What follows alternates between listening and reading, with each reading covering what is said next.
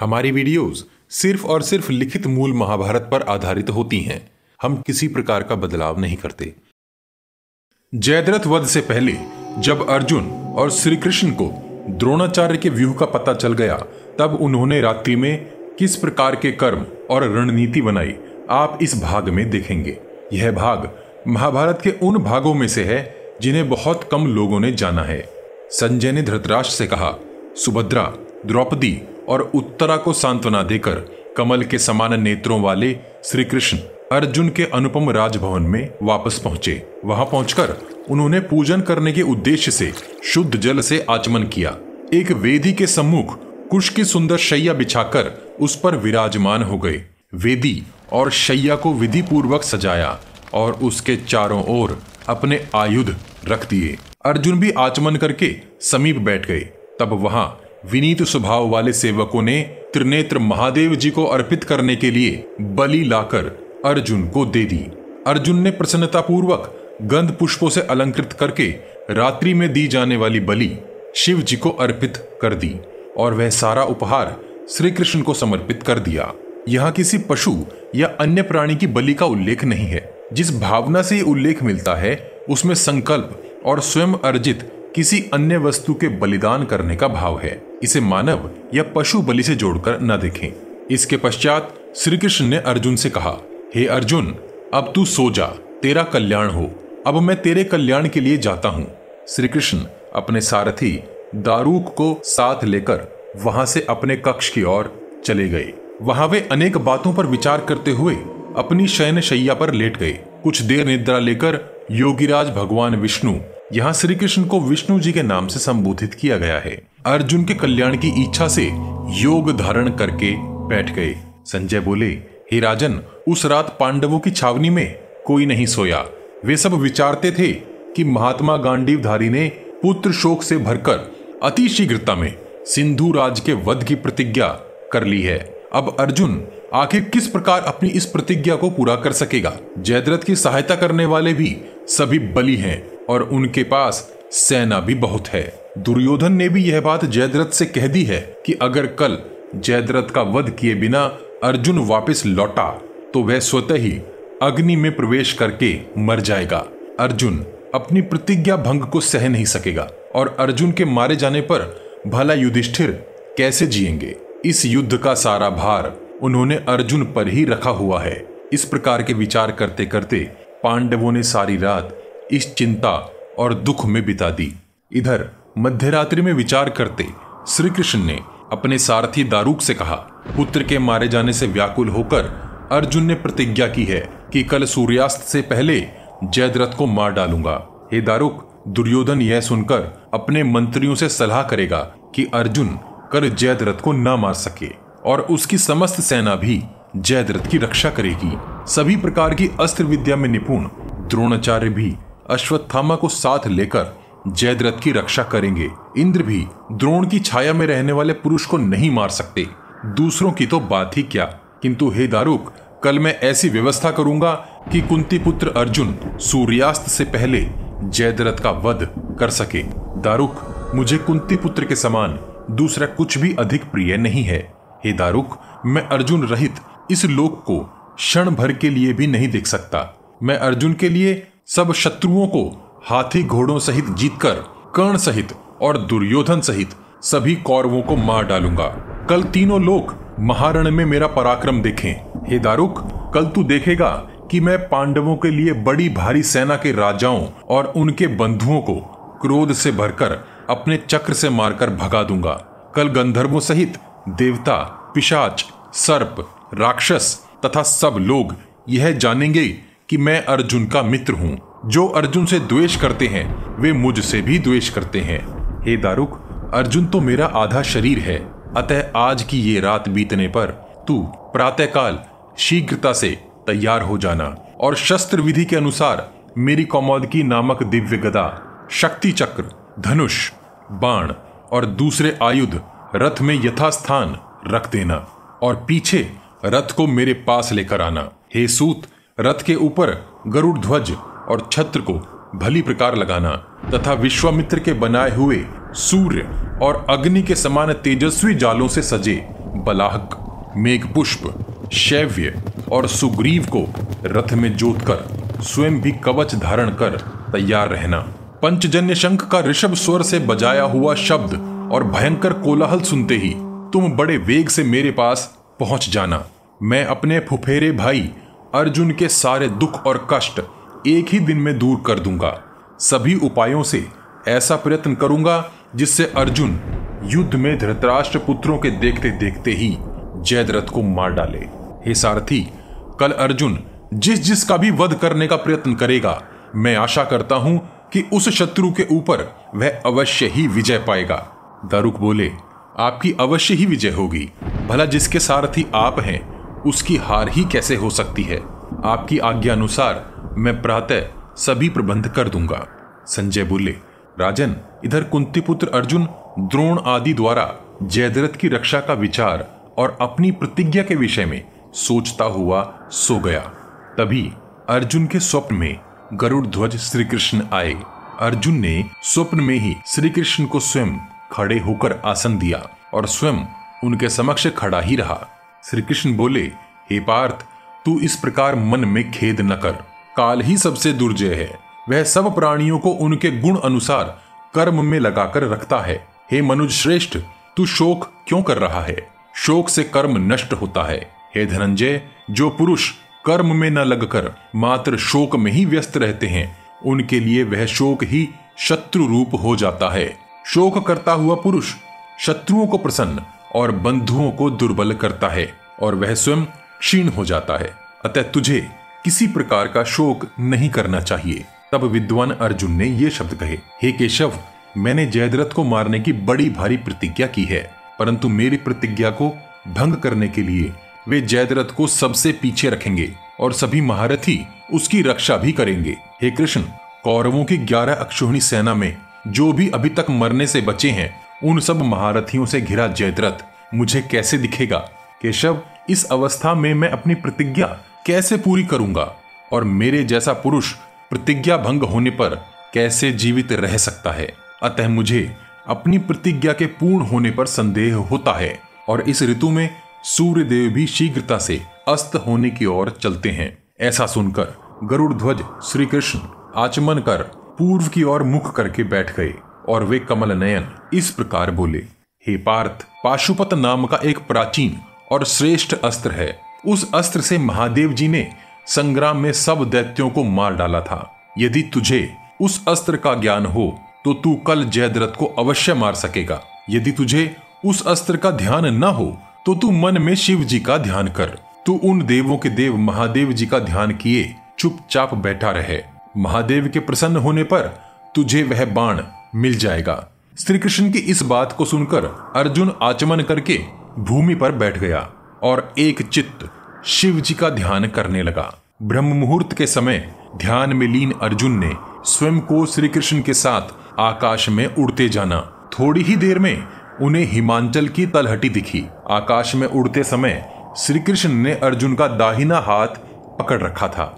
उत्तर दिशा में श्वेत पर्वत दिखे। अर्जुन ने आकाश से उड़ते हुए अनेक आकर्षक, मनोहर, सुगंधित और उत्तम गायन करते प्रदेशों को देखा। भांति भांति के तेज से सुसज्जित औषधियों को देखा। तभी कुंती कुमार अर्जुन ने एक पर्वत को भी देखा, जो अपने तेज से प्रज्वलित हो रहा था। उसकी प्रभा, समस्त नक्षत्रों, सूर्य, चंद्रमा इत्यादि के समान सब ओर फैल रही थी। उस पर्वत पर पहुंचकर उन्होंने पर्वत के अग्रभाग पर विराजमान सदैव तपस्या में रत, सहस्त्रों सूर्यों के समान तेज वाले, मृग छाल के वस्त्र पहने, सहस्त्रों नेत्रों के कारण विचित्र अंगों वाले, भगवान, ऋषभ ध्वज, अर्थात बैल मतलब नंदी के ध्वज वाले, महाबली शिव को देखा। समस्त गण उनके आसपास घूमकर उनकी सेवा में गायन कर रहे थे। सब प्राणियों की रक्षा करने वाले शंकर जी के दर्शन कर श्री कृष्ण और अर्जुन ने उनको प्रणाम किया और मन ही मन उनकी स्तुति प्रारंभ कर दी।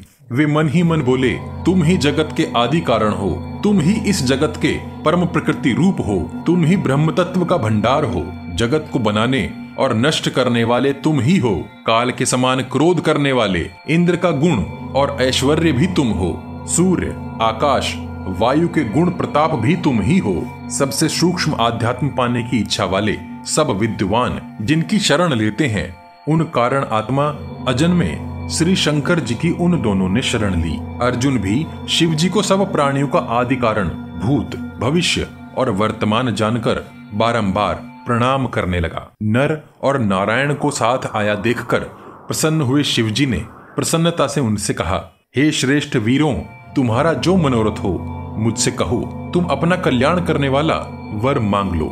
मैं तुम्हारी मनोकामना पूर्ण करने वाला सभी प्रकार का वरदान तुम्हें दूँगा। ऐसी बात सुनकर अर्जुन और श्री कृष्ण भक्ति भाव से हाथ जोड़कर खड़े हो गए। तब अर्जुन बोले, हे महादेव, त्र्यंबक, दक्ष के यज्ञ का विध्वंस करने वाले और अंधकासुर को मारने वाले शिव जी को हमारा प्रणाम। संजय ने धृतराष्ट्र से कहा, इस प्रकार श्री कृष्ण और अर्जुन ने महादेव की स्तुति कर उन्हें प्रसन्न कर दिया। अर्जुन ने देखा कि जो बलिदान उन्होंने रात्रि में शिव जी को अर्पित करके श्री कृष्ण को दे दिया था। वह भी श्री शंकर जी के समीप ही रखा था। तब अर्जुन बोले, मैं आपसे दिव्य अस्त्र लेना चाहता हूँ। शिव जी बोले, हे नरश्रेष्ठों, आपका यहाँ आना अति उत्तम है। तुम जिस मनोरथ के लिए आए हो, वह मैंने जान लिया है, और तुम्हारी चाही हुई वस्तु मैं तुम्हें दूँगा। शिव जी बोले, समीप ही अमृत से भरा दिव्य सरोवर है। मैंने वहाँ दिव्य धनुष और बाण रख दिया है। उस धनुष तथा बाण से मैंने देवताओं के सब शत्रुओं को मार गिराया था। हे अर्जुन, हे कृष्ण, तुम उन्हें सरोवर से बाहर निकाल लाओ। तब वे दोनों वीर पुरुष शिवजी के गणों को साथ लेकर उस दिव्य सरोवर की ओर जाने लगे। तब उन्होंने उस सरोवर के भीतर दो सर्पों को देखा, जिसके सहस्त्र मस्तक थे, और वह अपने मुख से लंबी लंबी ज्वालाओं को उगल रहा था। यह देखकर श्री कृष्ण और अर्जुन दोनों ने हाथ जोड़कर शिव जी का स्मरण किया और उन महासर्पों के समीप गए। दोनों ने वहाँ एकाग्र मन से शत्रुद्री का पाठ किया। शत्रुद्री, अर्थात भगवान रुद्र के सौ नामों को स्मरण करना, जिससे उनके विराट चरित्र, गुण, रूप का एहसास उत्पन्न होता है। तब उस प्रभाव से वे दोनों विशाल सर्प अपने अपने रूप को छोड़कर शत्रुओं को मारने वाले धनुष और बाण बन गए। इस प्रभाव से प्रसन्न होकर अर्जुन और श्री कृष्ण धनुष और बाण को उठाकर भगवान शिव जी के पास ले गए। भगवान शिव जी की पसलियों से एक ब्राह्मण उत्पन्न हुआ, जिसके नेत्र पीले थे और वह एक महाबली प्रतीत हो रहा था। उस ब्रह्मचारी ने वीर आसन में बैठकर उस श्रेष्ठ धनुष पर विधिवत बाण चढ़ाकर उसे खींचा। वहाँ खड़ा हुआ अर्जुन, धनुष की मूठ, प्रत्यंचा और बैठक इत्यादि को ध्यान से देखता रहा। उस समय शिवजी ने जो मंत्र पढ़ा, उसे भी अर्जुन ने ध्यान पूर्वक याद कर लिया। बाण चढ़ाकर प्रत्यंचा खींचने के बाद उस महाबली वीर ने वे धनुष और बाण दोनों सरोवर में फेंक दिए। अत्यंत तीक्ष्ण स्मृति वाले अर्जुन ने जान लिया कि शिवजी उसके ऊपर प्रसन्न हुए हैं। उसे पूर्व काल में हुए शंकर जी के दर्शन और उनके दिए पाशुपतास्त्र के वरदान का स्मरण हो आया कि जब भी तू स्मरण करेगा, ये पाशुपतास्त्र तेरे पास आ जाएगा।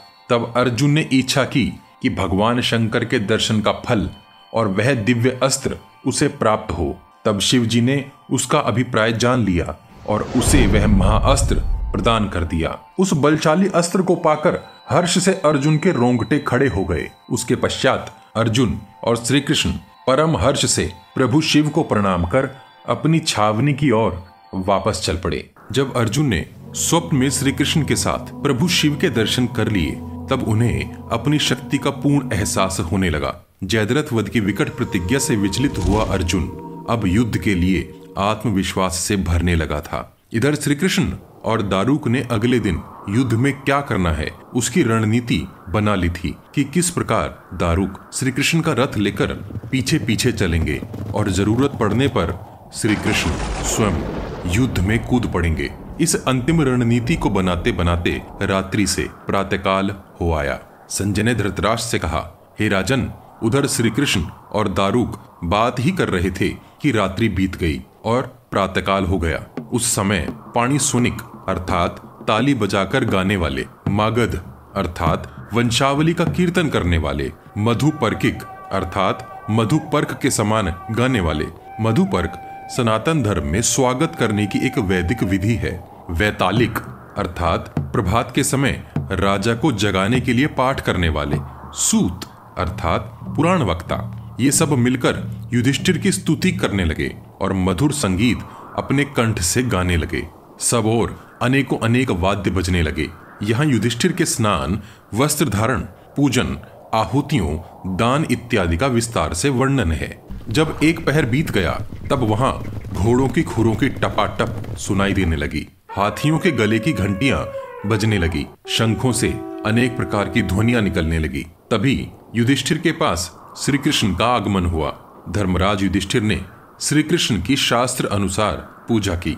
युधिष्ठिर बोले, हे मधुसूदन, क्या आपने आज की रात्रि सुख से तो बिताई है? आप आज होने वाली भयंकर घटनाओं से सावधान तो हैं। तभी वहाँ राजा विराट, भीमसेन दृष्टद्युम सात्विकी, चेदिराज, दृष्टकेतु, महारथी द्रुपद, शिखंडी, नकुल, सहदेव, चेकितान, केकय, युयुत्सु, उत्तम मौजा, द्रुपद पुत्र युधामन्यु, सुबाहु, द्रौपदी के पाँचों पुत्र और अन्य अनेक योद्धा आ पहुँचे। श्री कृष्ण और युयुधान, अर्थात सात्विकी, एक ही आसन पर एक साथ बैठे। इन सब के बीच युधिष्ठिर बोले, हे कृष्ण, जैसे देवता इंद्र का आश्रय लेकर रहते हैं, वैसे ही हम आपके आश्रय में रहकर युद्ध में विजय और चीरकाल तक रहने वाले सुखों को पाने की प्रार्थना करते हैं। हे भक्त वत्सल हे सर्वेश, हे मधुसूदन, हम सबकी रक्षा आपके ऊपर ही निर्भर करती है। आप दुख और अधर्म रूपी समुद्र में हमारा उद्धार करिए। हे माधव, इस विशाल समुद्र में आप हमारी नौका बनिए। हे कृष्ण, संग्राम में सारथी प्रयत्न करने पर जैसा काम कर सकता है, वैसा काम शत्रु का वध करने को तैयार हुआ रथी भी नहीं कर सकता। हे शंख, चक्र, गदा धारण करने वाले इस कौरव रूपी समुद्र में हम डूबते जा रहे हैं। आप नौका बनकर हमें बचा लीजिए। इस प्रकार की अनेक निवेदन पूर्ण बातें युधिष्ठिर ने श्री कृष्ण से कही। तब मेघों के समान गंभीर स्वर वाले श्री कृष्ण बोले, अर्जुन जैसा धनुर्धर है, ऐसा धनुर्धर तो किसी लोक और देवताओं में भी कोई नहीं है। अर्जुन तो वीरवान, अस्त्र विद्याओं का ज्ञाता, युद्ध में चतुर और परम तेजस्वी है। वृषभ, अर्थात बैल के समान कंधों वाला, लंबी भुजाओं वाला सिंह के समान चलने वाला महाबली अर्जुन तुम्हारे सब शत्रुओं को नष्ट कर डालेगा। और मैं ऐसा उपाय करूँगा कि कुंती पुत्र अर्जुन धृतराष्ट्र के पुत्रों की सेना को ऐसे नष्ट कर डाले जैसे अग्नि घास फूस को जला डालती है। अभिमन्यु के हत्यारे पापी नीच जयद्रथ को अर्जुन आज ही अपने बाणों से यमलोक भेज देगा। यदि आज इंद्र आदि सब देवता भी उसकी रक्षा करने को आ जाएँ, तो भी वह घोर युद्ध में मारा जाकर यमराज की राजधानी में ही जाएगा।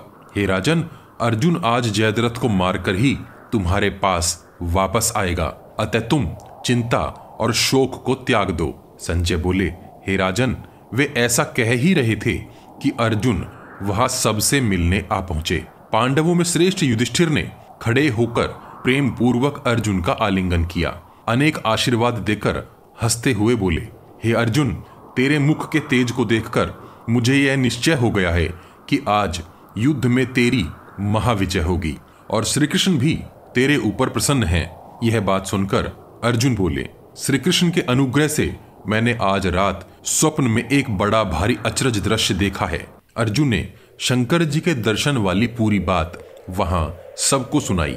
वह बात सुनकर वहाँ सबने प्रभु शिव को प्रणाम किया। तत्पश्चात वे सभी योद्धा युद्ध करने के लिए छावनी से निकल पड़े। सात्विकी और श्री कृष्ण एक ही रथ में बैठकर अर्जुन की छावनी की ओर गए। श्री कृष्ण ने वहाँ पहुंचकर वानर ध्वज वाले अर्जुन के रथ को एक सूत के समान कार्य करके तैयार कर दिया। वह श्रेष्ठ रथ प्रातः काल में सूर्य के समान तपे हुए सुवर्ण की तरह शोभा पाने लगा। इतने में ही अर्जुन भी पूजा इत्यादि कर, सर पर मुकुट धारण कर, कवच पहन और हाथ में धनुष लेकर निकल आया। तुरंत ही समस्त युद्ध अस्त्रों से सुसज्जित दिव्य रथ को श्री कृष्ण ने अर्जुन के सामने ला खड़ा किया। अर्जुन ने उस रथ की परिक्रमा की और श्रेष्ठ पुरुषों से विजय का आशीर्वाद प्राप्त कर मंत्रों से अभिमंत्रित रथ पर, जिस प्रकार सूर्य आकाश में चलते हैं, ऐसे सवार हो गया। श्री कृष्ण और युयुधान, अर्थात सत्य की दोनों उस रथ में एक साथ इस प्रकार बैठे थे, जैसे शरियाती के यज्ञ में आए इंद्र के रथ में दोनों अश्विनी कुमार बैठे थे। श्री कृष्ण ने घोड़ों की लगाम इस प्रकार पकड़ी थी, जैसे वृत्रासुर का वध करने के लिए जाते इंद्र के रथ की लगाम मातली ने पकड़ी थी। जब वह श्रेष्ठ रथ आगे बढ़ा, तब सुगंधित और पवित्र पवन चलने लगी। इससे अर्जुन को हर्ष होने लगा। संजय बोले हे राजन, उस समय पांडवों को सुख देने वाले, शुभ शकुन और आपके पुत्रों को व्यथित करने वाले कुशकुन होने लगे। अर्जुन अपने अनुकूल शुभ शकुनों को देखकर सात्विकी से बोला, हे शीनी प्रवर, अर्थात शीनी के पौत्र, मुझे आज युद्ध के लिए शुभ लक्षण प्रतीत हो रहे हैं। जयद्रथ को यमलोक भेजने के लिए मैं जयद्रथ के पीछे जाऊँगा। मेरे लिए जिस प्रकार सिंधु राज का वध अत्यंत महान कार्य है। उसी प्रकार धर्मराज की रक्षा भी परम महत्वपूर्ण कर्तव्य है। अर्जुन आगे बोले, हे महाबाहो, आज तुम ही हर दिशा से राजा युधिष्ठिर की रक्षा करो। जिस प्रकार वे मेरे द्वारा सुरक्षित होते हैं, उसी प्रकार तुम्हारे द्वारा भी उनकी सुरक्षा संभव है। मैं संसार में ऐसे किसी वीर को आज नहीं देखता जो तुम्हें पराजित कर सके। तुम युद्ध भूमि में साक्षात श्री कृष्ण के समान हो। इंद्र देव भी तुम्हें नहीं जीत सकते। हे नरश्रेष्ठ, मैं मात्र तुम पर और महारथी प्रद्युम्न पर ही इस कार्य के लिए भरोसा कर सकता हूँ। सिंधुराज का वध तो मैं किसी अन्य की सहायता के बिना ही कर सकता हूँ। हे सात्वत वीर, तुम किसी भी कारण, किसी भी अवस्था में मेरा अनुसरण न करना। तुम्हें सब ओर से, सब प्रकार से राजा युधिष्ठिर की पूर्ण रक्षा करनी है, जहाँ स्वयं श्री कृष्ण और मैं उपस्थित हों, वहाँ कोई कार्य बिगड़ नहीं सकता। इस बात का सदा स्मरण रखना। अर्जुन की ऐसी बातें सुनकर और उनसे सहमत होकर सात्यकी जहाँ राजा युधिष्ठिर थे, वहाँ चले गए। अब धृतराष्ट्र संजय से बोले, हे संजय, अभिमन्यु के मारे जाने पर पांडवों और मेरे पक्ष में युद्ध करने वालों ने सवेरा होने पर क्या किया? पुत्र शोक के संताप से, यम और मृत्यु के समान क्रोध से भरे पुरुष व्याघ्र अर्जुन को इस प्रकार आता देख मेरे पुत्र कैसे सह सके होंगे? जिसकी ध्वजा पर वानर चिन्ह है और जो युद्ध में एक महाधनुष को घुमा रहा हो, ऐसे बलशाली अर्जुन को देखकर मेरे पुत्रों ने क्या किया? हे संजय, ये समय दुर्योधन पर कैसा बीता? आज मुझे किसी हर्षनाद का आभास नहीं होता, मात्र खेद की ध्वनि ही गूंज रही है। मेरे पुत्रों की छावनी में जिस प्रकार के मंगल गान सुनाई देते थे, वैसे स्तुति, गायन और नृत्य करते समूह आज प्रतीत नहीं हो रहे। विचलित हुआ धृतराष्ट्र संजय से बोला, हे संजय, जब मैं सत्य धृति और सोमदत्त की छावनियों में बैठता था, तब प्रशंसा भरे शब्दों को सुना करता था। किंतु आज ऐसा लग रहा है, जैसे मैं पुण्यहीन हो चुका हूँ और अंतर्नाद से भरे शब्द ही सुन रहा हूँ। मेरे पुत्रों की छावनी उत्साह शून्य सी प्रतीत हो रही है। अश्वत्थामा की छावनी में भी आज वैसी हर्ष ध्वनि प्रतीत नहीं होती जैसी पहले प्रतीत होती थी। विंद और अनुविंद की छावनियों में केकय के डेरों में जिस प्रकार सदैव नाचने वालों की ताल, गीत और वेद ध्वनिया सुनाई देती थी, वैसी आज नहीं सुनती। द्रोण की छावनी में जिस प्रकार सर्वदा वेद, तोमर, तलवारों की ध्वनिया गूंजती थी, वहाँ से भी आज कोई शब्द नहीं आता। धृतराष्ट्र, आगे बोले, हे सूत, जब श्री कृष्ण कलह को समाप्त करने की इच्छा से आए थे, उस समय मैंने उस मंद बुद्धि दुर्योधन से कहा था कि, हे पुत्र, वासुदेव के सुझाए उपाय से पांडवों से संधि कर लो। मेरी समझ से तो इस प्रकार की संधि का यह सबसे उचित अवसर हाथ लगा है।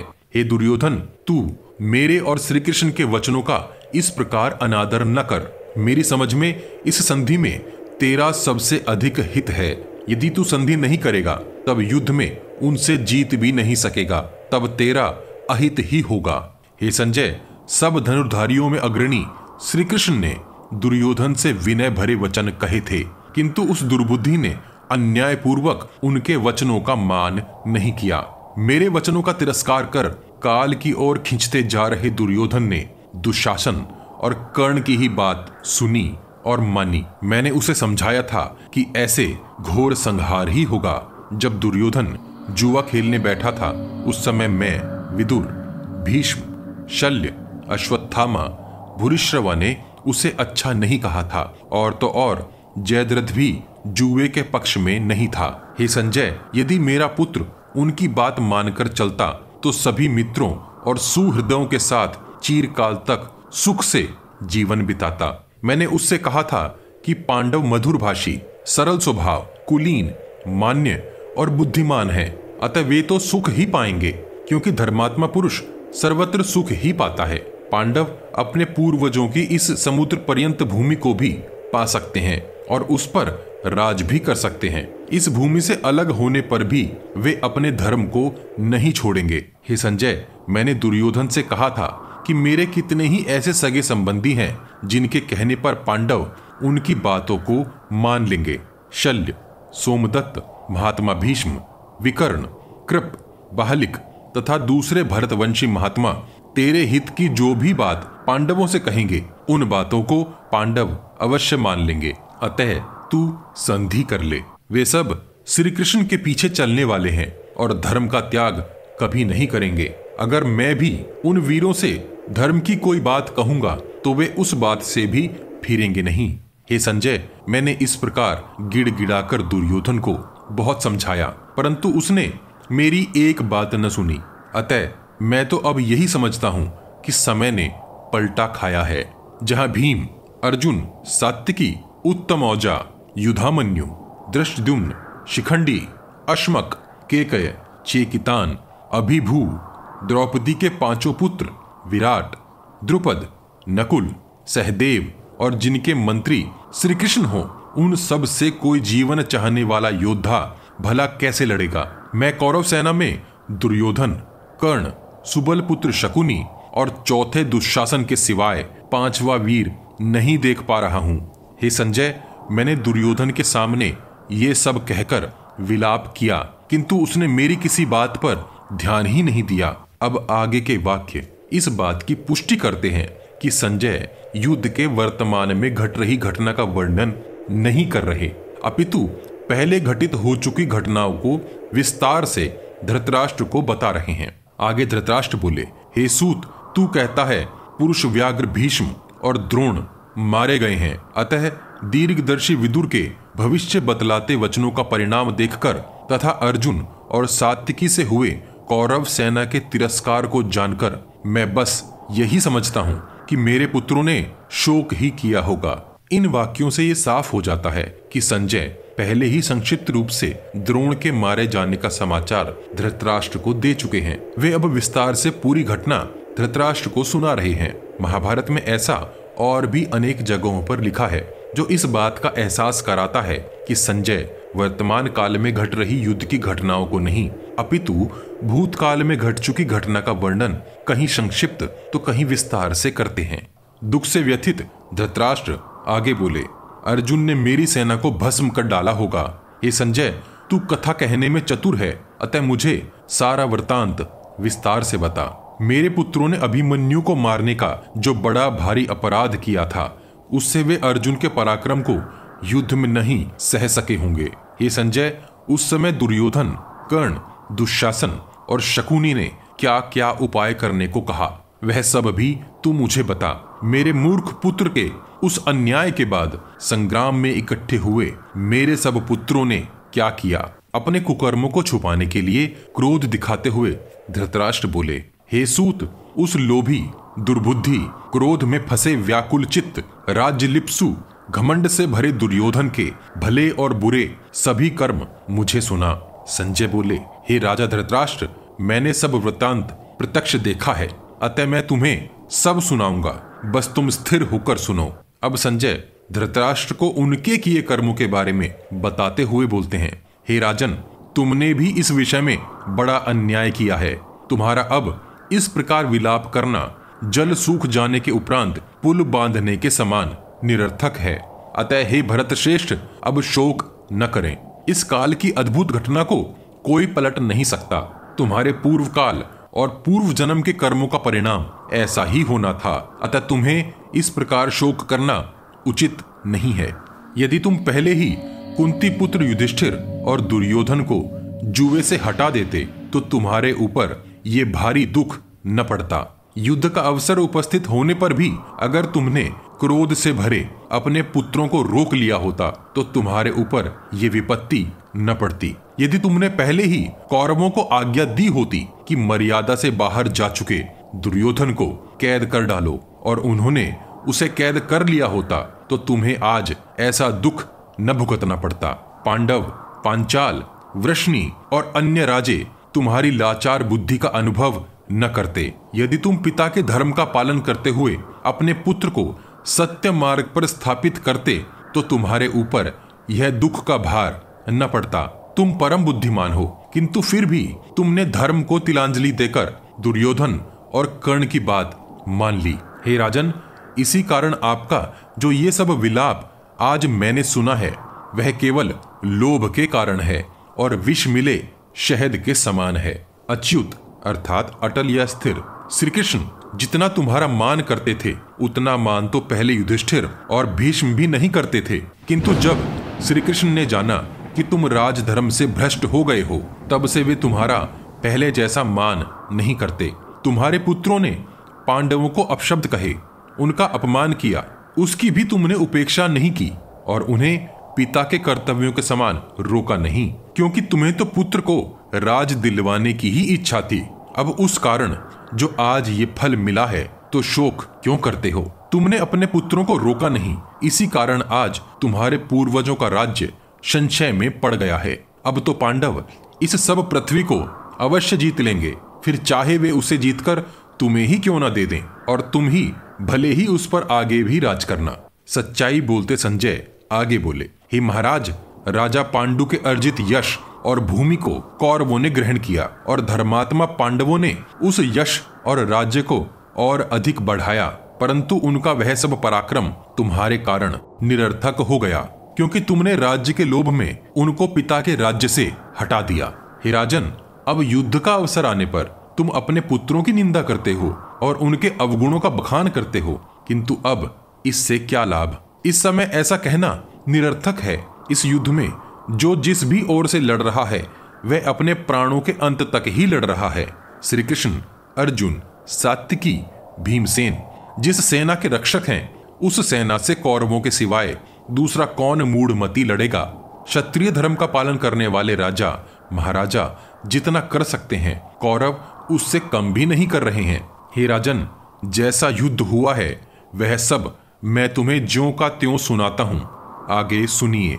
संजय ने कहा, हे राजन, रात्रि के बीत जाने पर शस्त्रधारियों में श्रेष्ठ द्रोणाचार्य अपनी समस्त सेना को चक्र शकट व्यू आकार में व्यवस्थित करने लगे। चक्र शकट व्यू में योद्धा क्रोध से भरकर और अत्यंत असहनशील होकर ज़ोर ज़ोर से चिल्लाने लगे। कोई धनुष को तानकर तो कोई प्रत्यंचा को खींचकर चिल्लाता था कि कहाँ है धनंजय? हे महाराज, उस समय जाने कितने ही योद्धा, सुंदर मूठ वाली, पानी पिलाकर धार लगाई। आकाश के समान निर्मल तलवारों को ज़ोर ज़ोर से घुमाने लगे। सभी योद्धा वहाँ मानो अपने अपने पराक्रम का प्रदर्शन करने लगे। कोई घुंघरू बंधी गदा, कोई सुवर्ण जड़ित तलवार तो कोई अन्य आयुध हवा में उठाकर ज़ोर ज़ोर से बोल रहे थे, कहाँ है वे पांडव? अपने अपने झंडों और आयुधों को उठाए, टोली बनाकर चलते योद्धा पांडवों को युद्ध के लिए ललकारते हुए कह रहे थे कि, अरे वह अर्जुन कहाँ है? वह कृष्ण कहाँ है? वह बुद्धिमानी व्रकोदर, अर्थात भीम, कहाँ है? उन पांडवों के सगे संबंधी आखिर कहाँ है? इस प्रकार की चिल्लाहट और पुकार पूरी युद्ध भूमि में गूंज रही थी। इस समय द्रोणाचार्य शंख बजाकर सभी दिशाओं में पूरे वेग से दौड़कर युद्ध भूमि में सेना को चक्र शकट व्यू के आकार में खड़ी कर रहे थे। हे महाराज, जब पूरी सेना द्रोणाचार्य के इस दुष्कर व्यू के अनुसार खड़ी हो गई। तब द्रोण जयद्रथ से बोले, द्रोणाचार्य ने कहा, हे जयद्रथ, तू सोमदत्त कर्ण, अश्वत्थामा, शल्य, वृषसेन तथा कृपाचार्य के साथ अश्व, हाथी, रथ और कवचधारी पैदल योद्धाओं की सहस्त्रों सहस्त्र सेना लेकर मेरे पीछे छह कोस की दूरी पर खड़ा हो जा। वहाँ खड़ा रहने पर तुझे इंद्रदेव भी नहीं हरा सकेंगे। फिर इन पांडवों की तो बात ही क्या। हे सिंधुराज, तू धीरज रखना और डरना नहीं।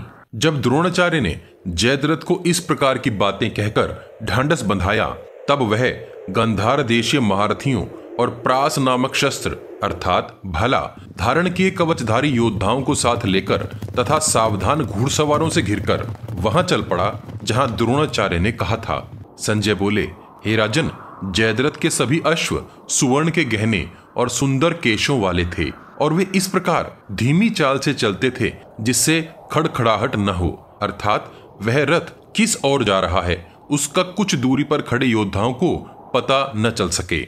ऐसे दस सहस्त्र अश्व जयद्रथ के साथ चल रहे थे, जो आगे को चलने और पीछे हटने में अत्यंत कुशल थे।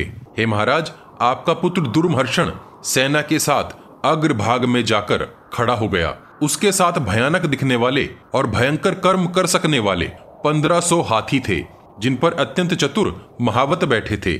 तदनंतर जयद्रथ का कार्य सिद्ध करने को आपके दोनों पुत्र दुशासन और विकर्ण सेना के अग्रभाग में आकर खड़े हो गए। इस प्रकार द्रोणाचार्य ने सभी रथी, हाथी सवार और पैदल योद्धाओं और अन्य शूरवीरों को यथास्थान खड़ा कर चक्र शकट व्यू को बनाकर तैयार कर दिया। वह विशाल व्यू 24 कोस लंबा और 10 कोस चौड़ा था। उसके पिछले आधे भाग में 10 कोस फैलाव का शकट बनाया गया था। उस अभेद्य, पद्माकार चक्र शकट व्यू के पिछले भाग के मध्य में सुई के समान छिपा हुआ एक गुप्त, सूची व्यूह बनाया गया। इस प्रकार भयंकर व्यूह रचकर द्रोणाचार्य उसके अगले भाग में खड़े हो गए। कृतवर्मा पद्म गर्भ में बने सूची व्यूह पर खड़ा हो गया। उसके पीछे काम्बोज और जल संघ खड़े हुए। उनके पीछे कर्ण और दुर्योधन खड़े हुए। रण में पीछे को न हटने वाले एक लाख योद्धा शकट व्यू के मुख की रक्षा में खड़े थे। इन योद्धाओं के पीछे सूची व्यू के समीप ही राजा जयद्रथ खड़े थे, जिसे एक बड़ी भारी सेना ने घेर रखा था। संजय बोले, ही राजन, द्रोणाचार्य शकट व्यू के अग्रभाग में खड़े थे। उनके पीछे कृतवर्मा सूची व्यू के अग्रभाग में जयद्रथ की रक्षा कर रहे थे। द्रोणाचार्य ने श्वेत कवच और श्वेत वस्त्र धारण किए हुए थे। अपने धनुष को टंकार देते हुए वे शकट व्यू के मुहाने पर क्रोधित यमराज के समान उपस्थित थे। उनके पीछे मारती कावत का राजा भोज आचार्य की रक्षा के लिए खड़ा था। लाल अश्वों वाले, ध्वजा पर वेदी के चिन्ह वाले, द्रोणाचार्य के रथ को देखकर समस्त कौरव योद्धा बड़े ही प्रसन्न हुए।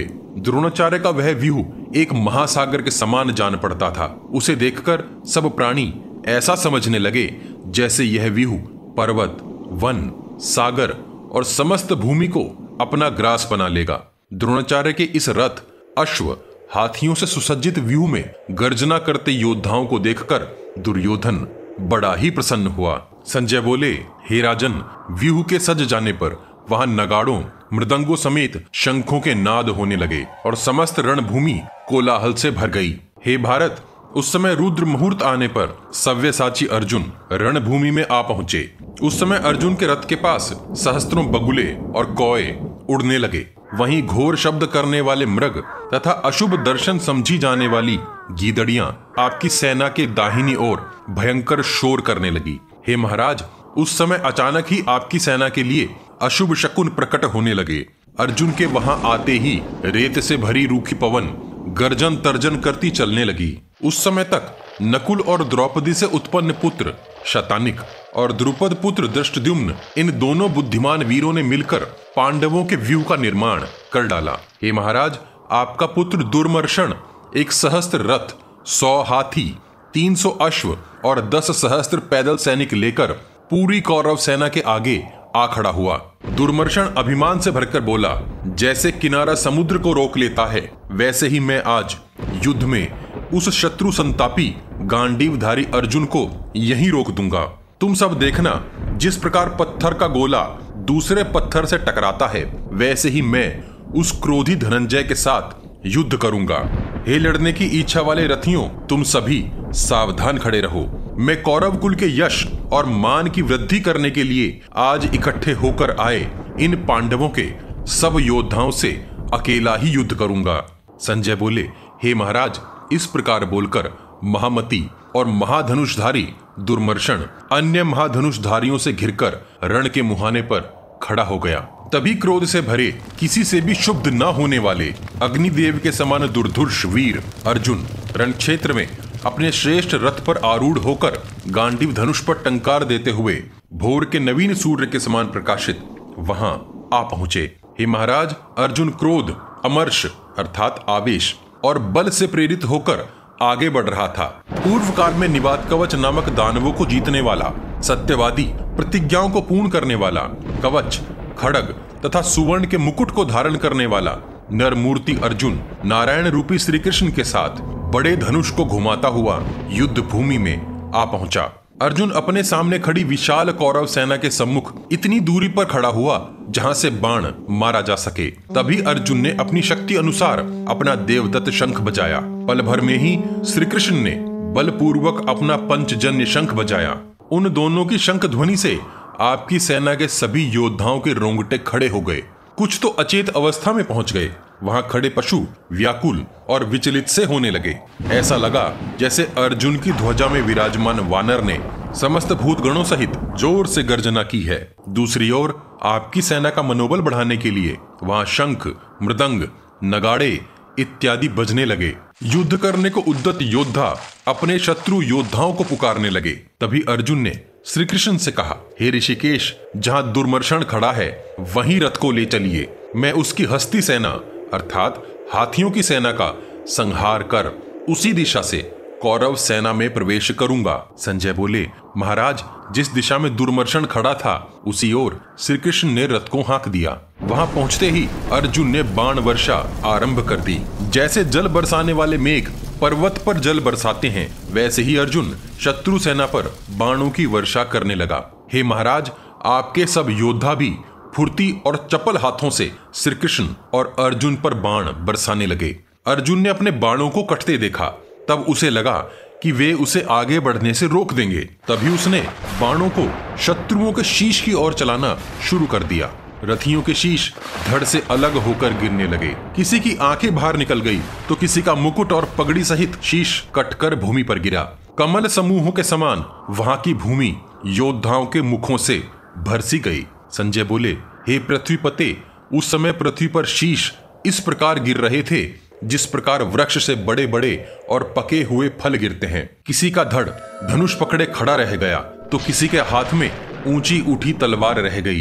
किंतु वे सब योद्धा इस प्रकार आवेश से भरे थे कि उन्हें समीप ही मारे जा रहे अपने साथी योद्धाओं का भान न रहा। घोड़ों के शीश, हाथियों की सूंड, वीरों के शीश और भुजाएँ उस रण क्षेत्र को भर रही थी। संजय बोले, हे प्रभु, आपकी सेना के योद्धा इस भयंकर मारकाट को देख मुग्ध होने लगे। उन्हें सब और अर्जुन दिखने लगा। वे बोलते थे, अर्जुन कहाँ है? अर्जुन ये रहा। वहाँ है अर्जुन। ये रहा पार्थ। कितने ही योद्धा मोहित हो अपनों को ही मारने लगे।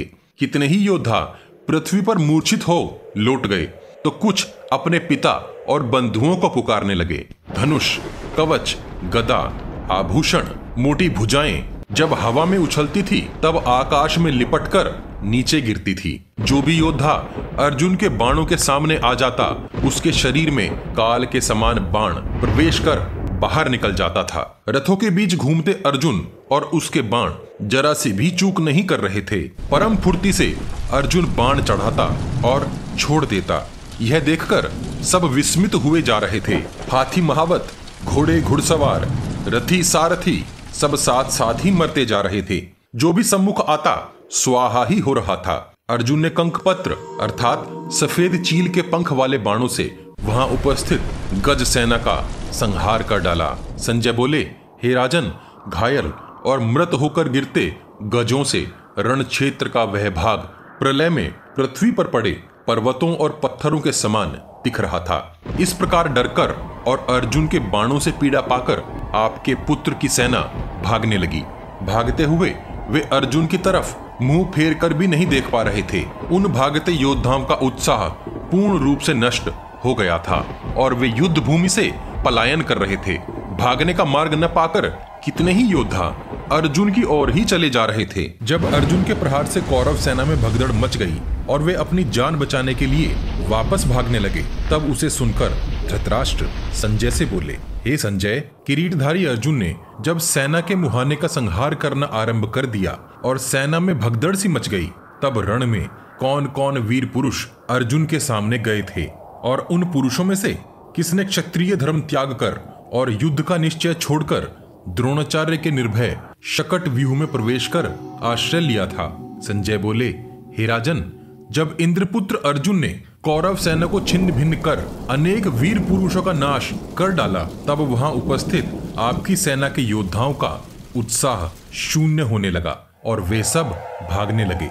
तब, हे राजन, आपका पुत्र दुशासन कौरव सेना को इस प्रकार भागती देखकर अत्यंत क्रोध से भर गया। वह अर्जुन से युद्ध करने का निश्चय करके सामने बढ़ाया। शूरवीर, प्रबल पराक्रमी दुशासन ने सुवर्ण का विचित्र कवच और मुकुट पहन रखा था। वह हाथियों की एक विशाल सेना लेकर इस प्रकार आगे बढ़ा, जैसे वह संपूर्ण पृथ्वी को निगल ही जाएगा। उसने अर्जुन को अपनी हाथी सेना से चारों ओर से घेर लिया। वहाँ हाथियों की घंटियों, चिंगाड़, शोर करते वाद्यों, शंखों और धनुषों की टंकार से भयंकर शोर होने लगा। कुछ क्षण के लिए तो दुशासन भी महाभयंकर और क्रूर प्रतीत होने लगा। अंकुशों का प्रहार कर दौड़ाए गए हाथी महापर्वतों के समान अर्जुन की ओर बढ़ने लगे। समस्त दिशाओं से उन हाथियों को अपनी ओर आते देख अर्जुन बड़ी ज़ोर से गरजा और पल भर में उसने बाण वर्षा प्रारंभ कर उस हस्ती सेना का संहार करना आरंभ कर दिया, जिस प्रकार एक मगरमच्छ विशाल पानी की लहरों के बीच निडरता से घुस जाता है। वैसे ही अर्जुन दुशासन की हस्ती सेना में घुस गया। अर्जुन समस्त दिशाओं की मर्यादाओं को तोड़ता हुआ अपने बाणों से उन्हें सूर्य के समान तपाने लगा। अर्जुन के छोड़े हुए सैकड़ों, सहस्त्रों बाणों से बिंद जाने के कारण वे हाथी ज़ोर से चिंगाड़ कर विशाल पत्थरों के समान भूमि पर गिरने लगे। अर्जुन के बाण हाथियों के दांतों की जड़ में कुंभ स्थलों में और कमर में घुसने लगे। हाथी सेना क्रोंच पक्षी के समान चिल हाथी सेना पर बैठे महावतों के मस्तकों को अर्जुन ने भल बाण मारकर हवा में उड़ा दिया। अर्जुन का हर बाण शत्रु सेना के हाथी अथवा किसी न किसी योद्धा को मारकर गिरा रहा था। अर्जुन के बाण अलग अलग स्तरों पर चल रहे थे। अर्जुन वहाँ नाचता हुआ सा प्रतीत हो रहा था। उसका धनुष हर दिशा में घूम रहा था। कब बाण धनुष पर चढ़ता और कब उसे छोड़कर योद्धाओं के शरीर में समा जाता, पता ही नहीं चल रहा था। जिस दिशा में बाण चलते, वहाँ बिना सर के असंख्य धड़ ही खड़े दिखते थे। वहाँ हर ओर टूटे हुए पहिए, रथों के दंड, योद्धाओं की ढाल, तलवार, धनुष, घोड़े हाथियों और योद्धाओं के घायल और मृत शरीर ही दिख रहे थे। अर्जुन के हाथ से नष्ट होता कौरव सेना दल खिन्न होकर और जान बचाकर अपने सेनापति के साथ वहाँ से भाग निकला। दुशासन और उसकी सेना अर्जुन के बाणों की मार से डरकर द्रोण की रक्षा को पुकारती हुई अति शीघ्रता से शकट व्यूह के भीतर घुस गई। संजय बोले, हे राजा धृतराष्ट्र, महारथी अर्जुन, दुशासन की सेना का नाश कर जयद्रथ को मारने के लिए द्रोण की सेना की ओर दौड़ पड़ा। कृष्ण की सम्मति लेकर अर्जुन शकट व्यूह के मुहाने पर खड़े। द्रोणाचार्य से हाथ जोड़कर बोला हे ब्राह्मण आप मेरे कल्याण की इच्छा करिए। मैं आपकी कृपा से इस दुर्भेद सेना में प्रवेश करना चाहता हूँ। आप मेरे लिए पिता के समान हैं, धर्मराज के समान हैं, तथा आप मेरे लिए श्री कृष्ण के भी समान हैं।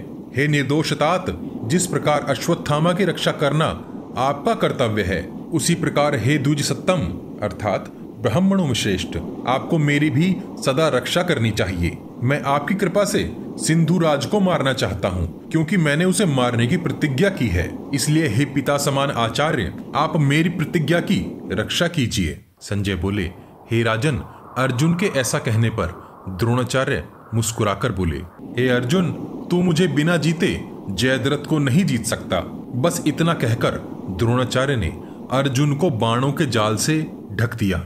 अर्जुन ने अपने क्षत्रिय धर्म का पालन करते हुए द्रोण के चरणों पर नौ बाणों से आघात किया। दोनों के बीच युद्ध प्रारंभ हो गया। द्रोणाचार्य ने अर्जुन के बाणों को काटकर विषाग्नि के समान तीक्ष्ण बाणों से श्री कृष्ण और अर्जुन को बींद डाला। संजय बोले, तभी अर्जुन ने अपने बाणों से द्रोणाचार्य के धनुष को काटने की इच्छा की। अभी अर्जुन विचार कर ही रहे थे। कि पराक्रमी द्रोणाचार्य ने बिना किसी घबराहट के अति शीघ्रता से अर्जुन के धनुष की प्रत्यंचा काट दी और उसके अश्वों और ध्वज पर भी प्रहार किया। इतना ही नहीं क्षण भर में द्रोणाचार्य ने मुस्कुराकर अर्जुन को अपने बाणों की वर्षा से आच्छादित कर दिया। पल भर में अर्जुन ने अपने विशाल धनुष पर प्रत्यंचा चढ़ा दी। उसने आचार्य से बढ़कर पराक्रम दिखाने की इच्छा से तुरंत ही 600 बाण छोड़े। वे बाण इतनी शीघ्रता से धनुष से निकले, मानो अर्जुन ने एक ही बाण छोड़ा हो।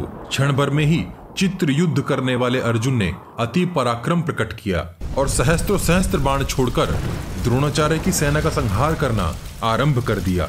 बाणों से बिंधे हुए घोड़े, हाथी, मनुष्य प्राण त्याग कर भूमि पर गिरने लगे। जिस प्रकार अग्नि सब कुछ भस्म कर देती है और मेघ पवन से बिखर जाते हैं वैसे ही विशाल हाथी भी अर्जुन के बाणों से घायल और मृत हो भूमि पर गिरने लगे। सूर्य के समान अर्जुन के किरणों के समान बाणों ने कौरव सेना को तपा रखा था। तभी द्रोणाचार्य ने अपना पराक्रम प्रकट किया और अर्जुन के बाणों को अपने बाणों से इस प्रकार ढक दिया, जैसे मेघ सूर्य की किरणों को ढक देते हैं। तभी द्रोणाचार्य ने शत्रुओं के प्राणों का भोजन करने वाले एक नाराज़ बाण को ज़ोर से खींचकर अर्जुन के वक्ष स्थल में मारा। उस प्रहार से अर्जुन के सभी अंग विहल, अर्थात पीड़ा से अशांत हो गए। जिस प्रकार भूकंप से पर्वत हिल जाते हैं, वैसे ही अर्जुन काँप उठा। किंतु तुरंत ही धीरज धर और एकाग्र चित्त होकर उसने शीघ्रता से बाण छोड़ द्रोण को घायल कर दिया। फिर द्रोणाचार्य ने पाँच बाण वासुदेव पर तिहत्तर बाण अर्जुन पर चला, उन्हें घायल कर दिया। तीन बाणों से उसकी ध्वजा पर भी चोट पहुंचाई। संजय बोले, हे राजन, द्रोणाचार्य ने अर्जुन पर इतने बाण एक साथ छोड़े कि अर्जुन पूर्णतया अदृश्य सा हो गया। ऐसा लगा, मानो एक गुरु अपने शिष्य की परीक्षा ले रहा हो। द्रोणाचार्य के बाण एकदम सटकर चल रहे थे। उनका धनुष सदैव मंडलाकार, अर्थात गोलाई में घूमता ही दिखाई देता था। संजय बोले, हे राजन, द्रोणाचार्य के छोड़े हुए कंक पत्र अर्थात सफ़ेद चील के पंखों से बने बाण अर्जुन और श्री कृष्ण पर जाकर गिरे। अर्जुन को यहीं फंसाए रखने की, द्रोणाचार्य की युद्ध शैली को श्री कृष्ण ने भाप लिया और उन्होंने जयद्रथ वध की ओर अपना ध्यान लगाकर अर्जुन से कहा, हे पार्थ हे पार्थ, हे महाबाहो, यहाँ हमारा अधिक समय न बीत जाए। इसलिए द्रोणाचार्य को यहीं छोड़कर हमें अपनी कार्य सिद्धि के लिए आगे चलना चाहिए। अभी सबसे महान कार्य शेष है। तब अर्जुन ने सच्चिदानंद स्वरूप केशव से कहा, प्रभो, आपकी जैसी रुचि हो, आप वैसा ही कीजिए। तभी श्री कृष्ण ने रथ को घुमाना शुरू कर दिया और अर्जुन द्रोणाचार्य की परिक्रमा करते और बाण चलाते हुए अति वेग से आगे निकलने लगा। यह देखकर द्रोणाचार्य बोले, हे पांडुनंदन, तू तो शत्रुओं को बिना हराए कभी रण से लौटता नहीं था। फिर इस प्रकार ऐसे क्यों भागा जाता है? अर्जुन ने कहा, हे आचार्य, आप मेरे शत्रु नहीं, अपितु गुरु हैं, और मैं आपका शिष्य तथा धर्मपुत्र हूँ। आचार्य, इस संसार में ऐसा कोई पुरुष नहीं, जो युद्ध में आपको जीत सके। संजय बोले, हे महाराज, इस प्रकार कहते कहते महाबाहु अर्जुन, जयद्रथ को मारने के लिए तुरंत ही आपकी सेना की ओर आगे बढ़ गया। आपकी सेना में प्रवेश करते समय अर्जुन के पीछे पीछे उसके चक्र रक्षक पांचाल देशी युधामन्यु और उत्तम औजा भी चले। संजय बोले, महाराज, तब आपकी सेना के जय। सात्वत वंशी कृतवर्मा, काम्बोज नरेश तथा कलिंग देश के श्रुतायु ने अर्जुन को शकट व्यूह में घुसने से रोका। उनके पीछे दस सहस्त्र अनुयायी उनकी सहायता के लिए उपस्थित थे। अभिशाह, शूरसेन, शिबी, वसाती मावेल्लक ललित, केकय, मद्रक नारायण नामक गोपालगण तथा काम्बोज देशीय राजे भी, जिन्हें कर्ण ने पूर्व काल में रण में जीतकर अपने अधीन कर लिया था, उन सब राजाओं ने अनेक प्रकार से युद्ध करने वाले महाधनुषधारी अर्जुन को शकट व्यू में घुसने से रोक दिया। क्रोध से भरे दोनों ओर के योद्धा एक दूसरे को ललकारने लगे। तभी वहाँ अर्जुन और कौरवों में रोमांचकारी और भयंकर युद्ध छिड़ गया, जिस प्रकार औषधियाँ उभरते हुए रोग को रोक देती हैं। वैसे ही समस्त कौरवों ने एक साथ मिलकर पुरुष श्रेष्ठ अर्जुन को वहीं रोक दिया। जब अर्जुन को अनेकों अनेक महारथियों ने आगे बढ़ने से रोक दिया, तब वहाँ उनकी सहायता के लिए द्रोणाचार्य भी पुनः आ पहुँचे। जिस प्रकार सूर्य अपनी प्रचंड किरणों का प्रसार सभी दिशाओं में करते हैं, वैसे ही अर्जुन तीखे बाण समूहों की वर्षा करने लगे। वहाँ सब ओर भयंकर और हृदय विदारक दृश्य दिखने लगे। रथों के टुकड़े, पहिए, अश्व, मनुष्य, हाथी बिखर कर भूमि पर गिरने लगे। कौरव सेना में बार बार भगदड़ मच जाती थी। संजय बोले, हे राजन युद्ध स्थल में कौरव योद्धा अपने सैनिकों को बार बार काबू में रखने का प्रयत्न करते थे और अर्जुन के बाण बार बार कौरव सेना को कंपित कर रहे थे। श्वेत अश्वों वाले सत्यवादी अर्जुन जयद्रथ का वध करने की अपनी प्रतिज्ञा को पूर्ण करने की इच्छा से लाल अश्वों वाले रथ पर बैठे द्रोणाचार्य की ओर गया। अर्जुन को आते देख तुरंत ही द्रोणाचार्य ने अपने प्रिय शिष्य पर अत्यंत मर्म भेदी, सीधे जाने वाले 25 बाण चलाए। अर्जुन ने अपने गुरु के बाणों को काटने वाले बाण छोड़कर उन पर भल्ल नामक अनेक बाण छोड़े। असीम आत्मबल से संपन्न द्रोण ने भी भल्ल बाण चलाकर अर्जुन के बाणों को काट दिया। हे राजन, उस युद्ध स्थल में सबने द्रोणाचार्य की अद्भुत अस्त्र विद्या देखी। नवयुवक अर्जुन अत्यंत प्रयत्न करने पर भी अपने बाणों से द्रोण को किसी प्रकार की चोट न पहुँचा सका। जिस प्रकार महान मेघ जल की सहस्त्रों धाराएँ पर्वत पर बरसाते हैं, उसी प्रकार द्रोणाचार्य रूपी मेघ ने अर्जुन पर असंख्य बाणों से प्रहार किया। तभी आचार्य ने ब्रह्मास्त्र प्रकट किया। जो अर्जुन पर विचित्र बाण वर्षा करने लगा। अर्जुन ने भी उसी प्रकार के ब्रह्मास्त्र को चलाकर आचार्य की उस बाण वर्षा को रोक दिया। उसी बीच आचार्य को अर्जुन पर बाण छोड़ने का क्षण मिल गया और उन्होंने अर्जुन को 25 बाण मारकर पीड़ित कर दिया। साथ ही श्री कृष्ण की भुजाओं और वक्ष स्थल पर भी उन्होंने अनेक बाण मारे। अपने गुरु द्वारा घायल होकर अर्जुन मंद मंद मुस्कुराकर द्रोण के बाणों को काटने लगा। दुर्धुर्ष, अर्थात, जिसे वश में करना कठिन हो, द्रोणाचार्य, उस समय महाप्रलय की अग्नि के समान प्रतीत हो रहे थे। उनके बाणों से पीड़ित हुए अर्जुन और श्री कृष्ण पुनः रथ को घुमाकर द्रोणाचार्य को वहीं छोड़ दूसरी दिशा से जयद्रथ तक पहुँचने की चेष्टा में कृतवर्मा और काम्बोज राज सुदक्षिण पर टूट पड़ा। सावधान खड़े कृतवर्मा ने अर्जुन पर तुरंत ही कंक पत्र से बने दस बाण मारे। तुरंत ही अर्जुन ने सातवत वंशी कृतवर्मा पर पहले सौ बाण छोड़े, जिससे कृतवर्मा मोहित सा हो गया। क्षण भर में ही अर्जुन ने तीन बाण मारकर उसे चोट पहुंचाई। कृतवर्मा ने भी हंसकर माधव श्री कृष्ण और अर्जुन पर 21-21 बाण छोड़े। यह देखकर अर्जुन ने एक बाण से उसका धनुष काटकर उस पर उसी प्रकार के 21 बाण छोड़े और उसे घायल कर दिया। संजय बोले, हे राजन, तुरंत ही कृतवर्मा ने दूसरा धनुष लेकर अर्जुन की छाती में पाँच बाण मारे। क्रोध से भरकर अर्जुन ने कृतवर्मा की छाती में अनेक बाण मारे। इस प्रकार अर्जुन को कृतवर्मा के साथ युद्ध में उलझा देखकर श्री कृष्ण ने पुनः विचार किया कि इस प्रकार समय व्यर्थ नहीं बीतना चाहिए। उन्होंने अर्जुन से कहा, हे hey अर्जुन, तू कृतवर्मा के ऊपर किसी प्रकार की दया न कर। इससे अपने संबंध का ध्यान त्याग कर शीघ्र ही इसका वध कर दे। तब अर्जुन ने भारी बाण वर्षा करके कृतवर्मा को वहीं मूर्छित कर छोड़ दिया। समय न गंवाकर तुरंत ही अपने वेगशाली घोड़ों से काम्बोज की सेना पर आक्रमण कर दिया। संजय बोले, हे महाराज, कृतवर्मा, अपना इस प्रकार का तिरस्कार और अर्जुन को काम्बोज सेना में घुसा देखकर क्रोध से भर गया। उसने अपने रथ को घुमा, अर्जुन के चक्र रक्षक पांचाल राज के दोनों पुत्रों, युधामन्यु और उत्तम औजा से युद्ध करना शुरू कर दिया।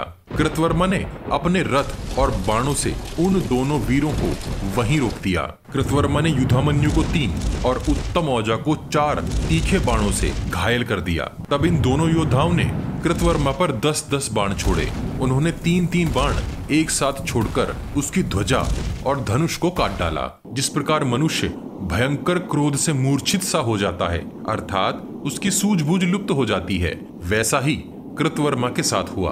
अत्यंत क्रोध से भरकर उसने दूसरा धनुष लेकर उन दोनों वीरों के धनुष काट दिए। युधामन्यु और उत्तम औजा ने अपने धनुषों पर तुरंत प्रतिंचा बांधकर कृतवर्मा से युद्ध प्रारंभ कर दिया। अवसर का लाभ लेकर अर्जुन शत्रु सेना में घुस गया।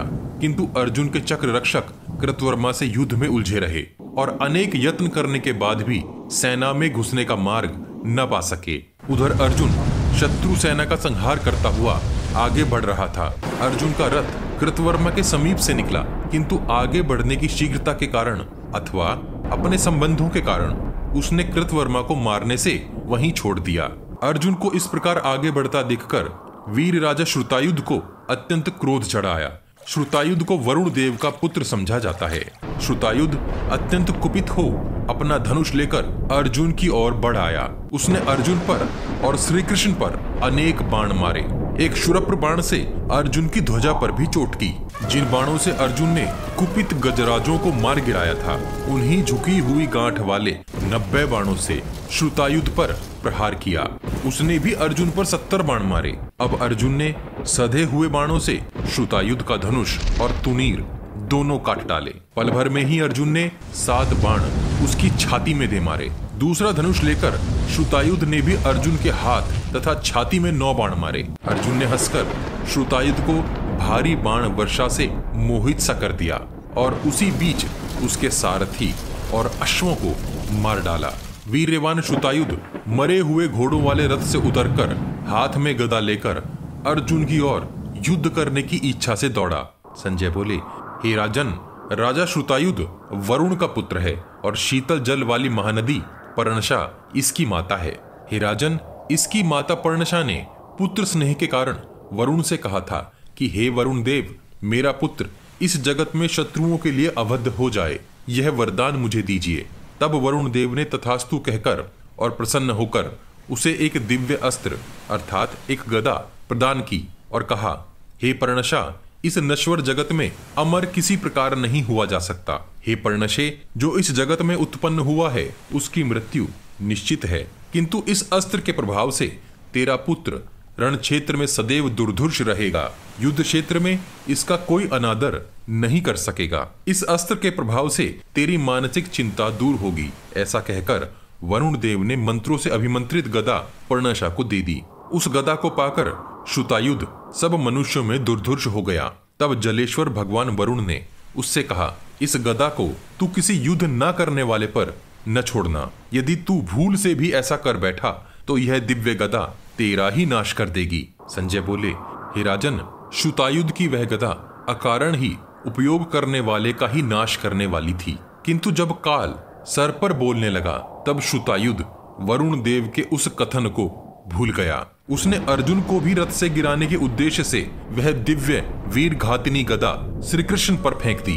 श्री कृष्ण ने उस गदा को अपने वक्ष स्थल पर झेल लिया। जिस प्रकार पवन के आघात से विंध्याचल नहीं हिलता, उसी प्रकार कृष्ण उस प्रहार से तनिक भी डिगे नहीं। संजय बोले, हे राजन, जिस प्रकार दोष युक्त तंत्र मंत्र से उत्पन्न हुई कृत्या उसका उपयोग करने वाले यजमान का ही नाश कर देती है, उसी प्रकार उस गदा ने लौटकर वहाँ खड़े अमर्षशील वीर, अर्थात जो सहन न कर सके श्रुतायुध का वध कर दिया और वह गदा भूमि पर जा गिरी। जिस प्रकार अनेक शाखाओं से भरा वृक्ष उखड़कर भूमि पर गिर पड़ता है, वैसे ही श्रुतायुध भी भूमि पर गिरा था। श्रुतायुध को अपनी ही गदा से मरा देखकर कौरव सेना में हाहाकार मच गई।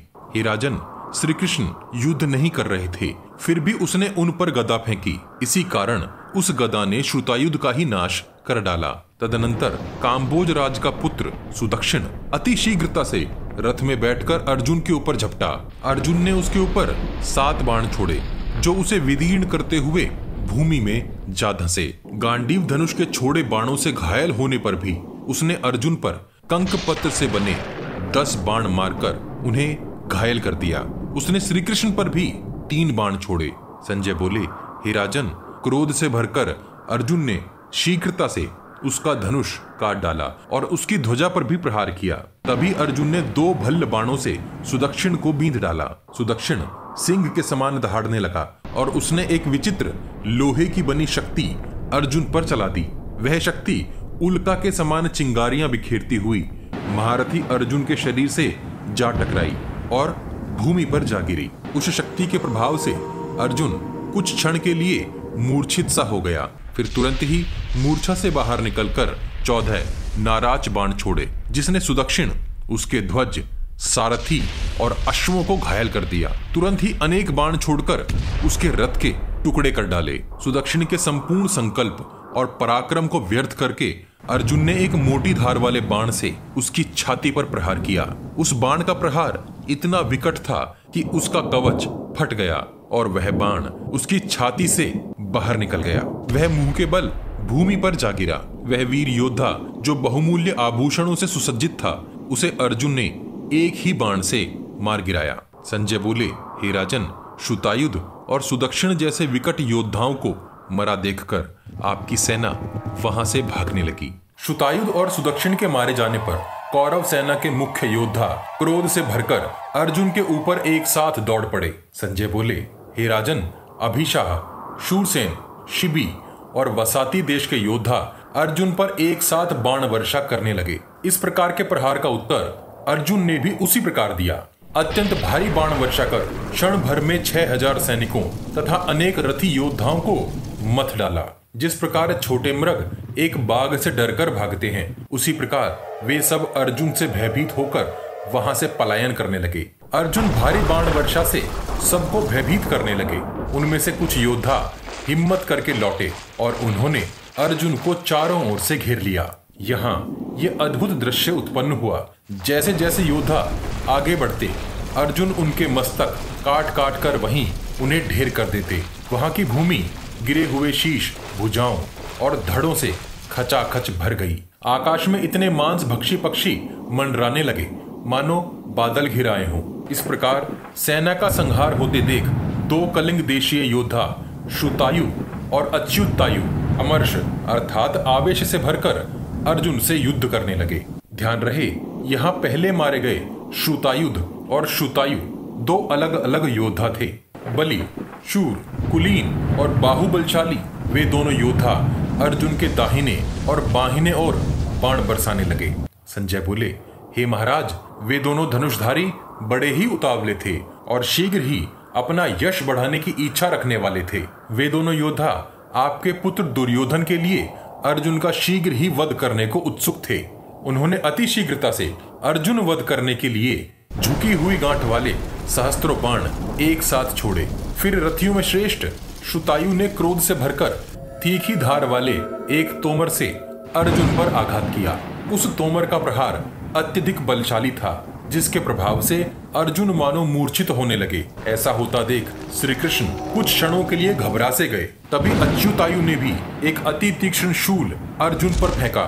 संजय बोले हे राजन, जिस प्रकार घाव पर लवण, अर्थात नमक रगड़ने से पीड़ा होती है, वैसी ही पीड़ा अर्जुन को उस शूल से हुई। क्षण भर के लिए अर्जुन ध्वजा का दंड पकड़े खड़ा ही रह गया। अर्जुन को मरा मानकर कौरव सेना भारी सिंह नाद करने लगी। अर्जुन को इस अवस्था में देख श्री कृष्ण अर्जुन को मन को प्रिय लगने वाले वचन बोलकर सचेत अवस्था में लाने का प्रयास करने लगे। मौका देखकर शुतायु और अच्युतायु ने अपनी जीत को निश्चित करने के लिए अर्जुन और श्री कृष्ण के रथ पर इतने बाण चलाए कि सूर्य की एक भी किरण रथ तक न पहुँच सकी और वह अंधकार में लोप सा हो गया। वहाँ यह एक अद्भुत सी बात हुई। तभी अर्जुन मानो, यमराज के नगर से पुनः लौट आए और उन्होंने भारी बाण वर्षा को देखकर तुरंत ही इंद्रास्त्र प्रकट किया। इंद्रास्त्र के चलते ही झुकी हुई गांठ वाले सहस्त्रों बाण प्रकट होने लगे। उन बाणों ने शुतायु और अच्युतायु के छोड़े बाणों को छिन्न भिन्न कर दिया। इंद्रास्त्र से जो बाण समूह उत्पन्न हुए, उनसे उन दोनों योद्धाओं के मस्तक कटकर भूमि पर जा गिरे। जिस प्रकार पवन के वेग से पेड़ भूमि पर आ गिरते हैं, वैसे ही वे दोनों योद्धा भी भूमि पर उसी प्रकार आ गिरे। उन दोनों वीरों के पीछे आने वाले पचास रथियों को एक बार में ही मारकर अर्जुन ने व्यूह में मार्ग बनाकर पुनः घुसना प्रारंभ कर दिया। संजय बोले, हे राजन, श्रुतायु तथा अच्युतायु को मरा देखकर उन दोनों के पुत्र नरश्रेष्ठ, नियुतायु और दीर्घायु अपने पिता के वध से दुखी हो गए। वे दोनों भी क्रोध से भरकर नाना प्रकार के बाणों की वर्षा करते हुए कुंती कुमार अर्जुन का सामना करने के लिए आगे बढ़ाए। तब अर्जुन ने परम क्रोध से भरकर दो ही क्षण में उन दोनों को यमराज के नगर भेज दिया। सरोवर को कुचलते हुए हाथी के समान कोई भी वीर योद्धा अर्जुन को न रोक सका। जब अर्जुन इस प्रकार शीघ्रता से आगे बढ़ने लगा, तब दुर्योधन की आज्ञा लेकर अनेक अंग देशीय राजा अर्जुन को रोकने पूर्व तथा दक्षिण दिशा से आगे बढ़े। कलिंग देश के योद्धा ऊँचे हाथियों पर बैठकर आए और उन्होंने अर्जुन को घेर लिया। अर्जुन ने गांडीव धनुष पर एक भयंकर टंकार देकर अत्यंत वेगवान बाणों से उन योद्धाओं और राजाओं के शीश और सुशोभित भुजाओं को काट डाला। ऊँचे हाथियों से गिर वे भुजाएँ और मस्तक वृक्ष के पत्तों के समान पृथ्वी को ढकने लगे। अनेक हाथी मरकर गिरने लगे।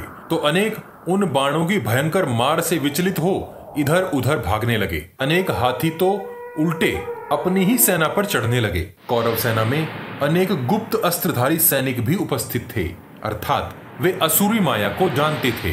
वे सब योद्धा, भयानक नेत्रों वाले, कौओं के समान काले, दुराचारी और कलह प्रिय प्रतीत हो रहे थे। वे सब योद्धा, यवन, पारद, शक और बाहलिक योद्धाओं के साथ वहाँ उपस्थित थे। हाथियों के समान पराक्रमी, द्रविड़ तथा महर्षि वशिष्ठ की गाय नंदिनी से उत्पन्न हुए द्वारतीसार, दरद और सहस्त्रो पुंड मलेच्छ योद्धा भी वहाँ रण में उपस्थित थे। वे संस्कारहीन योद्धा इतनी अधिक संख्या में उपस्थित थे कि उनकी गिनती भी नहीं हो सकती थी। माया से युद्ध करने वाले वे सभी योद्धा अर्जुन पर एक साथ मायावी बाण बरसाने लगे। तुरंत ही अर्जुन ने भी बाण बरसाए। अर्जुन के बाण टिड्डी दल की तरह पूरे आकाश में फैल गए। उनके बीच अर्जुन ने बाणों के जाल बरसाए, जो उन मुंडित, अर्धमुंडित, जटाधारी और अपवित्र योद्धाओं का नाश करने लगे। पहाड़ों तथा गुफाओं में रहने वाले वे योद्धा रण से भागने लगे। उस क्षण वहाँ अर्जुन ने रक्त की नदी सी बहा दी, जो प्रलय की नदी के समान अत्यंत भयभीत करने वाली थी। उस रक्त की नदी में उन अपवित्र योद्धाओं के अंग मानो मछलियों के समान तैरने लगे। जिस प्रकार वर्षा का जल भर जाने के कारण ऊँची नीची भूमि का आभास नहीं होता, वैसे ही वहाँ की भूमि भी समतल प्रतीत होने लगी। कुछ ही पलों में अर्जुन के बाणों ने छह हज़ार घुड़सवारों तथा एक हज़ार शूरवीर क्षत्रियों को मृत्यु लोक में भेज दिया। जिस प्रकार एक मदमस्त हाथी सब और नाश करता हुआ आगे बढ़ जाता है, वैसे ही अर्जुन भी रणभूमि में विनाश करते हुए आगे बढ़ रहे थे। जिस प्रकार अग्नि सूखे पत्तों में शीघ्रता से फैलती चली जाती है, वैसे ही कृष्ण रूपी वायु से प्रेरित हो कुपित अर्जुन के बाणों की अग्नि समस्त सेना को भस्म करती जा रही थी। उसने रथ में बैठे वीरों को मारकर रथों को रिक्त कर डाला। संजय बोले, हे राजन, तभी वहाँ एक वीर योद्धा, जिसका नाम श्रुतायु था, वह अम्बस्ट का राजा था, अपनी गदा उठाकर अचानक ही सामने आ गया। ध्यान रहे, पहले मारा गया श्रुतायु कलिंग देश का योद्धा था और यहाँ आया श्रुतायु अम्बस्ट का राजा है। उसने अर्जुन को आगे बढ़ने से रोकने के लिए श्री कृष्ण पर गदा से आघात किया। कुछ क्षण के लिए अर्जुन का रथ रुक सा गया। अर्जुन से श्री कृष्ण पर हुआ वह आघात सहा नहीं गया और उसने अम्बस्ट राज श्रुतायु को अनेक बाणों से ढक दिया और उनके बीच ही बाण समूह छोड़कर उसकी गदा के टुकड़े कर डाले। संजय बोले, हे राजन, वहाँ यह भी एक अद्भुत सी घटना हुई। अपनी गदा को टूटा देखकर अम्बस्ट राज श्रुतायु अनेक गदा श्री कृष्ण और अर्जुन की ओर फेंकने लगा। अर्जुन ने तभी दो शुरप्र बाण छोड़कर गदा सहित उसकी दोनों भुजाएँ काट डाली और एक बाण से उसका मस्तक धड़ से अलग कर दिया। जिस प्रकार एक ध्वज गिरता है, वैसे ही वह फड़फड़ाता हुआ भूमि पर जा गिरा। उस समय अर्जुन का रथ हाथियों और रथों की सेना के बीच बादलों में छिपे सूर्य के समान दिखने लगा। संजय बोले, राजन, तदनंतर जब कुंती कुमार अर्जुन सिंधु राज जयद्रथ का वध करने की इच्छा से द्रोणाचार्य और कृतवर्मा की दुष्कर सेना व्यू का भेदन करके आपकी सेना में प्रविष्ट हो गए और सव्यसाची अर्जुन के हाथ से जब काम्बोज राजकुमार सुदक्षिण तथा पराक्रमी श्रुतायुद्ध युद्ध करते हुए मार दिए गए और जब सारी सेनाएँ नष्ट भ्रष्ट होकर चारों ओर भाग खड़ी हुई, तब आपका पुत्र दुर्योधन अत्यंत शीघ्रता से द्रोणाचार्य के पास गया और उनसे इस प्रकार बोला, हे ब्राह्मणों में श्रेष्ठ, हमारे पक्ष के राजाओं का दृढ़ विश्वास था कि धनंजय कभी भी द्रोण को जीतकर सेना में जीता जागता प्रवेश नहीं कर सकेगा। परंतु हे महाकांतिमान, अर्जुन तो आपके देखते देखते ही सेना के भीतर घुसाया अतः अब मैं अपनी सेना को घबराई हुई सी और नष्ट भ्रष्ट हुई देख पा रहा हूँ। हे महान ब्राह्मण, मैं जानता हूँ कि आप पांडवों के हितैषी हैं। अब इस कार्य को किस प्रकार पूरा किया जाए, इसका कोई विचार मेरी बुद्धि में नहीं आ रहा। हे ब्राह्मण, मैं अपने सामर्थ्य और शक्ति के अनुसार तुम्हें धन देता हूँ और तुम्हें प्रसन्न रखता हूँ। इसका तो तुम विचार ही नहीं करते। हे अमित विक्रम, अर्थात अत्यंत बलवान। हम सब आपका आदर सत्कार करते हैं। फिर भी आप हमारे ऊपर अपना प्रेम भाव नहीं रखते और हमारा बुरा करने वाले पांडवों को ही नित्य प्रसन्न किया करते हैं। दुर्योधन अपनी आदत अनुसार अब कटु वचन बोलने लगा, तुम हमारे ही सहारे से अपनी जीविका पाते हो और हमारा ही बुरा चाहते हो। मैं आपको शहद से सने उस तरह के समान पहचान न सका। यदि आप मुझे भरोसा नहीं देते कि मैं पांडवों को पकड़ या रोक लूँगा तो मैं घर को जाते जयद्रथ को न रोकता। आपकी ही बात सुनकर मैंने मूर्खता की, जो सिंधुराज को धीरज देकर अपने नगर लौटने से रोक लिया। किंतु अब तो ऐसा ही लगता है, जैसे मैंने मूर्खता करके सिंधुराज को मृत्यु के मुख में झोंक दिया हो। मनुष्य चाहे तो यमराज के निकट पहुंचकर भी बच जाए, किंतु अर्जुन के वश में पड़कर जयद्रथ कभी जीवित नहीं बचेगा। इसलिए हे रक्ताश्व, अर्थात लाल घोड़ों वाले आचार्य, आप ऐसा उपाय करें, जिससे जयद्रथ अर्जुन के हाथों मारा जाने से बच जाए। अचानक ही दुर्योधन नीचे स्वर में बोला, और हे आचार्य, आप मेरी घबराहट से भरी बातों पर क्रोध न करके जयद्रथ की रक्षा का कोई उपाय कीजिए। द्रोणाचार्य बोले, हे राजन, ध्यान रहे, दुर्योधन को कुरुक्षेत्र युद्ध में राजन से ही संबोधित किया गया है। मुझे तेरी बातों पर क्रोध नहीं आता, क्योंकि मैं तुझे अश्वत्थामा के समान ही समझता हूँ। किंतु अब मैं जो सच्ची बात कहता हूँ, उसे सुन। द्रोणाचार्य बोले, अर्जुन के सारथी श्री कृष्ण महापराक्रमी है और उसके अश्व भी अत्यंत वेगवान है। व्यूह सेना के बीच में छोटा सा मार्ग बनाकर भी श्री कृष्ण जैसा अति कुशल सारथी शीघ्रता से रथ को सेना के भीतर लेकर घुस जाता है। गांडीव से निकलते अर्जुन के छोड़े गए बाण रथियों को कोस कोस भर की दूरी तक मार रहे हैं। क्या ये सब तू नहीं देख रहा है? मैं वृद्ध अवस्था के कारण अब उतनी फुर्ती से इधर उधर नहीं दौड़ पा रहा। और पांडव सेना भी हमारे व्यू के मुहाने पर ही खड़ी है। द्रोणाचार्य आगे बोले, हे महाभुज, मैंने क्षत्रियों के बीच में प्रतिज्ञा की थी कि मैं सब धनुर्धरों के देखते हुए युधिष्ठिर को कैद कर लूँगा। इस समय युधिष्ठिर धनन जैसे दूर है और युधिष्ठिर सेना के मुहाने पर ही खड़ा हुआ है। अतः मैं सेना के मुहाने को छोड़कर भीतर व्यूह में नहीं जाऊँगा। तू अपने सभी सहायकों को साथ लेकर अर्जुन से युद्ध करने जा। तुम्हें अर्जुन से इस प्रकार भयभीत नहीं होना चाहिए। तू तो इस पृथ्वी का राजा है। तू स्वयं शूरवीर शत्रुओं को कैद करने में समर्थ है। शत्रुओं को जीतने वाला वीर है। अतः इस समय प्रथापुत्र अर्जुन के सामने तू स्वयं जा, दुर्योधन ने कहा। हे आचार्य, जब सभी शस्त्रधारियों में श्रेष्ठ, आपसे ही वह रोका न गया तो मैं ही भला उसे कैसे रोक सकूँगा? जिसने रण में कृतवर्मा और आप सरीखे देवता को भी जीत लिया हो और अपने अस्त्रों के प्रभाव से श्रुतायु, सुदक्षिण, श्रुतायुध, अच्युतायु तथा सहस्त्रों मलेच्छ सैनिकों के प्राण भी ले लिए। उस दुर्धुष वीर अर्जुन से मैं कैसे ही युद्ध कर सकूँगा?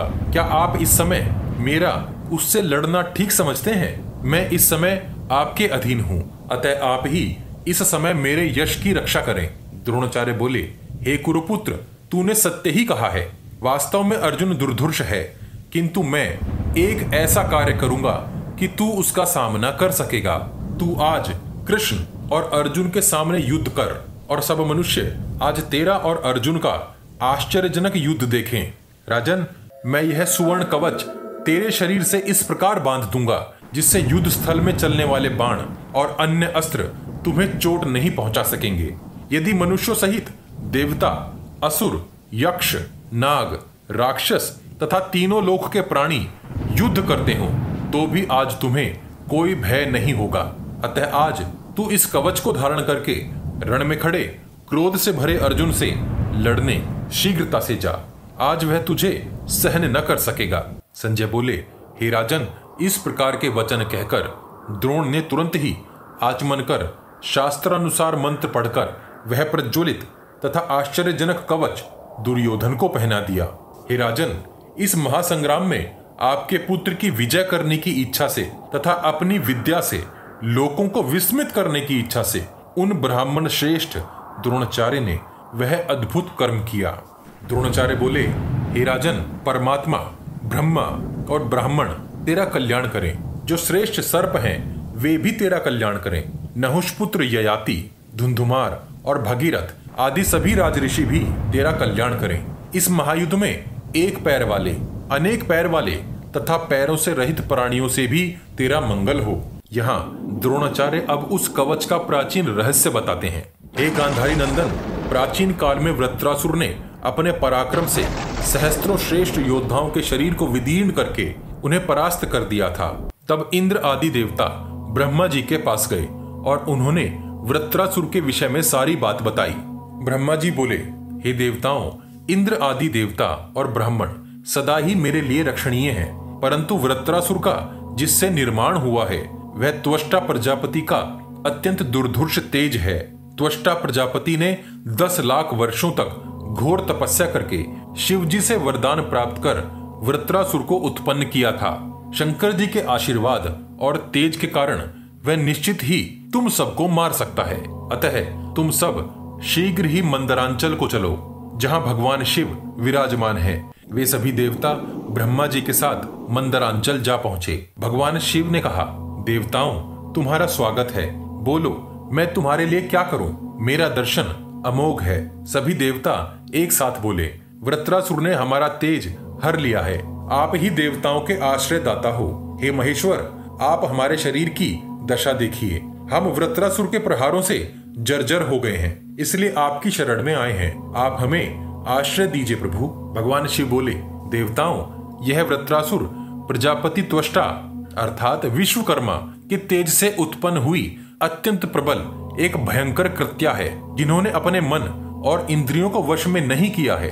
उनके लिए इस कृत्य का निवारण करना अत्यंत कठिन है, परंतु मुझे देवताओं का कल्याण अवश्य करना चाहिए। हे इंद्र, मेरे शरीर से उत्पन्न हुए इस तेजस्वी कवच को तुम ग्रहण करो और देवताओं के लिए विनाशकारी वृत्रासुर का वध करने के लिए मेरे बताए मंत्र का मन में जाप करके इस कवच को शरीर पर बांधो। द्रोणाचार्य बोले, हे राजन, ऐसा कहकर वरदायक प्रभु शंकर ने वह कवच और उसका मंत्र इंद्र को प्रदान किया। उसे धारण कर इंद्र वृत्रासुर की असीम सेना का सामना करने के लिए गए। उन पर अनेक अस्त्र शस्त्रों से प्रहार हुआ, किंतु कोई भी प्रहार उस कवच के बंधनों को न तोड़ सका। अंततः इंद्र ने युद्ध में वृत्रासुर का वध कर डाला।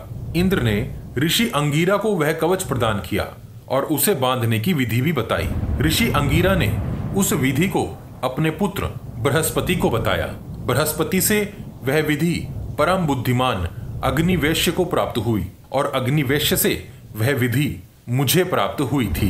हे नृपश्रेष्ठ, उसी मंत्र से आज तुम्हारे शरीर की रक्षा के लिए मैं यह कवच बाँध रहा हूँ। संजय बोले, हे महाराज, आपके पुत्र को यह प्रसंग सुनाकर आचार्य द्रोण ने पुनः धीरे से यह बात कही। द्रोण बोले, जैसे पूर्व काल में रण क्षेत्र में भगवान ब्रह्मा ने विष्णु जी के शरीर पर मंत्र पढ़कर यह कवच बांधा था और जिस प्रकार तारकाम्य संग्राम में ब्रह्मा जी ने इंद्र के शरीर पर यह कवच बांधा था। उसी प्रकार मैं भी ब्रह्म सूत्र से तुम्हारे इस कवच को बांधता हूँ।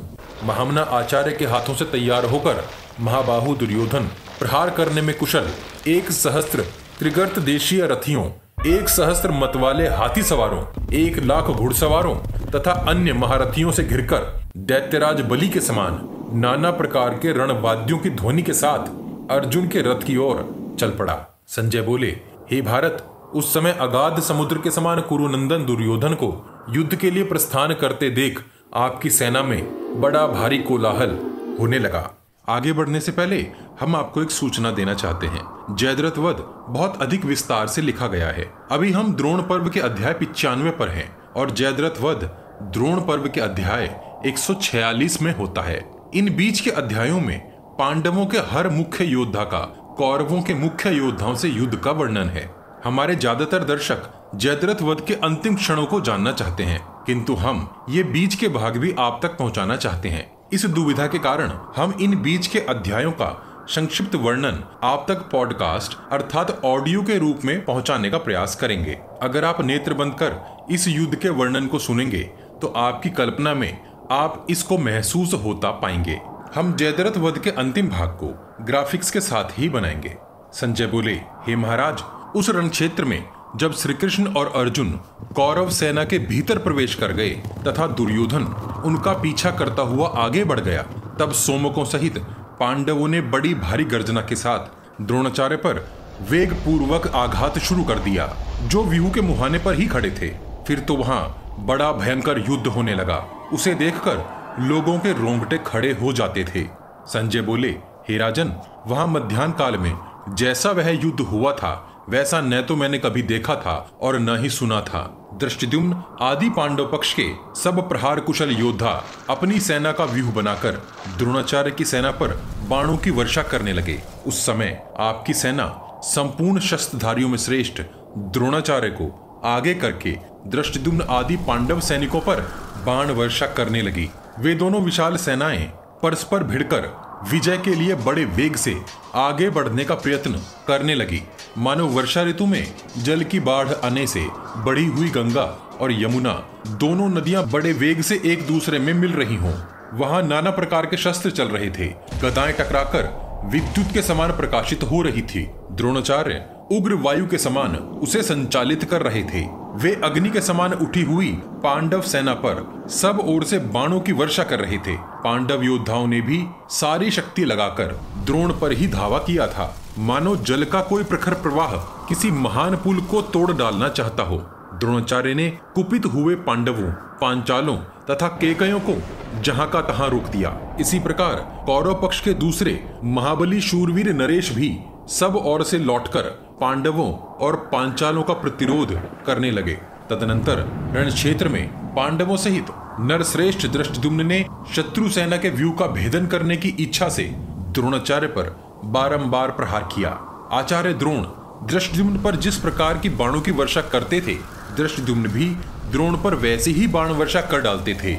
उस समय दृष्टुम्न एक महामेघ के समान जान पड़ रहे थे। वे शक्ति प्राप्त अस्त्र शस्त्रों से संपन्न थे। उनकी प्रत्यंचा विद्युत के समान और धनुष की टंकार मेघ गर्जना के समान जान पड़ती थी।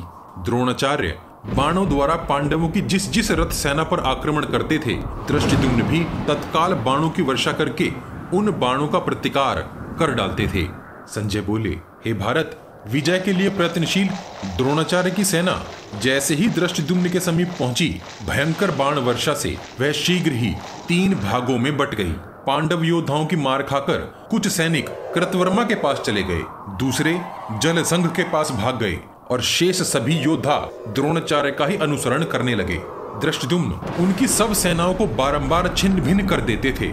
उस भयंकर संग्राम में सब ऐसा मानने लगे मानो काल ही दृष्टुम्न के द्वारा कौरव योद्धाओं को मोहित कर उन्हें अपना ग्रास बना रहा हो। जब पांडवों के द्वारा मारी जाती हुई कौरव सेना तीन भागों में बट गई।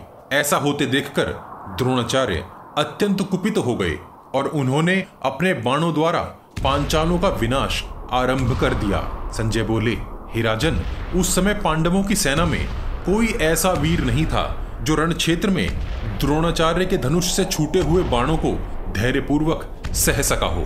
दृष्टुम्न की सेना द्रोणाचार्य के बाणों से संतप्त हो, जहाँ तहां चक्कर काटने लगी।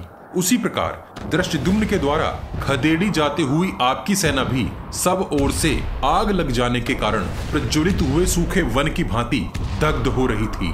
उस समय विविंशति, चित्रसेन तथा महारथी विकर्ण इन तीनों भाइयों ने कुंती पुत्र भीमसेन को घेर लिया। इन तीनों की रक्षा राजकुमार विंद और अनुविंद तथा पराक्रमी क्षेम धूर्ति कर रहे थे।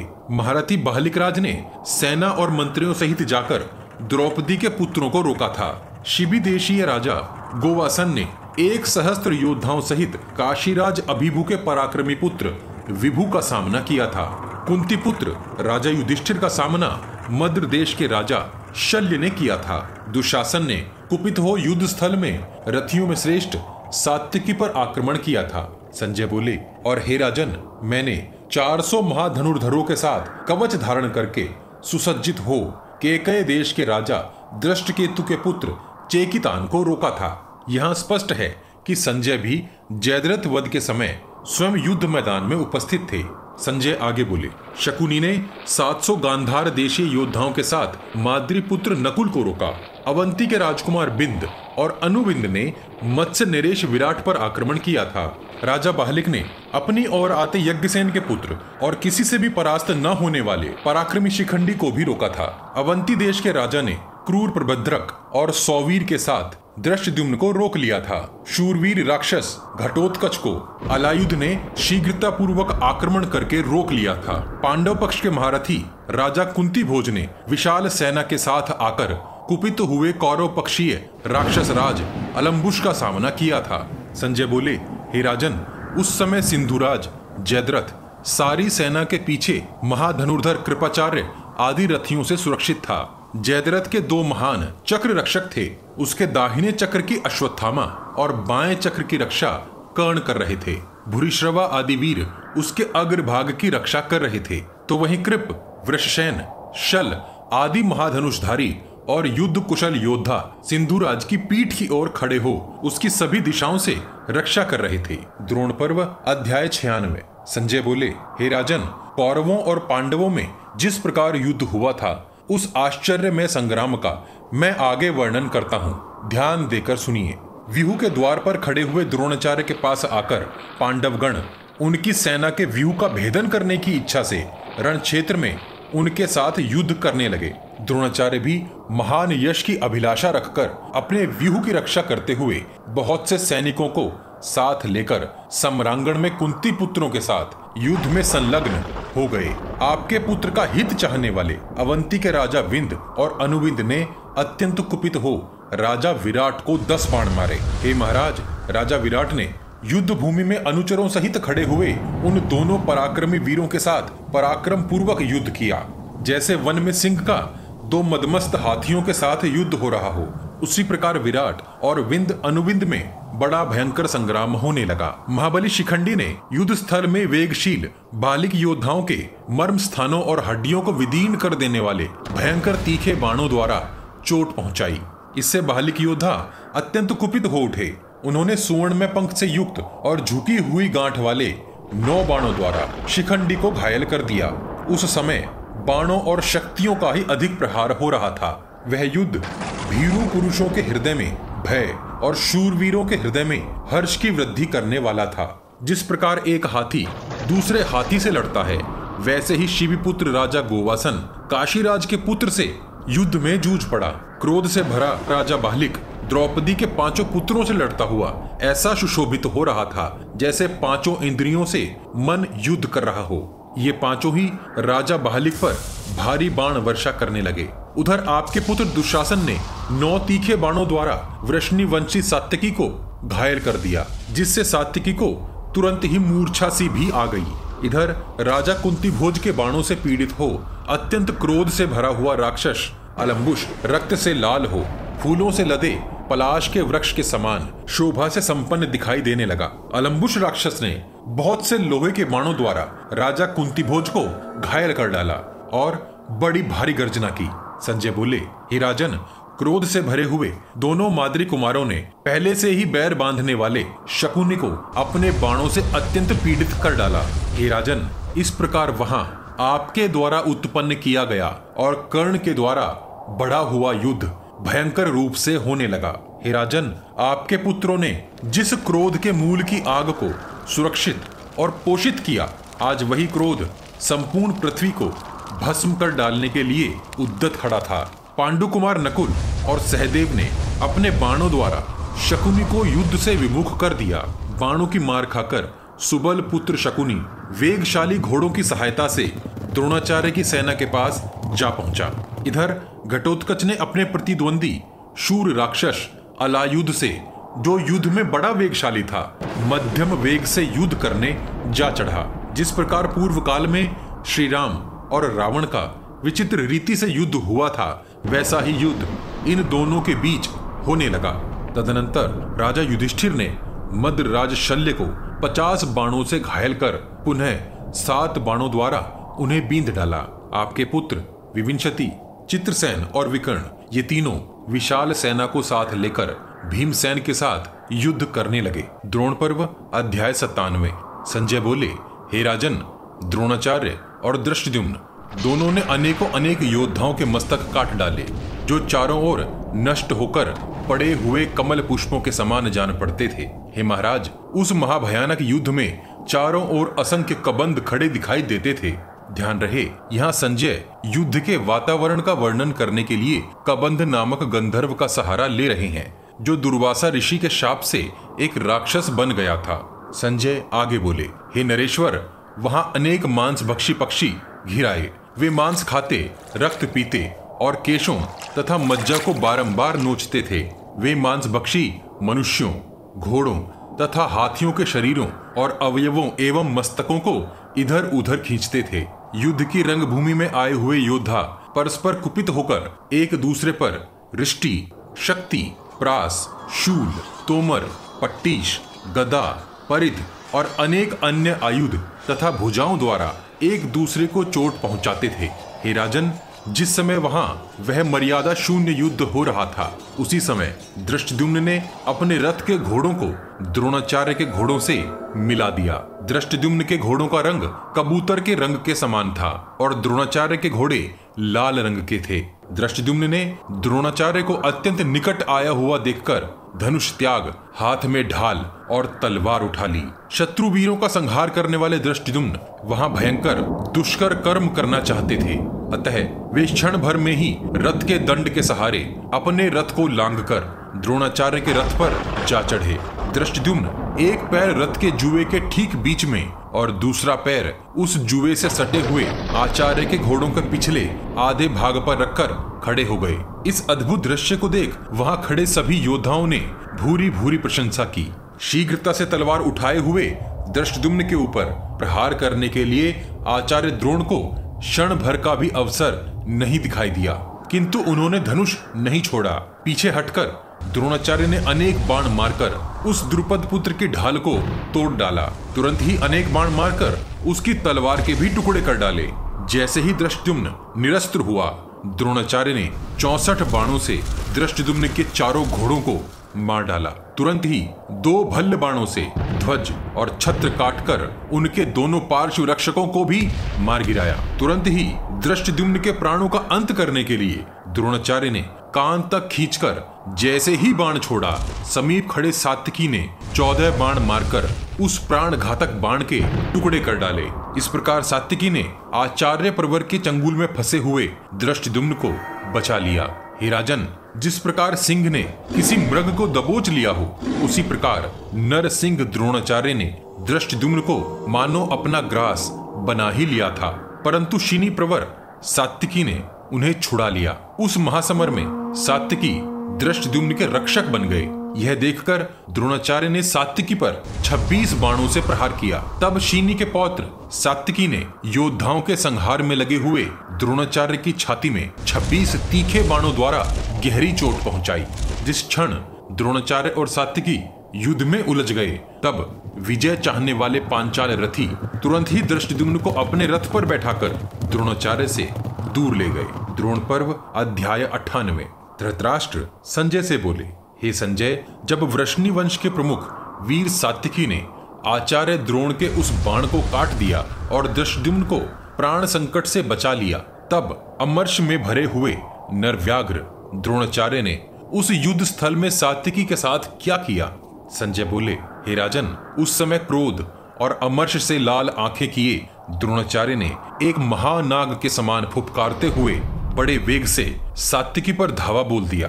द्रोणाचार्य रूपी उस महानाग का विष उनका क्रोध था।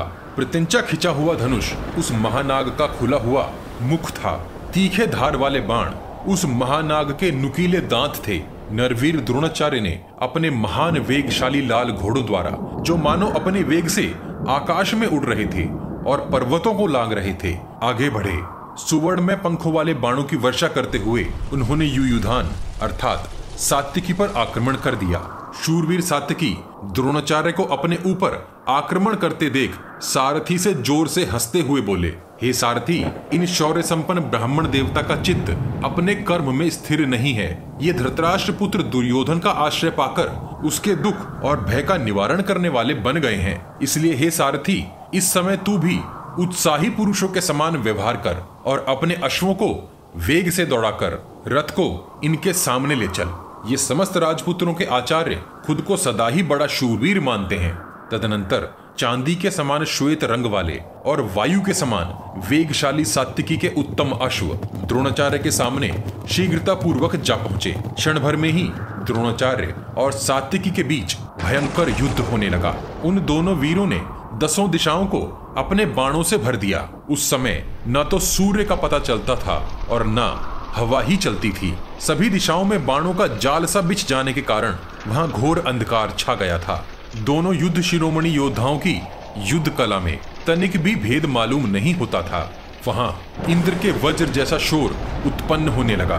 एक दूसरे पर असंख्य बाण बरसाने के कारण उनके रथ, सारथी, अश्व और वे स्वयं भी बिंधे हुए, बड़े ही विचित्र दिख रहे थे।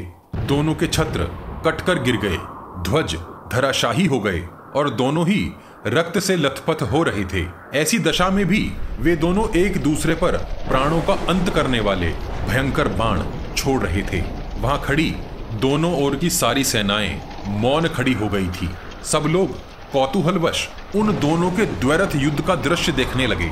हाथियों की सेनाएँ, घुड़सवार तथा रथ सेनाएँ भी व्यू बनाकर वहाँ स्थिर भाव से खड़ी विस्मित हो उन दोनों का युद्ध देखने लगी। देवता, सिद्ध पुरुष, विद्याधर आदि वहाँ उपस्थित हो, महात्मा द्रोण और सात्विकी का युद्ध देखने आए थे। वे सब, उनकी युद्ध कुशलता, आगे बढ़ने की कला, पीछे हटने का कौशल और परस्पर एक दूसरे पर प्रहार करने की विचित्र रीति को देखकर विस्मित होने लगे। उन दोनों की अस्त्र चलाने की फुर्ती एक दूसरे से बढ़कर थी। तभी सात्यकी ने महातेजस्वी द्रोणाचार्य पर अनेक सुदृढ़ बाण छोड़े और उनका धनुष काट दिया। द्रोणाचार्य ने अति शीघ्रता से दूसरा धनुष उठा लिया। सात्विकी ने उसे भी काट डाला।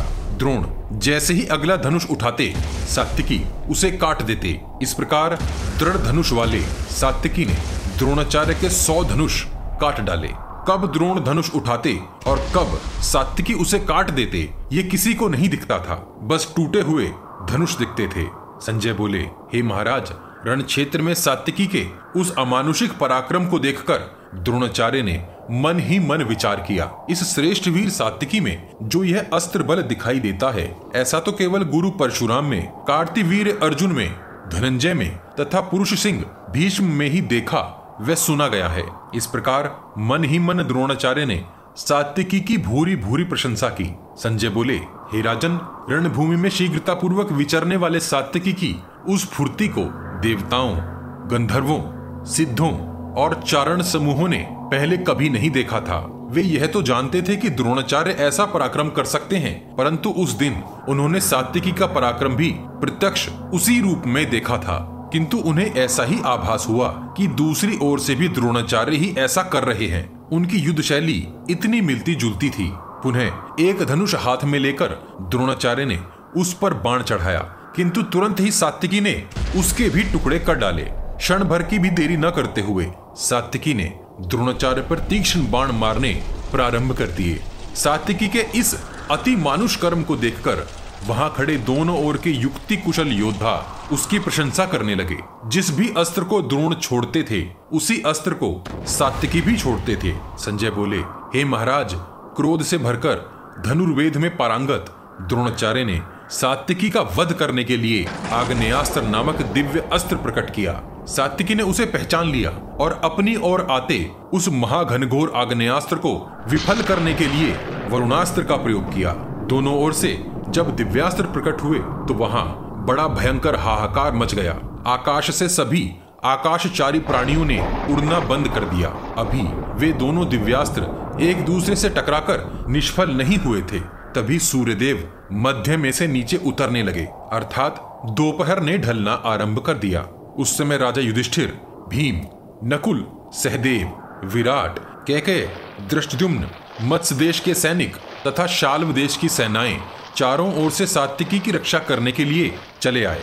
दूसरी ओर से सहस्त्रों राजकुमार दुशासन को आगे करके शत्रुओं से घिरे द्रोणाचार्य की रक्षा करने के लिए वहाँ आ पहुँचे।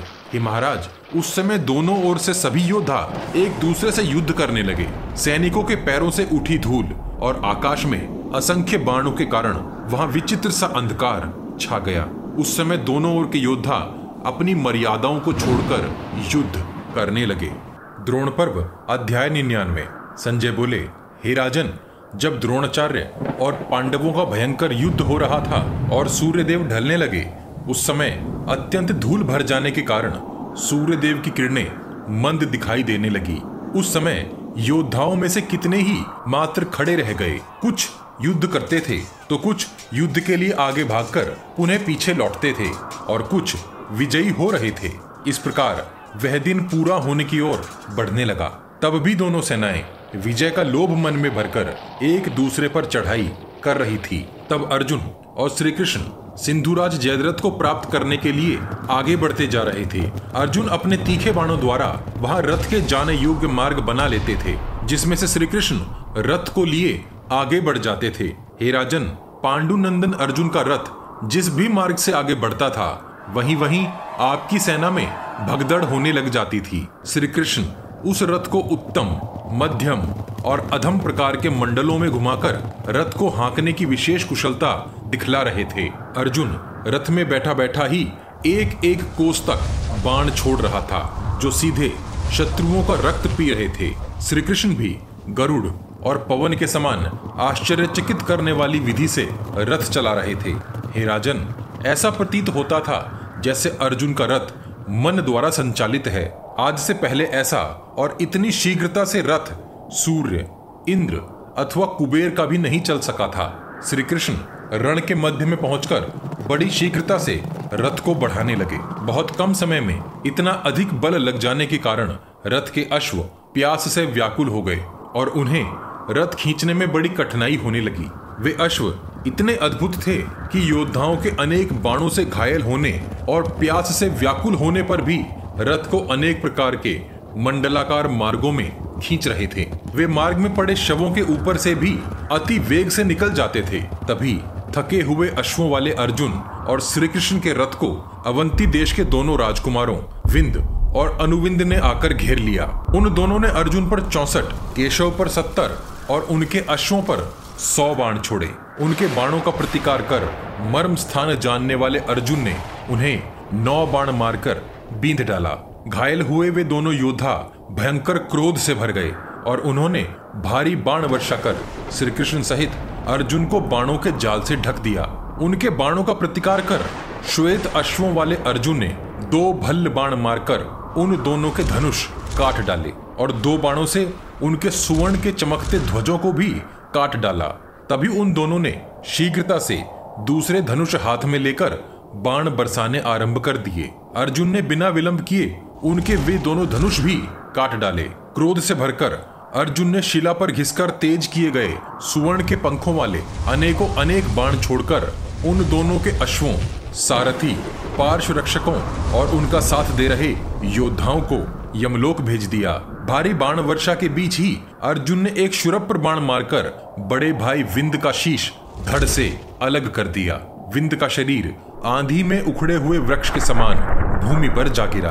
अपने भाई, अश्वों और सारथी को मरा देखकर प्रतापी अनुविंद हाथ में गदा लेकर अपने निश्चल रथ से कूद पड़ा। आवेश से भरकर गदा घुमाता हुआ रणभूमि में मानो नाचने लगा। अर्जुन को रोकने के लिए उसने एक सही क्षण देखकर वह गदा श्री कृष्ण पर फेंक दी, जो उनके ललाट पर जाकर लगी। परंतु मैनाक पर्वत के समान अविचल श्री कृष्ण को वह प्रहार तनिक भी विचलित न कर सका। श्री कृष्ण पर हुआ वह प्रहार।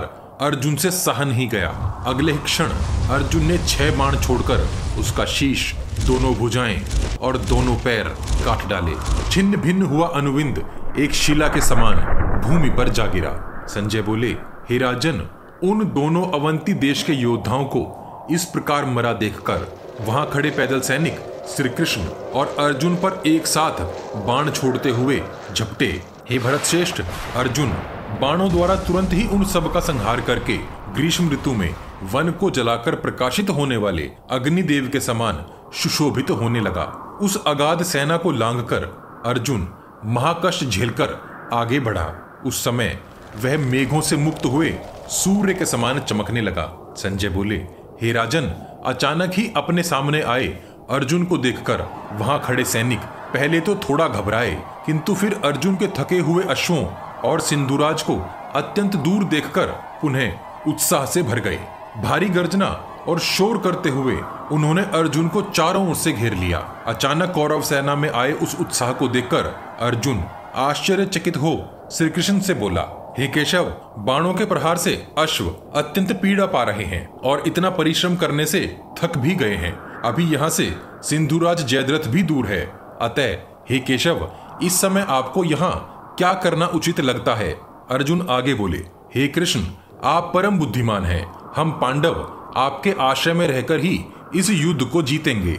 मेरा तो ऐसा ही मत है कि आप अश्वों को रथ से खोल दो और कुछ पल सुख से रहने दो और उनके शरीर में गुदे हुए बाण निकाल दीजिए। अर्जुन की बात सुनकर श्री कृष्ण ने उत्तर दिया, हे पार्थ जैसा तुमने कहा है, ऐसा ही मेरा भी विचार है। अर्जुन बोले, हे केशव, मैं इस सब सेना को यहीं रोके रखूँगा और आपके समीप नहीं आने दूँगा। आप अश्वों के शरीर से बाणों को निकाल डालो। संजय बोले, हे राजन, इतना कहकर अर्जुन निश्चिंत मन से रथ से नीचे उतर गया और गांडीव धनुष को तानकर पर्वत के समान अचल खड़ा हो गया। जब वहाँ कोलाहल करते योद्धाओं ने देखा कि अर्जुन रथ से नीचे उतर गया है तब उन्होंने विचारा कि अर्जुन को यही मार डालने का बस यही क्षण है। वे सब अत्यंत शोर करते हुए और चारों ओर से टोलियाँ बनाते हुए उस अकेले रथ को सभी दिशाओं से घेरने लगे। जिस प्रकार मेघ सूर्य को ढक लेते हैं, वैसे ही उन सभी योद्धाओं ने आवेश में भरकर बाण छोड़े और अर्जुन को उन बाणों से ढक दिया। जिस प्रकार एक सिंह पर मतवाले हाथी टूट पड़ते हैं। वैसे ही वे सब योद्धा भी अर्जुन पर टूट पड़े। संजय बोले, हे राजन, इस समय वहाँ अर्जुन की दोनों भुजाओं का महाबल देखने में आया। उसने भूमि पर खड़े हो चारों ओर से आती सेना को जहाँ का तहां रोके रखना प्रारंभ कर दिया। विभु अर्जुन ने शत्रुओं के सभी अस्त्रों को निष्फल कर उन्हें अपने बाणों से ढक दिया। यहाँ अर्जुन को विभु नाम से संबोधित किया गया है, जिसका अर्थ है, वह जो सब जगह समाया हुआ प्रतीत होता है। संजय बोले, हे राजन, उन अनेकों अनेक बाणों के आकाश में टकराने से बड़ी बड़ी ज्वालाएँ उत्पन्न होने लगी। वहाँ इतने अधिक धनुष उठाए, क्रोध से भरे और लंबी लंबी श्वास खींचते योद्धा, अश्व, हाथी एक स्थान पर एकत्रित हो गए कि वहाँ बड़ी गर्मी होने लगी। वह भूमि एक न लांग सकने वाले सागर के समान दिखने लगी, जिसमें रह रहकर बाणों की तरंगे उठती थी। ध्वजों के बवंडर घूमते थे, हाथी रूपी मगरमच्छ तैरते थे, पैदल सैनिक रूपी असंख्य मछलियाँ भरी पड़ी थी। अनेकों अनेक कछुए रूपी रथ आगे बढ़ने को लालायित थे। उस विशाल सेना के सागर को अर्जुन ने वहीं रोके रखा था। धृतराष्ट्र ने आश्चर्य से भरकर संजय से पूछा, हे संजय, अर्जुन पृथ्वी पर खड़ा था और श्री कृष्ण भी अश्वों को पकड़े पृथ्वी पर ही खड़े थे। ऐसे अवसर पर भी अर्जुन मारा क्यों नहीं गया? संजय बोले हे राजन, अर्जुन ने पृथ्वी पर खड़े होकर रथों में बैठे हुए सभी योद्धाओं को इस प्रकार रोक दिया, जैसे कोई पारंगत विद्वान वेद विरुद्ध वाक्य को रोक देता है। हे राजन, जिस प्रकार लोभ मनुष्य के सब गुणों को शिथिल कर देता है, उसी प्रकार अर्जुन ने उन सब राजाओं को आगे बढ़ने से रोक दिया था। तभी महाबाहु श्री कृष्ण ने अपने प्रिय सखा अर्जुन से यह बात कही। श्री कृष्ण बोले, हे अर्जुन ये अश्व प्यासे हैं, किंतु यहाँ रण में इनके पीने लायक कोई सरोवर नहीं है। ये सिर्फ़ जल पीना चाहते हैं। इन्हें स्नान की आवश्यकता नहीं है। अर्जुन ने निश्चिंत भाव से तुरंत कहा, हे केशव, ये रहा सरोवर। ऐसा कहते ही अर्जुन ने एक अस्त्र द्वारा भूमि पर आघात किया। तुरंत ही वहाँ एक सुंदर सरोवर का निर्माण हो गया। युद्ध भूमि में उत्पन्न हुआ वह शुद्ध जल का सरोवर इतना सुंदर लगता था जैसे उसमें हंस, चक्रवाक आदि जल की शोभा बढ़ाने वाले पक्षी हों। उसमें सुंदर कमल खिले हों और ऋषिगण उसका सेवन करते हों। उस एक क्षण में बनाए गए सरोवर को देखने के लिए तुरंत ही नारद मुनि भी प्रकट हुए थे। उस रण क्षेत्र में अर्जुन ने विश्वकर्मा के समान एक और अद्भुत कर्म किया। बाणों के खंभे और बाणों की छत वाला एक विचित्र भवन बना डाला ताकि उनके अश्व कुछ पल विश्राम कर सकें। द्रोण पर्व, अध्याय सौ। संजय बोले हे राजन, जब कुंती कुमार अर्जुन ने वह जल उत्पन्न कर दिया, शत्रुओं की सेना को आगे बढ़ने से जहाँ का तहां रोक दिया और बाणों से एक विचित्र भवन का निर्माण कर दिया, तब महातेजस्वी भगवान श्री कृष्ण ने तुरंत ही रथ से उतरकर कंक पत्र की पूंछ वाले बाणों के लगने से शत विक्षत हुए रथ के घोड़ों को रथ से खोल दिया। अर्जुन के ऐसे विचित्र और अति भयंकर कर्म को देखकर वहाँ खड़े सभी योद्धा उनकी प्रशंसा करने लगे। उन्होंने ऐसा कर्म पहले कभी नहीं देखा था। महारथियों ने वहाँ इकट्ठे होकर अर्जुन को हटाने का अथाह प्रयत्न किया और अर्जुन उनके सामने पैदल ही लड़ा, परंतु वे फिर भी अर्जुन को पीछे न हटा सके। उस समय वहाँ यह अद्भुत सा काम हुआ। वहाँ घूम घूम कर रथों और घोड़ों की भीड़ आती रही और अर्जुन भी हर दिशा में घूम घूम कर उन्हें हटाता रहा। किंतु वह तनिक भी घबराया नहीं, क्योंकि उस समय वह उन सब योद्धाओं से अधिक बलशाली था। वे राजे अर्जुन के ऊपर हर दिशा से बाण वर्षा करने लगे, किंतु वे इंद्र के पुत्र को तनिक भी पीड़ा न दे सके। जिस प्रकार नदियाँ सागर में समा जाती हैं, वैसे ही अर्जुन की ओर आते अनेकों अनेक बाण, गदा, प्रास इत्यादि सभी आयुध अर्जुन की भारी बाण वर्षा में समा रहे थे। हे महाराज, अर्जुन और श्री कृष्ण के महापराक्रम की प्रशंसा वहाँ कौरवों ने भी की थी। अर्जुन और श्री कृष्ण ने अश्वों को वहाँ स्वतंत्र छोड़ दिया। इससे आश्चर्यजनक कर्म युद्ध क्षेत्र में और भला क्या हो सकता था? उन दोनों नरश्रेष्ठों ने आपकी सेना में बड़ा भारी भय पैदा कर दिया। रण के मुहाने पर खड़े होकर अत्यंत उग्र पराक्रम करके दिखाया, हे भरतवंशी राजन, जिस प्रकार गोपाल स्त्रियों के बीच खड़े हो मुस्कुराते हैं, उसी प्रकार वे अर्जुन के बाणों से निर्मित भवन में खड़े हो मुस्कुराने लगे। कमल नयन श्री कृष्ण ने आपके संपूर्ण सैनिकों के देखते देखते आवेश शून्य और निर्मल भाव होकर उन घोड़ों को टहलाया। घोड़ों की चिकित्सा करने में अत्यंत कुशल श्री कृष्ण ने उनके परिश्रम, थकावट, वमन, कंपन और घाव सारे कष्टों को दूर कर दिया। अपने हाथों से उन अश्वों के शरीर से सभी बाण निकाल उनकी कपकपी को भी दूर कर दिया। उन्हें कुछ क्षण लेटाकर उस नव निर्मित सरोवर का जल भी पिलाया। जब उन अश्वों की जल पीकर और दाने खाकर थकावट दूर हो गई, तब श्री कृष्ण ने प्रसन्न मन से उन्हें पुनः रथ में जोत दिया। तदनंतर संपूर्ण शस्त्रधारियों में श्रेष्ठ महातेजस्वी श्री कृष्ण उस उत्तम रथ पर अर्जुन सहित आरूढ़ हो गए और बड़े वेग से आगे बढ़े। पानी पीकर, सुस्ताए हुए घोड़ों से जुता हुआ रथ देखकर और अर्जुन को मारने का अवसर हाथ से निकला जाता देख आपकी सेना के श्रेष्ठ वीर पुनः उदास हो गए। हे राजन, टूटे दांतों वाले सर्पों के समान लंबी सांस खींचते हुए वे बोलने लगे, हमारे पराक्रम पर धिक्कार है। अर्जुन और श्री कृष्ण तो हमारे बल का उपहास कर आगे बढ़ने लगे हैं। वहाँ खड़ी संपूर्ण सेना इस अद्भुत और लोमहर्षण अर्जुन के भयंकर कर्म को देखकर चिल्लाई, इस अर्जुन को यहाँ से जाने मत दो। उसका पीछा करो और यहीं पकड़ लो।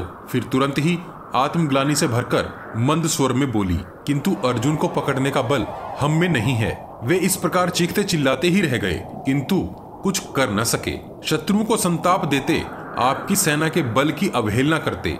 एकमात्र रथ के द्वारा संपूर्ण राजमंडली में अपना पराक्रम दिखाते।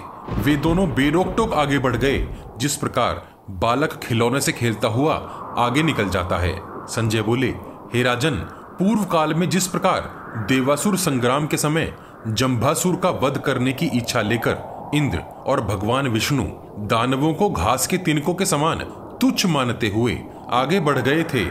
उसी प्रकार श्री कृष्ण और अर्जुन भी जयद्रथ को मारने के लिए बड़े वेग से आगे बढ़ रहे थे। उन दोनों को पुनः आगे बढ़ते देखकर दूसरे सैनिक बोल उठे हे कौरव वीरों श्री कृष्ण और अर्जुन का यही वध करने के लिए तुम सब लोग मिलकर शीघ्रता करो। कुछ सैनिक बोले, रथ पर बैठे हुए श्री कृष्ण और अर्जुन हमारी अवहेलना और तिरस्कार करते हुए और हम सब धनुर्धरों के देखते देखते ही जयद्रथ की ओर बढ़ते जा रहे हैं। उन दोनों वीरों के इस दुष्कर कर्म को देखकर वे योद्धा बोलने लगे। दुर्योधन के एक अपराध के कारण राजा धृतराष्ट्र की संपूर्ण सेनाएँ भारी विपत्ति में फंस गई हैं। यहाँ उपस्थित संपूर्ण क्षत्रिय समाज और ये संपूर्ण पृथ्वी विनाश के द्वार पर जा पहुँची है। इस बात को जानकर भी राजा धृतराष्ट्र नहीं समझ रहे हैं। ये राजन, वे इस प्रकार के अनेक दोष, दुर्योधन और आप में देखने लगे। तदनंतर जल पीकर, हर्ष और उत्साह से भरे हुए अश्वों द्वारा पांडु कुमार अर्जुन, सिंधुराज जयद्रथ की ओर अत्यंत वेग से बढ़ने लगे। उस समय सूर्यदेव अस्तांचल के शिखर की ओर ढलते चले जा रहे थे। जिस प्रकार क्रोध में भरे हुए यमराज को रोकना संभव नहीं है, उसी प्रकार आगे बढ़ते हुए समस्त शस्त्रधारियों में श्रेष्ठ महाबाहु अर्जुन को आपके सैनिक किसी प्रकार भी रोक न सके। जिस प्रकार एक सिंह मृगों के झुंड को खदेड़ता हुआ उन्हें मत डालता है, उसी प्रकार शत्रुओं को संताप देने वाले पांडु कुमार अर्जुन आपकी सेना को खदेड़ खदेड़ कर मारने लगे। अगली सेना समूह के भीतर घुसते हुए श्री कृष्ण ने तीव्र वेग से अपने घोड़ों को आगे बढ़ाया और बगुले के समान श्वेत रंग वाले अपने पंचजन्य शंख को बड़े ज़ोर से बजाया। उसके शब्द से वहाँ भयंकर भय समाने लगा। वायु के समान वेगशाली, वे अश्व इतनी अधिक तीव्र गति से रथ को लिए हुए भाग रहे थे कि अर्जुन द्वारा आगे की ओर फेंके हुए बाण भूमि को बाद में छूते थे। पहले वह वे वेगशाली रथ आगे निकल जाता था। क्रोध से भरकर वहाँ उपस्थित बहुत से राजे और योद्धाओं ने पुनः अर्जुन को घेरना शुरू कर दिया। सेनाओं के सहसा आक्रमण करने पर पुरुष श्रेष्ठ अर्जुन कुछ ठहर गए। उस महासमर में द्रोणाचार्य द्वारा प्रेरित राजा दुर्योधन ने अति शीघ्रता के साथ अर्जुन का पीछा किया। अर्जुन के रथ से मेघ की गर्जना के समान गंभीर ध्वनि उत्पन्न हो रही थी, जिसे देखकर वहाँ खड़े रथी विषाद ग्रस्त हुए जा रहे थे। उस समय वहाँ इतनी धूल उड़ी कि सूर्यदेव मानो छिप गए हों। अर्जुन के बाणों से पीड़ित होकर वहाँ कोई भी योद्धा उनके रथ की ओर आँख उठाकर भी नहीं देख पा रहा था। द्रोण पर्व, अध्याय 101 संजय बोले, हे महाराज, द्रोणाचार्य के विशाल सेना व्यू को लांघकर आए श्री कृष्ण और अर्जुन को देखकर आपकी सेना के सैनिकों की नसें ढीली पड़ गई। जाने कितने ही महापुरुष वहाँ लज्जा और क्रोध से भरकर किसी तरह वहाँ युद्ध में खड़े रहे।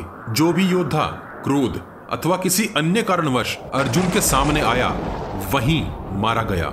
शस्त्रों के महासंकट और द्रोणाचार्य के उस दुर्भेद व्यूह से छूटे हुए महात्मा श्री कृष्ण और अर्जुन उदय होते हुए दो काल सूर्यों के समान दिखते थे। संजय बोले, हे महाराज, जब कृष्ण और अर्जुन द्रोणाचार्य की सेना में घुसे थे उस समय आपके पुत्रों और सैनिकों को यह दृढ़ विश्वास था कि वे द्रोण के हाथों से छूट न सकेंगे। परंतु जब उन्होंने देखा कि ये दोनों वीर इस विशाल सेना को भी लांघकर यहाँ तक चले आए, तब उन्होंने जयद्रथ के जीवन की आशा ही छोड़ दी। श्री कृष्ण और अर्जुन द्रोण की बाहरी व्यू सेना से छूट, मध्य में जाकर शत्रुओं के भय को बढ़ाते हुए जयद्रथ के वध के विषय में आपस में बातें करने लगे। अर्जुन बोले, जयद्रथ को छह महारथियों ने अपने बीच में रखा है और उसकी खूब रक्षा करते हैं। परंतु जैसे ही वह मेरी दृष्टि के सामने पड़ा, मैं उसे जीता नहीं छोड़ूँगा। संजय बोले, हे राजन श्री कृष्ण और अर्जुन आपस में कह रहे थे कि यदि इंद्र आदि कोई देवता भी समस्त देवों के साथ जयद्रथ की रक्षा करने के लिए आ जाए तो भी हम उसे आज मार डालेंगे। द्रोणाचार्य के तीखे बाणों से श्री कृष्ण और अर्जुन के शरीर छिदे हुए थे और उनसे रक्त की धाराएँ बह रही थी। उस समय वे लाल कनेर से भरे हुए दो पर्वतों के समान सुशोभित हो रहे थे। उस समय ऐसा जान पड़ता था, मानो वर्षा ऋतु में जल से लबालब भरी हुई बड़े बड़े ग्राहों, अर्थात मगरमच्छों से व्याप्त समुद्र की ओर वेग से बहती इरावती, अर्थात रावी विपाशा अर्थात व्यास, वितस्ता, अर्थात झेलम, शत्रुदू अर्थात शतलज और चंद्रभागा, अर्थात चिनाब, इन पाँच नदियों के साथ छठी सिंधु नदी को भी श्री कृष्ण और अर्जुन ने अपनी भुजाओं से तैरकर पार किया हो। हे महाराज, उस समय उन दोनों के मुख पर जैसी उज्जवल कांति थी, उसे देखकर आपके योद्धाओं ने जयद्रथ को मरा हुआ ही मान लिया था। यह जानकर कि सिंधुराज जयद्रथ अब निकट ही है, वे दोनों वीर कुपित हो, उसी प्रकार सहसा उस पर टूट पड़े, जैसे दो बाज मांस पर झपट पड़ते हैं। श्री कृष्ण और अर्जुन सारी सेना को लांघकर आगे बढ़ते चले जा रहे थे। यह देखकर आपके पुत्र दुर्योधन ने सिंधुराज की रक्षा के लिए पराक्रम दिखाना आरंभ कर दिया। हे महाराज, घोड़ों के संस्कार को जानने वाला राजा दुर्योधन उस समय द्रोणाचार्य के बांधे हुए कवच को धारण करके एकमात्र रथ की सहायता से अकेला ही वहाँ युद्ध भूमि में दौड़ आया। आपका पुत्र दुर्योधन जब अर्जुन को भी लांग कर आगे बढ़ाया, तब आपकी सारी सेनाओं में हर्षपूर्ण बाजे बजने लगे। दुर्योधन को वहाँ श्री कृष्ण और अर्जुन के सामने खड़ा देख शंखों की ध्वनिया सब ओर गूंजने लगी। हे महाराज, सिंधुराज की रक्षा करने वाले जो तेजस्वी वीर वहाँ उपस्थित थे, वे दुर्योधन को समरांगण में आया हुआ देखकर बड़े प्रसन्न हुए। दुर्योधन सबको लांघकर सामने आ गया। यह देखकर श्री कृष्ण ने अर्जुन से यह समय अनुकूल बात कही। द्रोण पर्व अध्याय 102 वासुदेव अर्जुन से बोले, हे धनंजय, तू दुर्योधन को देख, जो हमें भी लांग कर आगे निकल गया है। मैं तो समझता हूँ कि यह अद्भुत पराक्रमी है और कौरव सेना में इसके समान दूसरा कोई रथी नहीं है। धृतराष्ट्र का यह पुत्र अत्यंत अस्त्र कुशल युद्ध में दुर्धुर्ष, बहुत दूर तक बाण फेंकने वाला, दृढ़ अस्त्रों वाला नाना प्रकार से युद्ध करने वाला महाबली योद्धा है। ये महारथी बड़े ही सुख में पलकर बड़ा हुआ और विद्वान है। यह तुम जैसे बंधु बांधवों से सदा ही द्वेष भी रखता है। हे अनग, अर्थात निष्पाप, अर्जुन, मेरी इच्छा है कि इस समय तू इसके साथ युद्ध कर। यह युद्ध द्यूत के समान ही तुम में से एक को जय तो दूसरे को पराजय देगा। हे अर्जुन, यही दुर्योधन पांडवों के दुखों का मूल कारण है। हे पार्थ बहुत समय से जो विष क्रोध रूप में तुझ में बसा हुआ है, तू इस पर निकाल डाल।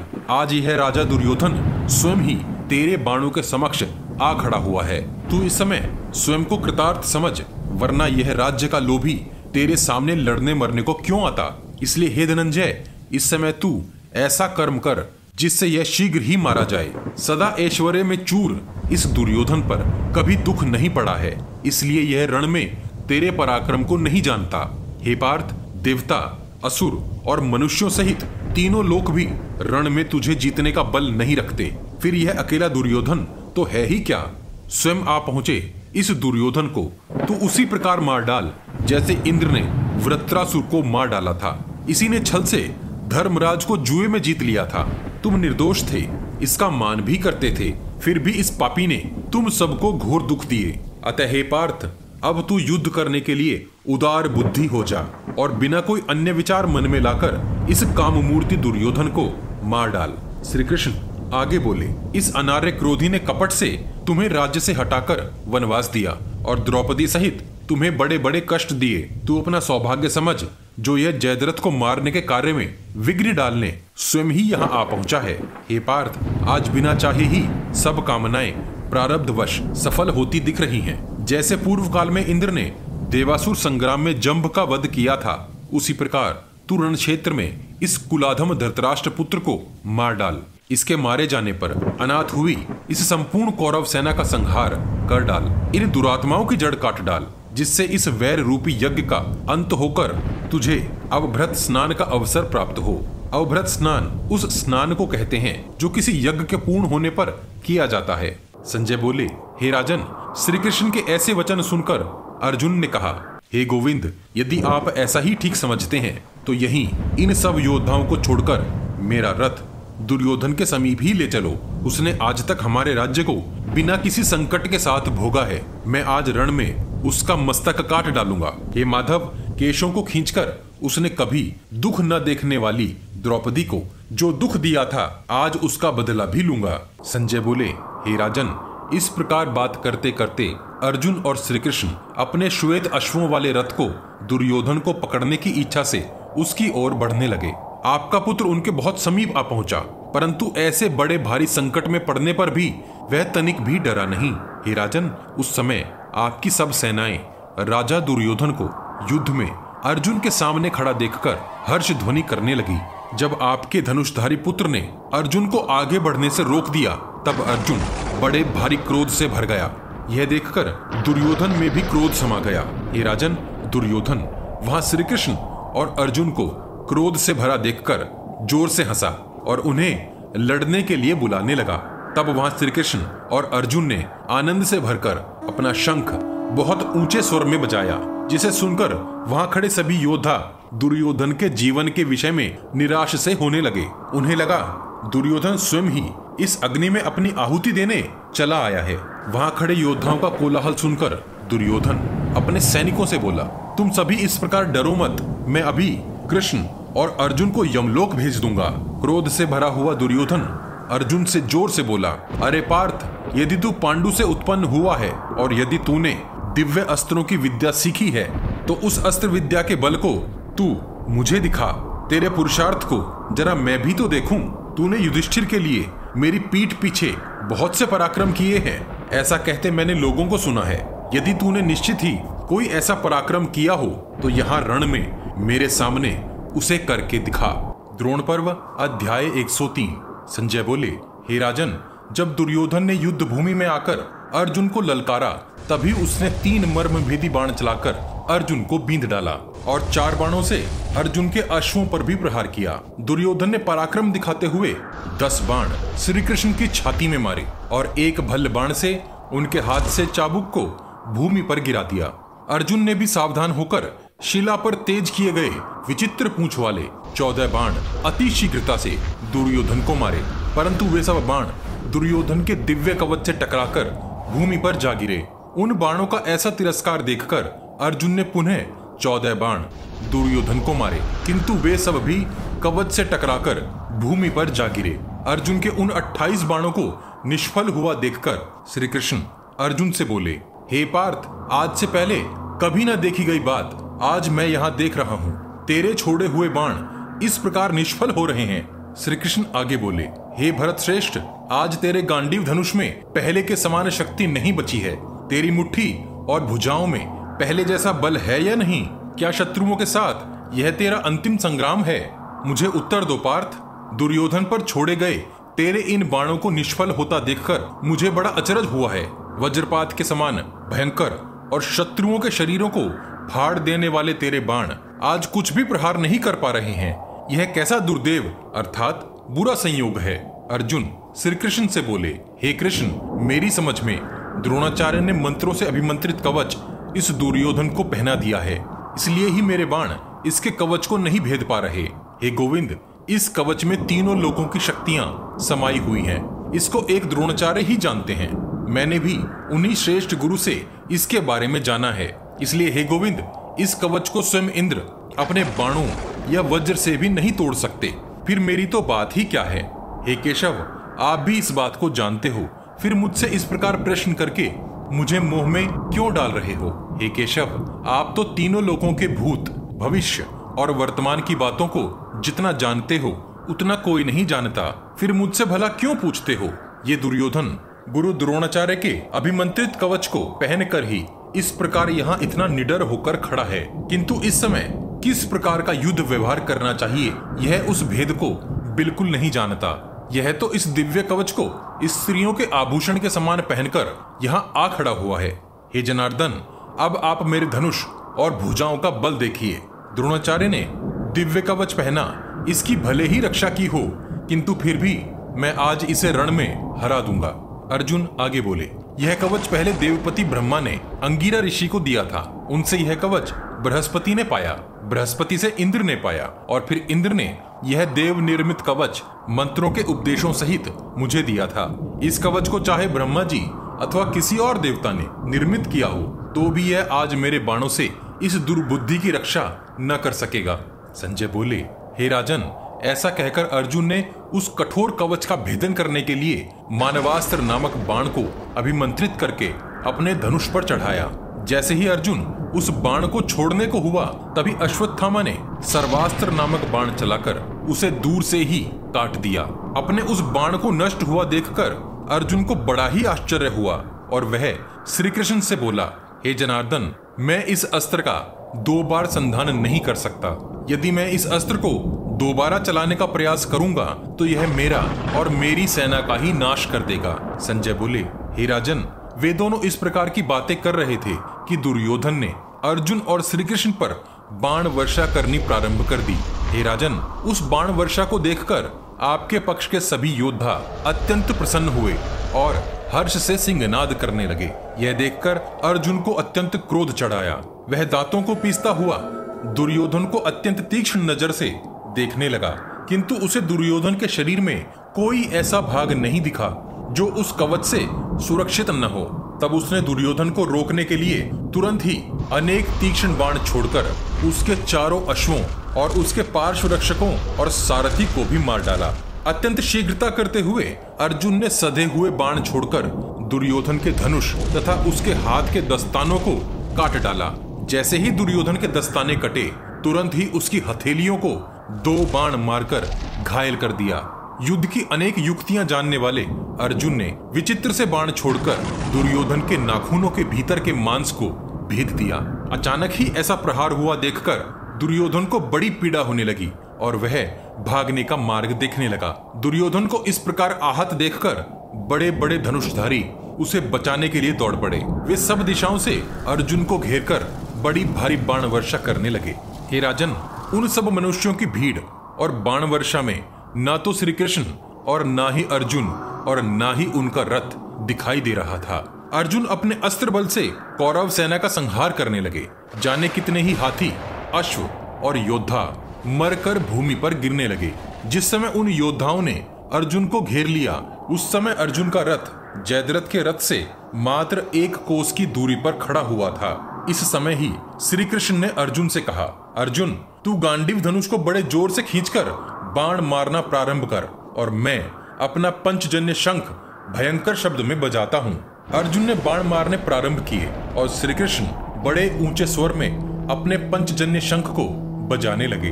उस समय उनकी आँखों की पलकें धूल से अटी हुई थी और मुख पर पसीना आ रहा था। उस शंख के भयंकर शोर से क्या निर्बल, क्या बलवान, सब योद्धा भूमि पर गिरने लगे और कौरव सेनाओं के द्वारा घेरा गया वह रथ उनके चंगुल से छूटकर पुनः दिखाई देने लगा। वहाँ खड़े महाधनुषधारी अर्जुन को इतने समीप आया देखकर पहले तो थोड़ा घबराए, किंतु फिर धीरज धरकर पृथ्वी को कपाने वाली अति भयंकर गर्जना करने लगे। वे सभी योद्धा अपने अपने शंखों को बहुत ऊँचे स्वर में बजाकर दहाड़ने लगे। उन योद्धाओं की इस गर्जना को सुनकर श्री कृष्ण और अर्जुन भी अपने पंचजन्य और देवदत्त नामक शंखों को बड़े ऊँचे स्वर में बजाने लगे। वहाँ इतना शोर उत्पन्न हो गया मानो तीनों लोग कांपने लगे हों। संजय बोले, हे महाराज, भूरिश्रवा शल्य कर्ण, वृषसेन, जयद्रथ, कृपाचार्य, शल्य तथा रथियों में श्रेष्ठ अश्वत्थामा, ये आठ महारथी वहाँ खड़े अपने सुवर्ण में चिन्हों से बड़े ही सुशोभित हो रहे थे। चारों ओर शंखों का महान शोर भर गया। जब श्री कृष्ण ने अपना पंचजन्य शंख बजाया, तब उसने बाकी सब शंखों की ध्वनियों को दबाकर अपनी ध्वनि से पृथ्वी और आकाश को भर दिया। उनके शंख की ध्वनि को सुन आपकी सेना के सभी योद्धा व्याकुल और भयग्रस्त से होने लगे। उन सब महारथियों ने जयद्रथ की रक्षा करने के लिए अर्जुन को चारों ओर से घेर लिया। तभी अश्वत्थामा ने श्री कृष्ण के ऊपर तिहत्तर, अर्जुन के ऊपर तीन अर्जुन की ध्वजा तथा अश्वों को पाँच पाँच भल्ल बाण मारे। कृष्ण को इस प्रकार घायल हुआ देखकर अर्जुन ने अश्वत्थामा पर 600 बाणों की झड़ी लगा दी। उसी बीच अर्जुन ने कर्ण पर दस तथा वृषसेन पर तीन बाण छोड़े और शल्य के धनुष को भी काट डाला।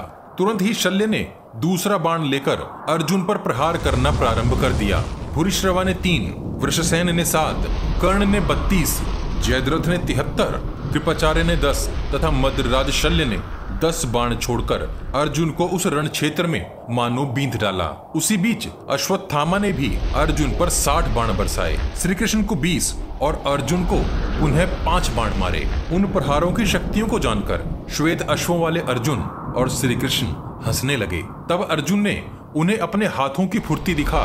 कर्ण को बारह, वृषसेन को तीन बाण मारे। शल्य के धनुष के पुनः दो टुकड़े कर डाले। भूरी श्रवा को तीन, शल्य को दस, तथा अश्वत्थामा को आठ तेज धार वाले बाणों से घायल कर दिया। कृपाचार्य को पच्चीस जयद्रथ को सौ और अश्वत्थामा पर सत्तर बाण छोड़े। भूरिश्रवा ने कुपित होकर श्री कृष्ण के चाबुक को काट डाला और अर्जुन को अनेक बाणों से चोट पहुंचाई। अर्जुन ने अत्यंत भारी बाण वर्षा कर उन सब योद्धाओं को इस प्रकार पीछे धकेल दिया, जैसे प्रचंड वायु बादलों को पीछे धकेल देती है। ध्यान रहे, इस समय युद्ध में जयद्रथ भी अर्जुन पर बाणों से प्रहार कर रहा है, किंतु अनेक महाबली योद्धा उसे चारों ओर से घेरकर उसकी रक्षा भी कर रहे हैं। द्रोण पर्व, अध्याय 105 धृतराष्ट्र ने संजय से कहा, हे संजय, इस युद्ध में अनेक प्रकार की पताकाएँ सुशोभित हो रही थी। तू मुझे उन सब पताकाओं के विषय में भी बता। संजय ने कहा, हे राजन, युद्ध में घूमते हुए उन महात्मा पुरुषों की पताकाएँ नाना प्रकार की थी। मैं उनका वर्णन आपको सुनाता हूँ। सुनिए, उन बड़े बड़े महारथियों के रथों में अनेक प्रकार के ध्वज दंड थे, जो सभी सुवर्ण के बने थे। वे सुवर्ण के बने वस्त्रों और मालाओं से अलंकृत थे।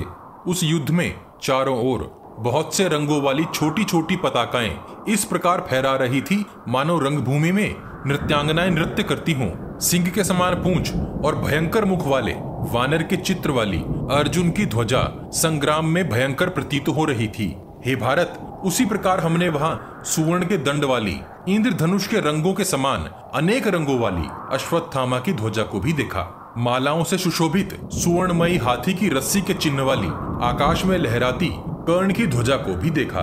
वह पताका आकाश में मानो नृत्य सी कर रही थी। तपस्वी ब्राह्मण, पांडवों के आचार्य, कृपाचार्य की ध्वजा पर बैल का चिन्ह था। उनकी ध्वजा त्रिपुरासुर नाशक प्रभु शिव के ध्वजा के समान शोभा पा रही थी। सुवर्ण, मणियों तथा विभिन्न रत्नों से बना मयूर, वृषसेन का ध्वज सेना के अग्रभाग को ऐसा सुशोभित कर रहा था।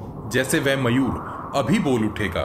मदराज शल्य की ध्वजा के अग्रभाग में हमने शुभ लक्षणों से युक्त एक सीता देखी थी। सीता, अर्थात हल से खींची हुई रेखा। हे राजन, जिस प्रकार हल के नुकीले भाग से बनी रेखा बीजों के उग जाने पर एक अनुपम सीधे रूप में दिखाई देती है, उसी प्रकार शल्य के रथ पर लगे उस ध्वज में वह सीता, अर्थात हल से बनी रेखा, बड़ी ही शोभा पा रही थी। हे राजन जयद्रथ के रथ की ध्वजा में स्वर्ण और रजत से बना वराह का चिन्ह शोभा पा रहा था। उसका ध्वज वैसा ही था जैसा पूर्व काल में देवासुर संग्राम में पूषा देव का ध्वज शोभा पाता था। पूषा देव बारह आदित्यों में से एक हैं। इन्हें पथ प्रदर्शक देवता भी माना जाता है। इनके पास कोई दांत नहीं थे।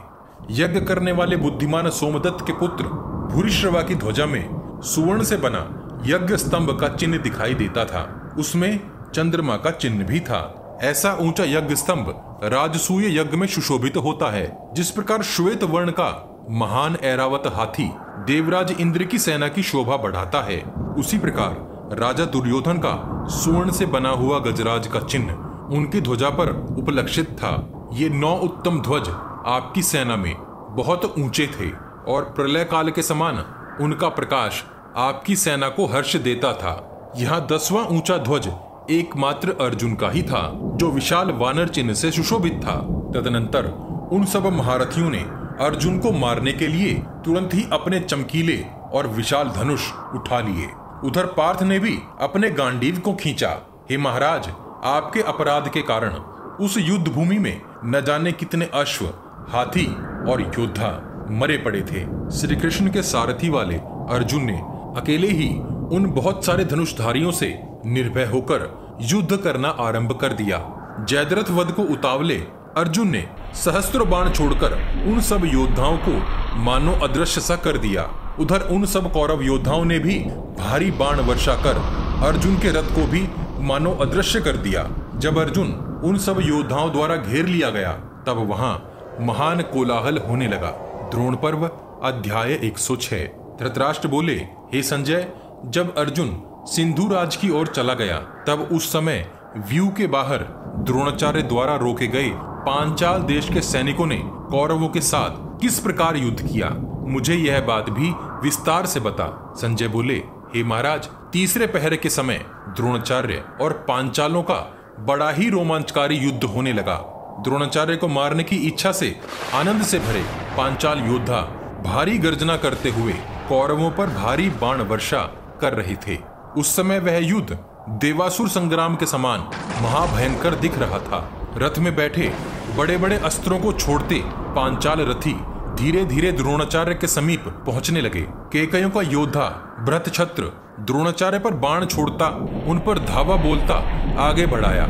उस समय कौरव पक्ष के महायशस्वी क्षेम भूर्ति अनेकों अनेक तीखे बाण छोड़ते, आगे बढ़ाए। तुरंत ही चेदी सेना का श्रेष्ठ योद्धा दृष्ट केतु भी द्रोण पर धावा बोलता आगे बढ़ाया। उसका सामना करने के लिए तुरंत ही त्रिगढ़ देश के बलवान योद्धा, वीर धनवा, उसके आगे आ खड़ा हुआ। मौका देखकर युधिष्ठिर विजय पाने की इच्छा से वेग से आगे बढ़े। किंतु तुरंत ही द्रोण ने उन्हें वहीं रोक दिया। संजय बोले, हे राजन, दूसरी ओर युद्ध कुशल नकुल को आते देखकर आपका पराक्रमी पुत्र विकर्ण उससे लड़ने को आया। वहीं सहदेव को आते देख शत्रुनाशी दुर्मुख उसके सामने डट गया और सहस्त्र बाण बरसाने लगा। सात्विकी को व्याघ्रदत्त ने सीने में अनेकों बाण मार, कंपाकर आगे बढ़ने से रोक दिया। उधर मनुष्य में व्याघ्र, द्रौपदी के पाँचों पुत्र भी कुपित होकर शत्रुओं पर बाण बरसा रहे थे। उन्हें सोमदत्त के पुत्र शल ने आगे आकर रोका। भयंकर रूप वाले ऋषयश्रंग के पुत्र अलम्बुश ने उस समय क्रोध से भरे भीमसेन को रोक दिया। पूर्व काल में जिस प्रकार राम और रावण का युद्ध हुआ था, कुरुक्षेत्र में भीमसेन और अलम्बुश का युद्ध होने लगा। संजय बोले, हे राजन, उस समय युधिष्ठिर ने द्रोण के मर्म स्थानों में नब्बे बाण मारे। उस आघात से रुष्ट हुए द्रोणाचार्य ने युधिष्ठिर की छाती में 25 बाण मारे। इससे पहले कि युधिष्ठिर कुछ कर पाते, सब धनुर्धारियों के देखते देखते ही उन्होंने पुनः युधिष्ठिर पर 25 बाण छोड़े। परंतु अपने बाणों की फुर्ती दिखाते हुए युधिष्ठिर ने द्रोणाचार्य के उन बाणों को अपने बाणों से काटकर निष्फल कर दिया। यह देखकर द्रोणाचार्य का क्रोध बढ़ गया और उन्होंने एक बाण मारकर युधिष्ठिर का धनुष काट दिया। क्षण भर में ही द्रोणाचार्य ने भारी बाण वर्षा कर युधिष्ठिर को अपने बाणों से ढक दिया। वहाँ खड़े योद्धाओं में से अनेकों को लगा। राजा युधिष्ठिर हार कर भाग गए। कितनों ने ही समझा कि महात्मा ब्राह्मण द्रोण ने युधिष्ठिर को मार डाला है। ऐसा हुआ देखकर युधिष्ठिर ने पुनः नया धनुष हाथ में लेकर द्रोणाचार्य के उन बाणों के टुकड़े कर डाले। पल भर में ही युधिष्ठिर ने स्वर्ण की दंड वाली और आठ घंटियाँ लगी एक महान घनघोर शक्ति को हाथ में लिया और उसे द्रोणाचार्य के ऊपर चला दिया और एक महाबली के समान वहाँ गरजे और प्रसन्न हुए। उस शक्ति रूप गदा को देखकर वहाँ खड़े सब प्राणी सहसा बोल उठे। द्रोणाचार्य का कल्याण हो। राजा युधिष्ठिर के हाथ से छूटकर वह शक्ति रूपी गदा, कीचुली छोड़े हुए सर्प के समान, जलते हुए मुख वाली एक सर्पिणी के समान, आकाश तथा सभी दिशाओं को प्रकाशित करती हुई द्रोण के पास आने लगी। संजय बोले, हे राजन अस्त्र वेदताओं में श्रेष्ठ द्रोण ने उस शक्ति रूपी गदा को अपनी ओर आते देख, शीघ्र ही ब्रह्मास्त्र प्रकट किया। वह ब्रह्मास्त्र उस भयानक रूप वाली शक्ति को भस्म कर शीघ्रता से युधिष्ठिर के रथ की ओर जाने लगा। बुद्धिमान युधिष्ठिर ने तुरंत ही अपना ब्रह्मास्त्र चलाकर द्रोणाचार्य के अस्त्र को वहीं शांत कर दिया और तुरंत ही द्रोणाचार्य को पाँच बाणों से घायल कर एक शुरप्र बाण से उनका धनुष काट डाला। टूटा धनुष छोड़कर द्रोणाचार्य ने सहसा ही एक गदा युधिष्ठिर की ओर फेंकी अपनी ओर आती उस गदा को देख युधिष्ठिर ने भी गदा उठा ली और द्रोणाचार्य की गदा पर चला दी। दोनों गदाएँ एक दूसरे से टकराकर चिंगारियाँ छोड़ती हुई भूमि पर जा गिरी। यह देखकर द्रोणाचार्य बड़े ही क्रोध से भर गए और उन्होंने चार तीखे उत्तम बाण छोड़कर धर्मराज के चारों अश्वों को वहीं मार डाला और एक भल्ल बाण छोड़कर उनका धनुष भी काट दिया। एक भल्ल बाण से उनकी ध्वजा भी खंडित कर डाली। हे महाराज, जब युधिष्ठिर के अश्व मर गए, तब वे रथ से नीचे उतर गए। और शस्त्र रहित हो, अपनी भुजाओं को ऊँचा करके भूमि पर खड़े हो गए। जब द्रोणाचार्य ने युधिष्ठिर को इस प्रकार वहाँ खड़े देखा, तब वे बड़ी भारी बाण वर्षा करते हुए, पांडवों की सेना को विदीर्ण करते हुए युधिष्ठिर की ओर इस प्रकार अतिशीघ्रता से बढ़ने लगे, जैसे एक सिंह मृग के ऊपर झपटता है। जैसे ही अन्य पांडवों ने यह दृश्य देखा, वे सब एक साथ व्याकुल और चिंतित हो सहसा बोल उठे। द्रोण ने राजा युधिष्ठिर को मार डाला। अरे, द्रोण ने राजा को मार डाला। पांडव सेना में अचानक ही बड़ी भारी हलचल हो गई। इतने में ही समीप सहदेव अपना रथ लेकर आ पहुँचे और युधिष्ठिर को अपने रथ पर चढ़ाकर बड़ी ही शीघ्रता से रथ को पीछे हटा ले गए। द्रोण पर्व अध्याय 107 जयद्रथ वध के लिए जहाँ एक और अर्जुन व्यूह के भीतर युद्ध में उलझे थे, वहीं दूसरी ओर व्यूह के बाहर द्रोणाचार्य की सेना किसी को भी व्यू के भीतर प्रवेश करने नहीं दे रही थी। संजय बोले, हे महाराज, पांडवों की ओर से केकयराज बृहत छत्र को आता देखकर कौरव पक्षीय शेम धूर्ति ने बाण मारकर उसकी छाती पर आघात किया। तभी बृहद छत्र ने द्रोणाचार्य की सेना को बिखेर देने की इच्छा से अनेकों अनेक बाण शेम धूर्ति और उसकी सेना को मारे। शेम धूर्ति ने क्रोध से भरकर एक सदा हुआ बाण मारकर कैकय राज के धनुष को काट डाला। और तुरंत ही अनेक बाण मारकर उन्हें घायल कर दिया। कैकयराज बृहक्षत्र ने दूसरा धनुष उठाकर भारी बाण वर्षा कर शेम धूर्ति के अश्वों को मार, रथ के टुकड़े कर उसे रथ विहीन कर दिया। इससे पहले कि क्षेम धूर्ति संभल पाता, एक भल्ल बाण से उसका कुंडलों से चमकता, घुंघराले बालों वाला शीश धड़ से अलग कर दिया। हे महाराज क्षेम धूर्ति को मारकर केकयराज भ्रत छत्र अत्यंत प्रसन्न हुए और महा उत्साह से भरकर कौरव सेना पर टूट पड़े। इसी प्रकार पांडव पक्ष के दृष्ट केतु को वहाँ आपके पक्ष की सेना के वीर धनवा ने रोका था। दोनों एक दूसरे पर सहस्त्र बाण बरसाकर एक दूसरे से दो मतवाले हाथियों के समान लड़ने लगे। हे महाराज, उन दोनों का तुमुल, अर्थात भीषण युद्ध, सिद्धों और चारण समूहों के देखने योग्य और अति आश्चर्यजनक था। ध्यान रहे चारण समूहों को देवतुल्य समझा गया है, जो देवताओं की स्तुति में लीन रहते हैं। इनमें ब्राह्मण और क्षत्रिय दोनों गुणों की अधिकता होती है। संजय बोले, हे राजन, वीर धनवा ने कुपित होकर हँसते हुए एक भल्ल बाण से दृष्ट केतु के धनुष के दो टुकड़े कर डाले। धनुष को फेंक कर दृष्ट केतु ने एक गदा रूपी शक्ति उठाई, जो सुवर्ण और लोहे से बनी थी। और उसे वीर धनवा पर फेंक दिया। उस शक्ति रूपी गदा के प्रहार से वीर धनवा की छाती फट गई और त्रिगर्त देश के उस वीर योद्धा का वहीं अंत हो गया। हे महाराज, उधर दुर्मुख ने सहदेव पर साठ बाण छोड़े और भारी गर्जना की। सहदेव ने भी क्रोध से भरकर हँसते हुए भाई दुर्मुख को अनेक तीक्ष्ण बाणों से बींध डाला। हे राजन, आपके पुत्र दुर्मुख ने भी सहदेव पर नौ बाण मारे। उस आघात से क्रुद्ध हुए सहदेव ने दुर्मुख की ध्वजा को काट, तीक्ष्ण बाणों की वर्षा कर, उसके चारों अश्वों को मार डाला। एक तीक्ष्ण बाण से दुर्मुख के सारथी का चमकते मुकुट वाला मस्तक धड़ से अलग कर दिया। तुरंत ही एक शुरप्र बाण से दुर्मुख के धनुष को काटकर उसे पाँच बाणों से बींध डाला। हे राजन, आपका पुत्र दुर्मुख टूटे धनुष को फेंककर और अत्यंत खिन्न होकर अपने टूटे रथ से कूदकर समीप ही निर्मित्र के रथ पर जा बैठा। हे महाराज, उधर नकुल ने आपके पुत्र विकर्ण को क्षण भर में ही जीत लिया। वहाँ यह भी आश्चर्य का सा ही काम हुआ। उधर व्याघ्रदत्त ने सेना के बीच में ही झुकी हुई गांठ वाले बाणों से घोड़े और सारथी सहित सात्विकी को ढक दिया। तब शेनीपुत्र सात्विकी ने भारी बाण वर्षा कर व्याघ्रदत्त के बाणों को काटकर उसके ध्वज को काट डाला और अनेक बाण मारकर उसके घोड़ों और सारथी सहित उसे भी यमलोक भेज दिया। हे महाराज, मगध नरेश के पुत्र, राजकुमार व्याघ्रदत्त के मारे जाने पर मगध वीरों ने सब ओर से सात्विकी पर धावा बोल दिया। वे शूरवीर मगध सैनिक, सहस्त्रों तोमरों, भिंदीपालों, प्रासों तथा मूसलों का प्रहार कर सात्विकी से भयंकर युद्ध करने लगे। सात्विकी ने बिना किसी कष्ट के उन सब सैनिकों को हँसते हुए परास्त कर डाला। सातिकी ने उन मगध योद्धाओं पर इतनी भारी बाण वर्षा की, जिससे वे संभल न सके, और उनका व्यूह भंग हो गया। सातिकी अपना उत्तम धनुष हवा में लहराते हुए बड़ी शोभा पा रहे थे। व्यूह के भंग होते ही सभी मगध सैनिक अपनी जान बचाते हुए तितर बितर हो भागने लगे। अपनी सेना के उस भाग के सैनिकों को इस प्रकार भागता देख द्रोणाचार्य को अत्यंत क्रोध चढ़ाया और वे क्रोध से आँखें लाल कर सात्विकी पर टूट पड़े।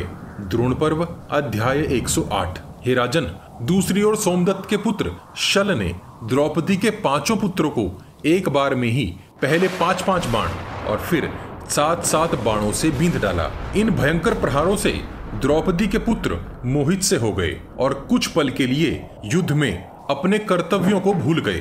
तब उन पाँचों भाइयों में से नकुल और द्रौपदी से उत्पन्न शतानिक ने सोमदत्त के पुत्र को दो बाण मारकर गर्जना की। तभी अन्य द्रौपदी पुत्रों ने भी तुरंत ही शल को तीन तीन बाणों द्वारा बींध डाला। उस प्रहार से विचलित हुए शल ने उन पाँचों को एक एक बाण मारकर उनकी छाती छेद डाली। तभी उन पाँचों भाइयों ने उस प्रहार के क्रोध से भरकर शल को चारों ओर से घेर लिया और उस पर प्रहार करने लगे। अर्जुन और द्रौपदी के पुत्र श्रुत कीर्ति ने अत्यंत कुपित होकर चार वेगशाली बाणों से शल के चारों अश्वों को यमलोक भेज दिया। भीम और द्रौपदी के पुत्र सुत सोम ने अपने पैने बाणों से सोमदत्त के उस पुत्र का धनुष काट डाला।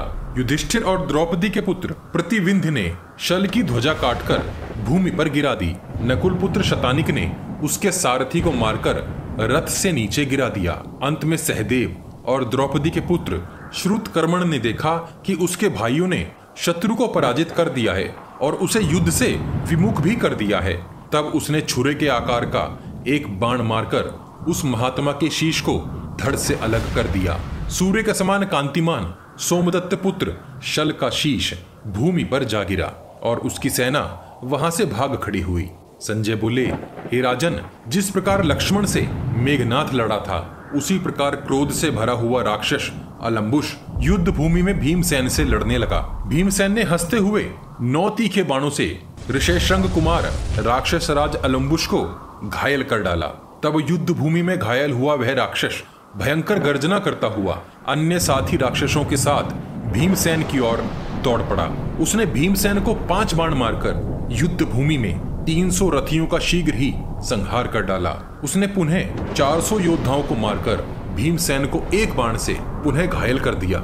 इस प्रकार उस राक्षस के द्वारा अत्यंत घायल हुए महाबली भीमसेन कुछ क्षणों के लिए मूर्छित से हो रथ की बैठक में बैठ गए। क्षण भर में जैसे ही पवन पुत्र भीमसेन को चेतना आई उन्होंने अपना उत्तम और भयंकर धनुष तान कर अपने पैने बाणों द्वारा सब ओर से अलम्बुश को अत्यंत पीड़ा दी।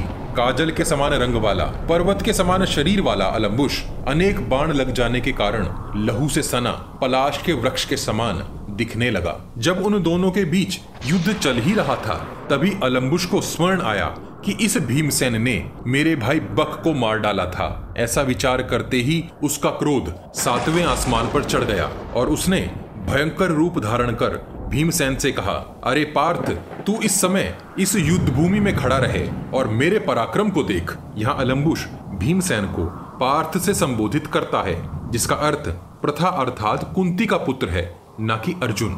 अलम्बुश आगे बोला, हे दुर्बुद्धे, तूने मेरे बलवान भाई राक्षस राज बक का वध कर डाला था। उस समय मैं वहाँ उपस्थित नहीं था, परंतु तू आज उसके फल को भोगेगा। ऐसा कहते ही वह बलवान अलम्बुश राक्षस अंतर ध्यान हो गया और आकाश से भीमसेन पर भारी बाण वर्षा करने लगा। उस समय भीमसेन ने वहाँ के समूचे आकाश को अपने बाणों से भर डाला। ऐसा होते देख वह राक्षस तुरंत ही अपने रथ पर आ बैठा।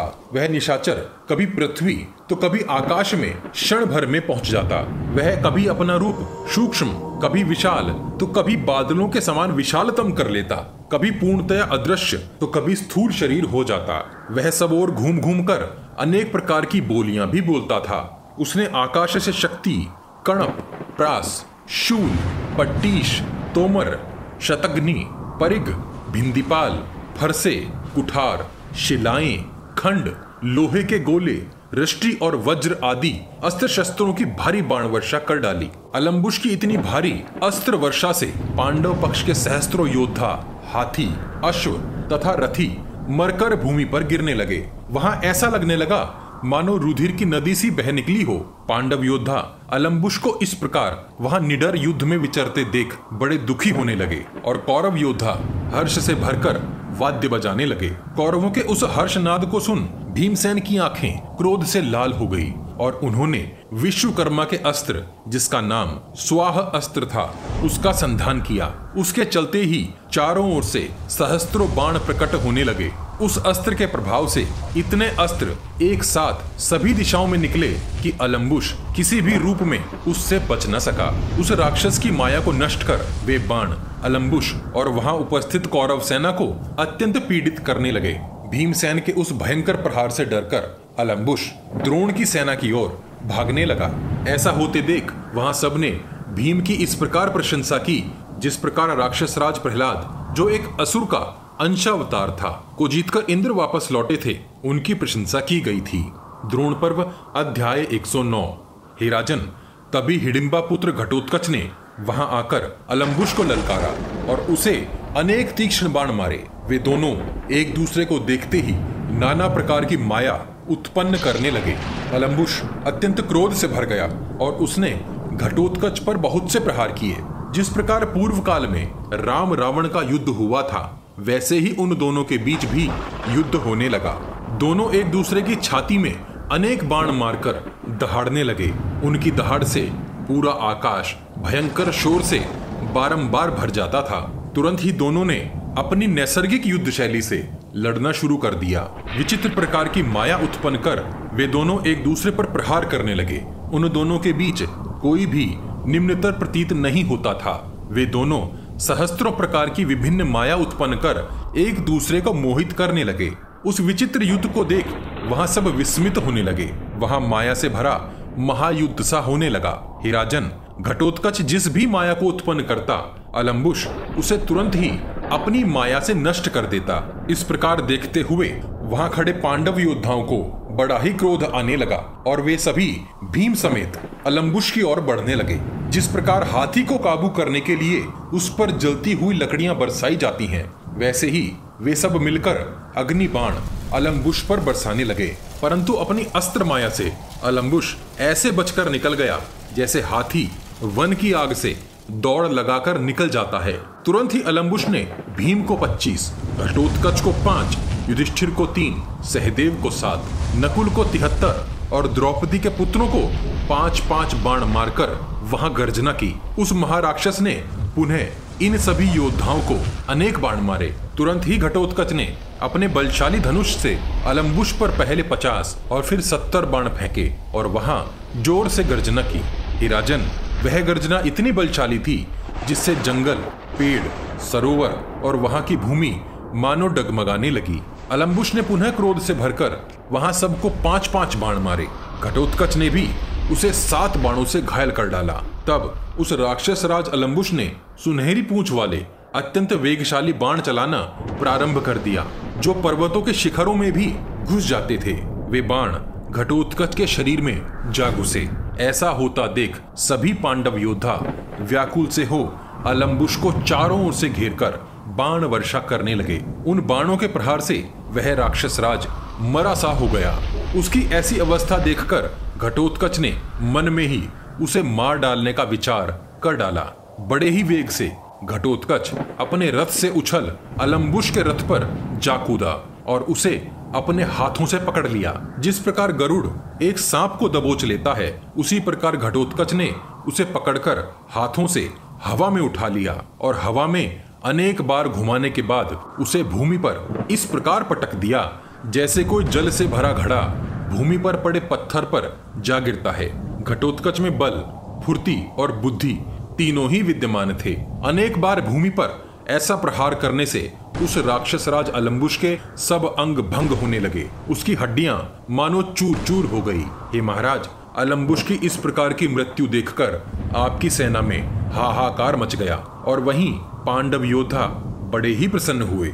जिस प्रकार आकाश से गिरते पिंडों को पृथ्वी पर मनुष्य अचंभे से निहारते हैं, वैसे ही दोनों ओर के योद्धा उस मरे पड़े विशाल काय राक्षस को देखने के लिए कौतूहल वश वहाँ इकट्ठे होने लगे। घटोत्कच के उस महापरिश्रम की वहाँ उपस्थित सभी योद्धाओं ने प्रशंसा की। वे हर्ष से भरकर शंख बजाने लगे।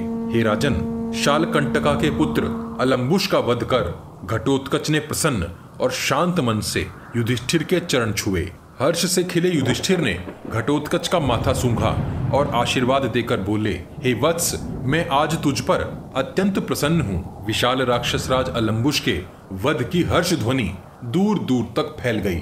द्रोण पर्व, अध्याय 110 घटोत्कच ने राक्षस अलम्बुश का वध कर दिया और पांडव पक्ष में हर्ष ध्वनि होने लगी। धृतराष्ट्र ने संजय से पूछा, हे संजय, युद्ध में सात्विकी ने द्रोणाचार्य को किस प्रकार रोका? वह घटना मुझे विस्तार से बताओ। इन दोनों के युद्ध को सुनने का मेरे मन में महान कौतूहल है। संजय बोले, हे राजन, उस महान युद्ध का रोमांचकारी संग्राम मैं आपको सुनाता हूँ।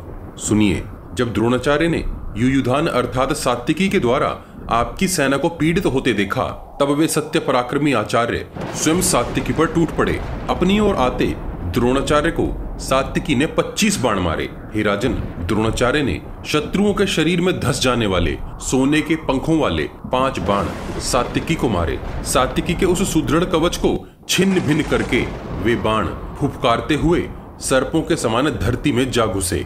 उस प्रहार से अत्यंत कुपित हुए सात्विकी ने पचास नाराज़ बाणों से द्रोणाचार्य को भेद डाला।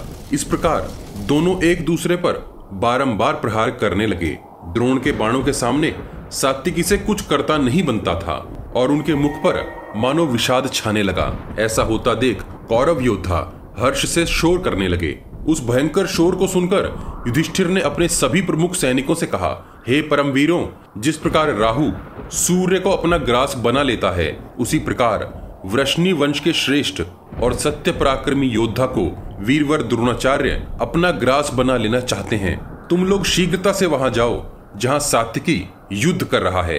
युधिष्ठिर ने राजकुमार दृष्टिदुम्न की ओर देखकर कहा, हे द्रुपद नंदन, इस प्रकार यहाँ क्यों खड़े हो? क्या तुम नहीं देख पा रहे कि द्रोण की ओर से हम सब पर एक घनघोर भय उत्पन्न हो गया है? तुम सब भीमसेन समेत सब महारथियों के साथ युयुधान की रक्षा के लिए जाओ। मैं भी संपूर्ण सैनिकों के साथ तुम्हारे पीछे पीछे चलूँगा। संजय बोले, हे राजन, इस प्रकार अपनी सारी सेना लेकर पांडव योद्धाओं ने द्रोणाचार्य पर आक्रमण कर दिया। उन्होंने द्रोणाचार्य पर कौवे और मोर के पंखों से बने तीखे बाणों की वर्षा प्रारंभ कर डाली। हे राजन, जिस प्रकार घर में आए अतिथि का सत्कार किया जाता है, उसी प्रकार द्रोणाचार्य ने उन सभी योद्धाओं की यथेष्ट तृप्ति कर डाली। उस समय भारद्वाज नंदन द्रोणाचार्य की ओर कोई भी आँख उठाकर न देख सका। उस युद्ध में द्रोणाचार्य द्वारा पांचाल के 25 सुप्रसिद्ध महारथी मार डाले गए, जो दृष्टद्युम्न को बहुत ही प्रिय थे। द्रोणाचार्य वहाँ मुख्य मुख्य योद्धाओं को चुन चुन कर मार रहे थे। पल भर में उन्होंने सौ कह योद्धाओं को मार डाला और वहाँ साक्षात यमराज के समान दिखने लगे। जाने कितने ही पांचाल, मत्स्य और केकय योद्धा वहाँ मरकर भूमि पर जा गिरे। इस प्रकार समरांगण में सोमकों का वध कर रहे द्रोणाचार्य के सामने न कोई जा सका और न ही कोई उन्हें चोट ही पहुँचा सका। जब वहाँ भयंकर संग्राम चल रहा था, तब कुंती कुमार युधिष्ठिर ने अचानक ही पंचजन्य शंख की ध्वनि सुनी। श्री कृष्ण द्वारा फूका जाने वाला वह शंख लगातार अपनी ध्वनि का विस्तार करता जा रहा था। अर्जुन के रथ के समीप आपके पुत्र और सैनिक बहुत ज़ोर से गर्जना कर रहे थे, जिसके कारण गांडीव धनुष की टंकार सब ओर से दब गई थी। ऐसा होता देख युधिष्ठिर का मन विचलित होने लगा। कौरव सैनिकों के बारंबार हर्षनाद को सुन, उन्हें ऐसा लगने लगा कि अर्जुन वहाँ कुशल नहीं है। ऐसा विचार मन में आते ही युधिष्ठिर का हृदय अत्यंत व्याकुल हो उठा। मोहित हुए युधिष्ठिर आँखों में आँसू भरकर रूंधे गले से सात्विकी से बोले, हे शिनी प्रवर, विपत्ति पड़ने पर मित्रों के जिन कर्तव्यों को प्राचीन मनुष्यों और सनातन महात्माओं ने निश्चित किया है, आज उसी कर्तव्य को निभाने का समय आ गया है। हे शिनी प्रवर, मैं यहाँ उपस्थित सभी योद्धाओं को देखकर विचार करता हूँ तो मुझे तुझसे अधिक कोई भी मित्र नहीं दिखता, जो सदा प्रसन्न चित्त रहता है और सदा ही अनुकूल प्रतीत होता है। उसी पर सबसे महत्वपूर्ण कार्य का भार डालना चाहिए, जिस प्रकार श्री कृष्ण पांडवों को सदैव ही आश्रय प्रदान करते हैं। उसी प्रकार तुम भी हो, तुम्हारा पराक्रम भी श्री कृष्ण के समान ही समझा जाता है। अतः मैं तुम्हारे ऊपर एक भार रखना चाहता हूँ। आशा है तुम उसे अवश्य स्वीकार करोगे, क्योंकि तुम मेरी किसी भी बात को नहीं टालते। हे नरश्रेष्ठ, अर्जुन तुम्हारा भाई, मित्र और गुरु है। मुझे ऐसा प्रतीत होता है कि वह युद्ध के बीचों बीच अकेला, महान संकट में फंसा हुआ है। हे धर्मात्मन मैं तुमसे हाथ जोड़कर प्रार्थना करता हूँ कि तू अर्जुन की सहायता करने के लिए जा। हे सात्यकी जिस प्रकार श्री कृष्ण सदा ही मित्रों के लिए अभय बने रहते हैं और उनके लिए प्राण तक त्याग कर सकते हैं, यहाँ मैं ऐसा दूसरा तुझे ही देख पा रहा हूँ और ऐसा तीसरा यहाँ कोई नहीं है। जब कोई वीर पुरुष युद्ध में यश को चाहता हुआ लड़ता है, उस समय कोई साधारण मनुष्य उसकी सहायता नहीं कर सकता। उस समय तो कोई शूरवीर ही उसका साथ दे सकता है। अर्जुन, तेरे सैकड़ों कर्मों की प्रशंसा करते हुए, बड़े ही हर्ष के साथ, बारंबार मुझसे कहता था सात्विकी फुर्ती से हाथ चलाने वाला और विचित्र प्रकार से युद्ध करने वाला एक महापराक्रमी है। वह समस्त अस्त्रों को जानने वाला, परम बुद्धिमान और संग्राम में कभी घबराहट में नहीं पड़ता। अर्जुन ने मुझसे कहा था कि वह सात्यकी मेरा शिष्य और मित्र है। मैं उसको प्रिय हूँ और वह मुझे अत्यंत प्रिय है। हे यशस्वी, इस प्रकार अर्जुन ने द्वैत वन में उपस्थित श्रेष्ठ पुरुषों की सभा में तुम्हारे यथार्थ गुणों का वर्णन मुझसे किया था। व्याकुल युधिष्ठिर रुंधे गले से आगे बोले, जब मैं तीर्थों में विचरता हुआ, द्वारिका जा पहुँचा था, वहाँ भी अर्जुन के प्रति मैंने तेरा भक्ति भाव प्रत्यक्ष देखा था। हे महाबाहु, द्रोणाचार्य द्वारा प्रदान किए गए दिव्य कवच से सुसज्जित होकर दुर्योधन अर्जुन का सामना करने के लिए बड़े वेग से गया था। अर्जुन इस समय जिस ओर है, वहाँ मुझे भयंकर गर्जना सुनाई दे रही है। भीमसेन और हम सब लोग अत्यंत ही सावधान खड़े हैं। यदि द्रोणाचार्य तुम्हारा पीछा करेंगे तो हम सब मिलकर उन्हें यहीं रोक लेंगे। इस समय रण में बहुत भारी कोलाहल हो रहा है और सामने जो व्यू रचना है, उसमें अनेक दरारें पड़ी हैं। जिस प्रकार की भयंकर सेना वहाँ एकत्रित हो गई है उसका निवारण किए बिना जयद्रथ को जीतना असंभव है। हे शिनी प्रवर तनिक ध्यान लगाकर सुनो, वहाँ किस प्रकार के डंके, शंख और वाद्य बज रहे हैं। हाथियों की भयंकर चिंगाड़ सुनाई दे रही है। व्याकुल युधिष्ठिर आगे बोले, इस अपार सेना में डूबकर अर्जुन कदाचित अपने प्राण खो बैठे, और यदि वह मारा गया तो मेरे जैसा पुरुष उसके बिना भला कैसे ही जीवित रह सकता है? युधिष्ठिर की आँखों से आँसू निकलते रहे और वे आगे बोलते रहे, मेरा अर्जुन, रंग में सांवला है, अवस्था में तरुण है और उसके बाल बड़े ही घुंघराले हैं। बड़ी ही फुर्ती और विचित्र प्रकार से युद्ध करने वाला मेरा अर्जुन सूर्योदय के समय द्रोणाचार्य की सेना में घुसा था और अब दिन ढल रहा है। द्रोणाचार्य के जिस व्यू को देवता भी सह नहीं सकते, उसमें महाबाहु अर्जुन अकेला ही घुस गया था। उसकी घोर चिंता के कारण आज मेरी बुद्धि अत्यंत विचलित हो रही है। इधर क्रोध से भरे द्रोणाचार्य भी हमारी सेना को अत्यंत पीड़ित कर रहे हैं। जब एक साथ अनेक विपत्तियाँ आ पड़े, उस समय कौन सा कर्म पहले करना चाहिए, इसका निश्चय करने में भी तू अत्यंत चतुर है। हे मानद, मुझे तो इस समय उपस्थित सभी कर्मों में से अर्जुन की रक्षा करना ही सबसे बड़ा प्रयोजनीय काम प्रतीत हो रहा है। मैं श्री कृष्ण के लिए शोक नहीं करता। वे तो संपूर्ण जगत के संरक्षक और स्वामी हैं, परंतु अर्जुन युद्ध स्थल में असंख्य सैनिकों द्वारा पीड़ित होने पर अपने प्राणों का परित्याग कर सकता है। इसलिए मैं शोक और दुख में डूबा जा रहा हूँ। वृष्णि वीरों में इस समय दो ही पुरुष अतिरथी गिने जाते हैं। एक तो महाबाहु प्रद्युम्न और दूसरे निर्व्याघ्र तुम।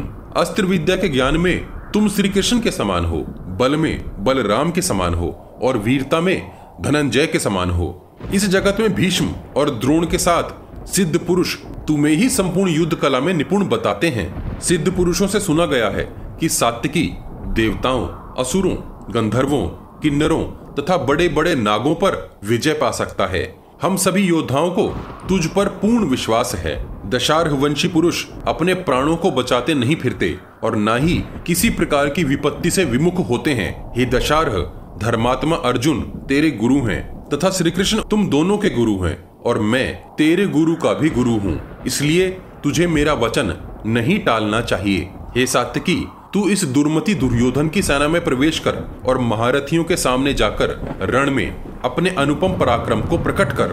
द्रोण पर्व, अध्याय 111 संजय बोले, हे राजन, धर्मराज के ऐसे प्रिय लगने वाले, मधुर, विचित्र और न्याय संगत बातों को सुनकर सात्विकी ने इस प्रकार उत्तर दिया। सात्विकी बोले, हे राजन, आपका कथन अद्भुत न्याय संगत और यश की वृद्धि करने वाला है। हे महाराज, अर्जुन का हित करने के लिए मुझे किसी भी प्रकार अपने प्राणों की रक्षा करने की चिंता नहीं है। फिर आपकी आज्ञा पाकर तो मैं देवताओं, असुरों और मनुष्यों सहित तीनों लोगों के साथ युद्ध कर सकता हूँ। फिर इस कौरव सेना की तो आखिर बात ही क्या है? हे राजन, मैं रण क्षेत्र में आज चारों ओर घूमकर दुर्योधन की सेना के साथ युद्ध करूँगा। मैं यह सच्ची बात आपसे कहता हूँ। हे राजन, मैं कुशल पूर्वक रहकर सकुशल अर्जुन तक पहुँच जाऊँगा और जयद्रथ के मारे जाने पर उनके साथ ही वापस लौटूँगा।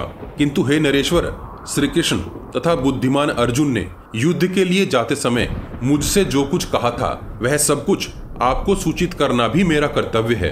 अर्जुन बोले थे, मैं युद्ध में उदार बुद्धि होकर जब तक जयद्रथ का वध करके वापस लौटूं, तब तक सावधान होकर युद्ध में राजा युधिष्ठिर की रक्षा करना।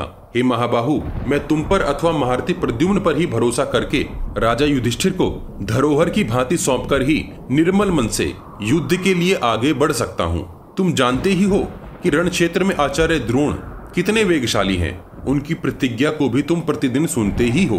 वे हर प्रकार से राजा युधिष्ठिर को कैद करने में समर्थ हैं। ऐसी अवस्था में धर्मराज की रक्षा का सारा भार मैं तुम पर ही रखकर आज सिंधुराज के वध के लिए जाऊँगा। युधिष्ठिर को अर्जुन की कही बात बताते हुए सात्यकी आगे बोले, यदि द्रोणाचार्य ने नर श्रेष्ठ युधिष्ठिर को कैद कर लिया, तब सिंधुराज का वध भी नहीं होगा। और निश्चित ही हम सभी को पुनः वन को जाना पड़ेगा। हमारी यह विजय क्षण भर में पराजय में बदल जाएगी। हे राजन, इस प्रकार द्रोणाचार्य से निरंतर भय को जानकर सव्यसाची अर्जुन ने आपको मेरे पास धरोहर के रूप में रख छोड़ा है। अर्जुन मुझे भी द्रोणाचार्य से युद्ध करने के लिए समर्थ योद्धा मानते हैं और राजन, मैं भी रुक्मिणी नंदन प्रद्युम्न के सिवाय यहाँ कोई ऐसा वीर नहीं देख पा रहा हूँ जो द्रोणाचार्य का सामना कर सके। हे राजन, मैं ना तो अपने गुरु अर्जुन की अवहेलना कर सकता हूँ और ना ही आपके कथन की। द्रोणाचार्य अमेघ कवच से सुरक्षित हैं। वे आपको अत्यंत फुर्ती से पकड़कर इस प्रकार नाचेंगे, जैसे बालक अकस्मात ही किसी पक्षी को पकड़कर नाच पड़ता है। यदि यहाँ मकर ध्वज प्रद्युम्न उपस्थित होते तो मैं निसंकोच आपको उन्हें सौंपकर भीतर व्यूह में प्रवेश कर जाता। क्या यहाँ आप अपनी रक्षा का प्रबंध स्वयं कर सकते हैं? मेरे जाने के उपरांत आप यहाँ किस योद्धा को द्रोणाचार्य से युद्ध करने के लिए उपयुक्त मानते हैं? हे राजन आप अर्जुन की ओर से चिंता न करें। वे शत्रुओं के महासंकट का भार उठाकर भी कभी थकते नहीं हैं। जो सौवीर, सिंधु, पूर्व देश के योद्धा हैं, उत्तर और दक्षिण के महारथी हैं, तथा कर्ण आदि श्रेष्ठ रथी योद्धा हैं, वे सब कुपित हुए, अर्जुन की सोलहवीं कला के बराबर भी नहीं है। हे महाराज, ऐसा जानकर अर्जुन के विषय में आपका भय दूर हो जाना चाहिए। जहाँ सत्य पराक्रमी महाधनुर्धारी, वे दोनों अर्थात अर्जुन और श्री कृष्ण उपस्थित हैं। वहाँ पर किसी कर्म में कोई विघ्न नहीं पड़ सकता। आप अर्जुन के विभिन्न गुणों के बारे में चिंतन कीजिए। जब मैं आपको छोड़कर अर्जुन के पास चला जाऊँगा, तब द्रोणाचार्य जिन विभिन्न अस्त्रों का प्रयोग करेंगे, उन पर भी आप भली प्रकार विचार कर लीजिए। द्रोणाचार्य की प्रतिज्ञा का एक ही लक्ष्य है, आपको कैद करना। मैं आपको इस युद्ध में किसी अन्य समर्थ वीर के संरक्षण में छोड़े बिना कहीं नहीं जाऊँगा। मैं यह सच्ची बात आपसे कहता हूँ। हे बुद्धिमानों में श्रेष्ठ महाराज, आप अपनी बुद्धि से इस विषय में विचार करें और आपको जो भी मंगल कृत्य जान पड़े, उसके लिए मुझे आज्ञा दीजिए। युधिष्ठिर बोले, हे महाबाहो सात्विके तुम्हारे कथन उचित हैं, किंतु मेरा चित्त अर्जुन के लिए निश्चिंत नहीं हो रहा। मैं अपनी रक्षा स्वयं ही कर लूँगा और तुम्हें आज्ञा देता हूँ कि तुम जहाँ अर्जुन है, वहाँ शीघ्रता से आगे बढ़ो। मैंने बुद्धि से विचार कर, यह निष्कर्ष निकाला है कि इस समय तुम्हारा अर्जुन के पास जाना ही उचित है। यहाँ मेरी रक्षा, महाबली भीमसेन कर लेंगे। भीम सहित दृष्टद्युम्न, अन्य महाबली राजे तथा द्रौपदी के पाँचों पुत्र, मेरी भली प्रकार रक्षा कर लेंगे। पाँचों के कई भाई, घटोत्कच, राजा विराट, द्रुपद, महारथी शिखंडी दृष्ट केतु मामा कुंती भोज, नकुल, सहदेव यह सभी सावधान होकर निसंदेह मेरी रक्षा करेंगे। सेना सहित द्रोणाचार्य और कृतवर्मा युद्ध स्थल में मेरे पास नहीं पहुँच सकेंगे और वे न ही मुझे प्राप्त ही कर सकेंगे। पराक्रमी दृष्टिद्युम्न समरांगण में कुपित हो द्रोणाचार्य को अपने पराक्रम से आगे बढ़ने से रोक देगा। यह दृष्टिद्युम्न द्रोणाचार्य का नाश करने के लिए ही कवच, धनुष, बाण, खड़ग और श्रेष्ठ आभूषणों के साथ अग्नि से प्रकट हुआ है। अतः शिनी नंदन तुम निश्चिंत होकर जाओ और मेरे लिए संदेह मत करो। दृष्टिद्युम्न रण क्षेत्र में कुपित हुए द्रोणाचार्य को निश्चित ही रोके रखेगा। जब युधिष्ठिर ने सात्विकी को अर्जुन की सहायता के लिए व्यू के भीतर जाने को कहा, तब सात्विकी के मन में एक आशंका का उदय हुआ। सात्विकी सोचने लगे कि मैं अगर यहाँ धर्मराज को अकेला छोड़कर चला जाऊँगा तो मुझसे अर्जुन अत्यंत अप्रसन्न हो जाएँगे और यदि मैं अर्जुन की सहायता के लिए नहीं जाऊँगा तो लोग मुझे डरपोक समझकर संसार में मेरी निंदा करेंगे। तब सात्विकी ने युधिष्ठिर से कहा, महाराज, यदि आपको लगता है कि आपने अपनी रक्षा का प्रबंध कर लिया है तो हे राजन, आपका कल्याण हो। मैं आपकी आज्ञा अनुसार जहाँ अर्जुन उपस्थित है, वहाँ जाता हूँ। हे राजन, तीनों लोकों में मुझे अर्जुन से प्रिय कोई नहीं है। जिस प्रकार अर्जुन का वाक्य मेरे लिए मान्य है, वैसे ही आपका वचन भी मेरे लिए उससे अधिक मान्य है।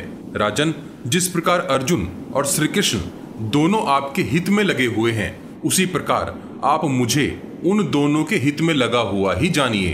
हे राजन, जहाँ अर्जुन से डरा हुआ जयद्रथ, अश्वत्थामा, कर्ण और कृपाचार्य की रक्षा पाकर खड़ा हुआ है, वह स्थान यहाँ से बारह कोस की दूरी पर जान पड़ता है। मैं अपने मन को अत्यंत दृढ़ करके जयद्रथ के मारे जाने से पहले ही अर्जुन के समीप पहुँच जाऊँगा और वहाँ पहुंचकर शक्ति, गदा, प्रास, ढाल, तोमर आदि अस्त्रों से उस सेना सागर को मथ डालूँगा। सात्यकी, सामने खड़ी सेना का परिचय देते हुए बताते हैं। हे राजन, आप जो ये सामने खड़ी सहस्त्रों हाथियों की सेना को देख रहे हैं, उस सेना के हाथी अंजन जाति के हैं और अत्यंत पराक्रमी हैं। इनके ऊपर बैठे अत्यंत युद्ध कुशल अनेकों मलेच्छ हाथीवान जब इनको आगे बढ़ाते हैं, तब ये भले ही मारे जाएँ, किंतु पीछे नहीं हटते। हे राजन, इनके सामने जो सहस्त्र रथी, राजकुमार खड़े हैं, वे अस्त्र छोड़ने तथा हाथियों पर चढ़ने में अत्यंत निपुण हैं। ये सब मल्ल युद्ध खड़ग युद्ध ढालका युद्ध तथा संपात युद्ध करने में अति चतुर हैं। ये सब वीर युद्ध विद्या को जानते हैं तथा परस्पर एक दूसरे से स्पर्धा भी रखते हैं। हिराजन इनको कर्ण ने अस्त्र विद्या में निपुण बनाकर तैयार किया है तथा ये दुशासन के शासन में चलते हैं। इन श्रेष्ठ रथियों की श्री कृष्ण भी सराहना करते हैं तथा ये सब राजकुमार कर्ण का हित चाहने वाले और सदा ही उसी के वश में रहते हैं। ये सब योद्धा कर्ण के आदेश अनुसार व्यू के भीतर जाते अर्जुन से नहीं लड़े थे, इसलिए दृढ़ कवच और धनुष धारण करने वाले ये सभी राजकुमार जरा भी थके हुए तथा घबराए हुए नहीं हैं। किंतु धृतराष्ट्र के पुत्र की आज्ञा से ये सब तैयार होकर मुझसे ही लड़ने के लिए यहाँ खड़े हैं। मैं आपका हित करने के लिए पहले इन सबको नष्ट करूँगा। उसके उपरांत अर्जुन की ओर आगे बढ़ूँगा।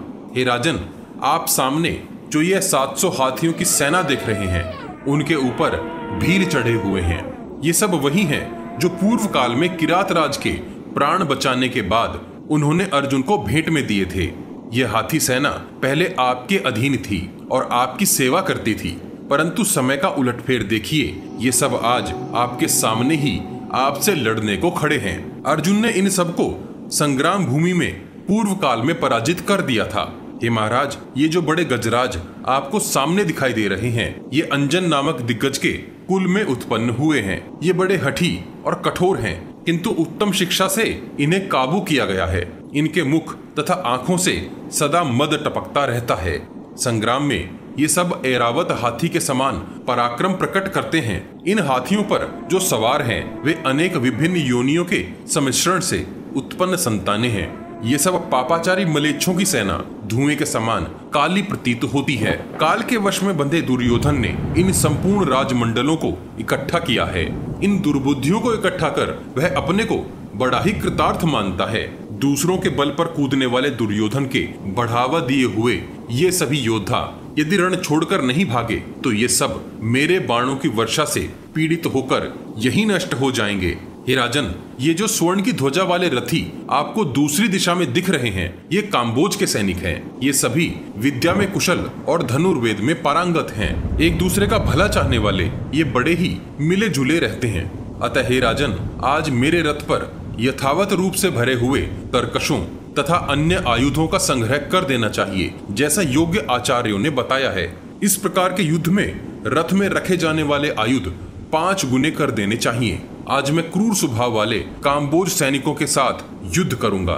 साथ ही विष के समान घातक प्रहार करने वाले किरात योद्धाओं के साथ भी संग्राम करूँगा, जिनका राजा दुर्योधन ने सदा ही लालन पालन किया है।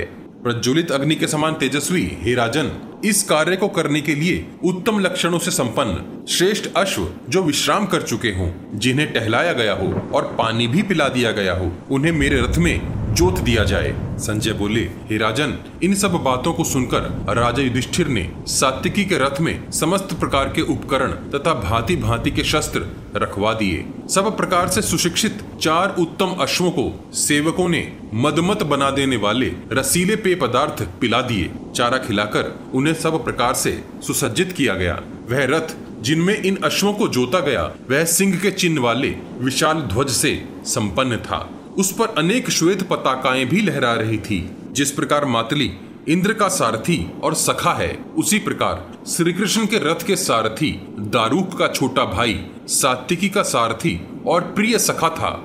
उसने सात्विकी को सूचना दी कि रथ पूर्ण रूप से तैयार है।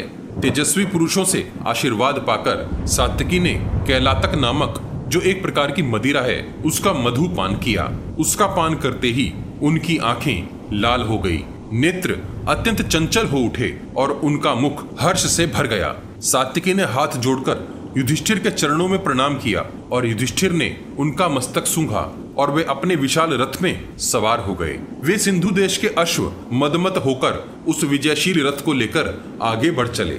उधर भीमसेन भी युधिष्ठिर को प्रणाम करके सात्विकी के साथ चलने लगे।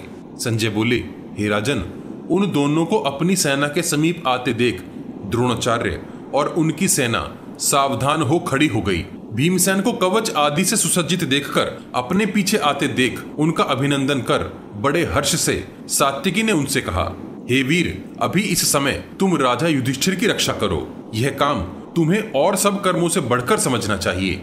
मैं स्वयं ही इस खंडित सेना की पंक्तियाँ तोड़कर उसमें प्रवेश कर जाऊँगा। हम दोनों एक दूसरे के पराक्रम को जानते हैं। भीमसेन यदि तुम मेरा प्रिय काम करना चाहते हो तो इस समय राजा युधिष्ठिर की रक्षा के लिए लौट जाओ।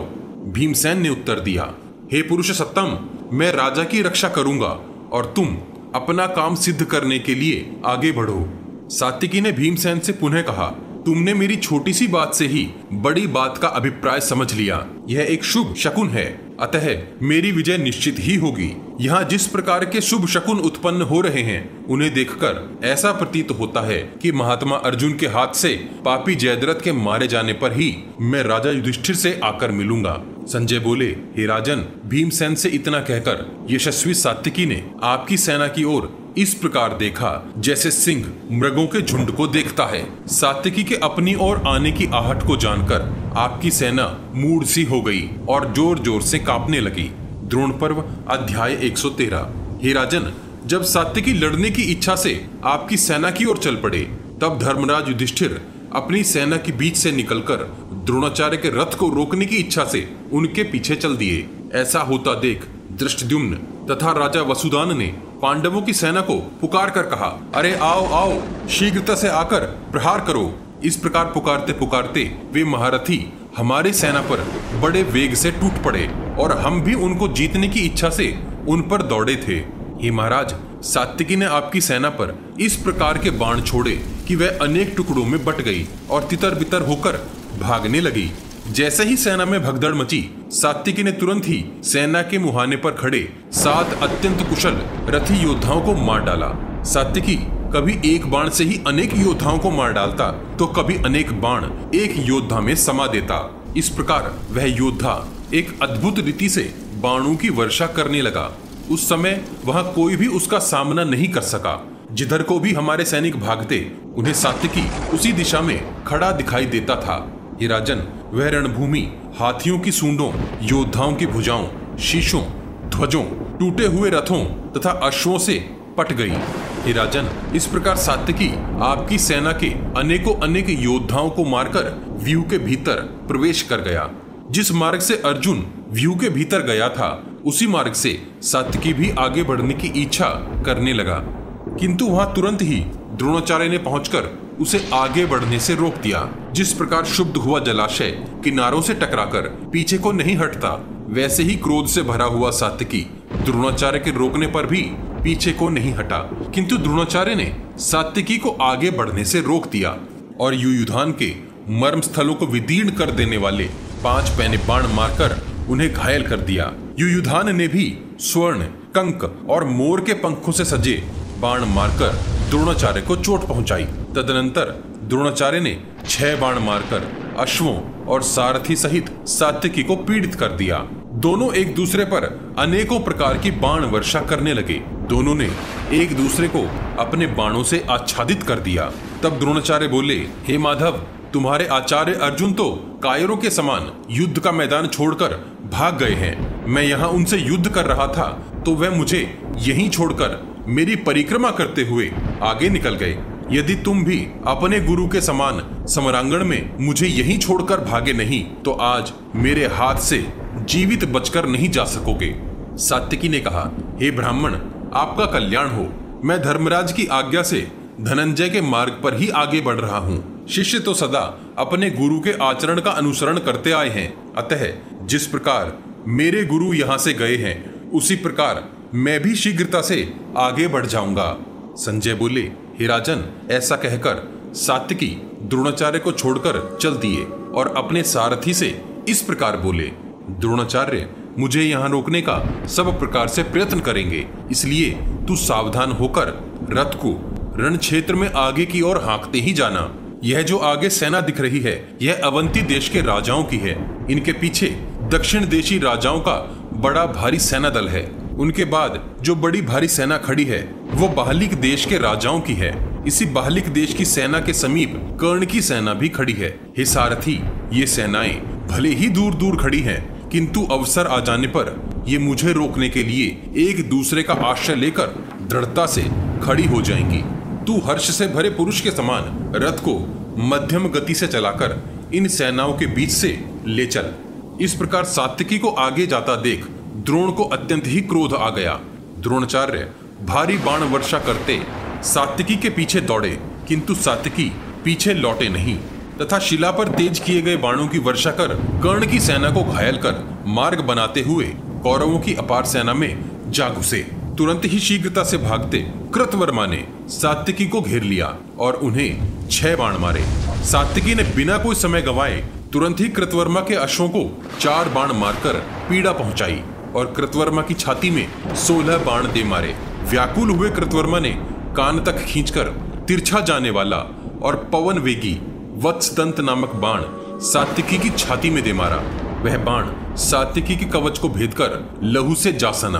अस्त्रों के बड़े भारी विद्वान कृतवर्मा ने बहुत से बाण छोड़कर सात्विकी के धनुष और उसके चलाए गए बाणों को काट डाला तथा सात्विकी की छाती में दस बाण मारकर उसे भी घायल कर दिया।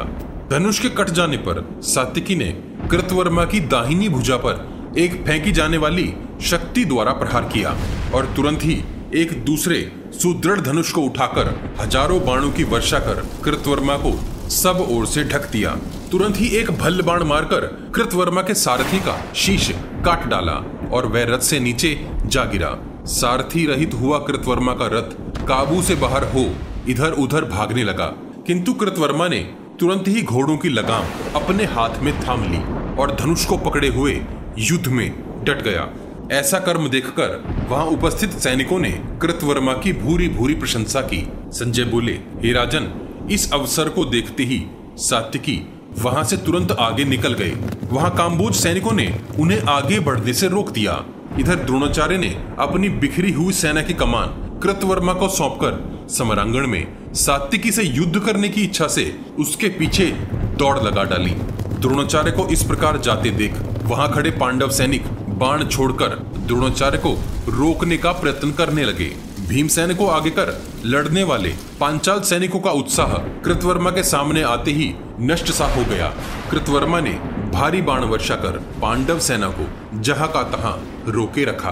द्रोण पर्व अध्याय 114 धृतराष्ट्र अपनी सेना की स्वयं ही बड़ाई करते हुए संजय से बोलने लगते हैं। धृतराष्ट्र ने संजय से कहा, हे संजय, मेरी सेना सदा पराक्रम दिखाने वाली, चुने हुए महान शूरवीरों से भरी पड़ी है। मेरी विशाल सेना बहुत अधिक उम्र वाले, बहुत कम उम्र वाले, छोटे कद वाले तथा भारी शरीर वाले पुरुषों से नहीं, अपितु लंबे, चौड़े, गठीले शरीर वाले योद्धाओं से भरी पड़ी है। पांडव सेना की अपेक्षा मेरी सेना अत्यंत प्रबल है। इसकी व्यू संरचना भी उत्तम शास्त्रीय विधियों के अनुसार ही की जाती है। हमारे सैनिक भी युद्ध कला में पांडवों से बढ़े चढ़े हैं। इन सब योद्धाओं के पास सबसे उत्तम शस्त्र तथा सर्वोत्तम कवच हैं और ये सब अनेक शस्त्र विद्याओं में निपुण हैं। आगे बढ़ने कूद कर प्रहार करने तथा समय पड़ने पर युद्ध में पलायन करने में भी कुशल हैं। इन सब की युद्ध कला को जानकर ही इन्हें सेना में भर्ती किया गया था और उसी हिसाब से इन्हें यथा योग्य वेतन दिया गया है।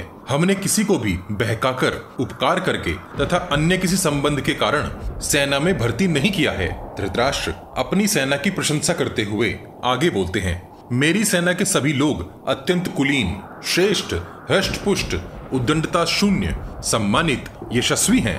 हमारा प्रिय करने की इच्छा से वे सब स्वेच्छा से ही हमारे पक्ष में आए हैं। इन अनेकों अनेक राजाओं के आने से हमारी सेना अगाध और अपार प्रतीत होती है। हमारे रथ पक्षियों के समान तीव्र गति से चलने वाले अश्वों से संपन्न हैं। विशाल गजराजों से संपन्न हमारी यह विशाल सेना यदि फिर भी शत्रुओं के द्वारा मारी ही गई है तो इसमें भाग्य के सिवा दूसरा भला क्या कारण हो सकता है? मेरी इस विशाल सेना में द्रोणाचार्य इसकी पाताल तक फैली हुई गहराई है। कृतवर्मा, इसमें उपस्थित महान हृदय के समान है।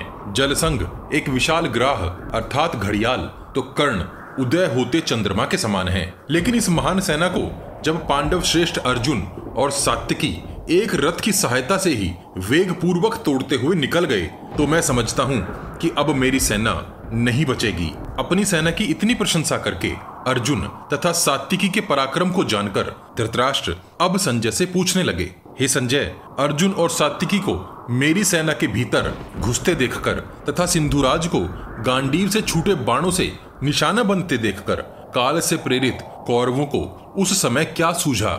मुझे लगता है कि उस समय काल ने कौरवों को अपना ग्रास बना लिया था।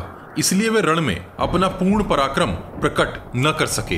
हे संजय श्री कृष्ण और अर्जुन बिना क्षतिग्रस्त हुए युद्ध स्थल में मेरी सेना के भीतर घुसते चले गए, परंतु कोई भी वीर उन दोनों को वहाँ रोकने वाला न निकला।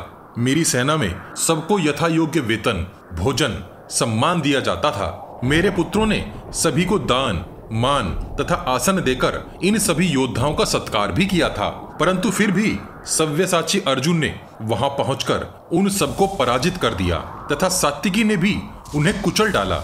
इन सब का दोष दुर्भाग्य के अलावा भला किसे दिया जा सकता है?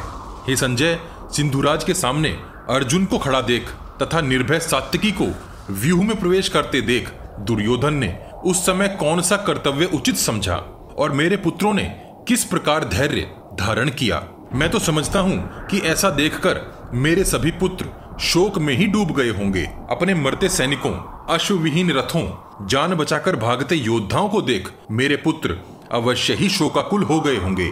द्रोणाचार्य तो अस्त्र विद्या में अत्यंत निपुण हैं। अश्वत्थामा भी पांचालों से दृढ़ता पूर्वक वैर बांधे हुए थे। उन्होंने वहाँ किस प्रकार युद्ध किया? सिंधुराज का वध करने के लिए अर्जुन ने जो जो उपाय किए, वह सब। हे संजय, तुम मुझसे कहो। अब संजय बोले, हे महाराज यह सारी विपत्ति आपको अपने ही अपराध के कारण प्राप्त हुई है।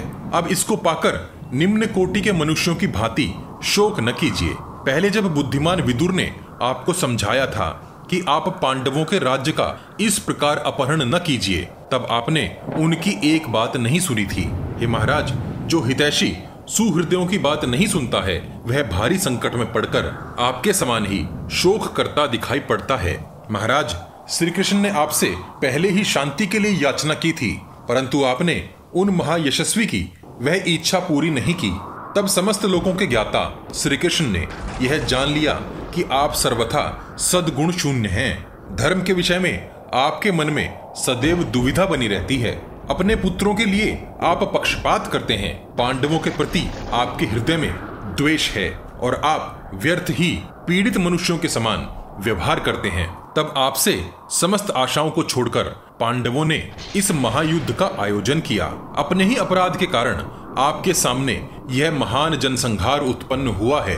आपको यह सारा दोष दुर्योधन पर नहीं मरना चाहिए। हे भारत, मुझे तो आगे, पीछे अथवा बीच में आपका कोई भी शुभ कर्म दिखाई नहीं पड़ता। इस पराजय की जड़ आप ही हैं, इसलिए स्थिर होकर देवासुर संग्राम के समान इस भयंकर कौरव पांडव युद्ध का यथार्थ वृतांत सुनिए। जब सात्विकी कौरव सेना के भीतर घुस गए, तब कुंती कुमारों ने आपकी विशाल सेना पर आक्रमण कर दिया। सहसा आक्रमण करने वाले उन पांडवों को रण क्षेत्र में आपके पक्ष के एकमात्र महारथी कृतवर्मा ने ही रोका था। वहाँ हमने कृतवर्मा का अद्भुत पराक्रम देखा था। सारे पांडव एक साथ मिलकर भी उस समरांगण में उस एकमात्र योद्धा को लांग न सके।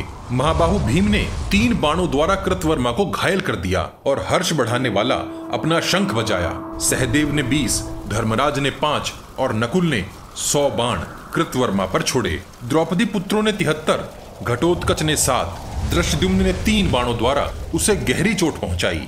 इधर विराट और द्रुपद ने भी पाँच पाँच बाणों द्वारा उसे घायल कर दिया। फिर शिखंडी ने पहले पाँच और फिर बीस बाणों द्वारा कृतवर्मा को बींद डाला। हे महाराज, तभी कृतवर्मा ने अपना पराक्रम प्रकट किया। उन्होंने चारों ओर बाण चलाकर उन सभी योद्धाओं को पाँच पाँच बाणों द्वारा बींद डाला और भीमसेन की धनुष और ध्वजा को काटकर भूमि पर गिरा दिया। जैसे ही भीमसेन का धनुष कटा, कृतवर्मा ने अति शीघ्रता करते हुए सत्तर पैने बाणों द्वारा भीमसेन पर आघात किया। उस आघात से भीमसेन भूकंप के समय हिलने वाले पर्वत के समान कांपने लगे। भीमसेन की ऐसी अवस्था देखकर धर्मराज और अन्य महारथी योद्धाओं ने कृतवर्मा पर बाणों की झड़ी लगा दी। भीमसेन की रक्षा के लिए पांडव योद्धाओं ने कृतवर्मा को कोष्ठबद्ध सा करके उन पर आघात करने शुरू कर दिए। इसी बीच भीमसेन को जैसे ही चेतना आई, उन्होंने स्वर्ण में दंड से बनी एक लोहे की बनी शक्ति हाथ में ली और उसे कृतवर्मा के रथ की ओर छोड़ दिया। कृतवर्मा के रथ के समीप जाते ही वह शक्ति प्रज्वलित हो उठी और भयंकर अग्नि को उत्पन्न करने लगी। कृतवर्मा ने दो बाण चलाकर उस प्रलय काल की शक्ति के दो टुकड़े कर डाले और वह भूमि पर दो उल्का पिंडों के समान जा गिरी। ऐसा होता देख भीमसेन को अत्यंत क्रोध आ गया और उन्होंने दूसरा बलशाली धनुष उठाकर उस पर बड़ी भारी टंकार दी और बिना कोई क्षण गंवाए कृतवर्मा की छाती में पाँच बाण दे मारे। उस भयंकर आघात से कृतवर्मा का शरीर लहू से लथपथ सा हो गया और लाल पुष्पों वाले अशोक के वृक्ष के समान सुशोभित तो होने लगा। किंतु बिना डगमगाए उस महाधनुर्धर ने क्रोध से भरकर तीन बाणों द्वारा भीमसेन पर आघात किया और अन्य सभी महारथियों को भी तीन तीन बाणों से बींच डाला। जवाब में उन महारथियों ने भी कृतवर्मा पर अनेक बाण छोड़े। कृतवर्मा ने हँसते हुए सम्रांगण में एक शुरप्र बाण द्वारा शिखंडी का धनुष काट डाला। धनुष के कट जाने पर शिखंडी ने तुरंत ही एक चमकीली ढाल, जिस पर सौ चंद्रमाओं के चिन्ह बने थे, और तलवार हाथ में उठा ली। शिखंडी ने बड़े वेग से वह तलवार घुमाकर कृतवर्मा के रथ की ओर दे मारी। उस खड़ग का आघात इतना सटीक और बलशाली था कि वह कृतवर्मा के बाण सहित धनुष को काटकर भूमि में समा गया। मौका मिलते ही उन पांडव योद्धाओं ने कृतवर्मा पर अनेक बाण बरसा डाले। कृतवर्मा ने तुरंत ही दूसरा धनुष हाथ में लिया और उन पांडव योद्धाओं के बाणों को काटकर सभी को तीन तीन बाण मारकर घायल कर दिया। उधर शिखंडी ने दूसरा धनुष हाथ में लेकर कछुए के नाखूनों के समान धार वाले बाणों द्वारा कृतवर्मा पर आघात किया। महात्मा भीष्म की मृत्यु के कारण महारथी बने शिखंडी पर कृतवर्मा ने एक सिंह की भांति आक्रमण किया, जिस प्रकार दो अलग अलग सूर्य अपनी किरणों का विस्तार करते हैं, उसी प्रकार वे दोनों वीर अपने श्रेष्ठ धनुष हवा में हिलाते हुए एक दूसरे पर सैकड़ों बाणों का संधान करने लगे। कृतवर्मा ने शिखंडी पर पहले तिहत्तर बाणों की झड़ी लगा दी और फिर सात बाणों से उन्हें क्षत विक्षत कर डाला। उन बाणों के प्रहार से शिखंडी व्यथित और मूर्छित हो धनुष त्याग कर रथ की बैठक में बैठ गया। हे महाराज, रण क्षेत्र में शिखंडी को इस प्रकार विषाद ग्रस्त देखकर आपके सैनिक कृतवर्मा की हवा में वस्त्र हिलाकर प्रशंसा करने लगे। तुरंत ही शिखंडी का सारथी रथ को युद्ध क्षेत्र से बाहर ले गया। ऐसा होता देख समस्त पांडव योद्धाओं ने कृतवर्मा को चारों तरफ़ से घेरने की कोशिश की। वहाँ महारथी कृतवर्मा ने एक अद्भुत पराक्रम प्रकट किया। बाणों की भयंकर वर्षा करके चेदी देश के सैनिकों को परास्त कर दिया। फिर पांचालों को परास्त किया। फिर महापराक्रमी केकयो को भी हरा दिया। कृतवर्मा के बाणों की मार खाकर पांडव सैनिक इधर उधर भागने लगे। कृतवर्मा, पांडव आदि योद्धाओं को जीतकर रणभूमि में अग्नि के समान शोभा पाने लगा। ऐसा लगा कि पांडव योद्धाओं ने युद्ध से मुँह मोड़ लिया हो। द्रोण पर्व, अध्याय 115 संजय बोले, हे राजन आप मुझसे जो पूछ रहे हैं, उसे एकाग्रचित्त होकर सुनते रहिए। जब कृतवर्मा ने अकेले ही समस्त पांडव सेना को नतमस्तक कर दिया, तब उस दिशा में कौरव सैनिकों का भयंकर सिंहनाद होने लगा। उस सिंहनाद की भयंकर ध्वनि सात्विकी तक भी पहुँची, जिसे सुनते ही सात्विकी ने सारथी से कहा, हे सूत, तुम इस रथ को तुरंत घुमाकर कृतवर्मा के समीप ले चलो। ऐसा प्रतीत होता है कि उसने पांडव सेना में भयंकर संहार मचा रखा है। हे सारथी, उसे जीतने के पश्चात ही मैं अर्जुन के पास चलूँगा। ऐसा सुनते ही उस उत्तम सारथी ने पलक झपकते झपकते ही वह रथ कृतवर्मा के समीप पहुँचा दिया। जैसे ही कृतवर्मा ने देखा कि सात्विकी वहाँ आ पहुँचा है, उसने तुरंत ही पैने बाणों की वर्षा आरंभ कर दी। इसे देखते देखते ही सात्विकी का क्रोध सातवें आसमान पर चढ़ गया। सात्विकी ने एक अत्यंत सदा हुआ भल्ल बाण कृतवर्मा की ओर छोड़ा और उसके पीछे ही चार बाण और छोड़े। उन सधे हुए चार बाणों ने कृतवर्मा के चारों अश्वों को यमलोक भेज दिया। बिना विलंब के छोड़े हुए सधे हुए बाणों से कृतवर्मा का धनुष काट डाला और उसके सारथी को भी शत विक्षत कर दिया। जैसे ही कृतवर्मा रथ विहीन हुआ, सात्विकी ने उसकी सेना को पीड़ित करना आरंभ कर दिया। भारी बाण वर्षा से उसकी सेना वहाँ से भाग खड़ी हुई, बिना कोई क्षण गवाए, सत्य पराक्रमी, सात्विकी, तुरंत ही अर्जुन की ओर आगे बढ़ गए।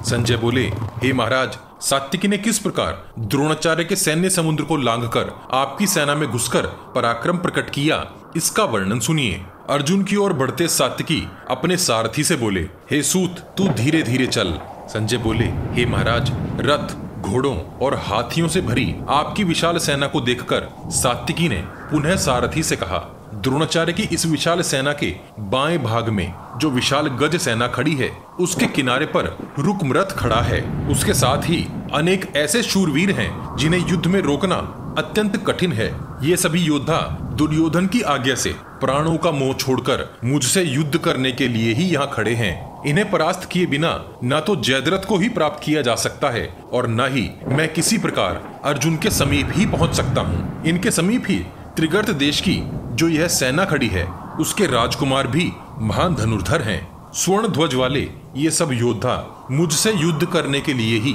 मेरी और मुँह करके खड़े हैं। हे सारथे, तुरंत ही अपने अश्वों को हाँको और मुझे शीघ्रता से इनके समीप ले चलो। आज मैं द्रोणाचार्य के देखते देखते ही इन त्रिगर्तों के साथ युद्ध करूँगा। सात्विकी के कहे अनुसार, सारथी उस चांदी के समान श्वेत रथ को हाँकने लगा। उस रथ के अश्व उछलते हुए रथ का भार वहन करते थे। सात्विकी को इस प्रकार आते देख त्रिगर्त देश के उन वीरों ने सब ओर से उसे अपनी गज सेना से घेर लिया और उस पर बाण वर्षा आरंभ कर दी जिस प्रकार मेघ पर्वतों पर जल बरसाते हैं, उसी प्रकार की बाण वर्षा सात्विकी ने त्रिगर्तों की गज सेना पर कर डाली।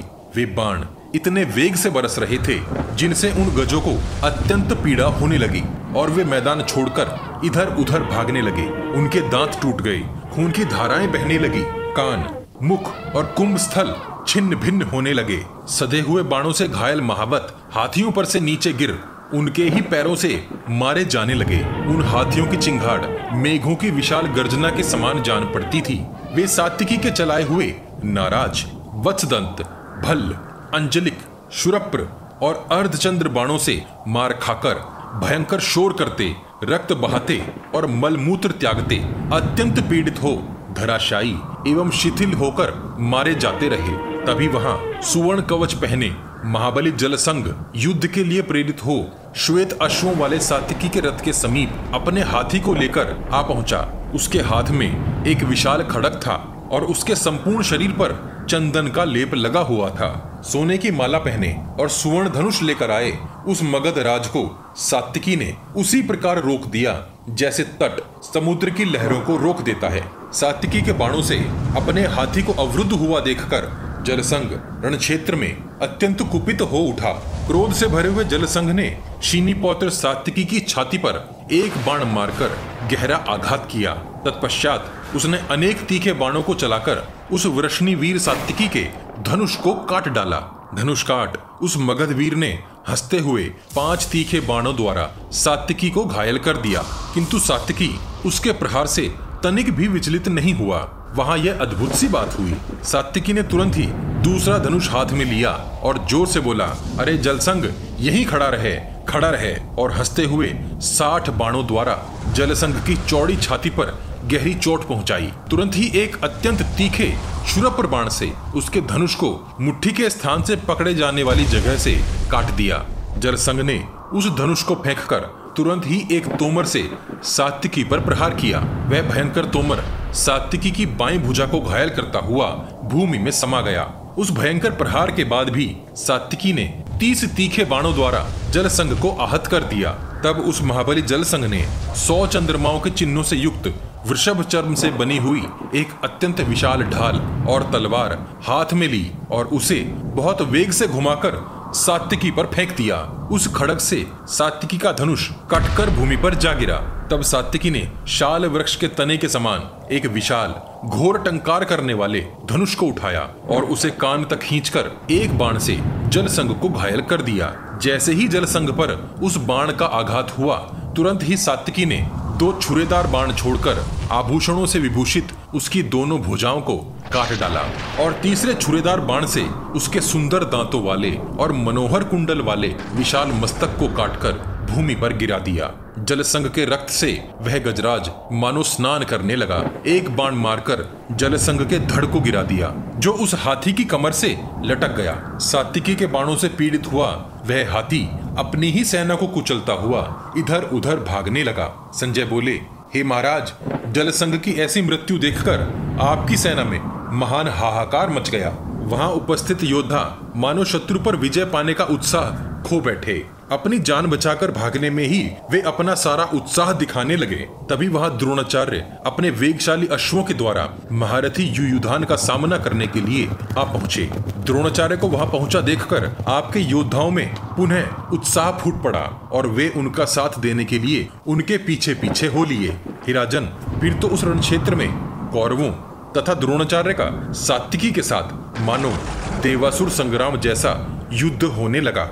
द्रोण पर्व, अध्याय 116 संजय बोले, हे राजन, जब कृतवर्मा को युद्ध में पराजित कर सात्विकी वापस अर्जुन की सहायता के लिए व्यू के भीतर घुसने लगे, तब वहाँ द्रोणाचार्य उन्हें रोकने के लिए आ पहुँचे।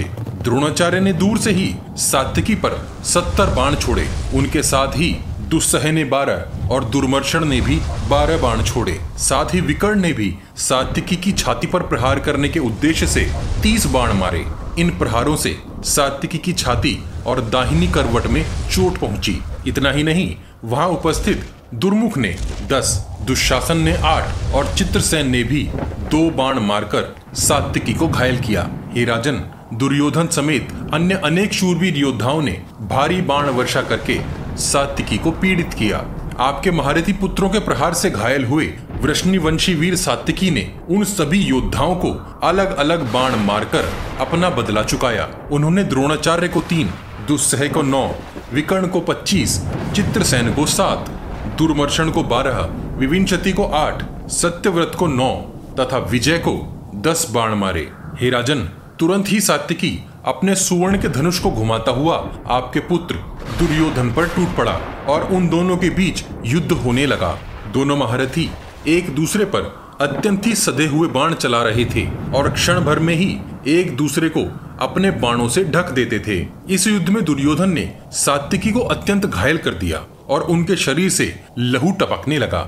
सात्विकी ने भी दुर्योधन पर अनेक बाण छोड़े और एक शुरप बाण मारकर दुर्योधन का धनुष काट डाला।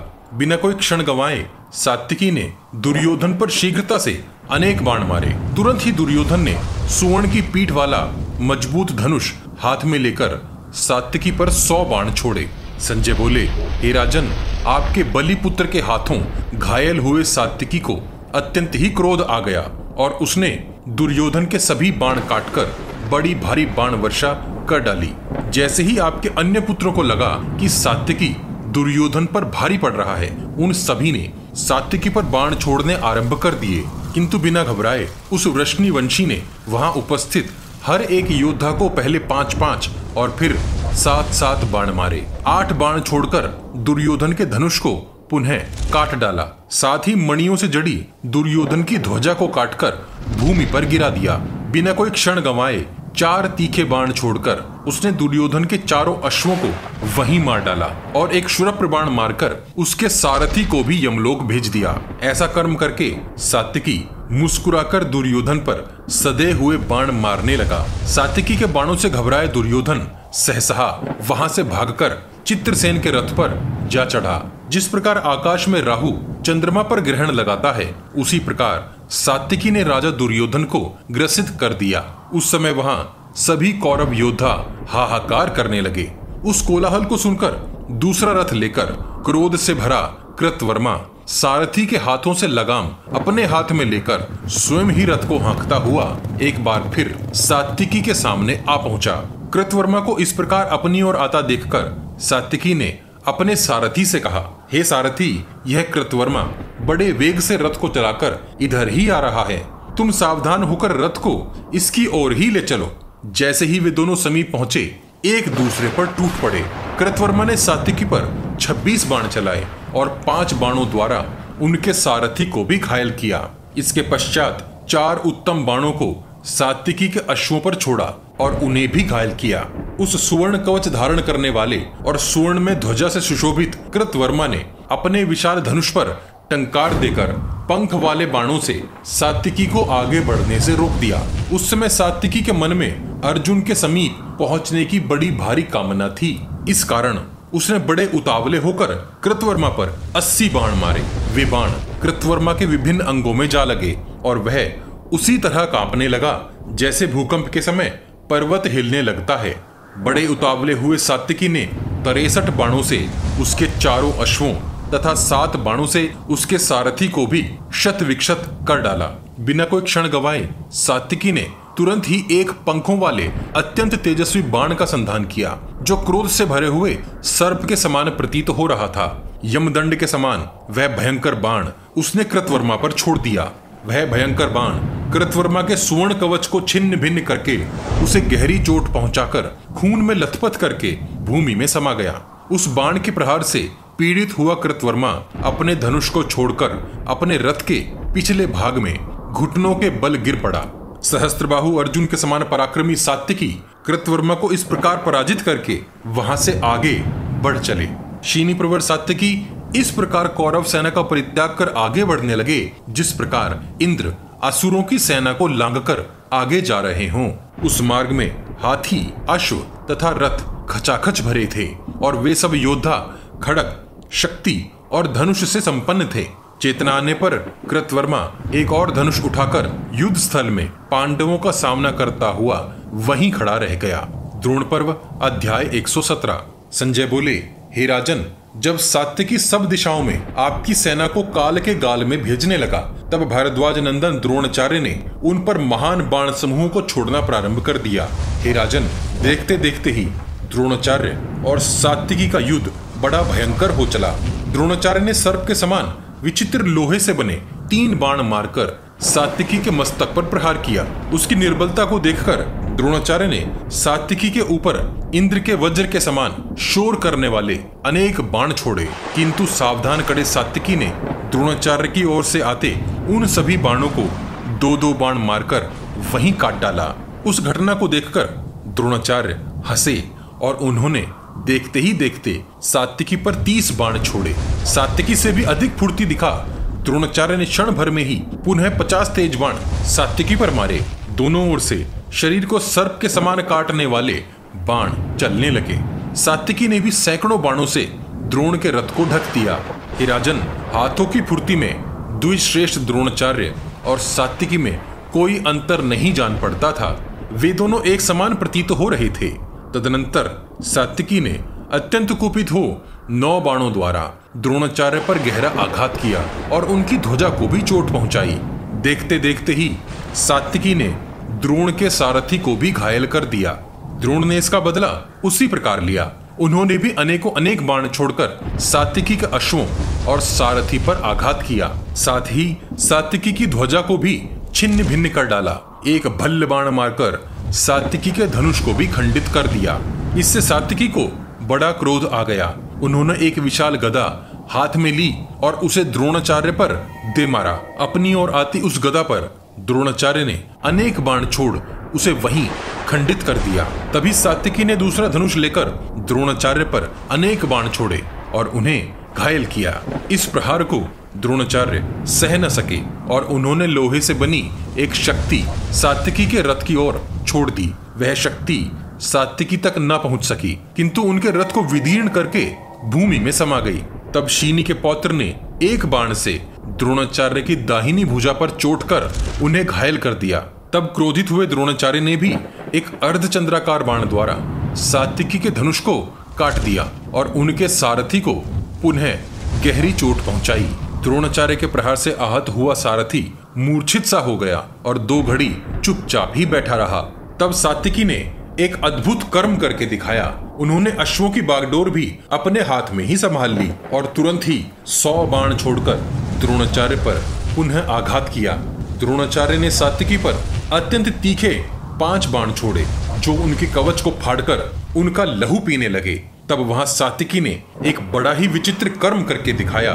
उन्होंने द्रोणाचार्य के सारथी पर आघात किया और उसे रथ से नीचे गिरा दिया और उनके अश्वों पर प्रहार करके उन्हें बिदका दिया। वह चांदी का बना रथ युद्ध स्थल में गोल गोल चक्कर काटने लगा। वहाँ उपस्थित समस्त राजा और राजकुमार पुकार कर चिल्लाने लगे, अरे दौड़ो! द्रोणाचार्य के अश्वों को थामो! वे सब सात्विकी को छोड़कर जहाँ द्रोणाचार्य थे, उस ओर दौड़ पड़े। सातिकी के बाणों से पीड़ित द्रोणाचार्य के अश्व उन्हें वहाँ से भगाकर पुनः व्यू के अग्रभाग में लेकर ही पहुँच गए। वह द्रोण ने अपने व्यू को पांडवों और पांचालों से भंग होते देखा तो सात्विकी को रोकने का प्रयत्न छोड़ दिया और वे पुनः व्यू की रक्षा करने लगे। क्रोध से भरे द्रोणाचार्य पांडवों और पांचालों को रोककर वहीं खड़े रहे और प्रलय काल के सूर्य की भांति प्रकाशित होने लगे। द्रोण पर्व अध्याय 118 संजय बोले, हे राजन, द्रोणाचार्य, कृतवर्मा तथा अन्य महारथियों को जीतकर सात्विकी ने अपने सारथी से हँसते हँसते कहा, हे सारथी श्री कृष्ण तथा अर्जुन ने इन शत्रुओं को पहले ही भस्म कर दिया था। हम तो केवल निमित्त मात्र हैं। इंद्र के पुत्र अर्जुन द्वारा मारे गए योद्धाओं को ही हम यहाँ मृत्यु में धकेल रहे हैं। इस प्रकार सात्विकी सारथी से बात करते करते मांस पर टूटे बाज के समान बाण बरसाते हुए, शत्रुओं पर प्रहार करते हुए आगे बढ़ रहे थे। उस समय कोई भी योद्धा उस असह सात्विकी को वहाँ रोक न सका। उस समय अत्यंत विचित्र युद्ध करने वाले सुवर्ण कवचधारी नृपश्रेष्ठ सुदर्शन ने अपनी ओर बढ़ते सात्विकी को क्रोध से भरकर वहाँ बलपूर्वक रोकने का प्रयास किया। कुछ क्षणों के लिए तो उनके बीच बड़ा भीषण युद्ध हुआ। सुदर्शन ने सात्विकी पर सैकड़ों तीक्ष्ण बाणों द्वारा एक भयंकर प्रहार किया। किंतु शिनी प्रवर ने उन सब बाणों को अपने पास आने से पहले ही काट डाला। इसी प्रकार सात्विकी भी सुदर्शन पर जिन जिन बाणों का प्रहार करते श्रेष्ठ रथ पर बैठे हुए सुदर्शन अपने बाणों द्वारा सात्विकी के बाणों के अनेक टुकड़े कर डालते। तब क्रोध से भरे सुदर्शन ने विचित्र बाणों का प्रहार सात्विकी पर आरंभ किया। उसने अग्नि के समान अनेक तेजस्वी बाण कान तक खींचकर सात्विकी पर छोड़े, जो सात्विकी के कवच को भेद कर उनके शरीर में जा घुसे। तब उस राजकुमार सुदर्शन ने चार तेजस्वी बाणों द्वारा सात्विकी के अश्वों को भी घायल कर दिया। उस प्रहार को देख सात्विकी अत्यंत क्रोध से भर गए और उन्होंने तीक्ष्ण बाण समूह सुदर्शन के अश्वों की तरफ़ छोड़े और वे अश्व वहीं परलोक पहुँच गए। सात्विकी ने बड़े ही उच्च स्वर में सिंहनाद किया। तब हे राजन, सात्विकी ने वज्र के समान एक शक्तिशाली भल्ल से सुदर्शन के सारथी का शीश काट डाला और बिना किसी विलंब के एक तेजस्वी छुरे से सुदर्शन के कुंडल मंडित शोभाशाली मस्तक को धड़ से अलग कर दिया। जिस प्रकार इंद्र ने बलासुर का मस्तक काट दिया था, उसी प्रकार सुदर्शन का मस्तक कटकर भूमि पर जा गिरा। उस विजय से सात्विकी अत्यंत प्रसन्न हुए। बाण समूह का संधान करते और सेना के बीच मार्ग बनाते हुए सात्विकी अति शीघ्रता से उसी दिशा की ओर चल पड़े, जिससे अर्जुन आगे बढ़े थे। जो भी उस मार्ग में सात्विकी के समक्ष आता, वह अग्निदेव की प्रचंड अग्नि के समान भस्म होता जा रहा था। द्रोण पर्व, अध्याय 119 संजय बोले, हे राजन, जब द्रोणाचार्य को हराकर और सुदर्शन का वध करके सात्विकी आगे बढ़ने लगे, तब उन्होंने अपने सारथी से पुनः कहा हे सारथी, असंख्य रथ, घोड़ों और हाथियों से भरी सेना, जिसमें अत्यंत उग्र, गर्जना करने वाले, महान अस्त्रों से संपन्न महारथी, जिन्हें महान योद्धा भी सुख से न छू सके, ऐसे जलसंघ की सेना, जिसमें राक्षस तक उपस्थित थे, उस सेना के महासागर से हम पार हो गए हैं। अब बाकी बची जो सेना है, उसे तो मैं उस नदी के समान पार कर लूँगा, जिसमें थोड़ा ही जल होता है। इसलिए तू अब अश्वों को धीरे धीरे चला। दुर्धुष वीर द्रोणाचार्य और योद्धाओं में श्रेष्ठ कृतवर्मा को युद्ध स्थल में जीतकर मुझे ऐसा लग रहा है कि इस समय सव्यसाची अर्जुन हमारे निकट ही है। जिस प्रकार वन को जलाने वाली अग्नि को आगे बढ़ने से कोई भय नहीं लगता, वैसे ही मुझे भी इस बहुत सी सेना को अपने समक्ष देखकर तनिक भी भय नहीं लग रहा।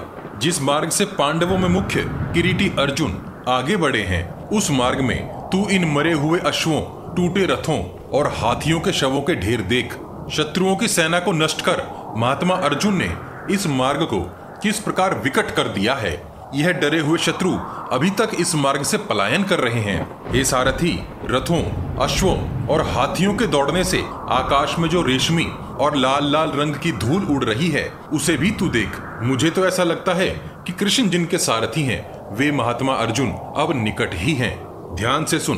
परम पराक्रमी अर्जुन के गांडीव धनुष का शब्द रह रहकर सुनाई दे रहा है। जिस तरह के शुभ लक्षण यहाँ उत्पन्न हो रहे हैं, ऐसा लगता है कि सूर्यास्त से पहले ही अर्जुन जयद्रथ को मार डालेंगे। हे सारथी धीरे धीरे अश्वों को आराम देते हुए उस ओर चल, जहाँ वह शत्रु सेना खड़ी है और जहाँ दुर्योधन सहित अन्य योद्धा उपस्थित हैं, जहाँ कवच धारण किए, क्रूर कर्म करने वाले काम्बोज धनुष बाण धारण किए, प्रहार करने में कुशल यवन, शक, किरात, दरद देश के बर्बर योद्धा, हाथों में भांति भांति के आयुध धारण किए खड़े हैं।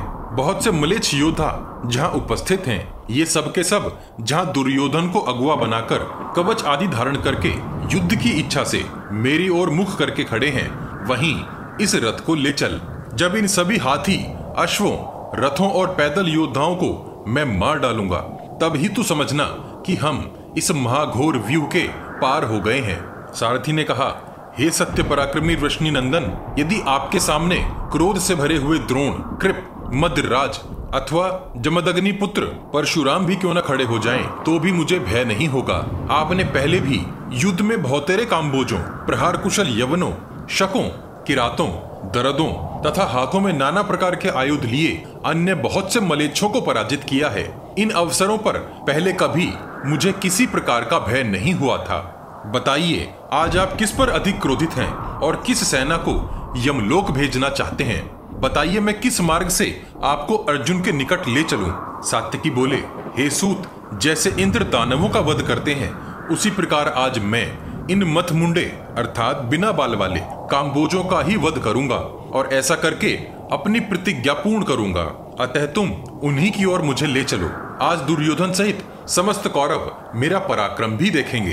अपनी सेना के भयंकर विनाश को देखकर आज दुर्योधन को बड़ा ही संताप होगा। श्वेत अश्वों के रथ वाले गुरुवर अर्जुन से मैंने जो विद्या सीखी है, उसको आज मैं दिखलाऊँगा। आज जब मैं चुन चुन कर योद्धाओं को मारूँगा, तब दुर्योधन को लगेगा कि इस जगत से एक दूसरा अर्जुन भी यहाँ आ पहुँचा है। पांडवों के प्रति मेरी कितनी भक्ति और कितना स्नेह है, आज मैं उसे प्रकट करके दिखाऊँगा। ऐसा देखकर दुर्योधन को आज बड़ा ही पश्चाताप होगा। संजय बोले, हे राजन, सात्विकी के सारथी ने उन चतुर, अति वेगशाली अश्वों को हाका। मन की गति के समान गतिमान, वे अश्व मानो आकाश में उड़कर यवन योद्धाओं के समक्ष जा खड़े हुए। अचानक सात्विकी को वहाँ आया देख और अपनी सेना में घुसता जानकर यवन योद्धा उस पर बाण बरसाने लगे।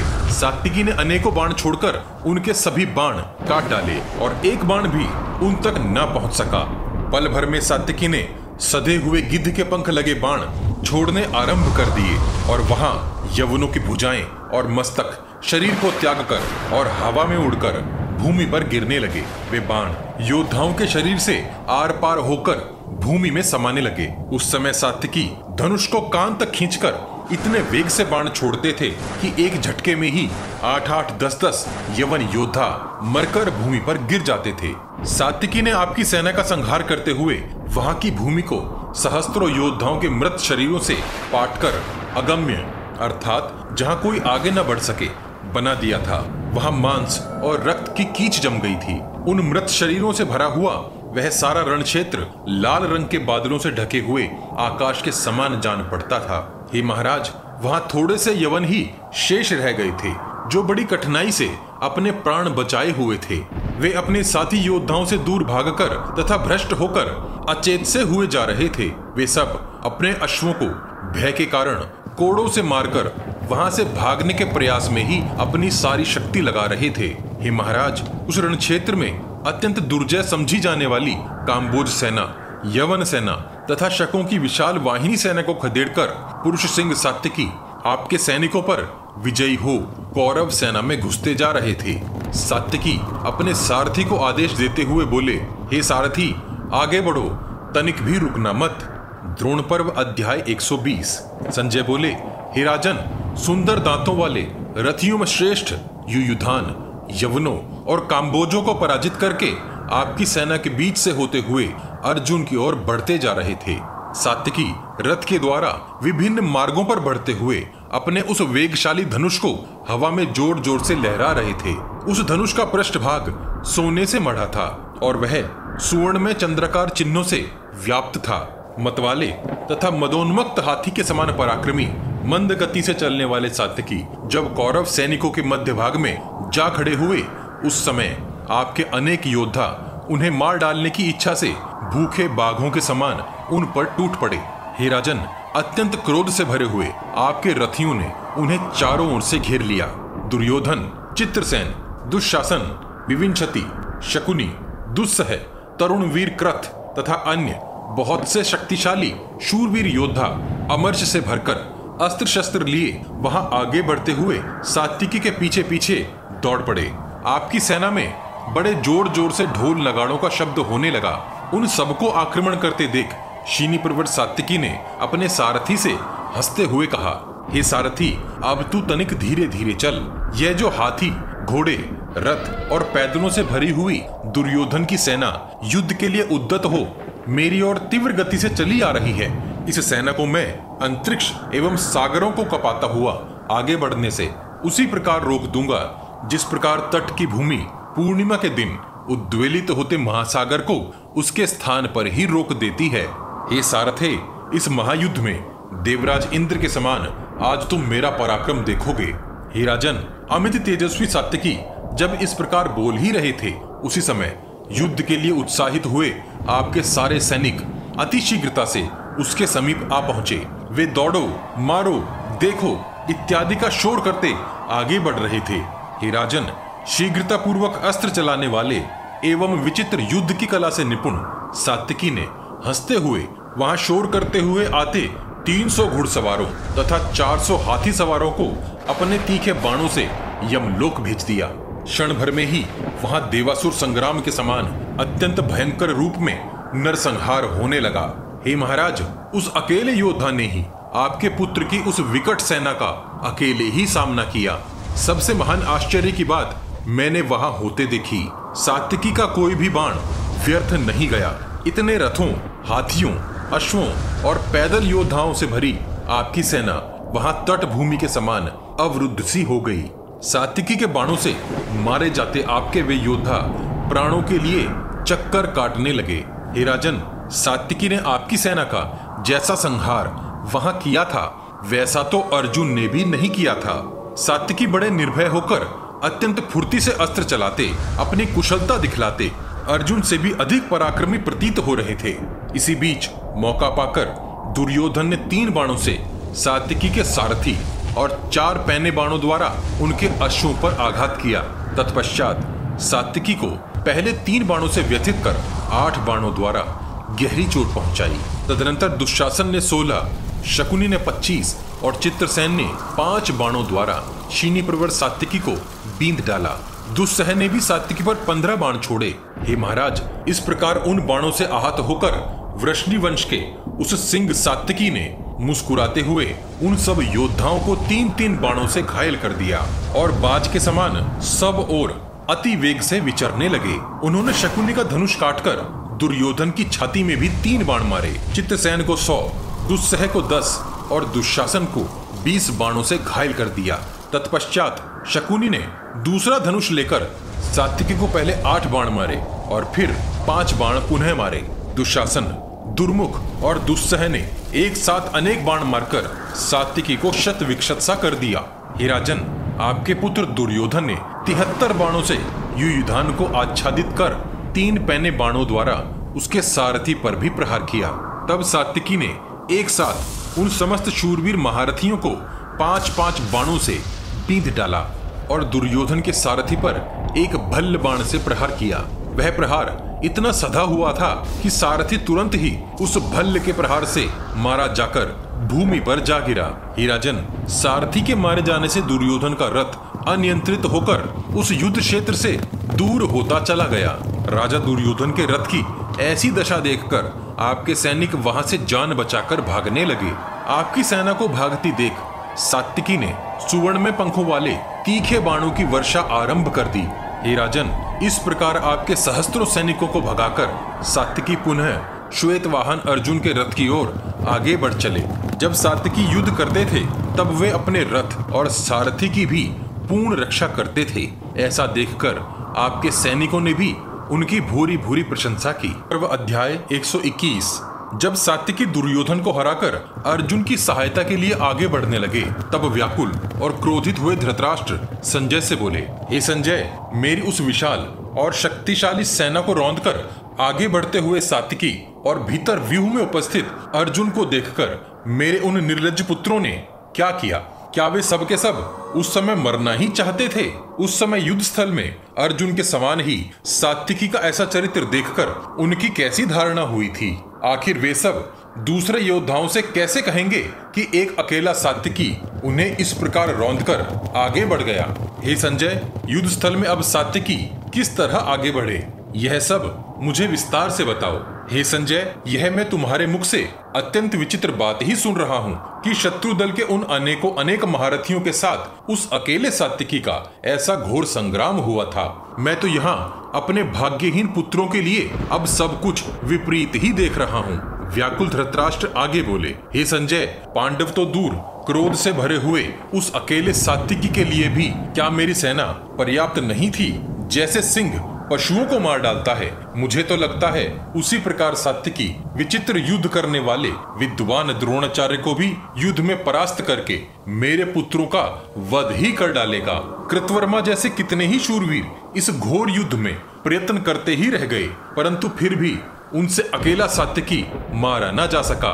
हे संजय, शिनी के इस महायशस्वी पौत्र ने वहाँ जैसा भयंकर युद्ध किया, वैसा तो अर्जुन ने भी नहीं किया था। संजय बोले, हे राजन, आपकी खोटी सलाह और दुर्योधन की काली करतूत से ही यह सब अनिष्ट हुआ है। अब मैं जो आपसे आगे कहता हूँ, उसे ध्यान से सुनिए। भागते संक्षप्तक योद्धा दुर्योधन के रोकने पर रुके और दुर्योधन को आगे कर, उन्हें दृढ़ निश्चय और क्रूर विचार करके युद्ध के लिए वापस लौटे। उनके साथ शक, काम्बोज, बाहलिक, यवन, पारद, पुलिंद, तंगण अम्बष्ट पैशाच, बर्बर तथा पर्वतीय योद्धा भी थे। हे राजन, पर्वतीय योद्धा हाथों में पत्थर लिए तथा 500 शूरवीर रथी सुसज्जित हो सात्विकी पर चढ़ाए। पीछे की पंक्ति में अन्य एक हज़ार रथी, एक सहस्त्र हाथी तथा दो सहस्त्र घुड़सवारों के साथ बहुत से महारथी और असंख्य पैदल सैनिक सात्विकी पर नाना प्रकार के बाणों की वर्षा करते हुए टूट पड़े। इस सात्विकी को मार डालो। इस प्रकार का शोर करने वाले उन सैनिकों को प्रेरित करते हुए दुशासन ने उन्हें चारों ओर से घेर लिया। वहाँ हमने सात्विकी का अद्भुत चरित्र देखा। इतनी सेना को आते देख, बिना किसी घबराहट के, उन्होंने रथ सेना और गज सेना का तथा उन समस्त घुड़सवारों तथा मलेच्छों का सब प्रकार से संहार कर डाला।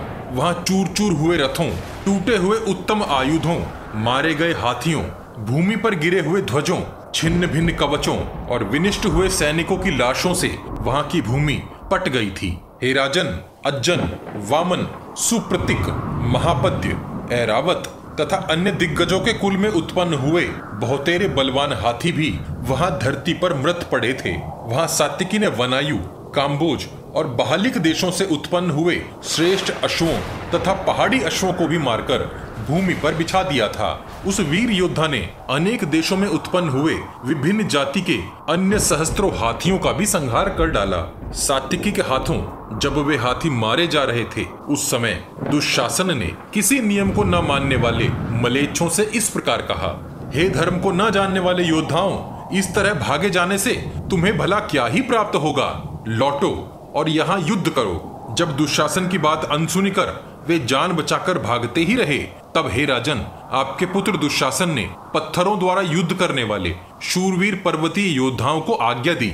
हे वीरों, तुम लोग प्रस्तरों, अर्थात पत्थरों द्वारा युद्ध करने में अत्यंत कुशल हो। सात्विकी को इस कला का तनिक भी ज्ञान नहीं है। अतः प्रस्तर, अर्थात पत्थर युद्ध को न जानने वाले इस शत्रु को तुम सब मिलकर मार डालो। तुम्हारे समान तो कौरव योद्धा भी प्रस्तर युद्ध में निपुण नहीं है। अतः तुम किसी प्रकार से डरो मत और आक्रमण करो। सात्विकी तुम्हें नहीं पा सकेगा। वे समस्त पर्वतीय योद्धा सात्विकी की ओर दौड़ पड़े। वे योद्धा हाथी के मस्तकों के समान बड़े बड़े प्रस्तर अर्थात पत्थर हाथ में लेकर समरांगण में युयुधान के सामने युद्ध की इच्छा से तैयार होकर खड़े हो गए। प्रस्तर युद्ध की इच्छा रखने वाले उन योद्धाओं के आक्रमण करते ही सात्विकी ने तीक्ष्ण और गहरा प्रहार करने वाले बाणों का संधान करना प्रारंभ कर दिया। पर्वतीय सैनिकों द्वारा की हुई उस भयंकर पाषाण, अर्थात पत्थर वर्षा को, शीनी पर्वर सातिकी ने अपने सर्पतुल्य नाराज़ बाणों द्वारा छिन्न भिन्न कर दिया। सातिकी के नाराजों से बड़े बड़े खंड उठाए हुए 500 शूरवीर अपनी भुजाओं के कट जाने से धरती पर गिर पड़े। उन शिलाओं के विखंडित टुकड़े और मलेच्छ तथा पर्वतीय योद्धाओं के प्राण शून्य तथा शत विक्षत शरीर साथ साथ ही भूमि पर गिरने लगे। पाषाणों द्वारा युद्ध करने वाले वे शूरवीर फिर भी बिना घबराए विजय के लिए यत्नशील होकर रण क्षेत्र में डटे हुए थे। उनकी संख्या अनेक सहस्त्र थी, परंतु सातिकी ने अत्यंत भयंकर और वेगशाली बाण वर्षा कर उन सब का संहार कर डाला। हे महाराज, वहाँ यह एक अद्भुत सी घटना घटी थी। तदनंतर हाथ में लोहे के गोले और त्रिशूल लिए दरद, तंगण, खस, लंपाक और कुलिंद देशिया मलेच्छों ने भी सात्विकी पर चारों ओर से पत्थर बरसाने आरंभ कर दिए। परंतु प्रतिकार करने में निपुण सात्विकी ने अपने नाराचों द्वारा उन सबको भी छिन्न भिन्न कर दिया। आकाश में तीखे बाणों द्वारा टूटने फूटने वाले खंडों के शब्द से भयभीत हो, रथ, घोड़े, हाथी और पैदल सैनिक युद्ध स्थल में इधर उधर भागने लगे। वहाँ जो मरने से बचे थे, वे हाथी जिनके कुंभ स्थल विदीर्ण हो गए थे, वे सब खून से लथपथ हो रहे थे। हे राजन, बहुत से हाथियों के मस्तक शत विक्षत हो गए। उनके दांत टूट गए थे। सूंड एवं दंड खंडित हो गए थे। सैकड़ों गजराजों के अंग भंग हो गए। हे राजन, सात्विकी, एक अति उत्तम सिद्धहस्त पुरुष की भांति क्षण भर में 500 योद्धाओं का संहार करके सेना के मध्य भाग में विचरने लगे। जैसे पूर्णिमा के दिन समुद्र का गर्जन बहुत बढ़ जाता है, उसी प्रकार वहाँ सात्विकी के द्वारा पीड़ित हुई आपकी विशाल सेना का महान कोलाहल प्रकट हो रहा था। उस भयंकर शब्द को दूर से ही सुनकर द्रोणाचार्य ने अपने सारथी से कहा, हे सूत, यह सातवत कुल का महारथी वीर सात्यकी रण क्षेत्र में क्रुद्ध होकर कौरव सेना को बारंबार विदीर्ण करता हुआ काल के समान विचर रहा है। व्याकुल हुए द्रोणाचार्य अपने सारथी से बोले हे सारथे, जहाँ यह भयानक शब्द हो रहा है, वहीं मेरे रथ को ले चलो। निश्चित ही युद्धान पाषाण योधी योद्धाओं से युद्ध में उलझा है। तभी तो ये व्याकुल, दौड़ लगाते अश्व, संपूर्ण रथियों को रण क्षेत्र से बाहर लिए जा रहे हैं। देखो, इनके शस्त्र और कवच दोनों खंडित हैं, तथा ये इधर उधर गिरते जा रहे हैं। इस भयंकर युद्ध में सारथी अपने अश्वों को काबू में नहीं रख पा रहे हैं। द्रोणाचार्य का यह वचन सुनकर सारथी ने शस्त्रधारियों में श्रेष्ठ द्रोण से इस प्रकार कहा, हे आयुष्मान, मैं देख रहा हूँ कि कौरव सेना चारों ओर भाग रही है।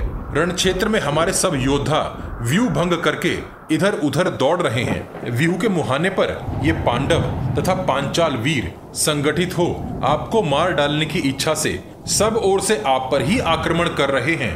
हे शत्रुनंदन, इस समय जो निश्चित कर्तव्य हो, आप उस पर ध्यान दीजिए। यहाँ ठहरना उचित है या अन्यत्र जाना? आप ही निर्णय कर, मुझे आज्ञा दीजिए। सात्यकी तो बहुत दूर निकल गए हैं। संजय बोले, हे राजन, जब द्रोणाचार्य का सारथी इस प्रकार बोल ही रहा था, उसी समय सात्विकी बहुतेरे रथियों का संहार करते दिखाई पड़े। युयुधान से मार खाते हुए आपके सैनिक उस रणस्थल को त्याग कर द्रोणाचार्य की सेना की ओर भाग गए। दुशासन, जिन रथियों के साथ सात्विकी से युद्ध करने लौटा था, वे सब के सब भयभीत होकर आश्रय की तलाश में द्रोणाचार्य के रथ की ओर भागने लगे।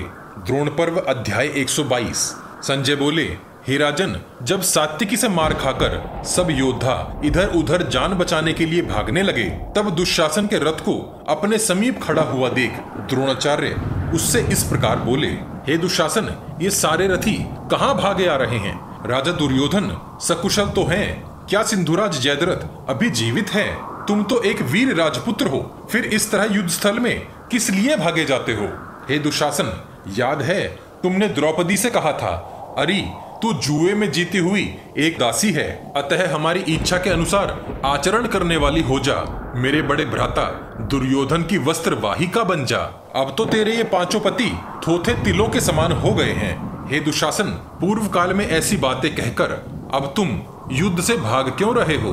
क्रोधित हुए द्रोणाचार्य दुशासन से बोले, क्या तुम जुए में पासे उठाते समय यह नहीं जानते थे कि यही पासे एक दिन भयंकर विषधर सर्पों के समान विनाशकारी बाण बनकर तुम्हें ही डस लेंगे। पांडुपुत्र युधिष्ठिर को जो अप्रिय वचन तुमने सुनाए थे और उस देवी द्रौपदी के वस्त्र हरण कर तुमने उसे जो घोर कष्ट पहुँचाया था उन सब की जड़ तुम ही थे। अब कहाँ गया तुम्हारा वह दर्प और अभिमान? अब कहाँ है तुम्हारा पराक्रम? और कहाँ गई तुम्हारी वह राज्यसभा वाली गर्जना? अब इस प्रकार उन विशैले सर्पों के समान कुंती कुमारों से भयभीत होकर कहाँ भागे जा रहे हो? यह संपूर्ण कौरव सेना, संपूर्ण राज्य और इसका राजा दुर्योधन, ये सभी भयंकर विपदा में उलझ गए हैं। तुम राजा के भाई होकर भी आज युद्ध में इस प्रकार पीठ दिखाकर भाग रहे हो। हे वीर, तुम्हें तो अपने बाहुबल का आश्रय लेकर इस भागती हुई और भयग्रस्त सेना की रक्षा करनी चाहिए। परंतु तुम तो स्वयं ही युद्ध छोड़कर भयभीत हो, शत्रुओं का हर्ष बढ़ा रहे हो। तुम तो अपनी सेना के सेनापति हो। तुम्हारे ही भाग जाने पर भला दूसरा कौन युद्ध भूमि में ठहर सकेगा? जब आश्रयदाता ही भयग्रस्त हो जाए, तब दूसरा भला क्यों न भयभीत होगा? उस अकेले सात्विकी के साथ युद्ध करते समय जब आज तुम्हारी बुद्धि इस युद्ध से पलायन करने में ही प्रवृत्त हो गई और तुमने शत्रु का सामना करने के स्थान पर भागने का विचार कर लिया, तब जिस समय तुम गांडीवधारी अर्जुन, भीमसेन अथवा नकुल सहदेव को युद्ध स्थल में देखोगे, उस समय तुम क्या ही कर सकोगे दुशासन? इस रण में तो अर्जुन के बाण, सूर्य और अग्नि के समान घोर तेजस्वी हैं। उनके समान सात्विकी के बाण नहीं हैं, जिनसे इस प्रकार भयभीत होकर तुम भागे जा रहे हो। संजय बोले, हे राजन, क्रोध से भरे द्रोणाचार्य उल्हाना देते हुए बोले, हे वीर दुशासन, यहाँ से जल्दी जाओ और अपनी माता देवी गांधारी के गर्भ में जाकर आश्रय लो। अन्यथा इस संपूर्ण धरा पर दूसरा कोई ऐसा स्थान नहीं है, जहाँ भाग जाने पर भी मुझे तुम्हारे जीवन की रक्षा दिखाई देती हो। अब यदि तुमने भागने का ही विचार कर लिया है, तब यह राज्य शांतिपूर्वक ही धर्मराज युधिष्ठिर को सौंप दो। अरे दुशासन केंचुली छोड़कर निकले। नवीन हुए सर्पों के समान, अर्जुन के बाण, जब तक तेरे शरीर में नहीं घुस रहे हैं, उससे पहले ही तुम पांडवों के साथ संधि कर लो। रे दुशासन ये कुंती कुमार, जब तक तुम्हारे समस्त सौ भाइयों को रण क्षेत्र में मारकर ये सारी पृथ्वी तुमसे छीन नहीं लेते हैं, उससे पहले ही तुम पांडवों के साथ संधि कर लो, हे दुशासन। जब तक धर्मपुत्र, राजा युधिष्ठिर तथा इस युद्ध की प्रशंसा और संचालन करने वाले श्री कृष्ण क्रोध नहीं करते हैं, और जब तक महाबाहु भीमसेन विशाल कौरव सेना में घुसकर तुम्हारे समस्त भाइयों को दबोच नहीं लेता, उससे पहले ही तुम इन पांडवों के साथ संधि कर लो। तुम्हें ज्ञात है कि पूर्व काल में भीष्म जी ने तुम्हारे भाई दुर्योधन से यह कहा था कि ये समस्त पांडव युद्ध में अजय हैं। तुम उनके साथ संधि कर लो। इसी में तुम सबका हित है, परंतु तुम्हारे उस मूर्ख भ्राता ने वह हितकारी कर्म नहीं किया। अतः अब तुम रण क्षेत्र में धैर्य धारण करके प्रयत्न पूर्वक पांडवों के साथ युद्ध करो। तुम्हारे लिए अब बस यही कर्म शेष बचा है। द्रोणाचार्य आगे बोले, मैंने सुना है भीमसेन तुम्हारा ही रक्त पिएगा। भीमसेन की वह प्रतिज्ञा कदापि झूठी नहीं है।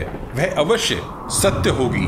अरे ओ मूर्ख क्या तुम भीमसेन के बल को नहीं जानते, जो तुमने उनके साथ वैर ठान लिया? और अब तुम इस प्रकार युद्ध से भागे जा रहे हो। हे भरत नंदन अब तू अति शीघ्रता से इसी रथ के द्वारा, जहाँ सात्विकी युद्ध कर रहे हैं, वहाँ जाओ। तुम्हारे वहाँ न रहने से तुम्हारी सारी सेना भाग जाएगी। अपने लाभ के लिए रण क्षेत्र में उस परम पराक्रमी सात्विकी के साथ युद्ध करो। संजय बोले, हे राजन, द्रोणाचार्य के इस प्रकार कठोर वचन कहने पर आपका पुत्र दुशासन कुछ भी नहीं बोला। वह उनकी बातों को अब भी अनसुनी सी करके पुनः सात्विकी से युद्ध करने के लिए चल पड़ा। सात्विकी के समीप पहुंचकर उसने पुनः मलेच्छों के साथ मिलकर प्रयत्न पूर्वक युद्ध आरंभ कर दिया। इधर व्यू के मुहाने पर द्रोणाचार्य क्रोध में भरकर मध्यम वेग से पांचालों और पांडवों से युद्ध करने लगे। वे पांडवों की विशाल सेना में प्रवेश करके उनके सहस्त्रों सैनिकों को मारकर भगाने लगे। हे महाराज, द्रोण, जब सब दिशाओं में घूमकर पांडवों की समस्त सेनाओं को पराजित करते हुए विचर रहे थे, तब द्रोणाचार्य का सामना करने के लिए तेजस्वी, पांचाल कुमार एवं दृष्टद्युम्न का भ्राता वीर केतु आया। उसने सामने आते ही पाँच बाणों द्वारा द्रोणाचार्य को घायल कर एक बाण से उनके ध्वज को तथा सात बाणों से उनके सारथी को भी बींध दिया। संजय बोले, हे महाराज, उस युद्ध में मैंने यह अद्भुत सी बात देखी कि द्रोणाचार्य उस वेगशाली पांचाल राजकुमार वीर केतु की ओर बढ़ न सके।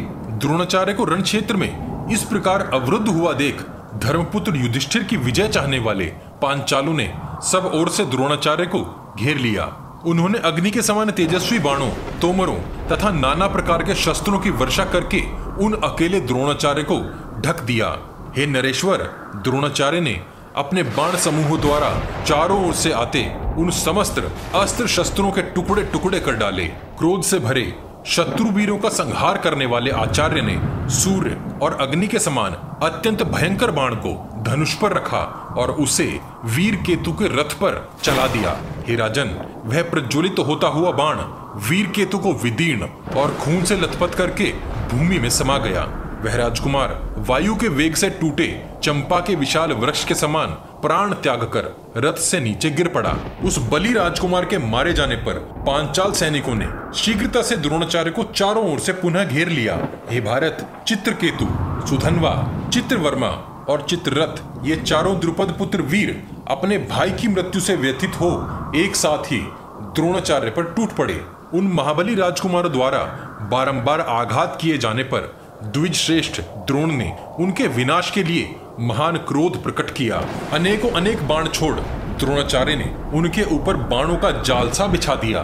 द्रोणाचार्य के कान तक खींचकर छोड़े हुए उन बलशाली बाणों द्वारा घायल होकर, वे राजकुमार, यह भी न जान सके कि उन्हें ऐसी बाण वर्षा का प्रत्युत्तर किस प्रकार देना चाहिए। हे राजन, रण क्षेत्र में कुपित हुए द्रोणाचार्य ने हँसते हुए उन किम कर्तव्य विमूढ़, अर्थात अपने कर्म और कर्तव्यों को भूल चुके, राजकुमारों को सारथी तथा रथ से हीन कर दिया और क्षण भर में ही अत्यंत तेज धार वाले भल्ल बाणों से उन राजकुमारों के मस्तक उसी प्रकार काट दिए जैसे वृक्ष से फूल गिरते हैं। उनके धड़ रथों से गिरकर भूमि पर धराशाही हो गए। उन राजकुमारों का वध करके द्रोण ने अपने सुवर्ण में पृष्ठभाग वाले दुर्जय धनुष को घुमाना प्रारंभ कर दिया, जो घनघोर मेघों के बीच विद्युत के समान प्रकाशित हो रहा था।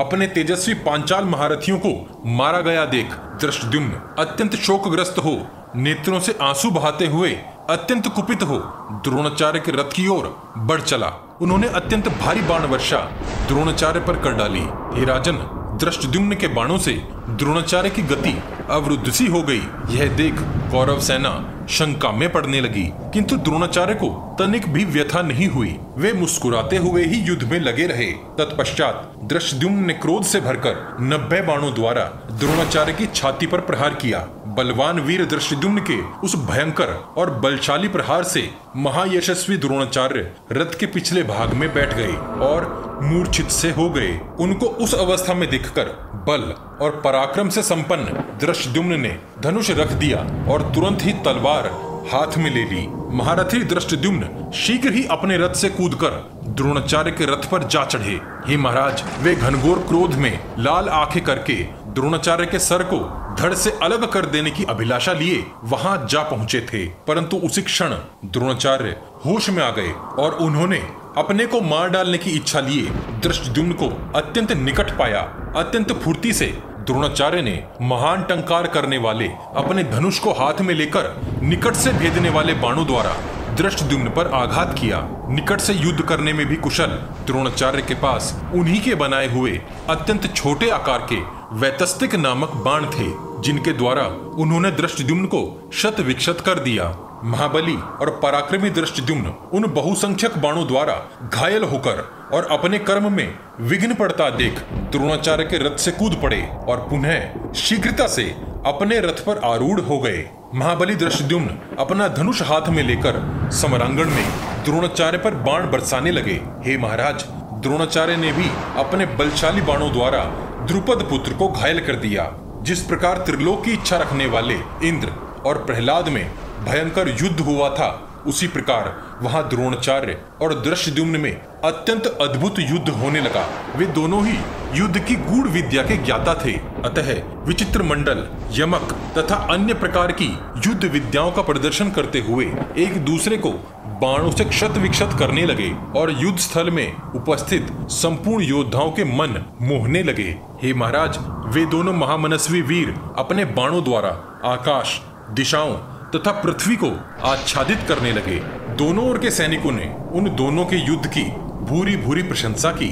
हे राजन, पांचाल योद्धा तो यह कहकर कोलाहल करने लगे कि द्रोणाचार्य आज अवश्य ही हमारे अधीन हो जाएँगे। बस उसी क्षण द्रोण ने युद्ध में अतिशीघ्रता से वेगवान बाणों द्वारा दृष्टद्युम्न के सारथी का सर काटकर वृक्ष के पके हुए फल के समान धड़ से नीचे गिरा दिया। हे राजन, फिर तो वहाँ दृष्टद्युम्न के अश्व आपे से बाहर हो गए और अपनी दिशा खो, युद्ध से बाहर भागने लगे। उनके भागते ही पराक्रमी द्रोणाचार्य रणभूमि में सब ओर विचर कर पांडवों की सेना का संहार करने लगे। इस प्रकार शत्रुओं का दमन और उन्हें पराजित करके द्रोणाचार्य पुनः अपने व्यूह में आकर खड़े हो गए। हे राजन, उस समय पांडव सैनिक युद्ध में उन्हें चाहकर भी जीतने का साहस न कर सके। द्रोण पर्व, अध्याय 123 संजय बोले, हे राजन, द्रोणाचार्य के लज्जित करने पर जब दुशासन पुनः सात्विकी से युद्ध करने वापस लौटा, तब उसने मेघों के समान अनेकों अनेक बाण बरसाते हुए वहाँ सात्विकी पर धावा बोल दिया। अनेक बाणों से बिंद कर भी युद्ध में मैनाक पर्वत की भांति अविचल भाव से खड़े हुए सात्विकी को दुशासन किसी प्रकार भी कंपित न कर सका। हे भरत श्रेष्ठ आपके पुत्र दुशासन ने अपनी गंभीर और आवेश से भरी गर्जना से दसों दिशाओं को भर दिया और सात्विकी पर बहुत से बाणों की वर्षा कर डाली। उस कुरुवंशी दुशासन को इस प्रकार पुनः रण क्षेत्र में आया और ऐसा आक्रमण करते देख महाबाहु सात्विकी ने उसे अपने बाणों द्वारा आच्छादित कर दिया। दुशासन और उसका साथ दे रहे योद्धा सात्विकी के बाण समूहों को देखकर उस समर भूमि में भयभीत हो उठे और आपकी सारी सेना के देखते देखते ही भयग्रस्त होकर भागने लगे। किंतु हे राजेंद्र, उनके भाग जाने पर भी आपका पुत्र दुशासन वहीं निर्भय होकर खड़ा रहा और उसने सात्विकी को अपने बाणों से पुनः पीड़ित किया। उसने चार बाणों से, सात्विकी के अशों को, तीन से सारथी को और अनेकों अनेक बाणों से स्वयं सात्विकी को युद्ध भूमि में घायल करके एक बार फिर बड़े ज़ोर से गर्जना की। संजय बोले, हे महाराज, ऐसा होता देख सात्विकी क्रोध से भर गए और उन्होंने दुशासन के रथ को अपने बाणों द्वारा मानो अदृश्य कर दिया। जैसे मकड़ी अपने जाल से किसी जीव को लपेट लेती है, उसी प्रकार सात्विकी ने दुशासन को अपने बाणों से छा दिया। इस प्रकार दुशासन को सैकड़ों बाणों से ढका देख दूर खड़े दुर्योधन ने त्रिगर्त योद्धाओं को युयुधान के रथ पर आक्रमण करने की आज्ञा दी। तुरंत ही त्रिगर्तों के तीन हज़ार रथी जो युद्ध में अति कुशल थे तथा कठोर कर्म करने वाले थे, वे सब युयुधान के समीप पहुँच गए और विशाल रथ सेना द्वारा उन्हें घेर लिया। सात्विकी ने उन्हें देखते ही अपनी भयंकर बाण वर्षा कर उन आक्रमण करने वाले 500 प्रमुख योद्धाओं को सेना के मुहाने पर ही मार गिराया। जैसे आंधी के वेग से वृक्ष टूटकर बिखर जाते हैं, उसी प्रकार उस श्रेष्ठ सात्विकी के बाणों से मारे गए। उन त्रिगर्त योद्धाओं के मृत शरीर भूमि पर बिखर गए। हे महाराज, जैसे कीचड़ में फंसे हुए हाथियों को कोई रक्षक नहीं मिलता, उसी प्रकार समरांगण में युयुधान से मार खाते हुए आपके योद्धाओं को वहाँ कोई रक्षक नहीं मिल सका। जैसे बड़े बड़े सर्प गरुड़ के भय से भूमि में बने बिलों में घुस जाते हैं, उसी प्रकार सात्विकी से पराजित और लहूलुहान हुए आपके वे सभी सैनिक पुनः द्रोणाचार्य के रथ के पास इकट्ठे हो गए। योद्धाओं का संहार करते वीर सात्विकी धीरे धीरे धनंजय के रथ की ओर बढ़ते जा रहे थे। हे राजन, उस समय आपके पुत्र दुशासन ने पुनः अपना बल एकत्रित कर नरश्रेष्ठ सात्विकी को झुकी हुई गांठ वाले नौ बाण मारे। सात्विकी ने भी पंखों वाले पाँच तीखे और सीधे जाने वाले बाणों द्वारा दुशासन पर प्रहार किया। इसके बाद दुशासन ने तीन बाणों द्वारा सात्विकी को घायल करके उन्हें पुनः पाँच बाण मारे। वहाँ समय इस प्रकार व्यर्थ होता देख सात्विकी ने पाँच बाणों से आपके पुत्र को रण क्षेत्र में घायल कर उसका धनुष काट दिया और मुस्कुराते हुए वहाँ से अर्जुन की ओर बढ़ चले। खिन हुए दुशासन ने सात्विकी को रोकने के प्रयास में कुपित होकर उन्हें मार डालने की इच्छा से एक विचित्र लोहे की बनी हुई शक्ति चला दी किंतु सावधान और शांत चित्त सात्विकी ने उस भयंकर शक्ति को कंक पत्र से बने अत्यंत तीखे बाणों द्वारा सौ टुकड़ों में खंडित कर दिया। हे राजन, तत्पश्चात आपके पुत्र ने पुनः दूसरा धनुष लेकर सात्विकी को अपने बाणों द्वारा घायल करके सिंह के समान गर्जना की। यह देखकर सात्विकी ने समरांगण में कुपित होकर आपके पुत्र को तीन बाणों द्वारा उसकी छाती में गहरी चोट पहुंचाई और लोहे के बने हुए तीखी धार वाले आठ बाणों द्वारा उसे पुनः घायल कर दिया। दुशासन ने पुनः बल एकत्रित करके बीस बाण सात्विकी पर छोड़े। हे महाराज, उसके बाद महारथी युयुधान ने अत्यंत कुपित हो पहने बाणों से उसके चारों अश्वों को मार डाला और सारथी को भी यमलोक भेज दिया। कुपित हुए महान अस्त्रवेता सात्विकी ने एक भल्ल से दुशासन का धनुष, पाँच भल्ल बाणों से उसके दस्ताने तथा दो भल्लों से उसकी ध्वजा एवं रथ का जुआ तोड़ दिया। इतना ही नहीं, उन्होंने तीखे बाणों द्वारा उसकी रक्षा में खड़े दोनों पार्श्व रक्षकों को भी मार डाला। दुशासन की जान बचाने के लिए वहाँ त्रिगर्त सेनापति उसे अपने रथ पर बैठाकर रथ को दूर निकाल ले गए। हे राजन, उस समय आवेश और क्रोध से भरे सात्विकी ने लगभग दो घड़ी तक दुशासन का पीछा किया, परंतु भीमसेन की प्रतिज्ञा याद आ जाने पर उसका वध करने से छोड़ दिया। राजन, आपको तो ज्ञात है कि भीमसेन ने सभा में सबके सामने युद्ध स्थल में आपके पुत्रों का वध करने की प्रतिज्ञा की थी। हे राजन, इस प्रकार उस युद्ध में दुशासन पर विजय पाकर और उसे भगाकर सत्यकी तत्काल ही उसी मार्ग पर चल दिए, जिससे वे अर्जुन तक पहुँच सकें। द्रोण पर्व, अध्याय 124 धृतराष्ट्र ने संजय से पूछा, हे संजय, क्या मेरी उस सेना में ऐसा कोई महारथी वीर नहीं था, जिसने न तो जाते हुए सात्विकी को मारा? और न ही उसे रोक ही सका। वहाँ तो इंद्र तुल्य बलशाली सात्विकी ने युद्ध में अकेले ही बड़ा महान कर्म करके दिखाया। हे संजय, इस प्रकार का कर्म तो देवराज इंद्र के लिए भी दुष्कर है। तुम्हारी बात पर मेरे लिए इस प्रकार सहसा विश्वास करना कठिन है। ऐसी बातों को सुनकर मेरा मन अत्यंत व्यथित हो उठा है, संजय। जिस प्रकार तुम बता रहे हो, यदि उस प्रकार पराक्रमी सात्विकी ने मेरी बहुत सी सेनाओं को धूल में मिला ही दिया है, तब तो अब मुझे यह मान ही लेना चाहिए कि मेरे पुत्र जीवित नहीं है। शोकाकुल धृतराष्ट्र आगे बोले, हे संजय, उस समय अकेले सात्विकी मेरी सेना को पराजित करके कैसे आगे बढ़ा? यह सब घटना तुम मुझे विस्तार से बताओ। संजय बोले, हे राजन, रथ, हाथी, घोड़े और पैदलों से भरा हुआ आपके सैनिकों का कोलाहल प्रलय काल के समान भयंकर जान पड़ता था। हे मानद, जब आपकी सेना के भिन्न भिन्न योद्धाओं के समूह सब ओर से बुलाए गए, उस समय जो महान समुदाय वहाँ एकत्रित हुआ, उसके समान तो इस संसार में दूसरा कोई समूह नहीं जान पड़ता था। मेरा ऐसा विश्वास है। इस युद्ध को देखने आए देवता तथा चारण समूह ऐसा कह रहे थे कि इस भूतल पर सारे समूहों की यही अंतिम सीमा जान पड़ती है। ये प्रजानाथ, जयद्रथ वध के समय उद्वेलित हुए सैनिकों का कोलाहल ऐसा भयंकर था, जैसा समुद्र के जल से भैरव गर्जन हो रहा हो। वहाँ आपकी और पांडवों की सेनाओं में सब ओर से एकत्रित हुए उन सभी भूपालों के सैकड़ों और हज़ारों दल एकत्रित हो गए थे। वहाँ उन सब का महान एवं तुमुल कोलाहल रोंगटे खड़े कर देने वाला था। हे भरत नंदन वहाँ नगाड़ों की गड़गड़, पवन को भेदते बाणों की सनसनाहट तथा परस्पर प्रहार करने वाले बलवान मनुष्यों का गर्जन, वे सब मिलकर दिल को कपा देने वाला शोर उत्पन्न कर रहे थे।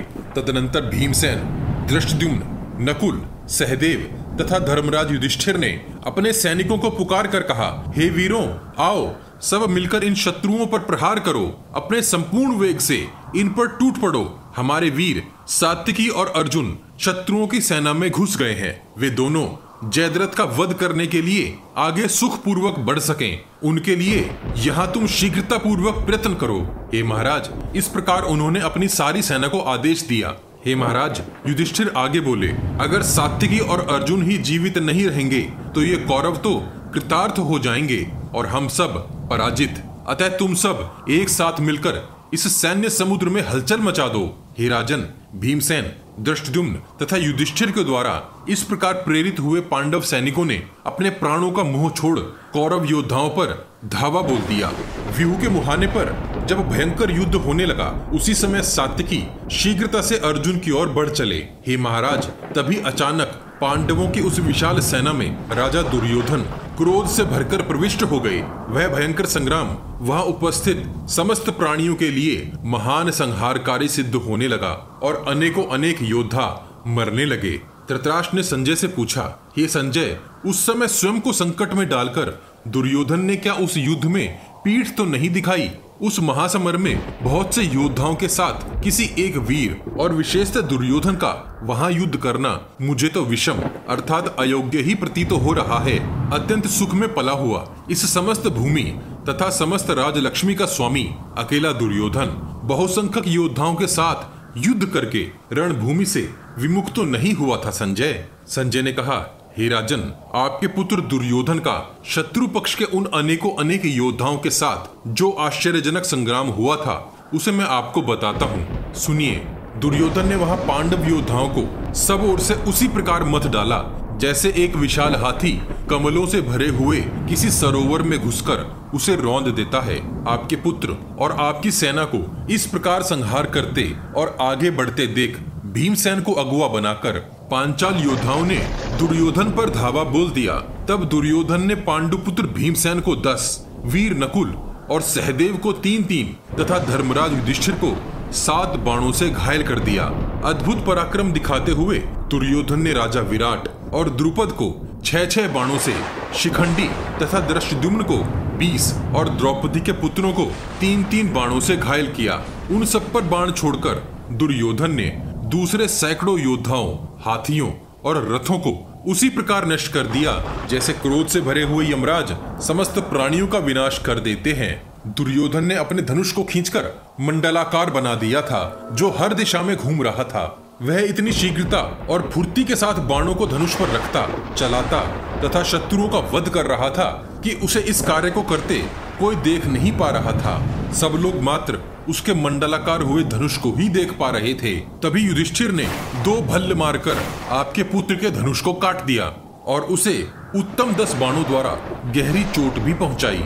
इससे कुंती कुमारों को बड़ी प्रसन्नता हुई। सभी पांडव योद्धा युधिष्ठिर को चारों ओर से घेरकर उनकी सुरक्षा में आ खड़े हुए। हे राजन, तत्पश्चात आपके उस प्रतापी पुत्र ने दूसरा धनुष उठाकर ज़ोर से कहा, खड़ा रहे खड़ा रहे। और ऐसा कहते ही पांडुपुत्र युधिष्ठिर पर आक्रमण कर दिया। वहाँ सभी पांचाल सैनिक सटकर खड़े हो गए। और दुर्योधन का सामना करने के लिए आगे बढ़ने लगे। तभी उस समय युद्ध में युधिष्ठिर को पकड़ने की इच्छा रखने वाले द्रोणाचार्य ने उन सब पांचाल योद्धाओं को वहाँ उसी प्रकार रोक दिया, जैसे प्रचंड वायु द्वारा उड़ाए गए जल बरसाने वाले मेघों को विशाल पर्वत रोक देता है। हे राजन, फिर तो वहाँ युद्ध स्थल में, पांडवों तथा आपके सैनिकों में महान रोमांचकारी संग्राम होने लगा। तदनंतर जिधर अर्जुन गए थे, उसी ओर से बड़ा भारी कोलाहल होने लगा, जो वहाँ के सैनिकों के रोंगटे खड़े कर रहा था। हे राजन, व्यू के भीतर आपके धनुर्धरों की तथा अर्जुन और सात्विकी के धनुषों की भीषण गर्जना सुनाई देती थी, तथा व्यू के द्वार पर शत्रुओं के साथ जूझते हुए द्रोणाचार्य और दुर्योधन का भी सिंहनाद प्रकट हो रहा था। यह एक पॉडकास्ट है। इसे आप शांतिपूर्वक बैठकर सुनिए और महाभारत का आनंद लीजिए। द्रोण पर्व अध्याय 125 दुर्योधन को पांडवों की सेना में घुसा देख द्रोणाचार्य उनकी रक्षा के लिए वहाँ आ पहुँचे। संजय बोले, हे महाराज, अपराहन काल, अर्थात शाम के समय, वहाँ सोमक सेना के साथ द्रोणाचार्य का पुनः महान संग्राम छिड़ गया।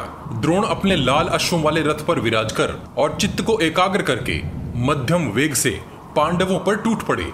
हे राजन, आपका हित करने में लगे हुए वे महाबली और उत्तम कलश से जन्म लेने वाले द्रोणाचार्य ने अपने विचित्र बाणों द्वारा वहाँ सोमकों तथा केकयों का संहार आरंभ कर दिया। प्रतापी द्रोणाचार्य, मानो वहाँ मात्र प्रधान प्रधान योद्धाओं को चुनकर उनके साथ खेल सा कर रहे थे। हे राजन, उस समय केकय महारथी बृहद छत्र जो अपने पाँचों भ्राताओं में सबसे बड़े थे, द्रोणाचार्य का सामना करने के लिए वहाँ आ पहुँचे।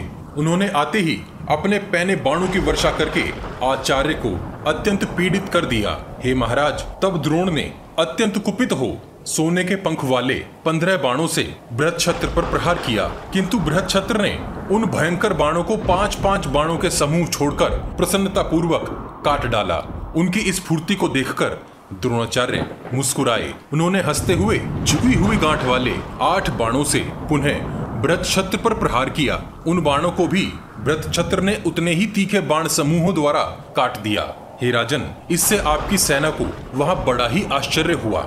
ब्रत छत्र की उस युद्ध शैली को देखकर और उनकी अपेक्षा अपनी श्रेष्ठता दिखाते हुए द्रोणाचार्य ने वहाँ परम दुर्जय दिव्य ब्रह्मास्त्र प्रकट किया। हे राजन, उस युद्ध भूमि में द्रोणाचार्य द्वारा चलाए हुए उस ब्रह्मास्त्र को देखकर केकय नरेश भरत छत्र ने भी उसे अपने ब्रह्मास्त्र द्वारा शांत कर दिया। हे राजन, ब्रह्मास्त्र का इस प्रकार निवारण हो जाने पर छत्र ने साठ बाणों द्वारा द्रोणाचार्य को भेद डाला। व्यथित हुए श्रेष्ठ द्रोण ने एक अत्यंत गतिमान नाराज़ बाण चलाया, जिस प्रकार एक काला नाग बिल में प्रवेश करता है। उसी प्रकार द्रोणाचार्य के धनुष से छूटा हुआ वह तीक्ष्ण बाण भरत छत्र को विदीर्ण करके पृथ्वी में घुस गया। घायल हुए के राज को बड़ा ही क्रोध आ गया और वह अपनी दोनों आँखें फाड़ फाड़ कर द्रोणाचार्य को देखने लगे। उसने क्रोध में भरकर सुंदर पंखों से बने सत्तर बाणों से द्रोणाचार्य को आच्छादित कर एक बाण से उनके सारथी के मर्म स्थान में गहरी चोट पहुंचाई। ऐसा होता देख द्रोणाचार्य ने उस केकय राजकुमार के रथ पर तीक्ष्ण बाणों की वर्षा कर डाली और छत्र को व्याकुल करके उनके चारों अश्वों को मार डाला। फिर एक बाण मारकर सारथी को रथ की बैठक से नीचे गिरा दिया तथा उनके ध्वज और छत्र को भी काटकर भूमि पर गिरा दिया। तदनंतर एक सधे हुए तीक्ष्ण नाराज़ से द्रोण ने भ्रत छत्र की छाती छेद डाली। वक्ष स्थल छिद जाने पर भ्रत छत्र भूमि पर गिर पड़ा और तत्काल काल के गाल में समा गया। हे राजन भरत छत्र के मारे जाने पर शिशुपाल के पुत्र दृष्ट केतु ने अत्यंत कुपित हो अपने सारथी से कहा, हे सारथे, जहाँ ये द्रोणाचार्य कवच धारण किए खड़े हैं और केकयों तथा पांचालों का संहार कर रहे हैं, वहीं इस रथ को ले चलो। दृष्ट केतु के सारथी ने तुरंत ही काम्बोज देशीय, वेगशाली अश्वों वाले रथ को द्रोणाचार्य के निकट पहुँचा दिया। महान बल से संपन्न चेदिराज दृष्ट केतु द्रोणाचार्य का वध करने की इच्छा लिए उनकी ओर इस प्रकार दौड़े, जैसे कोई कीट आग की ओर आकर्षित हो, उस पर आ गिरता है। आते ही उसने द्रोणाचार्य पर साठ बाण चलाए और उन्हें घायल कर दिया। तब द्रोणाचार्य ने अपने एक तीखे शुर बाण द्वारा बलवान दृष्ट केतु के धनुष के दो टुकड़े कर डाले।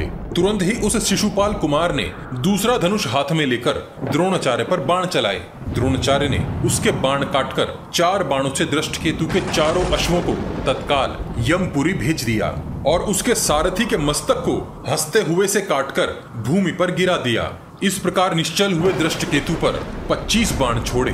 दृष्ट केतु अति शीघ्रता करते हुए गदा हाथ में लेकर रथ से कूद गए और रोष से भरी हुई एक सर्पिणी के समान उसे द्रोणाचार्य पर दे मारा। वह गदा लोहे की बनी हुई, अत्यंत भारी थी। काल रात्रि के समान अपने ऊपर आती उस गदा को देख द्रोणाचार्य ने अनेक बाणों से उसके टुकड़े टुकड़े कर दिए। हे राजन, वह गदा खंडित होकर भूमि पर धम से गिर गई। उस प्रहार को निष्फल हुआ देख वीर दृष्ट केतु ने द्रोणाचार्य पर तोमर तथा स्वर्ण विभूषित एक तेजस्विनी शक्ति का प्रहार किया। द्रोणाचार्य ने उसके तोमर को पाँच बाणों से छिन्न भिन्न कर तथा पाँच बाणों द्वारा ही उस शक्ति के भी खंड खंड कर दिए। तत्पश्चात दृष्ट केतु के वध की इच्छा कर प्रतापित द्रोणाचार्य ने उसके ऊपर एक बलशाली बाण का प्रहार किया। जिस प्रकार एक हंस कमल सरोवर में प्रवेश करता है, उसी प्रकार वह बाण उस अमित तेजस्वी, दृष्ट केतु के कवच और वक्ष थल को भेदता हुआ आर पार होकर भूमि में समा गया। जैसे भूखा हुआ नीलकंठ एक फतिंगे को खा जाता है, उसी प्रकार वीरवर द्रोणाचार्य ने वहाँ दृष्ट केतु को अपना ग्रास बना लिया। चेदिराज दृष्ट केतु के मारे जाने पर उत्तम अस्त्रों का ज्ञाता, उसका पुत्र आवेश के वशीभूत होकर पिता के स्थान पर आ डटा। हँसते हुए द्रोणाचार्य ने उसे भी अपने बाणों द्वारा उसी प्रकार यमलोक पहुँचा दिया, जैसे एक बलवान बाघ किसी हिरण के बच्चे को दबोच लेता है। हे राजन, उन पांडव योद्धाओं के इस प्रकार नष्ट हो जाने पर जरासंघ का वीर पुत्र सहदेव द्रोणाचार्य के समक्ष आ खड़ा हुआ। आते ही उस महाबाहु जरासंघ पुत्र सहदेव ने युद्ध स्थल में अपने बाणों की वर्षा रूपी धाराओं से द्रोणाचार्य को मानो अदृश्य कर दिया। उसकी वह फुर्ती देखकर द्रोणाचार्य ने भी शीघ्रता से उस पर सहस्त्रों बाणों की वर्षा आरंभ कर दी। द्रोणाचार्य ने संपूर्ण धनुर्धरों के देखते देखते ही रथ पर बैठे हुए उस जरासंग कुमार को अपने बाणों द्वारा आच्छादित करके उसे शीघ्र ही यमलोक भेज दिया। जो भी उस समय द्रोणाचार्य के समक्ष आया, आचार्य श्रेष्ठ ने उसे यमराज के हवाले कर दिया और उन्होंने वहाँ सैकड़ों योद्धाओं, हाथियों और घोड़ों का संहार कर डाला। जैसे देवराज इंद्र की मार खाकर बड़े बड़े असुर कांपने लगते हैं, उसी प्रकार द्रोणाचार्य के बाणों से भयभीत होकर पांचाल सैनिक काँप उठे। पांडवों की सेनाओं में घोर अंतर्नाद होने लगा। उस अवस्था में वे पांचाल वीर मन ही मन अत्यंत भयभीत एवं व्याकुल हो उठे। वे द्रोणाचार्य के बाण समूहों से आहत होकर मूर्छित हुए जा रहे थे। उनके कदम मानो शिथिल से हो गए थे। हे महाराज उस समय चेदी संज काशी और कोसल प्रदेश के सैनिक पुनः उत्साह एकत्रित कर और एक दूसरे को प्रेरित करते हुए द्रोणाचार्य पर फिर से टूट पड़े। इन द्रोणाचार्य को मार डालो, द्रोणाचार्य को मार डालो, परस्पर ऐसा कहते उन सेनाओं ने द्रोणाचार्य पर धावा बोल दिया। वे पुरुष सिंह वीर, तेजस्वी आचार्य को यमपुरी भेज देने की इच्छा से अपनी संपूर्ण शक्ति लगाकर प्रयत्न करने लगे।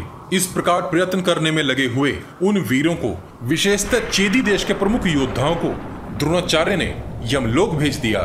हे राजन, वे सब द्रोण के उस भीषण नरसंहार को देख भीमसेन और दृष्टिदुम्न को पुकारने लगे। वे आपस में बातें करते बोल रहे थे, इस ब्राह्मण ने निश्चित ही कोई बड़ी भारी दुष्कर तपस्या की है। तभी तो ये युद्ध में इतने क्रुद्ध होकर इस प्रकार श्रेष्ठ रथियों को इतनी सुगमता से दग्ध कर रहे हैं। युद्ध करना तो क्षत्रियों का धर्म है, और तप करना ही ब्राह्मणों का उत्तम धर्म है। किंतु यह तपस्वी और अस्त्र विद्या का विद्वान ब्राह्मण अपने दृष्टिपात मात्र से ही यह सभी को दग्ध कर रहा है। उन योद्धाओं की ऐसी बातें सुनकर शत्रुधर्मा पांडव सेनापति, दृष्टद्युम्न का पुत्र, युद्ध करने के लिए द्रोणाचार्य के सामने आकर खड़ा हो गया। उस महाबली वीर ने आते ही अर्ध चंद्राकार बाण मारकर क्रोधित मन वाले द्रोणाचार्य के धनुष और बाण दोनों को काट दिया। ऐसा होता देख क्षत्रियो का मर्दन करने वाले द्रोणाचार्य अत्यंत कुपित हो उठे। अपने नेत्र लाल करके उन्होंने एक अत्यंत वेगशाली तथा प्रकाशमान दूसरा धनुष हाथ में लेकर एक तीक्ष्ण बाण अपने धनुष पर रखा और कान तक खींचकर उस बाण को छोड़ दिया। वह बाण छत्रधर्मा के शरीर को भेद कर और उसका वध करके धरती में समा गया। छत्रधर्मा हृदयघात हो जाने के कारण रथ को छोड़ भूमि पर गिर गया। कुछ ही पलों में मारे गए दृष्टुम्न कुमार को इस प्रकार मरते देख वहाँ खड़ी पांडव सेनाएँ भय से कांपने लगी। अब महाबली चेकितान द्रोणाचार्य की ओर बढ़े। उन्होंने दस बाणों से द्रोण को, चार बाणों से उनके सारथी और चार ही बाणों द्वारा उनके चारों अश्वों पर आघात किया। तब आचार्य ने चेकितान की दोनों भुजाओं और छाती में तीन बाण मारे। फिर सात बाणों द्वारा उनकी ध्वजा खंडित करके तीन बाणों से सारथी का वध कर दिया। चेकितान के सारथी के मारे जाने पर वे अश्व इधर उधर भागने लगे। हे राजन, द्रोणाचार्य ने चेकितान के शरीर पर अनेक बाण मारे तथा चेदी, पांचाल तथा संजय वीरों पर दृष्टिपात करके क्रोधित हुए द्रोणाचार्य ने उन सबको वहाँ से भगा दिया। उस समय द्रोण की बड़ी शोभा हो रही थी, जिनके कान तक बाल पक गए थे। वे वृद्ध द्रोणाचार्य उस रण क्षेत्र में 16 वर्ष के नौजवान की भांति विचर रहे थे। उनके पराक्रम को देख वहाँ अनेक योद्धा तो उन्हें ही इंद्र समझने लगे। हे राजन, उस समय बुद्धिमान राजा द्रुपद बोले, जैसे कोई बाघ छोटे मृग को मारता है। उसी प्रकार ये ब्राह्मण क्षत्रियो का संहार कर रहे हैं। दुर्बुद्धि, पापी दुर्योधन निश्चित ही अनेक कष्टप्रद लोकों में जाएगा, जिसके लोभ से ही इस युद्ध में अनेकों अनेक क्षत्रिय शिरोमणि वीर मारे गए हैं। सैकड़ों योद्धा कटकर इस भूमि पर सो रहे हैं और ये सब कुत्तों तथा सियारों का भोजन बन गए हैं। द्रोण पर्व अध्याय 126 संजय बोले, हे राजन जब द्रोणाचार्य पांडवों के व्यू को इस प्रकार जहाँ तहां खंडित करने लगे, तब सभी योद्धा उनसे बहुत दूर हट गए। जब द्रोणाचार्य युद्ध में बारंबार गर्जना कर रहे थे तथा पांचाल वीरों का विनाश हो रहा था और पांडव सैनिक भी मारे जा रहे थे, उस समय धर्मराज युधिष्ठिर को वहाँ कोई भी अपना आश्रय दाता दिखाई नहीं दिया। हे राजन, वे सोचने लगे कि अब भला कैसे होगा। तब युधिष्ठिर ने सव्यसाची अर्जुन को देखने की इच्छा से संपूर्ण दिशाओं में दृष्टि दौड़ाई, परंतु उन्हें कहीं भी अर्जुन एवं सात्विकी दिखाई नहीं पड़े। पुरुष सिंह अर्जुन को न देखकर और उनके गांडीव का घोष भी न सुनकर उनकी सारी इंद्रियाँ व्यथित हो उठी। वृष्णि वंश के प्रमुख महारथी सात्विकी को भी न देख पाने के कारण धर्मराज युधिष्ठिर का एक एक अंग चिंता की अग्नि से संतप्त हो उठा। हे राजन, महामनस्वी युधिष्ठिर, लोक निंदा के डर से बहुत डरते थे। युधिष्ठिर सात्विकी के विषय में मन ही मन इस प्रकार चिंता करने लगे। हे प्रभु, मैंने ही रण क्षेत्र में सत्यवादी शीनी पौत्र सात्विकी को अर्जुन के मार्ग पर जाने के लिए कहा था। इसलिए मेरा हृदय, जो पहले एक की ही चिंता में लिप्त था, अब दो व्यक्तियों के लिए चिंतित होकर दो भागों में बट गया है। इस समय सात्विकी और अर्जुन का पता लगाना अत्यंत आवश्यक है। मैंने अर्जुन के पीछे तो सात्विकी को भेज दिया था। अब सात्विकी के पीछे किसको इस युद्ध भूमि में भेजूं? मन ही मन युधिष्ठिर सोचते रहे, यदि मैं युद्धान की खोज न कराकर मात्र अपने भाई अर्जुन के विषय में ही सोचता रहूँगा तो संसार मेरी निंदा करेगा। सब यही कहेंगे कि ये धर्मपुत्र युधिष्ठिर अपने भाई की खोज के लिए ही सत्य पराक्रमी सात्विकी की उपेक्षा कर रहे हैं। मुझे लोक निंदा से बड़ा भय मालूम होता है। अतः इस समय मैं कुंती नंदन भीमसेन को महामनस्वी सात्विकी का पता लगाने के लिए भेजूँगा। अर्जुन पर जैसा मेरा प्रेम है, वैसा ही प्रेम वीर सात्विकी पर भी है। उस महाबली सात्विकी ने मात्र अपने मित्र के अनुरोध को अपने लिए गौरव की बात समझकर इस समुद्र समान कौरव सेना में एक मगर की भांति प्रवेश किया था। इस समय जो कर्तव्य उचित है, उस पर मैंने अनेकों प्रकार से प्रबल विचार कर लिया है। अतः जहाँ महारथी अर्जुन और सात्विकी गए हैं, वहीं धनुर्धर वीर, पांडुपुत्र भीमसेन को भी जाना चाहिए। यही मुझे ठीक प्रतीत होता है। इस भूतल पर कोई ऐसा कार्य नहीं है, जो भीमसेन के लिए असह हो। अपने बाहुबल का आश्रय लेकर भीमसेन भूमि मंडल के समस्त धनुर्धरों का अनायास ही सामना करने में समर्थ है। इस महामनस्वी वीर के बाहुबल का आश्रय लेकर ही हम सब भाई वनवास से सकुशल लौट सके हैं और युद्ध में कभी पराजित नहीं हुए हैं। निश्चय ही सात्विकी और अर्जुन रण क्षेत्र में शोक के योग्य नहीं हैं, अर्थात वे सकुशल ही होंगे, क्योंकि वे दोनों स्वयं तो शस्त्र विद्या में कुशल हैं ही, तथा श्री कृष्ण के द्वारा भी पूर्ण रूप से सुरक्षित हैं। किंतु मुझे अपने मानसिक दुख का निवारण करने के लिए ये कर्म अवश्य करना ही चाहिए। इसलिए मैं भीमसेन को सात्विकी के मार्ग पर भेजूँगा। ऐसा करके ही मैं समझूँगा कि मैंने सात्विकी के प्रति समुचित कर्तव्य का पालन किया है। हे राजन, मन ही मन ऐसा निश्चय करके धर्मपुत्र राजा युधिष्ठिर ने अपने सारथी से कहा, हे सारथी, मुझे भीमसेन के समीप ले चलो। भीमसेन के पास पहुंचकर राजा युधिष्ठिर अपने कर्तव्य का चिंतन करने लगे और वहाँ बहुत कुछ कहते और सोचते हुए वे मूर्छित से हो गए। हे राजन इस प्रकार मोहग्रस्त हुए राजा युधिष्ठिर भीमसेन से बोले, हे भीमसेन, जिन्होंने एकमात्र रथ की सहायता से देवताओं सहित गंधर्वों तथा दैत्यों पर भी विजय पाई थी, उन्हीं तुम्हारे छोटे भाई अर्जुन का आज मुझे यहाँ कोई चिन्ह दिखाई नहीं दे रहा है। धर्मराज युधिष्ठिर की ऐसी बातों को जानकर भीमसेन उनसे बोले, आपकी ऐसी घबराहट तो पहले मैंने न कभी देखी और न सुनी थी। पहले जब कभी भी हम में से कोई भी दुख और अधीर हो जाता था, तब आप ही हमें सहारा दिया करते थे हे राजन, उठिए और मुझे आज्ञा दीजिए, मैं आपकी किस प्रकार सेवा करूँ? हे मानद, इस संसार में ऐसा कोई कार्य नहीं है जो मेरे लिए असाध्य हो, अथवा जिसे मैं आपकी आज्ञा मिलने पर न कर सकूँ।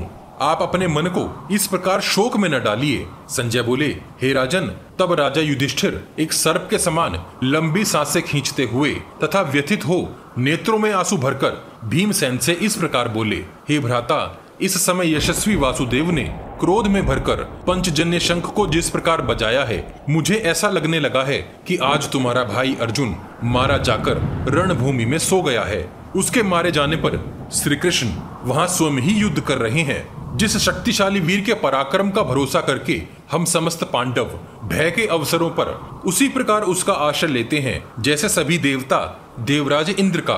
हे भ्राता भीमसेन, हमें तो मात्र उसके जाने का ही पता है, किंतु लौटने का नहीं। व्याकुल हुए युधिष्ठिर सुबकते हुए से बोले अर्जुन की अंग कांति श्याम है। वह निद्रा पर विजय पाने वाला महारथी है। छाती चौड़ी तथा भुजाएँ विशाल हैं। उसकी उपस्थिति ही शत्रु में भय बढ़ा देती है। अर्जुन, मेरा हित करने के लिए ही इंद्रलोक से यहाँ आया है। वह धनंजय, शत्रुओं की विशाल एवं अपार सेना में घुसा है। अर्जुन के उस भयंकर सेना में प्रवेश करने पर मैंने वीर सात्विकी को उसकी सहायता के लिए ही व्यू में भेजा है। हे भीमसेन, सात्विकी का भी मुझे जाने का ही पता है, उसके लौटने का नहीं। हे महाबाहु भीम, यही मेरे शोक का एकमात्र कारण है। अर्जुन और सात्विकी के लिए ही मैं दुखी हो रहा हूँ। जैसे बारंबार घी डालने से आग बढ़ती जाती है, उसी प्रकार मेरी शोकाग्नि भी हर क्षण बढ़ती जा रही है। हे वीर, उन पुरुष सिंह महारथी सात्विकी का भी पता लगाओ, जो तुम्हारे छोटे भाई महारथी अर्जुन के पीछे गए हैं। मुझे लग रहा है कि पार्थ के मारे जाने पर अवश्य ही सात्विकी भी आगे होकर युद्ध कर रहे हैं। वहाँ उनका कोई दूसरा सहायक भी नहीं है। निश्चय ही उनके मारे जाने पर स्वयं श्री कृष्ण वही युद्ध कर रहे हैं। यह जो मेरे मन में संताप उत्पन्न हो गया है, वह दूर नहीं हो रहा है। अतः हे कुंती नंदन, तुम वहीं जाओ, जहाँ अर्जुन और महापराक्रमी सात्यकी गए हैं। हे धर्मज्ञ, यदि तुम मेरी आज्ञा का पालन करना उचित मानते हो तो ऐसा ही करो। तुम्हें अर्जुन से अधिक सात्विकी की खोज करनी है। महान सात्विकी ने हमारा प्रिय करने की इच्छा से ही सव्यसाची अर्जुन के पीछे जाकर इस दुर्गम एवं भयंकर पथ का अनुसरण किया है, जो अजित आत्मा पुरुषों के लिए भी असाधारण है। हे पांडुनंदन, जब तुम श्री कृष्ण अर्जुन तथा वीर सात्विकी को सकुशल देख लोगे, तब अत्यंत उच्च स्वर में सिंहनाद करके मुझे इसकी सूचना देना। द्रोण पर्व, अध्याय 127 भीमसेन युधिष्ठिर से बोले, हे महाराज, जिस रथ पर पूर्व काल में ब्रह्मा, महादेव, इंद्र और वरुण सवारी कर चुके हैं, उसी रथ पर बैठकर श्री कृष्ण और अर्जुन युद्ध के लिए गए हैं। अतः उनके लिए आपको तनिक भी भय नहीं करना चाहिए। तथापि आपकी आज्ञा शिरोधार्य करके मैं उनकी खोज में जा रहा हूँ। आप शोकाग्रस्त न हो।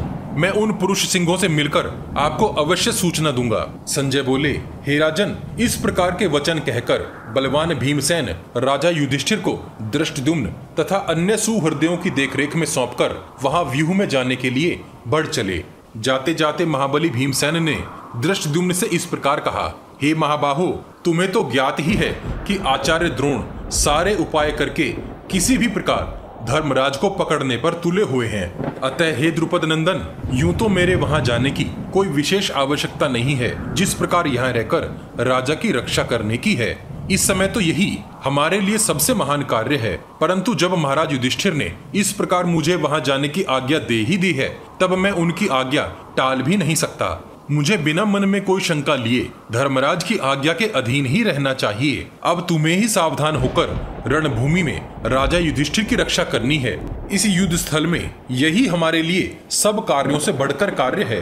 हे महाराज, यह सब सुनकर दृष्टि ने भीमसेन से यूँ कहा। हे कुंती नंदन, तुम बिना किसी चिंता के आगे बढ़ो। द्रोणाचार्य संग्राम में दृष्टिद्युम्न का वध किए बिना किसी प्रकार भी धर्मराज को कैद नहीं कर सकेंगे। हे राजन, तब भीमसेन ने पांडुपुत्र राजा युधिष्ठिर को दृष्टिद्युम्न के हाथों में सौंपकर उन्हें प्रणाम किया। धर्मराज युधिष्ठिर ने भीमसेन को गले लगाया और उन्हें शुभ आशीर्वाद दिए। तदनंतर आठ प्रकार की मांगलिक वस्तुओं का स्पर्श करने के पश्चात भीमसेन ने केरातक नामक मधु का पान किया। उसका पान करते ही वीर भीमसेन का बल और उत्साह दुगना हो गया तथा उनके नेत्र मद से लाल हो गए।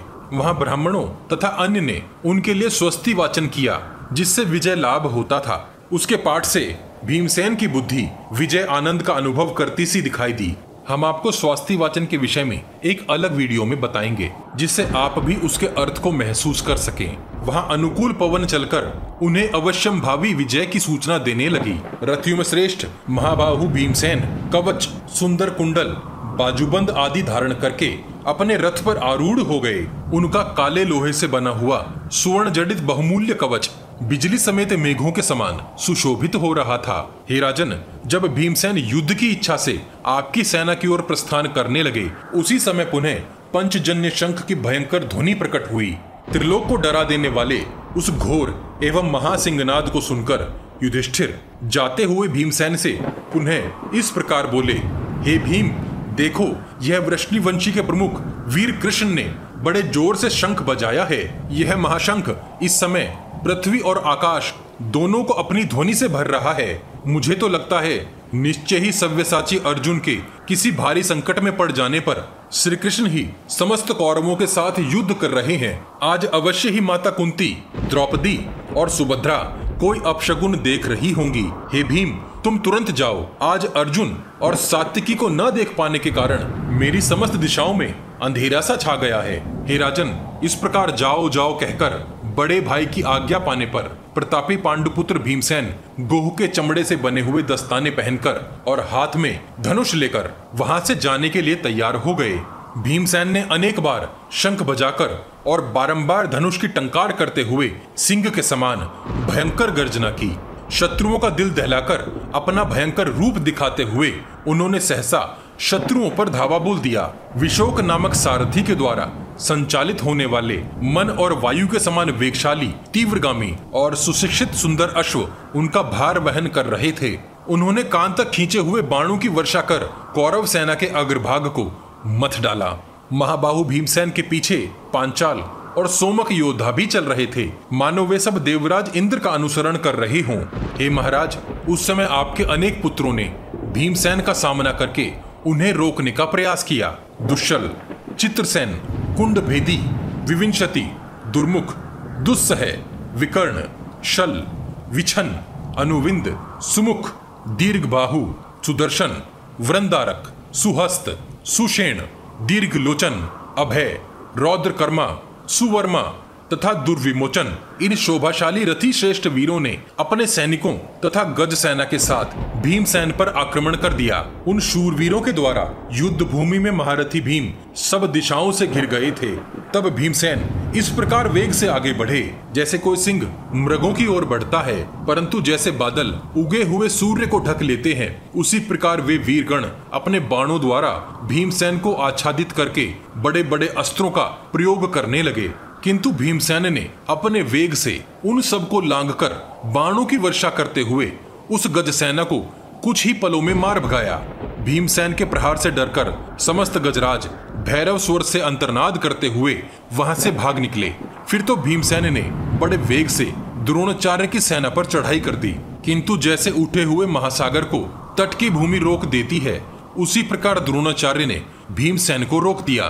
द्रोण ने मुस्कुराते हुए से एक नाराज़ चलाकर भीमसेन के ललाट पर चोट की। द्रोणाचार्य यह समझकर कि भीम भी अर्जुन के समान पहले मेरा सम्मान करेगा, उनसे इस प्रकार बोले, हे महाबली भीमसेन, तुम यहाँ से मुझ शत्रु को पराजित किए बिना इस शत्रु सेना में प्रवेश नहीं कर सकोगे। तुम्हारे छोटे भाई अर्जुन तो मेरी अनुमति से ही इस सेना के भीतर घुस गए हैं। यदि तुम्हारी भी इच्छा हो तो उसी प्रकार तुम भी जा सकते हो। अन्यथा तुम मेरे इस दुर्गम सैन्य व्यूह में प्रवेश नहीं कर सकोगे। गुरु के ऐसे वचन सुनकर भीमसेन के नेत्र क्रोध से लाल हो गए और वे निर्भय होकर बोले, हे ब्राह्मण श्रेष्ठ, अर्जुन तुम्हारी अनुमति से इस युद्ध में प्रविष्ट नहीं हुए हैं। वे तो दुर्जय हैं और चाहे तो देवराज इंद्र की सेना में भी घुस सकते हैं। उन्होंने तुम्हारी बड़ी पूजा करके निश्चय ही तुम्हें सम्मान दिया होगा। परंतु हे द्रोण, मैं दयालु अर्जुन नहीं हूँ। मैं मात्र तुम्हारा शत्रु भीमसेन हूँ। तुम निश्चित ही हमारे पिता समान गुरु और बंधु हो, और हम भी तुम्हारे पुत्र तुल्य ही हैं। हम सब पांडव तो यही मानते हैं, और सदा तुम्हारे सम्मान में खड़े होते हैं। परंतु आज तुम्हारे मुख से जो बात निकल रही है, उससे हम लोगों के प्रति तुम्हारा विपरीत भाव ही लक्षित होता है। यदि तुम मुझे अपना शत्रु मानते हो तो ऐसा ही सही। संजय बोले, हे राजन, ऐसा कहकर भीमसेन ने एक गदा इस प्रकार उठा ली। मानो यमराज ने अपना कालदंड हाथ में उठा लिया हो। उन्होंने उस गदा को बड़े वेग से घुमाकर द्रोणाचार्य पर दे मारा। किंतु द्रोणाचार्य शीघ्र ही अपने रथ से कूद गए। जैसे वायु अपने वेग से वृक्षों को उखाड़ फेंकती है, उसी प्रकार भीम की उस गदा ने अश्वों, सारथी और ध्वज सहित द्रोणाचार्य के रथ को चूर चूर कर दिया। तभी उस श्रेष्ठ महारथी वीर को आपके पुत्रों ने पुनः आकर चारों ओर से घेर लिया। योद्धाओं में श्रेष्ठ द्रोणाचार्य दूसरे रथ पर बैठकर भीम को छोड़कर व्यू के द्वार पर जा पहुँचे और युद्ध के लिए उद्धत हो व्यू के द्वार पर ही खड़े हो गए। हे महाराज, तब क्रोध से भरे हुए भीमसेन ने सामने खड़ी हुई रथ सेना पर बाणों की भीषण वर्षा आरंभ कर दी। आपके महारथी पुत्र भीम के बाणों की मार खाकर भी समरांगण में उनके साथ युद्ध करते रहे। उस समय कुपित हुए दुशासन ने वहाँ आकर भीमसेन को तत्काल मार डालने की इच्छा से उनके ऊपर एक लोहे की बनी तीखी शक्ति चलाई। उस महाशक्ति को अपने ऊपर आती देख भीमसेन ने अनेक बाण मारकर उसके दो टुकड़े कर दिए। वहाँ यह एक अद्भुत सी बात हुई थी। अत्यंत क्रोध में भर बलवान भीम ने तीन तीखे बाणों द्वारा कुंड भेदी सुषेण तथा दीर्घ लोचन आपके इन तीनों पुत्रों को मार डाला। तत्पश्चात आपके अन्य वीर पुत्रों से युद्ध करते हुए ही उन्होंने वीर वृंदारक का वध कर दिया। अब भीमसेन ने पुनः तीन बाण मारकर आपके पुत्रों अभय रौद्र कर्मा तथा दुर्विमोचन को भी मार गिराया। जैसे वर्षा ऋतु में मेघ पर्वत पर जलधाराओं की वर्षा करते हैं उसी प्रकार बचे हुए आपके पुत्र पांडुपुत्र भीमसेन पर बाणों की वर्षा करने लगे। जैसे वर्षा ग्रहण करते हुए पर्वत को कोई पीड़ा नहीं होती, उसी प्रकार भीमसेन उन बाणों को सहन करते हुए तनिक भी व्यथित नहीं हुए। तभी भीमसेन ने तिरछी हँसी हँसते हुए एक साथ आए आपके पुत्रों विंद अनुविंद तथा सुवर्मा को भी यमलोक पहुँचा दिया। ध्यान रहे विंद और अनुविंद अवंती देश के दो राजकुमार भी थे, जिनका वध अर्जुन के हाथों हुआ था। धृतराष्ट्र के दो पुत्रों का नाम भी विंद और अनुविंद था। उसके पश्चात भीमसेन ने आपके वीर पुत्र सुदर्शन को अत्यंत घायल कर दिया, जो रथ से गिरते हुए ही मर गया। इस प्रकार पांडुनंदन भीमसेन ने संपूर्ण दिशाओं में अपने बाणों द्वारा कुछ ही पलों में उस रथ सेना को नष्ट कर दिया और वहाँ भयभीत हुए आपके शेष पुत्रों का उत्साह भी शून्य हो गया। वे सब भीमसेन के भय से सहसा ही वहाँ से भाग खड़े हुए। किंतु भीमसेन ने आपके पुत्रों की विशाल सेना का अकेले ही दूर तक पीछा किया। भीमसेन के द्वारा मारे जाते आपके सभी पुत्र अपने उत्तम अश्वों को हाँकते हुए रणभूमि से बहुत दूर निकल गए। उन सबको इस प्रकार पराजित करके महाबली भीमसेन ने अपनी भुजाओं पर ताल ठोकी और सिंह के समान गर्जना की। उन्होंने वहाँ शेष बचे श्रेष्ठ योद्धाओं को चुन चुन कर मारा और कौरव सेना पर अकेले ही धावा बोल दिया। द्रोण पर्व अध्याय 128 संजय बोले, हे महाराज रथ सेना को पार करके अंदर घुसे भीमसेन को युद्ध में रोकने की इच्छा से आचार्य द्रोण ने दूर से ही हँसते हँसते उन पर बाणों की वर्षा की। द्रोणाचार्य के उन बाणों को पीते हुए से भीमसेन अपने महाबल का आश्रय लेकर वहाँ उपस्थित कौरव बंधुओं को मोहित करते हुए उन पर टूट पड़े। चारों ओर से अनेक राजाओं द्वारा घेर लिए गए भीमसेन ने हँसते हुए अपनी अत्यंत भारी गदा ऊपर उठाई और सिंहनाद करते हुए उस गदा को बड़े वेग से उन राजाओं पर दे मारा। हे महाराज, सुस्थिर चित्त वाले इंद्र, जिस प्रकार अपने वज्र का प्रयोग करते हैं, उसी प्रकार भीमसेन द्वारा चलाई गई उस भयंकर गदा ने युद्ध स्थल में आपके सैनिकों का दम निकाल दिया, जिसके प्रहार को देख आपके पुत्र भयभीत हो गए और कुछ तो वहाँ से भाग ही गए, तथा कुछ अपने रथों से नीचे भी गिर पड़े। भीमसेन उन दुर्जय शत्रुओं को भगाकर पक्षीराज गरुड़ के समान बड़े वेग से उस सेना को लांघ गए। हे महाराज, भीमसेन को इस प्रकार सेना का संहार करते देख द्रोणाचार्य उनका सामना करने के लिए एक बार फिर आगे बढ़े। एक के पीछे एक सटे हुए बाणों को चलाकर भीमसेन को रोक आचार्य द्रोण ने उसी ओर देख रहे पांडवों के मन में भय उत्पन्न करते हुए भारी सिंहनाद किया। हे राजन, तब वहाँ अचानक ही एक दुर्लभ दृश्य उत्पन्न हुआ। बलवान पांडुनंदन अति वेग पूर्वक अपने रथ से कूद पड़े तथा दोनों नेत्रों को क्षण भर के लिए मूंद कर मस्तक को कंधे तक सिकोड़कर तथा दोनों हाथों को छाती पर सुस्थिर करके गरुड़ के समान वेग से पैदल ही द्रोणाचार्य की ओर दौड़ पड़े। जैसे कोई सांड मदमस्त होकर वर्षा का जल अपने शरीर पर ग्रहण करता हुआ आगे बढ़ता है, उसी प्रकार पुरुष सिंह भीमसेन ने आचार्य की उस बाण वर्षा को अपने शरीर पर ग्रहण किया। किंतु उनकी गति तनिक भी मंद नहीं पड़ी। हे राजन, उस समय बाणों से आहत होते हुए भी महाबली भीमसेन ने द्रोणाचार्य के रथ के ईशा दंड, अर्थात जिस दंड से घोड़े रथ से बंधे होते हैं, को हाथ से पकड़कर समूचे रथ को ही हवा में दूर फेंक दिया।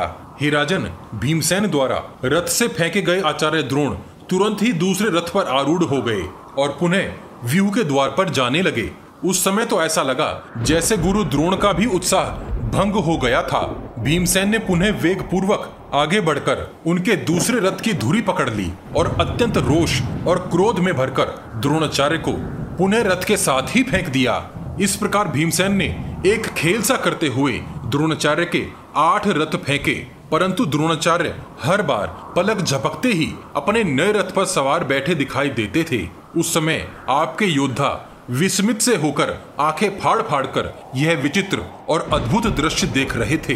तभी भीमसेन का सारथी तुरंत ही घोड़ों को हाँक कर रथ भीमसेन के समीप ले आया। हे राजन, महाबली भीमसेन अपने रथ पर आरूढ़ होकर पुनः आपकी सेना पर वेग पूर्वक टूट पड़े। आगे बढ़ते भीमसेन कृतवर्मा द्वारा सुरक्षित भोज वंशियों की सेना के पास जा पहुँचे और उन अधमरे योद्धाओं को वेग पूर्वक मत कर और बीच में एक मार्ग सा बनाकर आगे निकल गए। जैसे कोई सिंह गाय बैलों पर आसानी से विजय पा लेता है, उसी प्रकार भीम ने उन्हें परास्त कर और ताली बजाकर समस्त सैनिकों पर विजय पा ली। उसके पश्चात कुंती कुमार भीमसेन भोज भोजवंशियों की सेना को लांग कर दर्दों की विशाल वाहिनी को भी परास्त करके महारथी सात्विकी को शत्रुओं के साथ युद्ध करते देख सावधान हो गए, तथा उनका रथ वेग पूर्वक इसी प्रकार आगे बढ़ता रहा। हे महाराज, अर्जुन को देखने की इच्छा लिए। भीमसेन, आपके योद्धाओं को बड़े वेग से लांघते जा रहे थे। उनके रथ के समीप कोई नहीं आ पा रहा था। भीम ने वहाँ दूर से सिंधुराज के वध के लिए पराक्रम करते हुए युद्ध में लगे महारथी अर्जुन को देखा। हे राजन, उन्हें देखते ही भीम ने वर्षा काल में गरजते हुए मेघों के समान बड़े ज़ोर का सिंहनाद किया, जिसे अर्जुन तथा श्री कृष्ण दोनों ने सुना। भीम की गर्जना को पहचान कर उन दोनों वीरों ने भीमसेन को देखने की इच्छा प्रकट करते हुए बारंबार अनेकों बार गर्जना की। हे नरेश्वर, भीमसेन, अर्जुन तथा श्री कृष्ण की गर्जना का एक साथ हुआ उच्च स्वर युधिष्ठिर के कानों में भी जा पड़ा। उसे सुनकर धर्मराज बड़े ही प्रसन्न हुए और उनका शोक दूर हो गया। भीमसेन की बारंबार होती गर्जना सुनकर युधिष्ठिर मुस्कुराकर मन ही मन सोचते हुए स्वयं से बोले, हे भीम, तुमने अतिशीघ्र पहुंचकर सूचना दे दी है और मेरी आज्ञा का पालन कर दिया है। हे वीर, जो तुम्हारे शत्रु हैं, वे भला तुम पर कैसे ही विजय पा सकते हैं? बड़े ही सौभाग्य की बात है। सव्यसाची अर्जुन जीवित है। और युद्ध कर रहे हैं। यह भी बड़े आनंद की बात है कि वीर सात्यकी सकुशल हैं। सौभाग्यवश ही मैं इस समय श्री कृष्ण और अर्जुन की गर्जना सुन पा रहा हूँ, जिसने देवताओं के लिए भी दुर्जय निवाद कवच दानवों को एकमात्र धनुष से ही जीत लिया था। विराट में गौवों का अपहरण करने के लिए एक साथ आए हुए समस्त कौरवों को, जिसने अकेले ही मत्स्य देश की राजधानी के समीप रोक दिया था, जिसने चौदह हज़ार काल के नामक दैत्यों का वध किया था। तथा बलवान गंधर्वराज चित्रसेन को भी परास्त कर दिया था। वह पार्थ सौभाग्यवश जीवित है। इस प्रकार की प्रशंसा भरी बातें हर्ष से भरे युधिष्ठिर अपने मन में सोचकर अब पुनः चिंतित हो सोचने लगे। पुत्र शोक से भरा अर्जुन, क्या आज युद्ध में सिंधुराज का वध कर सकेगा? उसकी प्रतिज्ञा पूर्ण होने से पहले कहीं सूर्यास्त तो नहीं हो जाएगा? क्या श्री कृष्ण और अर्जुन से मैं पुनः मिल भी सकूँगा? क्या युद्ध में सिंधुराज को अर्जुन के हाथों से मारा गया देखकर दुर्योधन हमसे संधि कर युद्ध समाप्त कर देगा। क्या वह मूर्ख दुर्योधन भीम के हाथों अपने भाइयों का वध होता देखकर हमारे साथ संधि कर लेगा? क्या इस मंदबुद्धि दुर्योधन को किसी प्रकार का पश्चाताप भी होगा?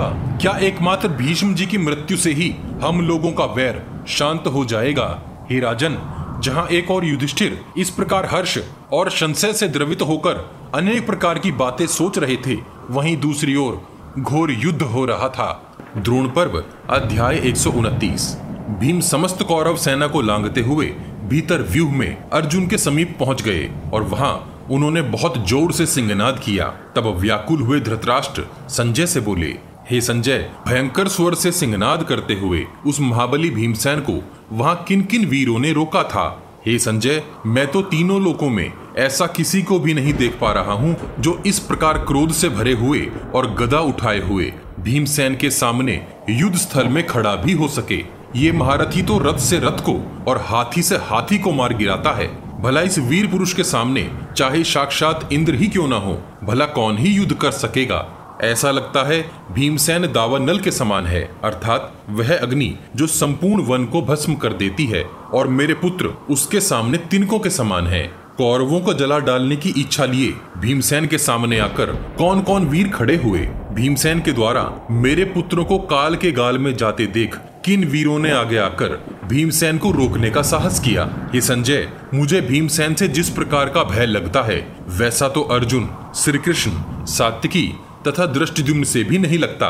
हे संजय, मेरे पुत्रों को दग्ध करने की इच्छा वाले भीम रूपी इस अग्निदेव के सामने भला कौन कौन से शूरवीर डट सके, यह सब मुझे विस्तार से बताओ। संजय बोले, हे राजन, जब महाबली भीमसेन वहाँ गरज रहे थे, तब बलवान कर्ण ने भी भयंकर सिंहनाद करते हुए उन पर आक्रमण कर दिया।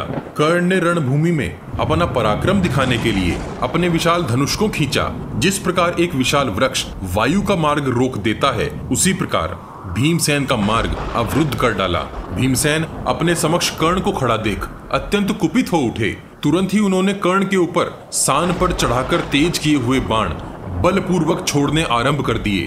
कर्ण ने भी उन बाणों के विपरीत वैसे ही बाण चलाए। उनका युद्ध अचानक ही भयंकर हो गया और उन्हें देख रहे योद्धाओं के शरीर मानो कांपने लगे। उस समरांगण में अनेक योद्धाओं के धनुष तथा अन्य अस्त्र हाथों से छूटकर पृथ्वी पर गिर पड़े। अपनी तरफ़ आते, उन अग्नि रूपी बाण समूहों को देख, कितनों के तो प्राण ही निकल गए। वहाँ बहुत से भयंकर अपशकुन प्रकट होने लगे।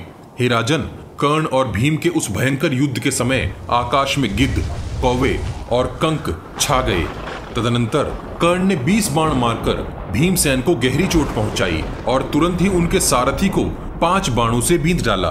शीघ्रता करते हुए भीमसेन ने तिरछी हँसी हंसकर चौसठ बाणों द्वारा कर्ण पर आक्रमण किया। हे राजन, फिर महाधनुर्धर कर्ण ने भीम पर चार बाण छोड़े, परंतु भीमसेन ने बड़ी फुर्ती दिखाते हुए झुकी हुई गांठ वाले अनेक बाण चलाकर कर्ण के उन बाणों के टुकड़े टुकड़े कर दिए। तब कर्ण का आक्रमण बढ़ गया और उन्होंने अनेकों अनेक बाण समूहों की वर्षा करके भीमसेन को मानो आच्छादित कर दिया। भीम जैसे ही कर्ण के एक आक्रमण को निष्फल करते, कर्ण तुरंत ही दूसरे बाण समूह छोड़ देते। इस प्रकार कर्ण के द्वारा बारंबार आच्छादित होते हुए महारथी भीम ने एक सदा हुआ बाण चलाकर कर्ण के धनुष को मुट्ठी पकड़ने के स्थान से काट दिया और तुरंत ही अनेक बाण छोड़कर उन्हें घायल भी कर दिया। भयंकर कर्म कर सकने वाले महाबली कर्ण ने दूसरा धनुष उठाकर उस पर अतिशीघ्र प्रत्यंचा चढ़ाई और अनेक बाण छोड़कर भीमसेन को घायल किया। तब भीमसेन को बड़ा ही क्रोध आ गया। आँखें लाल करके उन्होंने वेग पूर्वक जाने वाले तीन बाण कर्ण की छाती में धसा दिए। हे राजन, ठीक छाती के बीच में गड़े हुए उन बाणों द्वारा कर्ण की छाती से बहुत रक्त बहने लगा। उस गहरे प्रहार से पीड़ित हो कर्ण कुछ विचलित से हो उठे, किंतु तुरंत ही एकाग्रचित हो, धनुष को कान तक खींचकर कर्ण ने अनेक बाणों द्वारा भीमसेन को बिंद डाला। जैसे ही वे बाण भीम को लगे, तुरंत ही उन पर सैकड़ों बाणों की वर्षा कर डाली। इस प्रकार उस महाधनुर्धर कर्ण के बाणों से पीड़ित हुए भीमसेन ने उन बाणों का प्रतिकार कर एक शुरप्र के द्वारा उनके धनुष की प्रत्यंचा काट दी और उनके सारथी को एक भल्ल बाण मारकर रथ की बैठक से नीचे गिरा दिया। इतना ही नहीं, महारथी भीम ने महापराक्रम प्रकट कर अनेक सदे हुए बाण मारकर कर्ण के चारों अश्वों के भी प्राण ले लिए। हे राजन, उस समय कर्ण उस अश्वहीन रथ से कूदकर तुरंत ही वृषसेन के रथ पर जा बैठे। इस प्रकार बलवान एवं प्रतापी भीमसेन ने उस युद्ध में कर्ण को पराजित करके मेघ गर्जना के समान बड़े ही उच्च तथा गंभीर स्वर में सिंहनाद किया।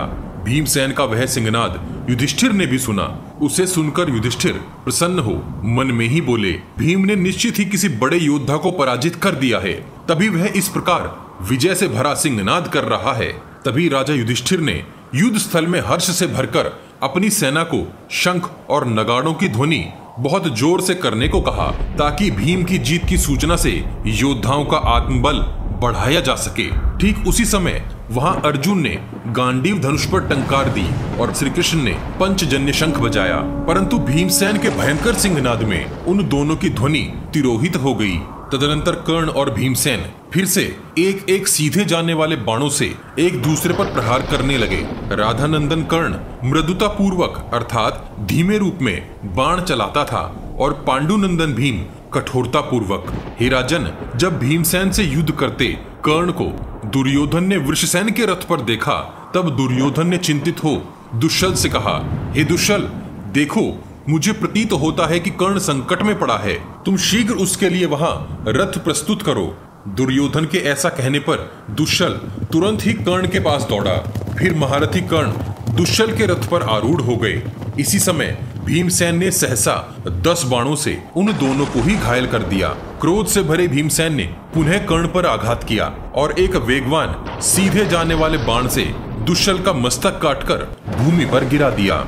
द्रोण पर्व, अध्याय 130 संजय बोले, हे महाराज, इस प्रकार के प्रहारों से जब आपकी सेना वहाँ विचलित होकर भागने लगी तब अर्जुन सिंधुराज का वध करने के लिए और आगे बढ़ गए और उनके पीछे पीछे ही सात्यकी तथा भीमसेन भी वहाँ आ पहुँचे।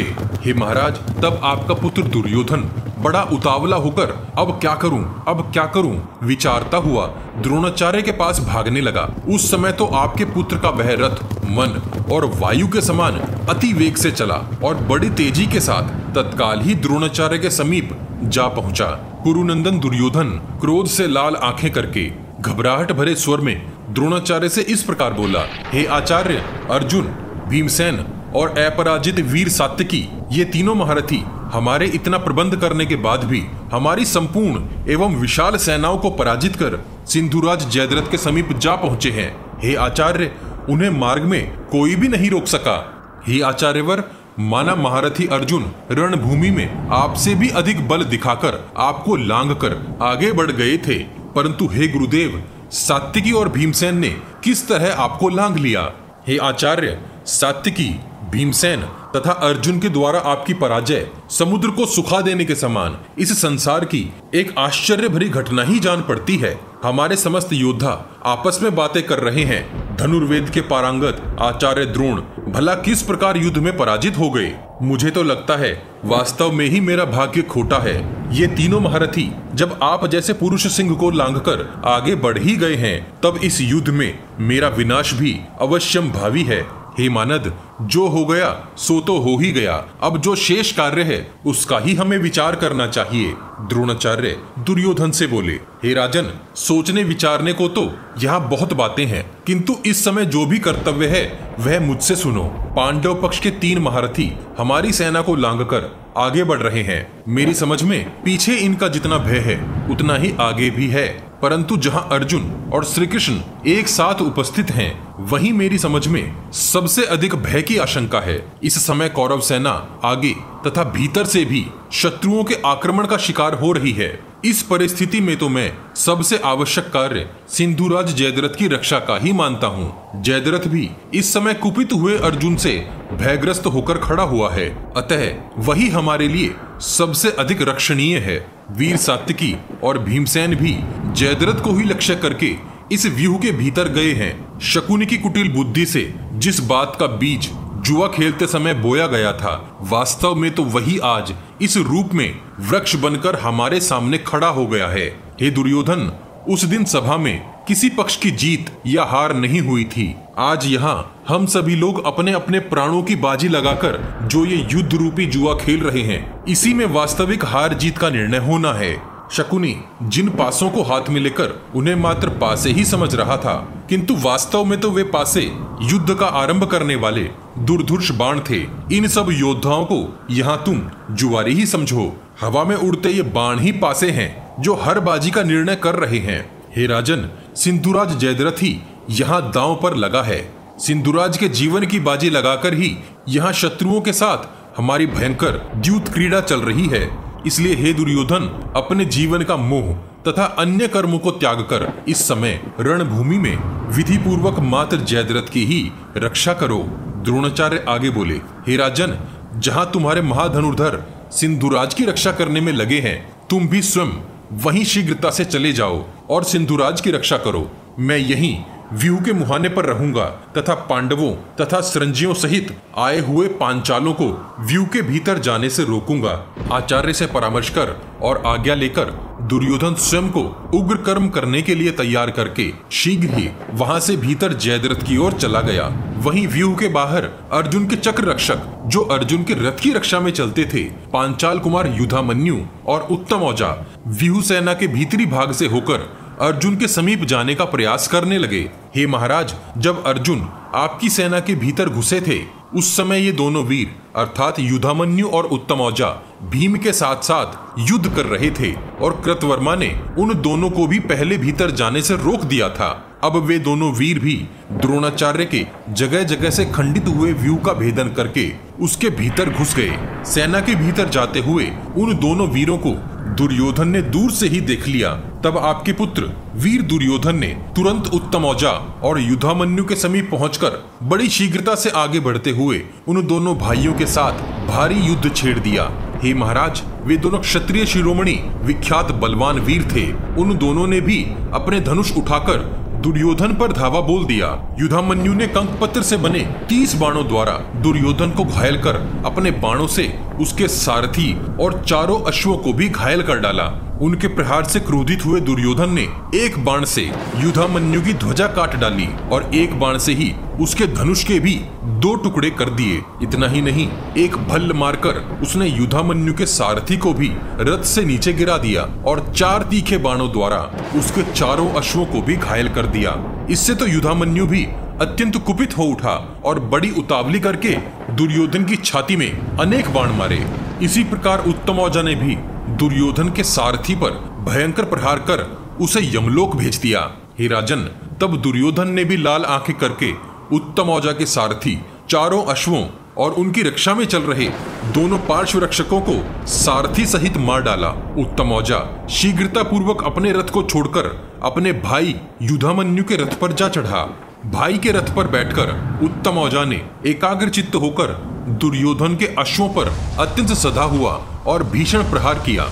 वे अश्व, तत्काल प्राण शून्य होकर धरती पर गिर पड़े। घोड़ों के धराशाही होते ही युधामन्यु ने दो उत्तम बाणों का प्रहार करके दुर्योधन के धनुष और तरकश को शीघ्रता पूर्वक काट दिया। हे राजन, अश्वों और सारथी के मारे जाने पर आपका पुत्र दुर्योधन रथ से उतर पड़ा। और गदा लेकर पांचाल देश के उन वीरों की ओर चिल्लाता हुआ, सहसा दौड़ पड़ा। उस समय क्रोध से भरे हुए दुर्योधन को अपनी ओर इस प्रकार आते देख, वे दोनों भाई युधामन्यु और उत्तम औजा, भयग्रस्त होकर रथ के पिछले भाग से नीचे कूद गए। हे राजन, अत्यंत कुपित हुए गदाधारी दुर्योधन ने उनके उस रथ पर इतने भीषण प्रहार किए कि अश्वों, सारथी और ध्वज सहित वह सुंदर रथ गदा के आघात से चूर चूर हो गया। इस प्रकार उस रथ को तोड़ फोड़ कर और इससे पहले कि वे दोनों भाई कुछ कर सकें, शत्रु संतापी दुर्योधन अति शीघ्रता करते हुए मदराज शल्य के रथ पर जा चढ़ा। तत्पश्चात वे दोनों पांचाल राजकुमार, युधामन्यु तथा उत्तम औजा समीप खड़े दो अन्य रथों पर आरूढ़ होकर अर्जुन की ओर बढ़ चले। द्रोण पर्व अध्याय 131 संजय बोले, हे राजन, इस प्रकार जब वहाँ रोमांचकारी संग्राम छिड़ गया और सारी सेनाएँ सब ओर से व्याकुल हो गई, तब राधानंदन कर्ण युद्ध की इच्छा लिए पुनः भीमसेन के सामने आ गए। जैसे कोई वन में एक मतवाला हाथी दूसरे मदमस्त हाथी से लड़ने आ खड़ा होता है, धृतराष्ट्र ने संजय से पूछा, हे संजय, महाबली कर्ण और भीमसेन ने अर्जुन के रथ के निकट जाकर किस प्रकार युद्ध किया? हे संजय जब भीमसेन ने राधानंदन कर्ण को पहले ही जीत लिया था, तब वह पुनः उनका सामना करने के लिए किस प्रकार आया? मुझे तो लगता है कि धर्मराज युधिष्ठिर को अब महारथी कर्ण के सिवा दूसरे किसी से भय नहीं रह गया है। पहले जब युधिष्ठिर कर्ण के भय के मारे अनेक वर्षों तक सुख की नींद नहीं ले सके थे, उसी कर्ण के साथ भीमसेन ने युद्ध भूमि में किस प्रकार युद्ध किया? कर्ण ने अर्जुन के सिवाय अन्य पांडवों के प्रति बंधुत्व का भाव दिखाया था और वह दयालु भी है। तथापि कुंती के वचनों को बारंबार स्मरण करते हुए भला उसने भीमसेन के साथ किस प्रकार युद्ध किया? धृतराष्ट्र आगे बोले, मेरा दुर्योधन, सदा यही आशा करता है कि कर्ण संग्राम में इन समस्त पांडवों को जीत लेगा। इस युद्ध में मेरे मूर्ख पुत्र ने कर्ण पर ही विजय की आशा लगा रखी है। ये संजय, इसी का आशय लेकर मेरे पुत्रों ने उन महारथी पांडवों के साथ वह ठान लिया था। क्या भीमसेन ने कर्ण द्वारा किए गए अपमानों का स्मरण किया था, जिस वीरवान वीर ने एकमात्र रथ की सहायता से इस समस्त पृथ्वी को मानो जीत लिया था? उस सूत पुत्र के साथ भीमसेन ने किस प्रकार युद्ध किया? हे संजय, इन दोनों वीरों में जिस प्रकार का युद्ध हुआ और उनमें से किसे विजय प्राप्त हुई, वह सब विवरण तुम मुझे ठीक ठीक बताओ। संजय बोले, हे राजन, आगे सुनिए। प्रारंभ में तो भीमसेन ने कर्ण को छोड़कर वहाँ जाने की चेष्टा की, जहाँ वीरवर श्री कृष्ण और अर्जुन युद्ध कर रहे थे। हे महाराज, जैसे ही भीमसेन उस ओर बढ़ने लगे, कर्ण ने उनके ऊपर कंक पत्थर से बने बाणों की भीषण वर्षा आरंभ कर दी। वहाँ कर्ण के बाण जल रूपी वर्षा की तरह बरसे। उस बलवान अधिरथ पुत्र ने हंसकर जाते हुए भीमसेन को युद्ध के लिए ललकारा। कर्ण भीमसेन से बोले, हे भीमसेन, तुम्हारे शत्रुओं ने स्वप्न में भी नहीं सोचा था कि तुम इस प्रकार युद्ध में पीठ दिखाओगे। इस समय बड़ा ही दुर्लभ दृश्य है। अर्जुन से मिलने के लिए भीमसेन मुझे पीठ दिखा रहा है। कर्ण की ओर से वह युद्ध की ललकार भीमसेन सह न सके। उन्होंने अर्ध अर्धमंडलाकार घूमकर वहाँ कर्ण के साथ युद्ध आरंभ कर दिया।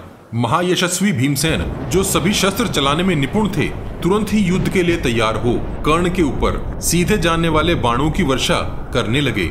उस समय ऐसा लगा, मानो महाबली भीमसेन, कर्ण को मार, उनके अनुगामी सेवकों का भी वध करने की इच्छा लिए हुए थे। हे राजन शत्रुओं को संताप देने वाले भीमसेन अमर्ष से भरकर कर्ण पर अनेकों प्रकार के भयंकर बाणों की वर्षा करने लगे। उत्तम अस्त्रों का ज्ञान रखने वाले कर्ण ने अपने अस्त्रों की माया से भीमसेन की उस बाण वर्षा को ग्रस लिया, अर्थात काट डाला। उस समय कर्ण अपनी विद्या का प्रदर्शन कर आचार्य द्रोण के समान रण क्षेत्र में विचरने लगे। हे राजन, क्रोध से भरे भीमसेन की हँसी उड़ाता हुआ सा कर्ण उनके सामने जा पहुँचा। भीम कर्ण की उस हँसी को सह न सके। सभी के देखते देखते ही बलवान भीमसेन ने अपने सामने आए हुए कर्ण की छाती में वत्सदंत नामक बाणों द्वारा अत्यंत गहरी चोट पहुंचाई। तत्पश्चात विचित्र कवच धारण करने वाले कर्ण को सदे हुए सुवर्ण में पंख वाले 21 बाणों द्वारा पुनः शत विक्षत कर दिया। ध्यान रहे, यहाँ कर्ण के दिव्य कवच की बात नहीं हो रही है। तभी कर्ण ने भीमसेन के जाली से रक्षित अश्वों को पाँच बाण मारकर उनके रथ पर बाणों का जालसा बिछा दिया। आच्छादित हुए भीमसेन पर कर्ण ने चौसठ बाण मारकर उनके सुदृढ़ कवच को छिन्न भिन्न कर डाला। कुपित होकर कर्ण ने नाराज़ बाणों से उस बलवान कुंती कुमार को घायल कर दिया।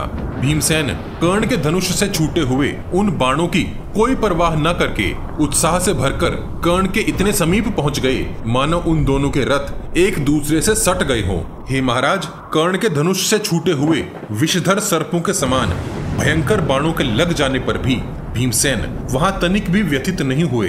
तुरंत ही बत्तीस तीखे भल्लों से प्रतापी भीमसेन ने कर्ण को भारी चोट पहुंचाई। उनके रथ अब एक दूसरे से दूर होने लगे थे। कर्ण ने अनायास ही भीम पर बाणों की बड़ी भारी वर्षा कर डाली। कर्ण भीमसेन पर कठोरता पूर्वक प्रहार न करता हुआ रणभूमि में उनके साथ युद्ध कर रहा था। परंतु भीमसेन पूर्व काल की बातों को बारंबार स्मरण करते हुए क्रोध पूर्वक कर्ण के साथ युद्ध कर रहा था। भीमसेन, कर्ण द्वारा दिखाई जाने वाली उस ढिलाई को अपना अपमान समझकर और अधिक क्रोधित हो उठे। अतः भीम ने भी तुरंत ही कर्ण पर बाणों की वर्षा प्रारंभ कर दी, जो उड़ते हुए पक्षियों के समान वीरवर कर्ण पर सब ओर से गिरने लगे। हे राजन, अब वे दोनों वीर योद्धा एक दूसरे पर बाण बरसाने लगे। वे दोनों एक दूसरे को बारंबार अपने बाणों से ढक देते थे।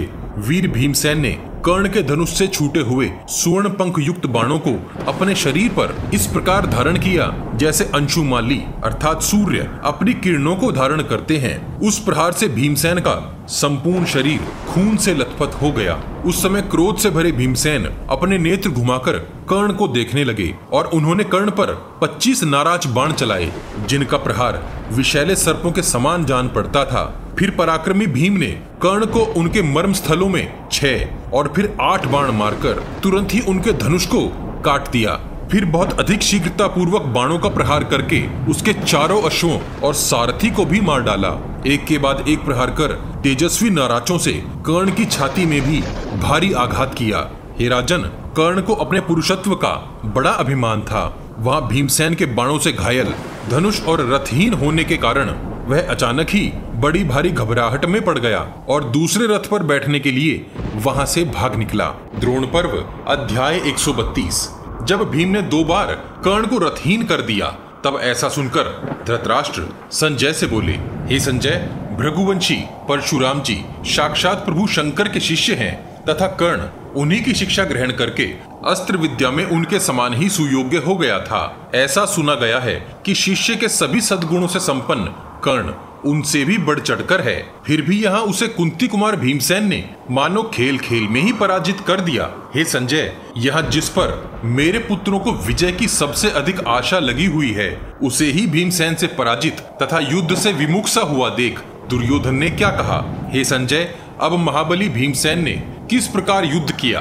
अब वहाँ कर्ण ने क्या किया? संजय बोले, हे राजन जिस प्रकार वायु का वेग पाकर समुद्र की लहरें बहुत ऊपर उठ जाती हैं, वैसे ही कर्ण ने विधि पूर्वक सजाए हुए दूसरे रथ पर आरूढ़ होकर पुनः भीमसेन पर आक्रमण कर दिया। उस समय उस अधिरथ पुत्र कर्ण के क्रोध को देखकर आपके पुत्रों ने यही मान लिया था कि भीमसेन अब अग्नि के मुख में दी जाने वाली आहुति के समान वहाँ नष्ट हो जाएगा।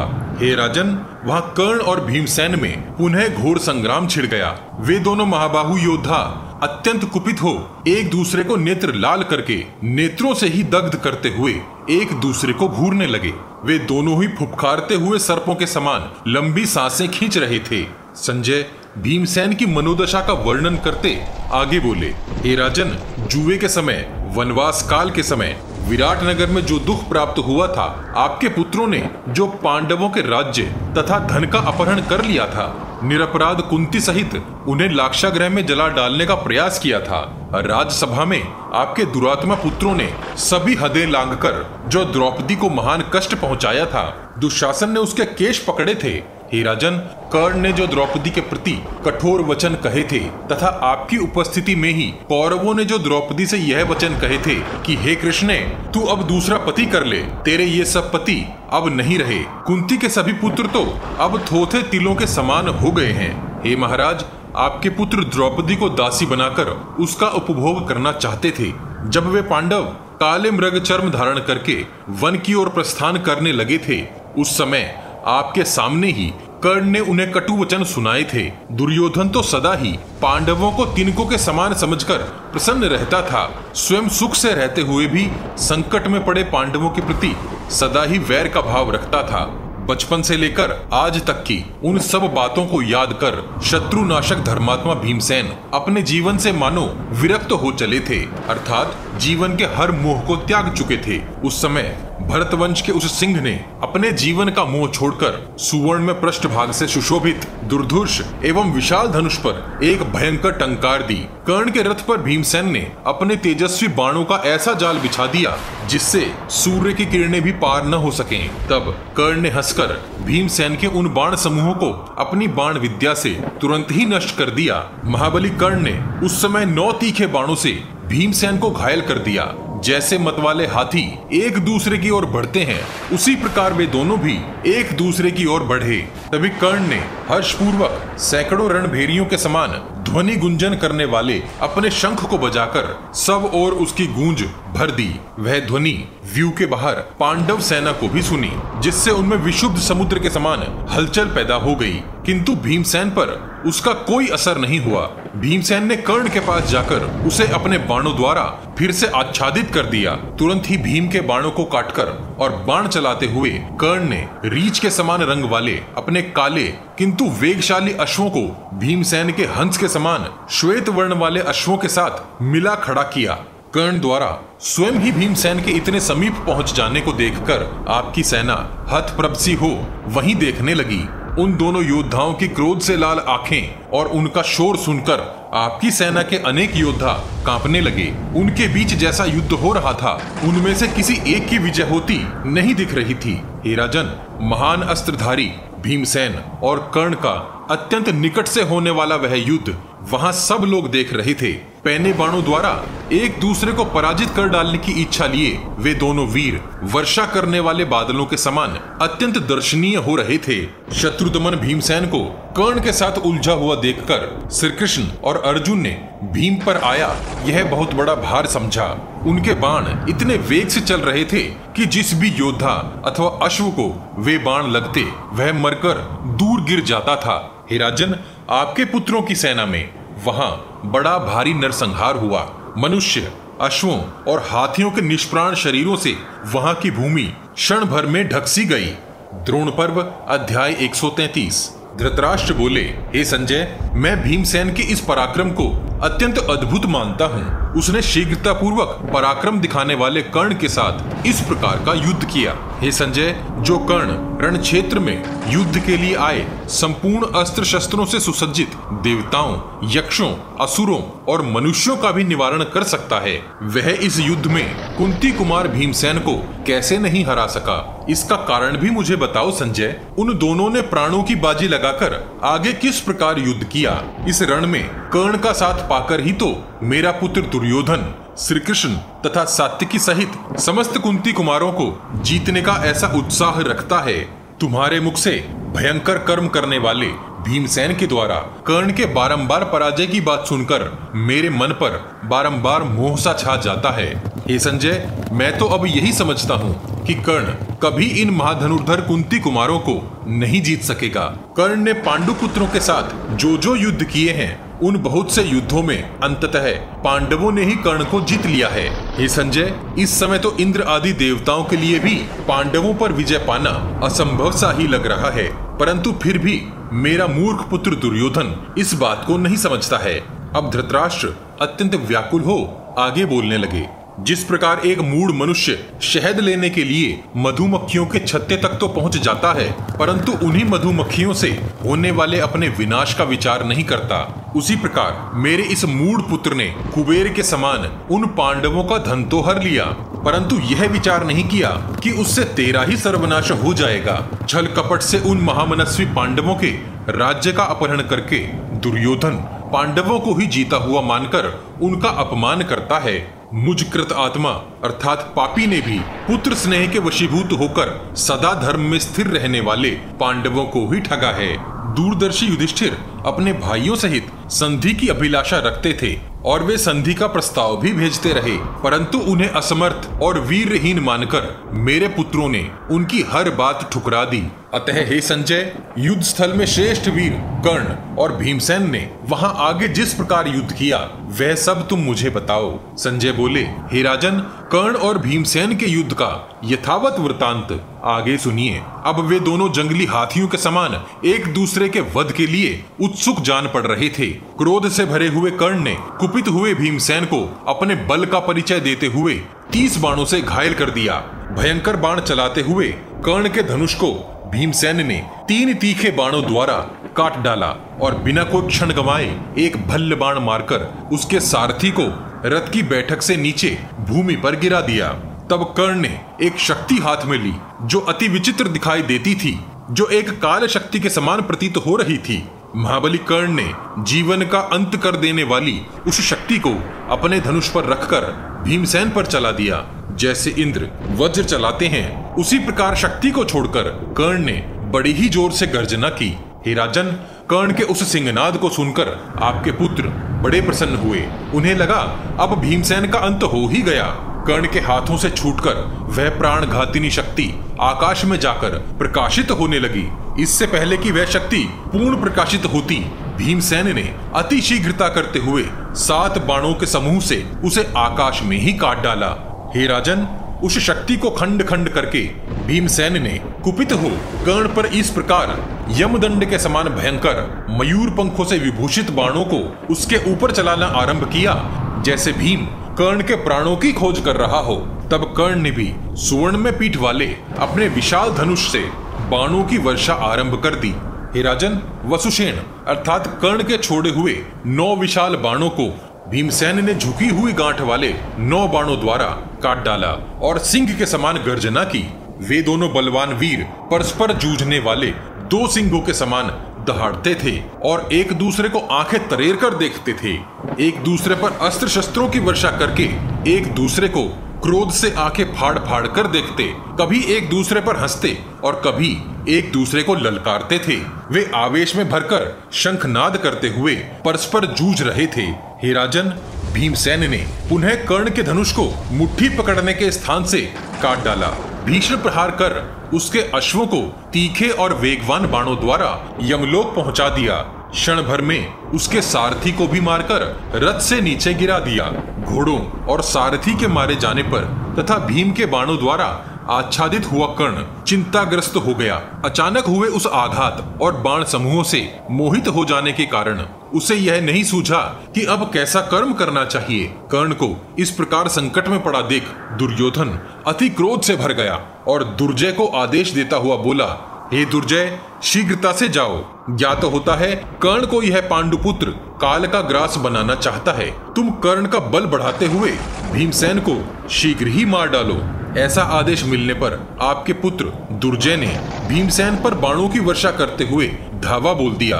उसने नौ बाणों से भीमसेन को आठ बाणों से उनके अश्वों को, छह बाणों से उनके सारथी पर आघात किया। पुनः तीन बाणों द्वारा उनकी ध्वजा पर आघात करके भीमसेन पर सात बाण छोड़े। तब भीमसेन ने अपने शीघ्रगामी बाणों द्वारा दुर्जय, जिसे दुष्पराजय के नाम से भी जाना जाता था, पर भारी बाण वर्षा करके, उसके मर्म स्थलों को विदीर्ण करके उसे सारथी और अश्वों सहित यमलोक भेज दिया। आभूषण भूषित दुर्जय, अर्थात दुष्पराजय, का शत विक्षत शरीर भूमि पर गिरकर गंभीर चोट खाए हुए सर्प के समान तड़पने लगा। दुर्जय को इस प्रकार तड़पता देख कर्ण अत्यधिक शोक से भरकर आपके उस पुत्र की परिक्रमा करने लगा। भीमसेन ने अपने बाणों की वर्षा वहाँ शोकग्रस्त कर्ण पर भी कर डाली और अनेक वेगवान बाणों से पुनः कर्ण के रथ को खंडित कर दिया। परंतु कर्ण वहाँ से गया नहीं और भीमसेन के बाणों का प्रतिकार करता रहा। द्रोण पर्व अध्याय 134 संजय बोले, हे महाराज रथ शून्य हुए कर्ण को मानो भीमसेन ने पुनः जीत लिया हो। उस समय कर्ण वहाँ से भागा नहीं, अपितु एक दूसरे रथ पर आरूढ़ होकर अपने बाणों से प्रहार करता रहा और उसने भीमसेन को पुनः घायल किया। जैसे दो विशाल गजराज अपने दांतों के अग्रभागों द्वारा एक दूसरे से भिड़ गए हों, उसी प्रकार कर्ण और भीमसेन अपने बाणों के द्वारा एक दूसरे को चोट पहुँचाने लगे। तदनंतर कर्ण ने अपने बाण समूह द्वारा भीमसेन को घायल कर और बड़े ज़ोर से गर्जना कर, पुनः भीमसेन की छाती में चोट पहुंचाई। तब भीम ने भी सीधे जाने वाले दस बाण कर्ण को मारकर उस आघात का बदला चुकाया। तुरंत ही सत्तर बाणों द्वारा कर्ण को आच्छादित कर डाला। हे राजन, भीमसेन ने कर्ण की छाती में नौ बाणों द्वारा गहरी चोट पहुंचाई और एक तीखे बाण से उसकी ध्वजा को भी छेद डाला। हे राजन, यशस्वी पांडुपुत्र के द्वारा अत्यंत घायल होकर वीरवर कर्ण क्रोध से आँखें लाल करके अपने दोनों जबड़ों को चटकाने लगा। हे राजन, तभी कर्ण के धनुष से छूटा हुआ वह विचित्र पंखों वाला बाण भीमसेन को विदीर्ण करके भूमि में समा गया। तब क्रोध से लाल नेत्र करके महाबाहु भीमसेन ने चार बित्ते जितनी वज्र के समान, भयंकर, छह किनारों वाली, भारी भरकम गदा उठाकर उसे बिना कोई विचार किए कर्ण पर फेंक दिया। भीम की उस गदा ने अधिरथ पुत्र कर्ण के उन उत्तम अश्वों को मार डाला। तुरंत ही भीमसेन ने दो छुरों से कर्ण के उस रथ की ध्वजा काटकर तीखे बाणों द्वारा उसके सारथी को पुनः मार डाला। हे राजन अश्वों और सारथी के मारे जाने पर कर्ण उस रथ को छोड़कर धनुष की टंकार करता हुआ अत्यंत दुखी मन से वहाँ भूमि पर खड़ा हो गया। वहाँ हम लोगों ने राधानंदन कर्ण का अद्भुत पराक्रम देखा। रथियों में श्रेष्ठ उस वीर ने रथहीन होने पर भी अपने उस शत्रु को आगे नहीं बढ़ने दिया। हे राजन, नरश्रेष्ठ कर्ण को युद्ध स्थल में रथहीन खड़ा देखकर पुनः दुर्योधन ने अपने भाई दुर्मुख से कहा हे दुर्मुख, यह राधानंदन कर्ण भीमसेन के द्वारा पुनः रथ से वंचित कर दिया गया है। इस महारथी नरश्रेष्ठ को शीघ्रता से रथ से संपन्न करो। दुर्योधन की यह बात सुनकर दुर्मुख बड़ी शीघ्रता के साथ कर्ण के समीप पहुँचने लगा और जाते जाते भीमसेन को अपने बाणों द्वारा रोकने भी लगा। संग्राम में कर्ण के चरणों का अनुसरण करने वाले दुर्मुख को देखकर वायुपुत्र भीमसेन बड़े ही प्रसन्न हुए और अपने दोनों गलफर, अर्थात गाल के भीतर का भाग चाटने लगे। हे महाराज, तदनंतर कर्ण को अपने बाणों द्वारा वहीं रोककर भीम तुरंत ही अपने रथ को दुर्मुख के रथ के पास ले गए। हे राजन, भीम ने फिर झुकी हुई गांठ वाले नौ सुदृढ़ बाणों द्वारा दुर्मुख को उसी क्षण यमलोक पहुँचा दिया। दुर्मुख के मारे जाने पर कर्ण उसके रथ पर बैठकर पुनः सूर्य के समान प्रकाशित होने लगा। दुर्मुख खून से लथपथ हो भूमि पर पड़ा था। उसे उस दशा में देखकर कर्ण के नेत्रों में आँसू भर आए। दो घड़ी तक तो वह यूँ ही खड़ा रहा। जब उसके प्राण पखेरु उड़ गए, तब कर्ण उसके शव की परिक्रमा करके युद्ध के लिए आगे बढ़ा। गरम गरम लंबी साँसें खींचता हुआ कर्ण किसी निश्चित कर्तव्य का निर्णय न कर सका। हे राजन, इसी क्षण भीमसेन ने उस पर गिद्ध के पंख वाले चौदह नाराज़ बाण चलाए, जिसने उसके सुवर्ण जटित कवच को छिन्न भिन्न कर दिया। ध्यान रहे, यहाँ कर्ण के दिव्य कवच की बात नहीं हो रही है।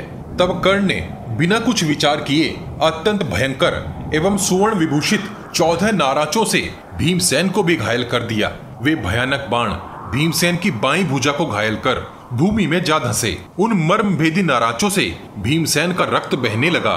तब भीमसेन ने भी अति परिश्रम करके वेगशाली तीन बाणों द्वारा कर्ण को तथा सात बाणों द्वारा उसके सारथी को घायल कर दिया। हे महाराज, भीम के उन बाणों से आहत होकर कर्ण विहल हो उठा। घायल हुए सारथी से अश्वों की लगाम अपने हाथ में लेकर कर्ण वहाँ से युद्ध छोड़कर चला गया। परंतु भीमसेन अपने स्वर्ण भूषित धनुष को ताने हुए प्रज्वलित अग्नि के समान वहाँ युद्ध स्थल में ही खड़े रहे। द्रोण पर्व अध्याय 135 धृतराष्ट्र बोले, हे संजय, मैं तो देव अर्थात भाग्य को ही बड़ा मानता हूँ। मेरी समझ में तो पुरुषार्थ व्यर्थ है, क्योंकि पुरुषार्थ करता कर्ण सब प्रकार से प्रयत्न करके भी रण क्षेत्र में भीम से पार न पा सका। कर्ण तो युद्ध स्थल में श्री कृष्ण सहित समस्त कुंती कुमारों को जीतने का उत्साह रखता है। मैं तो इस संसार में कर्ण के समान दूसरे किसी योद्धा को नहीं देख पा रहा हूँ। इस प्रकार के कथन दुर्योधन के मुँह से मैंने बारंबार सुने हैं। मंदबुद्धि दुर्योधन ने पहले मुझसे यह भी कहा था कि कर्ण बली है, सुदृढ़ धनुर्धर और युद्ध में परिश्रम तथा थकावट पर विजय पाने वाला है। दुर्योधन बोलता था, कर्ण के साथ रहने पर युद्ध भूमि में मुझे देवता भी परास्त नहीं कर सकते तो फिर शक्तिहीन और विवेक शून्य हो चुके। पांडव, मेरा क्या ही कर सकते हैं? परंतु रण क्षेत्र में कर्ण को पराजित और युद्ध से पलायन करते देखकर दुर्योधन ने अब क्या कहा? मूड हुए दुर्योधन ने युद्ध की कला से अनभिज्ञ दुर्मुख को अकेले ही पतंगे की भांति घोर अग्नि में झोंक दिया। हे संजय, अब तो मैं समझता हूँ कि अश्वत्थामा, मद्राज शल्य, कृपाचार्य और कर्ण, ये सब मिलकर भी निश्चित ही भीमसेन के सामने नहीं ठहर सकते। वे सभी वायु के समान, तेजस्वी भीमसेन के दस सहस्त्र हाथियों के समान अत्यंत घोर बल को जानते हैं। उसके बल पराक्रम और क्रोध से भी परिचित हैं। ये सब जानते हुए भी उन्होंने यम और काल के समान क्रूर कर्म कर सकने वाले भीम को अपने ऊपर क्यों इतना कुपित कर डाला? अकेला कर्ण ही अपने बाहुबल के मद में भरकर भीमसेन का तिरस्कार करके रणभूमि में उसके साथ जूझता रहा। जो भीमसेन अकेले ही द्रोणाचार्य को मत कर अर्जुन का पता लगाने के लिए मेरी इस विशाल सेना में घुस गया, उसका सामना करने के लिए जीवित रहने की इच्छा वाला भला कौन पुरुष जा सकता है? हे संजय, जिस प्रकार हाथ में वज्र लिए हुए देवराज इंद्र के सामने कोई दानव खड़ा नहीं हो सकता, उसी प्रकार भीमसेन के सम्मुख भला कौन ही ठहर सकता है? मैं तो मानता हूँ, मनुष्य यमलोक में जाकर भी लौट सकता है, परंतु युद्ध में भीमसेन के सामने जाकर कदापि जीवित नहीं लौट सकता। मेरे जो ये मंदबुद्धि पुत्र मोह में पड़कर क्रोध से भरे हुए भीमसेन की ओर दौड़ पड़े थे वे पतंगों के समान मानो अग्नि में ही कूद पड़े थे। क्रोध से भरकर भीमसेन ने उस दिन सभा भवन में समस्त कौरवों को सुनाते हुए मेरे पुत्रों की वध की जो प्रतिज्ञा की थी, उसका विचार करके और यहाँ इस प्रकार कर्ण को पराजित देखकर दुर्योधन सहित दुशासन तथा अन्य कौरव निश्चित ही भय के मारे भीमसेन से दूर हट गए होंगे। हे संजय, खोटी बुद्धि वाले दुर्योधन ने सभा में बारंबार कहा था, कर्ण दुशासन तथा मैं, हम तीनों मिलकर युद्ध में पांडवों को निश्चित ही जीत लेंगे। परंतु अब कर्ण को भीमसेन के द्वारा पराजित और रथहीन हुआ देख श्री कृष्ण की बात न मानने वाले मेरे पुत्र को निश्चय ही बड़ा भारी पश्चाताप हुआ होगा अपने कवचधारी भ्राताओं को युद्ध में भीमसेन के द्वारा मारा गया देख दुर्योधन को अपने अपराध के लिए अवश्य ही महान अनुताप हुआ होगा। हे संजय, युद्ध में क्या पांडव, क्या पांचाल, क्या श्री कृष्ण तथा क्या सत्य अगर ये क्रोध में भर जाएँ तो अपने जीवन की भी परवाह न करते हुए ये सब युद्ध करते हैं। संजय बोले, हे कुरुनंदन, जब यह महान भय अब सर पर आ ही गया है तब आप इस प्रकार शोक करने बैठे हैं। यह किसी भी दृष्टि से उचित नहीं है। इसमें कोई संदेह नहीं कि इस विनाश का मूल कारण आप ही हैं। आपने अपने पुत्रों की हर अनुचित बात में भी हाँ में हाँ मिलाकर स्वयं ही इस महान बैर की नींव डाली है। और जब आपको अनेक अनुभवी जनों ने समझाने का प्रयास भी किया, तब आपने उसे भी नहीं माना। ठीक उसी प्रकार, जैसे मरणासन मनुष्य हितकारक औषधि ग्रहण नहीं करता। हे राजन, आपने स्वयं ही इस कालकूट विष, अर्थात समुद्र मंथन के समय निकले इस भयंकर विष को पिया है। अब उसके सारे परिणामों को भी आप ही भोगेंगे। यहाँ युद्ध कर रहे महाबली योद्धाओं को कोसना अब व्यर्थ है। वहाँ आगे किस प्रकार युद्ध हुआ, वह सब मैं आपको बताता हूँ। सुनिए, हे भरत नंदन कर्ण को भीमसेन से पराजित हुआ देख, आपके पाँच पुत्र दुर्मर्शन दुस्सह, दुर्मद, दुर्धर, अर्थात दुराधर। और जय सह न सके। इन सबने विचित्र रीति से कवच धारण करके भीमसेन पर आक्रमण कर दिया। चारों ओर से घेर कर टिड्डी दलों के समान अपने बाण समूहों द्वारा संपूर्ण दिशाओं को आच्छादित कर दिया। उन राजकुमारों को अचानक आया देख भीमसेन ने हँसते हुए से उनका आघात सहन किया। हे राजन, आपके उन पुत्रों को भीमसेन के सामने गया हुआ देख राधानंदन कर्ण पुनः भीमसेन का सामना करने वहाँ आ पहुँचा। उस समय आपके पुत्रों द्वारा रोके जाने पर भी भीमसेन रुके नहीं और तुरंत ही कर्ण के साथ युद्ध करने के लिए उनकी ओर बढ़ गए। तब उन कौरव राजकुमारों ने कर्ण को चारों ओर से सुरक्षा देते हुए भीमसेन पर झुकी हुई गांठ वाले बाणों की वर्षा आरंभ कर दी। हे राजन, यह देखकर भीमसेन को अत्यधिक क्रोध आ गया। उन्होंने उन सभी राजकुमारों पर एक साथ 25 बाणों का प्रहार किया। वे सभी एक साथ ही सारथी और अश्वों सहित यमलोक पहुँच गए। वे सभी प्राण शून्य होकर सारथियों सहित रथों से नीचे गिर पड़े। ऐसा लगा मानो अचानक आई प्रचंड आंधी ने क्षण भर में विशाल वृक्षों को उखाड़कर भूमि पर बिछा दिया हो। वहाँ हमने भीमसेन का वह अद्भुत पराक्रम भी देखा कि उन्होंने कर्ण को अपने बाणों द्वारा वहीं रोककर आपके उन पाँचों पुत्रों को मार डाला। हे महाराज, इस प्रकार रोके जाने पर कर्ण ने भीमसेन की ओर क्रोध पूर्वक देखा और क्रोध से लाल आँखें किए। भीमसेन भी अपने विशाल धनुष को आगे कर कर्ण की ओर रोष पूर्वक बारंबार देखने लगा। द्रोण पर्व, अध्याय 136 संजय बोले, हे राजन, आपके पुत्रों को रणभूमि में गिरा हुआ देख प्रतापी कर्ण उस समय अपने आप को अपराधी सा मानने लगा, क्योंकि भीमसेन ने उसकी आँखों के सामने ही आपके पुत्रों को मार डाला था। तदनंतर पहले के वैर का बारंबार स्मरण करके कुपित हुए भीमसेन ने कर्ण के शरीर में अपने पैने बाण धसा दिए। तब कर्ण ने भी पाँच बाण मारकर भीमसेन को घायल किया।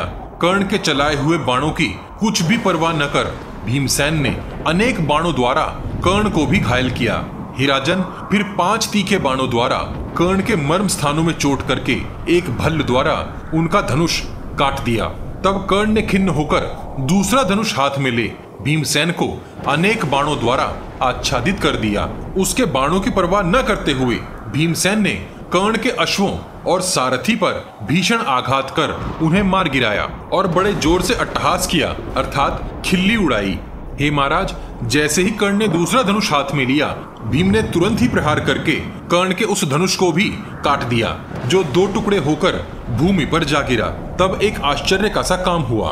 वीरवर कर्ण हाथ में गदा लेकर उस रथ से उतर गया और रोष पूर्वक वह गदा भीमसेन पर फेंक दी। उस विशाल गदा को अपने ऊपर आती देख भीम ने सबके देखते देखते ही अपने बाणों द्वारा उसका निवारण कर दिया। तब भीम ने बड़ी उतावली करके कर्ण पर बहुतेरे बाण चलाए, परंतु कर्ण ने अपने बाणों द्वारा उन सभी का निवारण कर भीमसेन के कवच को भी छिन्न भिंसा कर दिया। तभी कर्ण ने भीम पर 25 नाराजों का प्रहार किया। उस प्रहार को निष्फल कर अत्यंत क्रोध में भरे हुए महाबाहु भीमसेन ने कर्ण को नौ बाण मारे। वे तीखे बाण, कर्ण के कवच तथा दाहिनी भुजा को चोट पहुंचाते हुए सर्पों के समान भूमि में समा गए। भीमसेन के उस भीषण प्रहार तथा बाणों से आच्छादित हुए कर्ण पुनः युद्ध से विमुख हो गए और वहाँ से पीछे हटने लगे। कर्ण को इस प्रकार युद्ध से विमुख हुआ देखकर राजा दुर्योधन अपने सैनिकों से ज़ोर से बोला, हे वीरों, सब ओर से कर्ण के रथ की ओर शीघ्रता से जाओ और उनकी रक्षा का तत्काल प्रबंध करो। हे राजन, तब भाई की बात सुनकर आपके पुत्र, चित्र, उपचित्र, चित्रार्थ, चारुचित्र, शरासन, चित्रायुध और चित्र वर्मा शीघ्रता पूर्वक भीम पर बाणों की वर्षा करते हुए वहाँ आने लगे। ये सभी विचित्र रीति से युद्ध करने वाले थे, परंतु भीम से उनकी कोई तुलना नहीं थी। भीमसेन ने उनके आते ही शीघ्रता पूर्वक एक एक सदा हुआ बाण मारकर आपके उन सभी पुत्रों को वहीं धराशाही कर दिया। वे मारे जाकर आंधी में उखड़े हुए वृक्षों के समान भूमि पर सो गए। हे राजन, आपके उन पुत्रों को इस प्रकार मारा गया देख कर्ण के मुख पर आंसुओं की धारा बह निकली। उस समय कर्ण को विदुर की कही हुई बात याद आई थी। फिर उस पराक्रमी वीर ने विधि पूर्वक सजाए हुए दूसरे वेगशाली रथ पर बैठकर शीघ्रता पूर्वक भीमसेन पर आक्रमण किया। वे दोनों एक दूसरे को शत विक्षत करने लगे। तत्पश्चात क्रोध से भरे हुए भीमसेन ने प्रचंड तेज वाले 26 तीखे भल्ल बाणों का प्रहार करके कर्ण के कवच को और अधिक छिन्न भिन्न कर डाला और अनेक बाणों से उन पर प्रहार किया। शरीर पर लाल चंदन और रुधिर से लथपथ हुए वे दोनों उदय होते सूर्य के समान शोभा पा रहे थे। बाणों के प्रहार से उन दोनों के कवच शत विक्षत हो गए थे और अंग रक्त से भीग रहे थे। रथियों में श्रेष्ठ भीम और कर्ण सिंहनाद करते, आपस में खेल सा करते हुए अपने रथों को मंडलाकार अर्थात गोल गोल घुमा रहे थे। हे राजन, तदनंतर अच्छी तरह चलाए हुए बाणों से भीम ने कर्ण को पुनः आच्छादित कर दिया। आपके पुत्रों ने वहाँ भीमसेन का यह अद्भुत पराक्रम देखा। भीम उस रण क्षेत्र में अर्जुन, यशस्वी श्री कृष्ण सात्विकी तथा दोनों चक्र रक्षकों, युधामन्यु एवं उत्तम औजा को आनंदित करते हुए कर्ण के साथ युद्ध कर रहे थे। हे महाराज, भीमसेन के पराक्रम, बाहुबल और धैर्य को देखकर आपके सभी पुत्र उदास हो गए। द्रोण पर्व, अध्याय 137 जब वहाँ भीम और कर्ण के बीच भयंकर युद्ध होने लगा, तब संजय बोले, हे राजन, भीमसेन के धनुष की टंकार को कर्ण सहन न कर सके। अनेक कौरव पुत्रों को वहाँ मारा गया देख कर्ण का मन अत्यंत दुखी हो गया। उस समय बाणों की वर्षा करते हुए कर्ण सूर्य देव के समान शोभा पा रहे थे। कर्ण के धनुष से छूटे हुए मयूर पंखधारी बाण भीमसेन के शरीर में उसी प्रकार घुसने लगे, जैसे पक्षी दिन ढलने पर वृक्षों पर आ जाते हैं। कर्ण के धनुष से छूटकर वे बाण पंक्तियों में उड़ते हंसों के समान शोभा पा रहे थे। हे राजन, उस समय अधीरथ पुत्र कर्ण के धनुष से वे बाण इस प्रकार निकल रहे थे। मानो रथ के सभी भाग बाण ही उगल रहे हों। कर्ण ने वहाँ आकाश में विचरने वाले ग्रद्ध अर्थात गिद्ध या जटायु के पंखों और सोर्ण के बने हुए विचित्र बाण चलाए।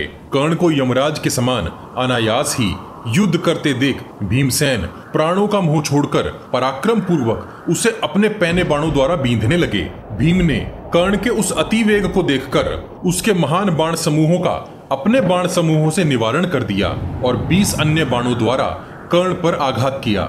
जिस प्रकार कर्ण ने अपने बाणों द्वारा भीमसेन को आच्छादित किया था, उसी प्रकार भीम ने भी कर्ण को अपने बाणों से ढक दिया। हे भरत नंदन युद्ध में भीमसेन का वह पराक्रम देखकर आपके योद्धाओं तथा आकाश में चारण समूहों ने भीम की भूरी भूरी प्रशंसा की। हे राजन, भूरिश्रवा, कृपाचार्य, अश्वत्थामा मदराज शल्य जयद्रथ, उत्तम औजा, युधामन्यु, सात्विकी श्री कृष्ण तथा अर्जुन, इस प्रकार कौरव और पांडव पक्ष के सभी महायोद्धा भीम के उस पराक्रम को देख अकस्मात ही साधु साधु बोल उठे और ऐसा कहकर वेग पूर्वक सिंह नाद करने लगे। हे महाराज, उस रोमांचकारी भयंकर शोर के प्रकट होने पर आपके पुत्र दुर्योधन ने वहाँ खड़े राजाओं, राजकुमारों और विशेषतः अपने भाइयों से कहा, हे वीरों, तुम सब लोग भीमसेन से कर्ण की रक्षा करने के लिए जाओ और उसे उसके चंगुल से निकालने का प्रयत्न करो। कहीं ऐसा न हो कि भीम के धनुष से छूटे हुए बाण ही कर्ण को मार डालें। अतः हे महाधनुर्धर वीरों, तुम सब लोग शीघ्रता करके प्रयत्न करो। हे राजन, दुर्योधन की आज्ञा पाकर उसके साथ भाइयों ने कुपित होकर भीमसेन पर आक्रमण करके उन्हें चारों ओर से घेर लिया। वर्षा ऋतु में मेघों की जल धाराओं के समान अपने बाणों की वर्षा से भीमसेन को आच्छादित कर दिया। उन्होंने भीम को पीड़ित कर अत्यंत कुपित कर दिया। हे महाराज, जब कुंती कुमार ने पूर्व काल के वैर का स्मरण करके अपने धनुष को सुदृढ़ मुट्ठी से बलपूर्वक दबाकर उन सात भाइयों को साधारण मनुष्य ही जानकर उनके लिए अपने धनुष पर सात बाणों का संधान किया। सूर्य किरणों के समान उन चमकीले बाणों को भीम ने परिश्रम पूर्वक आपके उन पुत्रों पर छोड़ दिया। हे महाराज, वे स्वर्ण भूषित सातों बाण आपके पुत्रों का रक्त पीकर, लाल होकर उनके शरीरों से बाहर निकले। उनके पंख और अग्रभागों पर रक्त जम गया था। मर्मस्थल विदीर्ण हो जाने के कारण वे सातों वीर योद्धा अपने रथों से भूमि पर गिर पड़े। ऐसा लगा मानो किसी हाथी ने विशाल वृक्षों को तोड़कर गिरा दिया हो। हे महाराज, भीम ने वहाँ शत्रंजय शत्रु सह चित्र अर्थात चित्रवाण चित्रायुध अर्थात अग्रायुध दृढ़ अर्थात दृढ़ वर्मा चित्रसेन अर्थात उग्रसेन और विकर्ण, इन सातों भाइयों को मार गिराया था। वहाँ मारे गए आपके सभी पुत्रों में से विकर्ण, पांडवों को अधिक प्रिय था। पांडुनंदन भीमसेन भी उसके लिए अत्यंत दुखी होकर शोक करने लगे थे। भीम बोले थे, हे विकर्ण, मैंने यह प्रतिज्ञा कर रखी थी कि युद्ध स्थल में धृतराष्ट्र के सभी पुत्रों को मार डालूँगा। इसीलिए तुम मेरे हाथों से मारे गए हो। मैंने अपनी प्रतिज्ञा की रक्षा के लिए ही ऐसा किया है। हे वीर तुम क्षत्रिय धर्म का विचार करके युद्ध भूमि में आ गए। इसलिए इस युद्ध भूमि में तुम भी मारे गए, क्योंकि युद्ध धर्म अत्यंत कठोर होता है। हे वीर, तुम तो हमारे और विशेषतः राजा युधिष्ठिर के हित में ही सदैव तत्पर रहते थे। न्याय पूर्वक कहो या अन्याय पूर्वक कहो, बृहस्पति के समान अगाध बुद्धि वाले महातेजस्वी गंगानंदन भीष्म भी इस युद्ध भूमि में सो रहे हैं और प्राण त्याग की स्थिति में डाल दिए गए हैं। इसीलिए कहा जाता है कि युद्ध अत्यंत निष्ठुर कर्म है। संजय बोले, हे राजन, कर्ण के देखते देखते उन सातों भाइयों को मारकर महाबाहु भीम ने भयंकर सिंहनाद किया। उस सिंहनाद ने धर्मराज युधिष्ठिर को भीमसेन की महान विजय की मानो सूचना दे दी हो। जिसे सुनकर बुद्धिमान धर्मराज युधिष्ठिर को बड़ी प्रसन्नता हुई और उन्होंने वाद्यों की गंभीर ध्वनि के द्वारा भाई के उस सिंहनाद को स्वागत पूर्वक ग्रहण किया। बड़े बड़े वाद्य बजाकर भीमसेन को अपनी प्रसन्नता का संकेत करके व्यू के बाहर खड़े युधिष्ठिर ने अब दोगुने हर्ष के साथ द्रोणाचार्य पर आक्रमण किया। हे महाराज, आपके 31 दुष्यल समेत 32 पुत्रों को वहाँ मारा गया देखकर दुर्योधन को विदुर जी की कही हुई बात याद आ गई। दुर्योधन ने स्वयं से कहा, विदुर जी ने जो वचन कहे थे, वही सब अब सामने आ रहे हैं। ऐसा सोचते हुए दुर्योधन की बुद्धि शिथिल सी हो गई। हे राजन, द्यूत के समय कर्ण के साथ आपके पुत्र दुर्बुद्धि दुर्योधन ने पांचाल राजकुमारी द्रौपदी को सभा में बुलवाया था और पांडवों और आपके सामने समस्त कौरवों के सुनते हुए कर्ण ने द्रौपदी से कहा था, हे कृष्ण, पांडव तो अब नष्ट हो गए और सदा के लिए नरक में जा पड़े हैं। तू अब दूसरा पति कर ले। उसी अन्याय का आज यह फल प्राप्त हुआ है। आपके पुत्रों ने जो पांडवों को नपुंसक आदि कठोर शब्द सुनाए थे, उसके ही कारण पांडु पुत्र भीमसेन के हृदय में तेरह वर्षों तक जो क्रोधाग्नि धधकती रही है आपके पुत्रों का अंत उसी भयंकर क्रोधाग्नि से हो रहा है। हे भरत श्रेष्ठ विदुर जी ने आपके सम्मुख बहुत विलाप किया था, परंतु उन्हें शांति की वह भिक्षा किसी ने नहीं दी। हे राजन, आपके उसी अन्याय का फल यहाँ प्रकट हो रहा है। आप वृद्ध हैं। वीर हैं, कर्म और धर्म के तत्वों और प्रयोजन को देखते और समझते हैं। तब भी आपने अपने हितैषी सुहृदयों की बात नहीं मानी। इसमें देव अर्थात भाग्य ही प्रधान कारण है। अतः हे नरश्रेष्ठ, आप अब शोक न कीजिए। मैं तो आपको ही अपने पुत्रों के विनाश का मुख्य कारण मानता हूँ। हे राजन, विकर्ण भी मारा गया। पराक्रमी चित्रसेन को भी प्राणों का त्याग करना पड़ा। आपके पुत्रों में जो प्रमुख थे वे, तथा अन्य महारथी भी, काल के गाल में चले गए। भीमसेन ने उस समय अपने नेत्रों के सामने आपके जिन जिन पुत्रों को देखा, उन सबको तुरंत ही मार डाला। द्रोण पर्व, अध्याय 138 धृतराष्ट्र बोले, हे संजय, यह मेरा किया गया ही अन्याय है। यह मैं स्वीकार करता हूँ। शोक में डूबे हुए मुझे, मेरे उसी अन्याय का फल प्राप्त हो रहा है। हे संजय, अब तक मेरे मन में मात्र यही बात थी कि जो बीत गया, सो बीत गया।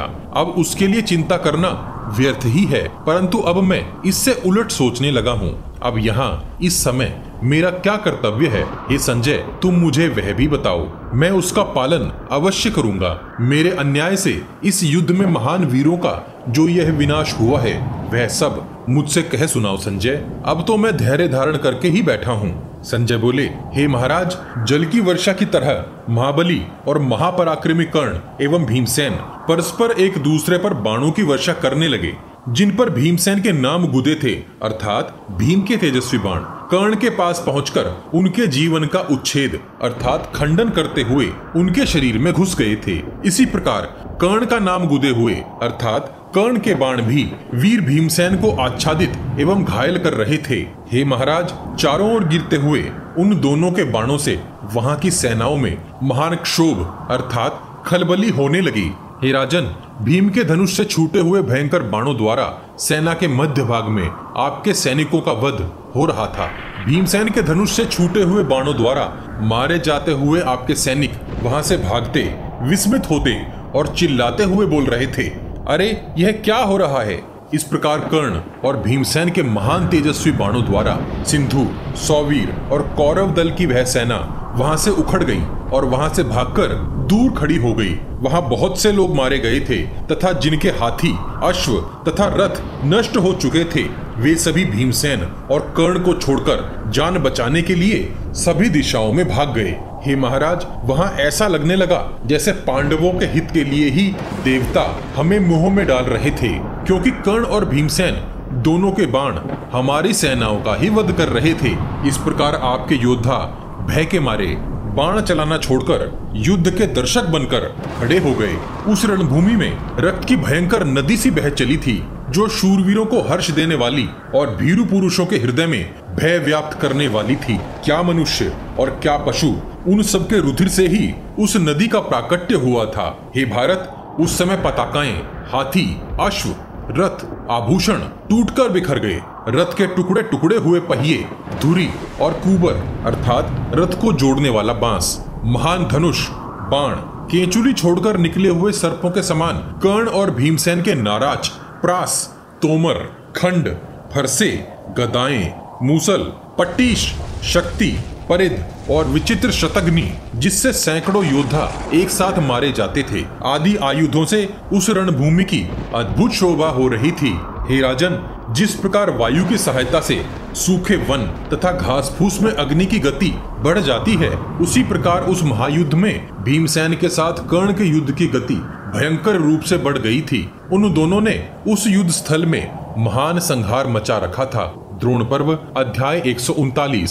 संजय बोले, हे महाराज, तदनंतर कर्ण ने तीन बाणों से भीमसेन को घायल करके उन पर बहुत से विचित्र बाण बरसाए। किंतु भीमसेन को उनसे तनिक भी व्यथा नहीं हुई। तब भीमसेन ने अपने तीखे करणी नामक बाण से कर्ण के कान पर गहरी चोट पहुंचाई। हे महाराज, उस आघात से कर्ण के सोने के बने हुए बड़े एवं सुंदर कुंडल आकाश में चमकते हुए तारे के समान पृथ्वी पर गिर गए। ध्यान रहे, यहाँ कर्ण के दिव्य कुंडलों की बात नहीं हो रही है। तदनंतर भीमसेन ने हँसते हुए भल्ल बाणों से कर्ण पर आघात किया तथा दस नाराज़ बाण भी छोड़े। हे राजन, उनके चलाए हुए बाणों ने कर्ण के ललाट पर भयंकर आघात किया। भीम के उस भयंकर प्रहार द्वारा अत्यंत घायल कर दिए जाने पर कर्ण रथ के कुबर, अर्थात दंड का सहारा लेकर और आँखें बंद कर दो घड़ी बैठ गए। कर्ण को दो ही घड़ी में चेतना आ गई। स्वयं को उस दशा में देखकर कर्ण को बड़ा क्रोध आया। तब महान वेगशाली कर्ण ने अत्यंत कुपित हो भीमसेन पर गिद्ध के पंखों वाले सौ बाण चलाए। कर्ण के पराक्रम को कुछ न समझते हुए तथा उनकी अवहेलना सी करके भीम ने भयंकर बाणों की वर्षा प्रारंभ कर दी। तब कर्ण ने परम पराक्रम प्रकट कर भीमसेन की छाती में नौ बाण दे मारे। वे दोनों पुरुष सिंह, दो सिंहों के समान परस्पर जूझ रहे थे। हे भरत नंदन तब अचानक भीमसेन ने एक शुरप्र के द्वारा कर्ण के धनुष को काटकर बड़े ज़ोर की गर्जना की। तब कर्ण ने उस कटे हुए धनुष को फेंक, अत्यंत वेगशाली दूसरा धनुष हाथ में उठा लिया, परंतु भीमसेन ने आधे निमेश, अर्थात पलक झपकने में लगने वाले समय, में ही उसे काट दिया। इसी प्रकार, तीसरे, चौथे, पांचवे, छठे, सातवें, ऐसे करते करते सत्रहवें अठारहवें तथा और भी बहुत से कर्ण के धनुषों को वेग पूर्वक काट दिया। महावीर कर्ण भी आधे ही निमेश में दूसरा धनुष हाथ में लेकर खड़े हो जाते थे। उस समय राधा नंदन कर्ण ने अत्यंत कुपित होकर अपने धनुष पर एक टंकार दी और भीमसेन को आँखें फाड़ फाड़ कर घनघोर दृष्टि से देखा। कर्ण क्षण भर में ही बाणों की वर्षा करते हुए दोपहर के तेजस्वी सूर्य की भांति शोभा पाने लगे। हे राजन, कर्ण का शरीर अनेक बाणों के लगने से भयानक सा जान पड़ता था। वहाँ एक विचित्र दृश्य उत्पन्न हुआ। उस रणभूमि में कर्ण दोनों हाथों से बाणों को तुणीर से निकालते, धनुष पर रखते, खींचते और छोड़ देते। इन चारों कर्मों में कोई अंतर नहीं दिखाई देता था। दाएँ बाएँ चलाए गए वे सहस्त्रों बाण समूह क्रोंच पक्षियों के समान श्रेणीबद्ध होकर आकाश को भरने लगे। वे स्वर्ण भूषित बाण भीम के रथ पर लगातार बरस रहे थे। कर्ण के धनुष से गिरते हुए वे बाण ऐसे लग रहे थे, मानो एक अत्यंत विशाल बाण आकाश में उत्पन्न होकर खड़ा हो गया हो। बाणों की वर्षा से भीमसेन का रथ इस प्रकार आच्छादित होने लगा जैसे बादल जल की धाराओं से पर्वत को ढक देता है। हे भारत, वहाँ सब सैनिकों सहित आपके पुत्रों ने भीमसेन और कर्ण के बल, वीर, पराक्रम और परिश्रम को देखा। तभी क्रोध से भरे हुए भीमसेन ने समुद्र की भांति उठी हुई उस बाण वर्षा की तनिक भी परवाह न करके कर्ण पर धावा बोल दिया। भीमसेन का विशाल धनुष प्रत्यंचा खींचने से मंडलाकार होकर दूसरे इंद्रधनुष के समान प्रतीत होता था। भीमसेन ने भी भारी बाणों की वर्षा कर आकाश में सोने की माला सी रच डाली थी, जिसने आकाश में फैले हुए बाणों के जालों को टुकड़े टुकड़े कर बिखेर दिया। अनायास ही उनके युद्ध में परम गति आ जाती थी। अनेक बाणों के समूहों से सारा आकाश छा जाता था। उस समय न तो सूर्य का पता चलता था और न ही वायु की गति का कर्ण नाना प्रकार के बाणों द्वारा भीमसेन को आच्छादित करके भीमसेन के पराक्रम का तिरस्कार करने लगे। हे भरत श्रेष्ठ उन दोनों पुरुष सिंहों के बाणों के परस्पर टकराने से आकाश में अग्नि प्रकट हो जाती थी।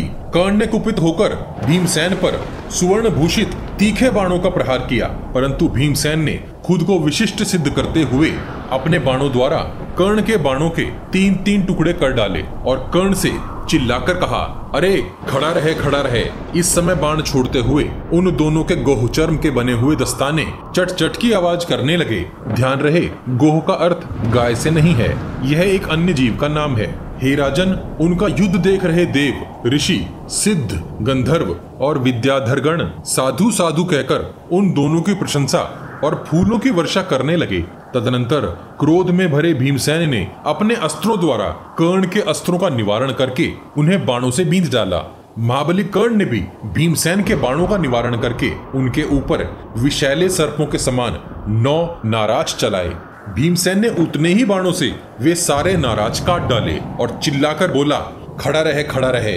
तत्पश्चात महाबाहु भीमसेन ने कर्ण के ऊपर ऐसा बाण चलाया जो क्रुद्ध यमराज के समान तथा दूसरे यम दंड के समान भयंकर जान पड़ता था, जिसे कर्ण ने तीन बाणों द्वारा हँसते हुए से काट डाला। क्रोध में भरे हुए कर्ण ने अपने अस्त्रों की माया से, अर्थात कुशलता से, भीमसेन के दो तरकशों, उनके धनुष की प्रत्यंचा, रथ की बागडोर तथा अश्वों को कसने वाली रस्सियों को भी एक साथ ही काट डाला। फिर अश्वों को भीषण प्रहार से मारकर सारथी को भी पाँच बाणों से घायल कर दिया।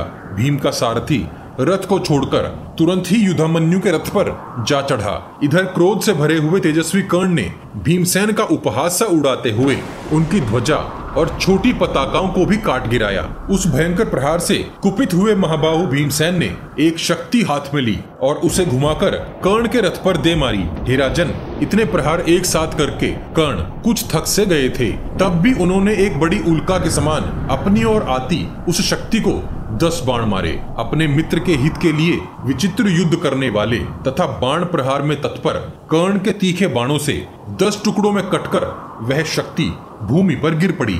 तब कुंती कुमार भीमसेन ने मृत्यु अथवा विजय प्राप्त करने की इच्छा मन में धारण कर एक सुदृढ़ ढाल और सुवर्ण भूषित तलवार हाथ में उठा ली। हे राजन, उस समय क्रोध में भरे हुए कर्ण ने हँसते हुए बहुत से भयंकर बाण मारकर भीमसेन की उस चमकीली ढाल को नष्ट कर दिया। ढाल और रथ से रहित हुए भीमसेन ने बड़ी उतावली करके कर्ण के रथ पर अपनी वह तलवार बड़े वेग से घुमाकर फेंक दी। हे राजन, वह तलवार किसी सर्प की भांति आकर कर्ण के धनुष और उसकी प्रत्यंचा को काटते हुई भूमि पर गिर पड़ी। ऐसा कर्म देखकर कर्ण ठहाका मारकर हंस पड़ा और उसने सुदृढ़ प्रत्यंचा वाला, अत्यंत वेगशाली दूसरा धनुष हाथ में लेकर स्वर्ण में पंख वाले अत्यंत तीखे बाणों का संधान किया।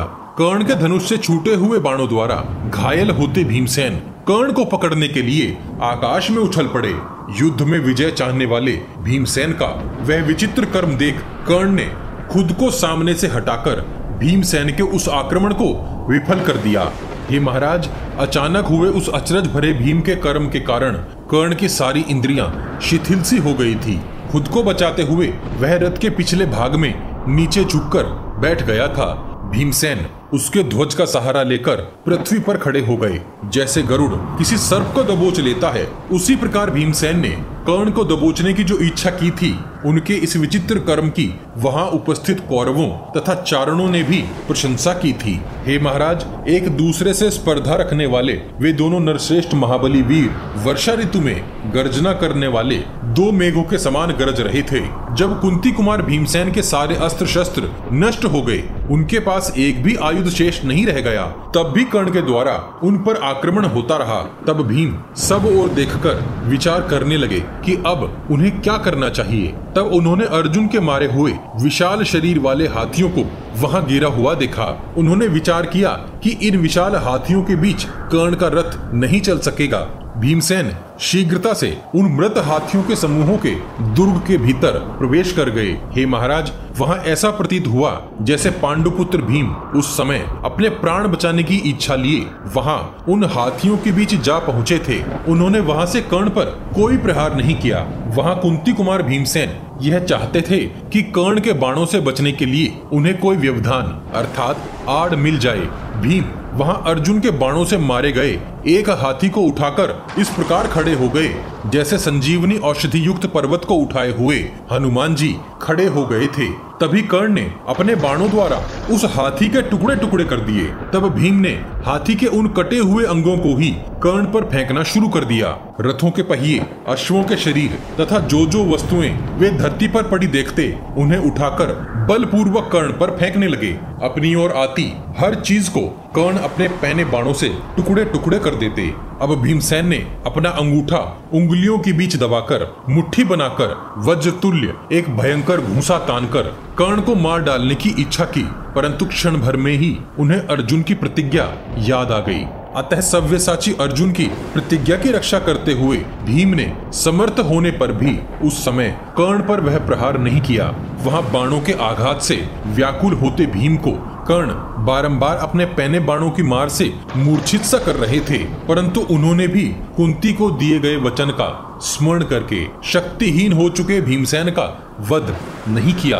कर्ण ने रथ सहित भीम के पास जाकर उसे अपने धनुष की नोक से मारा। यहाँ हम एक स्पष्टीकरण देना चाहते हैं। कुछ वीडियोस और फेसबुक पोस्ट में यहाँ कर्ण के भीम को अपने धनुष से भूमि पर घसीटने की बात बताई गई है। हमें यहाँ किसी श्लोक में ऐसा वर्णन नहीं मिला। अगर आप किसी संस्करण से ऐसा उल्लेख बता सकते हैं तो कृपया कमेंट में हमें अवश्य बताएँ। हम भूल सुधार जारी कर देंगे। कृपया किसी वीडियो अथवा ब्लॉग पोस्ट का अप्रमाणिक लिंक न दें। धनुष का स्पर्श होते ही भीम क्रोध से भरे हुए सर्प के समान फुपकारते हुए उठे और कर्ण के हाथों से वह धनुष छीनकर उसे उसी के मस्तक पर दे मारा। भीमसेन के उस प्रहार से कर्ण की आँखें लाल हो गई और उन्होंने भीम को चिढ़ाते हुए और उस पर हँसते हुए से यह बात कही, ओ बिना दाढ़ी मूछ के नपुंसक, अरे मूर्ख, तू मूड बुद्धि तो अस्त्र शस्त्र के ज्ञान से सर्वथा शून्य है। हे दुर्बुद्धे, जहाँ अनेक प्रकार की खान पान की वस्तुएँ रखी हों, तू बस वही रहने योग्य है। युद्धों में तुझे कदापि नहीं आना चाहिए भीम। तू तो वन में रहने, फल एवं कंदमूल खाने और व्रत आदि का पालन करने के ही योग्य है। युद्ध कौशल तो तुझ में नाम मात्र को भी दिखाई नहीं देता। अरे व्रकोदर, कहाँ युद्ध और कहा मुनि वृत्ति जा जा, तू वन में चला जा। तू तो वनवास का ही प्रेमी है। कर्ण आगे बोले, मैं तुझे अच्छी तरह जानता हूँ। तू तो मत्स्यराज विराट का एक रसोईया रहा है। तू तो बस दासों के साथ भोजन बनाने और उन्हें डांटने फटकारने के ही योग्य है। तू फल, मूल खाने और अतिथि सत्कार करने के ही योग्य है। मैं तो तुझे अस्त्र शस्त्र उठाने के योग्य भी नहीं मानता। हे राजन, भीम ने बाल्य अवस्था में जो कष्ट भोगे थे, उन सब का उल्लेख करते हुए कर्ण ने उसे बहुत सी रूखी बातें सुनाई। तत्पश्चात कर्ण ने भीमसेन को पुनः एक धनुष की नोक मारी और उसका उपहास करते हुए फिर से बोला, तुझे तो और लोगों के साथ युद्ध करना चाहिए। मेरे जैसे योद्धाओं से जूझने वालों की ऐसी अथवा इससे भी बुरी दशा हो जाती है। अब तो तू जहाँ श्री कृष्ण और अर्जुन है, वहीं चला जा। वे ही इस रणभूमि में तेरी रक्षा करेंगे। अथवा हे बालक, तू अपने निवास स्थान पर चला जा। कर्ण के ऐसे अत्यंत कठोर वचन सुनकर भीमसेन ज़ोर से हंस पड़े और सबके सुनते हुए कर्ण से इस प्रकार बोले, अरे ओ दुष्ट, मैंने तुझे एक बार नहीं, बारंबार हराया है। फिर क्यों व्यर्थ अपने ही मुख से अपनी बड़ाई कर रहा है? संसार ने तो देवराज इंद्र की भी कभी जय और कभी पराजय होती देखी है। अगर तुझ में दम है तो आ, मेरे साथ मल्ल युद्ध कर। जिस प्रकार मैंने महान बलशाली महाभोगी, कीचक को पीस डाला था, उसी प्रकार इन समस्त राजाओं के देखते देखते मैं तुझे भी अभी मौत के हवाले कर दूँगा। भीमसेन का अभिप्राय जानकर बुद्धिमानों में श्रेष्ठ कर्ण समस्त धनुर्धरों के सामने ही उस युद्ध से हटने लगे। हे राजन, इस प्रकार कर्ण ने भीमसेन को रथहीन करके जब अपनी इतनी प्रशंसा की, तब कृष्ण की प्रेरणा से अर्जुन ने शिला पर तेज किए हुए बहुत से बाणों को कर्ण पर चला डाला। अर्जुन की भुजाओं से छोड़े गए तथा गांडीव से छूटे हुए वे स्वर्ण भूषित बाण कर्ण के शरीर में घुस गए। धनंजय के बाणों ने कर्ण को भीमसेन से और दूर हटा दिया। भीमसेन ने पुनः कर्ण के धनुष को पकड़कर तोड़ डाला। उधर धनंजय के बाणों से घायल होकर अपने रथ द्वारा तुरंत ही वहाँ से दूर हट गया। इधर भीमसेन भी सात्विकी के रथ पर आरूढ़ हो युद्ध स्थल में अपने भाई अर्जुन के पास जा पहुँचे। तत्पश्चात क्रोध से लाल आँखें करके अर्जुन ने बड़ी शीघ्रता के साथ कर्ण को लक्ष्य करके एक नाराज़ बाण चलाया। गांडीव धनुष से छूट वह नाराज़ आकाश मार्ग में कर्ण की ओर चला गया। उस समय कर्ण की रक्षा करने की इच्छा लेकर महाबली अश्वत्थामा ने अपने बाण से उस नाराज़ को आकाश में ही नष्ट कर दिया। हे महाराज, तब क्रोध में भरे हुए अर्जुन ने अश्वत्थामा पर चौसठ बाण छोड़े और बोले, हे अश्वत्थामा, यहीं खड़े रहो, भागना नहीं, परंतु अर्जुन के बाणों से पीड़ित हो। अश्वत्थामा तुरंत ही मतवाले हाथियों से भरी सेना के भीतर घुस गया। अर्जुन भागते हुए अश्वत्थामा के पीछे अपने बाणों द्वारा कौरव सेना को त्रस्त करते हुए कुछ दूर तक गए। हे भरत श्रेष्ठ उस समय पार्थ ने हाथी, अश्वों और मनुष्यों से भरी हुई उस सेना का घोर संहार कर डाला। द्रोण पर्व, अध्याय 140 कर्ण को भीम से दूर हटाने के लिए अर्जुन ने अपने बाण, कर्ण और फिर अश्वत्थामा पर चलाए। अब धृतराष्ट्र संजय से बोले, हे संजय, प्रतिदिन मेरा यश घटता जा रहा है, क्योंकि मेरे बहुत से योद्धा मारे गए हैं। इसे तो मैं समय का ही फेर समझता हूँ, अश्वत्थामा। और कर्ण जैसे महाबलियों के द्वारा सुरक्षित मेरी सेना में, जहाँ देवताओं का भी प्रवेश असंभव था क्रोध में भरे हुए अर्जुन उसमें प्रविष्ट हो गए। महापराक्रमी श्री कृष्ण भीमसेन तथा सात्विकी का साथ होने से अर्जुन का बल और भी बढ़ गया है। जब से यह बात मुझे ज्ञात हुई है, तब से शोक मुझे उसी प्रकार दग्ध कर रहा है, जैसे काष्ठ, अर्थात लकड़ी से पैदा होने वाली आग अपनी आधारभूत लकड़ी को ही जला देती है। सिंधुराज जयद्रथ किरीटधारी अर्जुन का महान अप्रिय करके जब उनकी आँखों के सामने आ पहुँचा है, तब भला वह कैसे जीवित रह सकता है? हे संजय, मैं अनुमान लगाकर यह स्पष्ट समझ रहा हूँ कि सिंधुराज जयद्रथ अब जीवित नहीं है। फिर भी हे संजय, वह युद्ध जिस प्रकार हुआ था, वह सब यथार्थ रूप में तुम मुझे बताओ। धृतराष्ट्र आगे बोले, हे संजय, जैसे हाथी किसी पोखर, अर्थात जलाशय में प्रवेश करता है, उसी प्रकार उन्होंने अकेले ही कुपित होकर मेरी विशाल सेना को शुद्ध करके, बारंबार उसे मतकर उसके भीतर प्रवेश किया था। उस वृष्णि वंशी वीर सात्विकी ने अर्जुन के लिए जैसा युद्ध किया था, उसका भी वर्णन करो। संजय बोले हिराजन वीर भीमसेन को कर्ण द्वारा पीड़ित हुआ देखकर वीर सात्विकी ने उन नरवीरों के समूह में अपने रथ द्वारा भीमसेन की सहायता के लिए उनका अनुसरण किया। इंद्र के समान गरजते और सूर्य के तेज के समान प्रज्वलित होते सात्यकी अपने सुदृढ़ धनुष द्वारा आपके पुत्र दुर्योधन की सेना को कंपाते हुए शत्रुओं का संहार करने लगे। हे भारत, उस युद्ध स्थल में रजत अर्थात चांदी वर्ण के अश्वों द्वारा आगे बढ़ते और गर्जना करते सात्यकी को आपके सारे रथी मिलकर भी न रोक सके।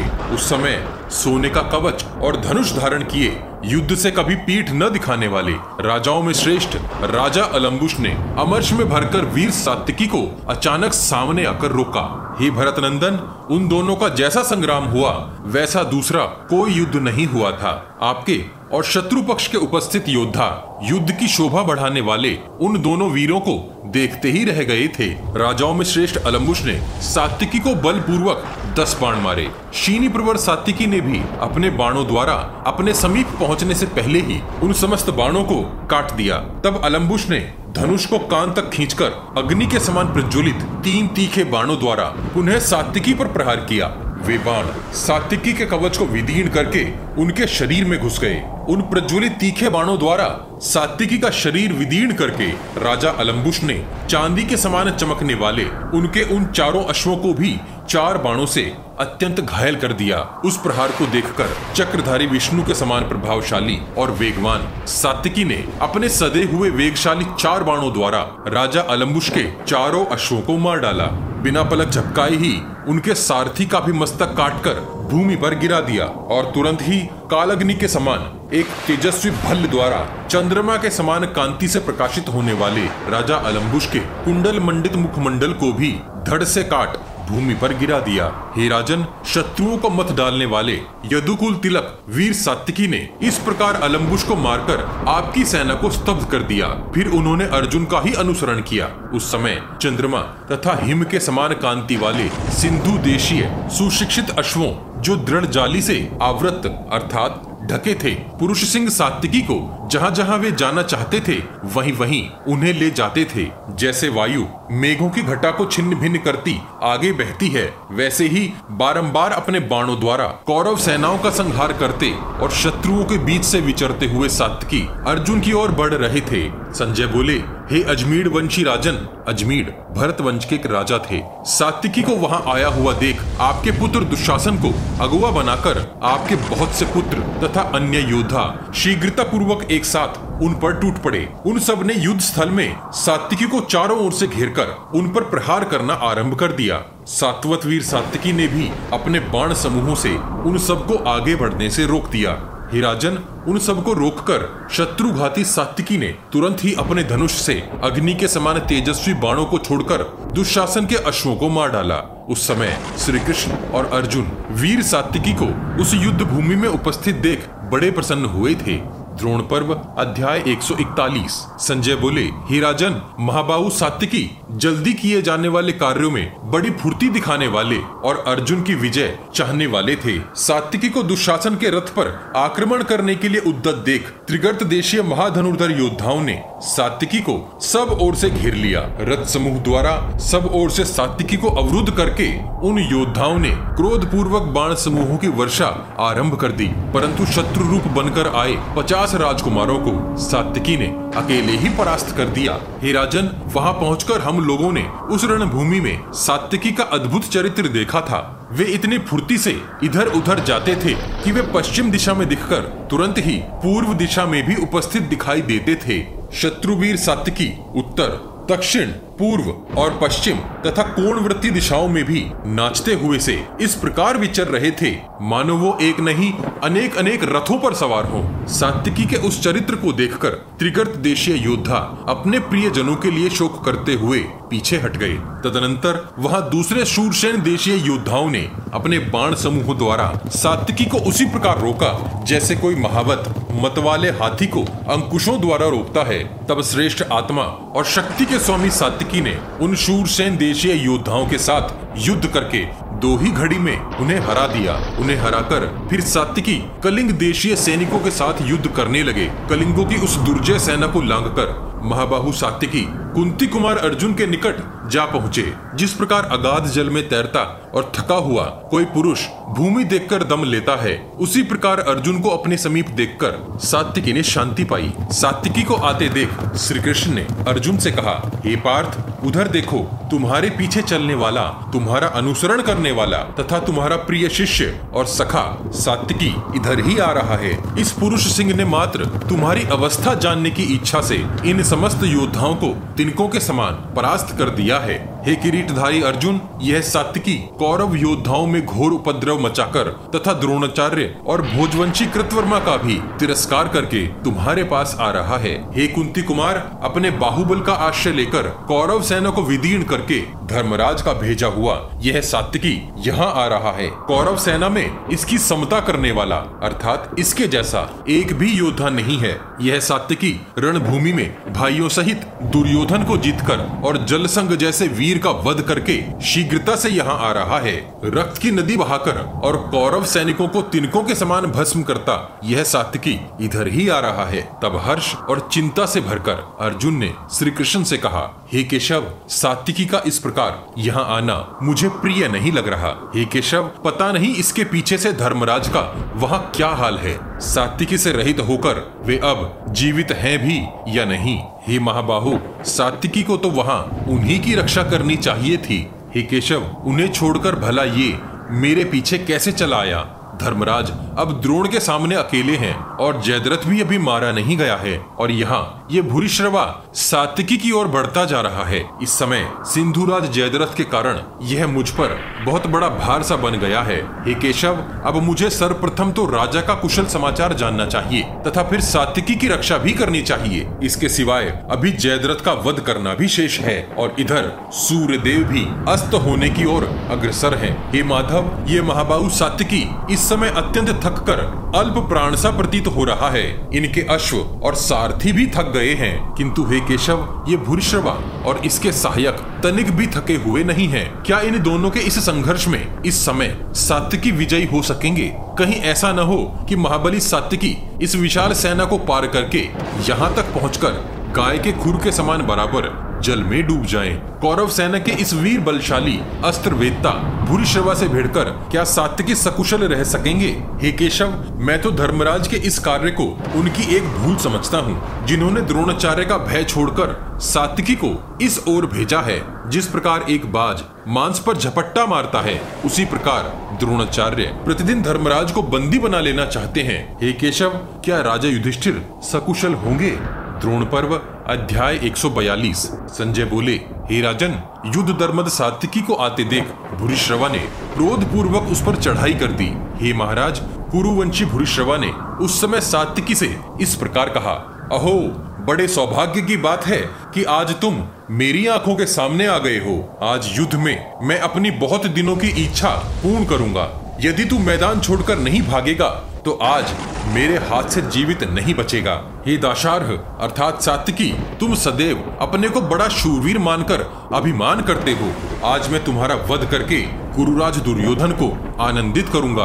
आज युद्ध में वीर श्रेष्ठ श्री कृष्ण और अर्जुन दोनों ही तुम्हें मेरे बाणों से भस्म हुआ जानकर पृथ्वी पर पड़ा देखेंगे। धर्मराज युधिष्ठिर, जिन्होंने तुझे इस सेना में घुसा दिया है वह तुझे मरा हुआ देखकर अत्यंत लज्जित हो जाएँगे। जब तू लहूलुहान हो, मारा जाकर भूमि पर गिरेगा, तब अर्जुन मेरे पराक्रम को जानेगा। जिस प्रकार पूर्व काल में देवासुर संग्राम में इंद्र राजा बलि से युद्ध करने के लिए लालायित थे, उसी प्रकार मैं तेरे साथ युद्ध करने के लिए बहुत दिनों से उत्सुक हूँ। हे सातवत, आज मैं तुझे अत्यंत घोर युद्ध का अवसर दूँगा। इससे तू मेरे बल, पराक्रम और पुरुषार्थ को भली प्रकार जान सकेगा। जैसे पूर्व काल में श्री राम के भाई लक्ष्मण के द्वारा युद्ध में रावण पुत्र इंद्रजीत मारा गया था, उसी प्रकार इस रणभूमि में मेरे द्वारा मारे जाकर तू आज यमलोक की ओर प्रस्थान कर जाएगा। आज तुम्हारे मारे जाने पर श्री कृष्ण अर्जुन और धर्मराज युधिष्ठिर निरुत्साहित होकर युद्ध छोड़ देंगे। इसमें संशय नहीं है। आज अपने तीखे बाणों से तुम्हारी भली प्रकार पूजा करके, अर्थात मारकर, मैं उन वीरों की स्त्रियों को आनंदित करूँगा। जिन्हें रणभूमि में तुमने मार डाला है। जैसे कोई शूद्र मृग सिंह की दृष्टि में पड़कर जीवित नहीं रह सकता, उसी प्रकार मेरी आँखों के सामने आकर अब तू भी जीवित नहीं छूट सकेगा। संजय बोले, हे राजन, युयुधान ने भूरिश्रवा की यह बात सुनकर हँसते हुए से यह उत्तर दिया, हे कुरुकुल वीर युद्ध में मुझे कभी किसी से भय नहीं होता है, तथा मुझे केवल बातें बनाकर डराया भी नहीं जा सकता। संग्राम में मुझे शस्त्रहीन करने वाला ही मेरा वध कर सकता है, जो युद्ध में मुझे मार सकता है। वह तो सदैव सर्वत्र अपने शत्रुओं का वध कर सकता है। यहाँ व्यर्थ की बहुत सी बातें करने से भला क्या लाभ? जो तूने कहा है, उसे करके दिखा। हे वीर, मुझे तुम्हारी ये गर्जना सुनकर बहुत हँसी आती है। हे कौरव, इस लोक में मेरी भी तुम्हारे साथ युद्ध करने की बहुत दिनों से अभिलाषा थी। वह आज पूरी हो जाएगी। तुमसे युद्ध की अभिलाषा रखने वाली मेरी बुद्धि मुझे अब जल्दी युद्ध करने के लिए विवश सी कर रही है। हे पुरुषाधम, अर्थात अधम या नीच पुरुष, आज तुम्हारा वध किए बिना मैं पीछे नहीं हटूँगा। इस प्रकार एक दूसरे को मार डालने की इच्छा लेकर वे दोनों नरश्रेष्ठ वीर बाणों का प्रहार करते हुए उस युद्ध स्थल में एक दूसरे पर आघात करने लगे। वे दोनों महाधनुर्धर, दो मदोन्मुक्त हाथियों की तरह एक दूसरे से भिड़ गए। भूरिश्रवा और सात्विकी दोनों शत्रुदमन वीरों ने मेघों की भांति परस्पर भयंकर बाण वर्षा प्रारंभ कर दी। ये भरत श्रेष्ठ सोमदत्त के पुत्र भूरिश्रवा ने सात्विकी को मार डालने की इच्छा से अत्यंत तीखे बाणों द्वारा उसे आच्छादित करके दस बाणों से घायल करके उन पर और भी बहुत से पहने बाण छोड़े। हिराजन सातिके ने भूरिश्रवा के उन बाणों को अपने पास आने से पहले ही आकाश में ही नष्ट कर दिया। वे दोनों वीर उत्तम कुलों में उत्पन्न हुए थे। एक कुरुकुल की कीर्ति बढ़ा रहा था तो दूसरा वृष्णि वंश का यश बढ़ा रहा था।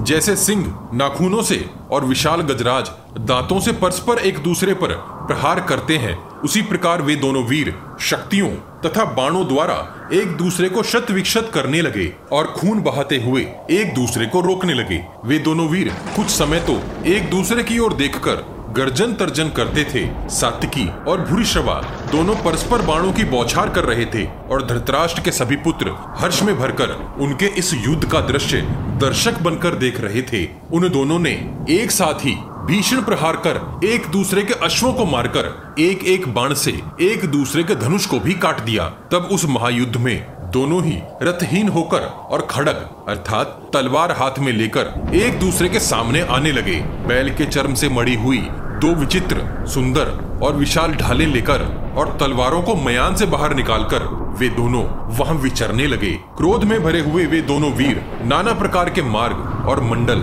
अर्थात पैतरे तथा दाव पेंच दिखाकर एक दूसरे पर बारंबार चोट करने लगे। उन दोनों के कवच विचित्र और आभूषणों से विभूषित थे। शत्रुओं का दमन करने वाले वे दोनों यशस्वी वीर, भ्रांत, अर्थात घूमकर, उदंत, अर्थात बिना जमे या एक जगह रुके आविद अर्थात बींदकर या फेंक कर आप्लुत, अर्थात सराबोर होकर सधे हुए, या आगे बढ़कर, विप्लुत, अर्थात अस्त व्यस्त होकर बिना सधे, या पीछे हटकर, स्रत, अर्थात सरक सरक कर, संपात, अर्थात एक साथ प्रहार करके, और समुदीर्ण, अर्थात उत्तेजित प्रहार, आदि गति और पैंतरे दिखाते हुए, परस्पर तलवारों का एक दूसरे पर वार करने लगे। ये दोनों ही वीर विचित्र रीति से उछलते कूदते थे। वे दोनों ही योद्धा तनिक रुक रुक कर अर्थात विश्राम सा करते हुए प्रहार कर रहे थे। हे राजन, उन्होंने लगभग दो घड़ी तक एक दूसरे पर तलवारों से चोट करके दोनों ने दोनों की ही सौ चिन्हों से सुशोभित विचित्र ढालें काट डाली। फिर वे दोनों पुरुष सिंह भुजाओं द्वारा मल्ल युद्ध करते हुए एक दूसरे से गुथ गए।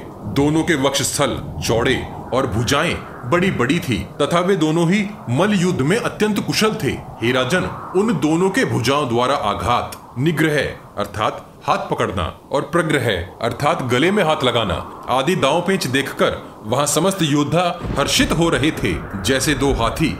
दांतों के अग्रभाग से तथा दो सांड सिंहों से लड़ते हैं। उसी प्रकार वे दोनों वीर कभी भुजाओं से बांधकर, कभी सिरों से टक्कर लगाकर, कभी पैरों से खींचकर, कभी पैर से पैर लपेटकर, कभी तोमर प्रहार के समान ठोक कर कभी अंकुश गाड़ने के समान एक दूसरे को नोचकर, कभी पादबंध उदरबंध उद्भ्रमण, गत, प्रत्यागत, आक्षेप, पातन, उत्थान और संलुप्त आदि दावों का प्रदर्शन करते हुए वे दोनों महामनस्वी वीर परस्पर युद्ध कर रहे थे। हे राजन, इस प्रकार वे दोनों महाबली वीर परस्पर जूझते हुए मल्ल युद्ध की जो बत्तीस कलाएँ हैं, उनका प्रदर्शन करने लगे। तदनंतर जब सात्विकी मल्ल युद्ध कर रहे थे, उस समय श्री कृष्ण ने अर्जुन से कहा, हे पार्थ, इस सात्विकी की ओर देखो। यह रथहीन होकर भी युद्ध कर रहा है। हे पांडु नंदन तुम्हारे पीछे पीछे यह कौरव सेना का व्यू भेद कर भीतर घुस आया और भरत वंश के प्राय सभी महापराक्रमी योद्धाओं के साथ युद्ध कर चुका है। दुर्योधन की सेना में जो मुख्य योद्धा और प्रधान महारथी थे, वे सैकड़ों की संख्या में इस वीर के हाथ से मारे गए हैं। हे अर्जुन, यहाँ आता हुआ सात्विकी अत्यंत थक गया है। यज्ञों में पर्याप्त दक्षिणा देने वाले भूरिश्रवा उसके साथ यहाँ युद्ध करने आ पहुँचे हैं। इस समय इसके साथ इस प्रकार लड़ना उचित नहीं है।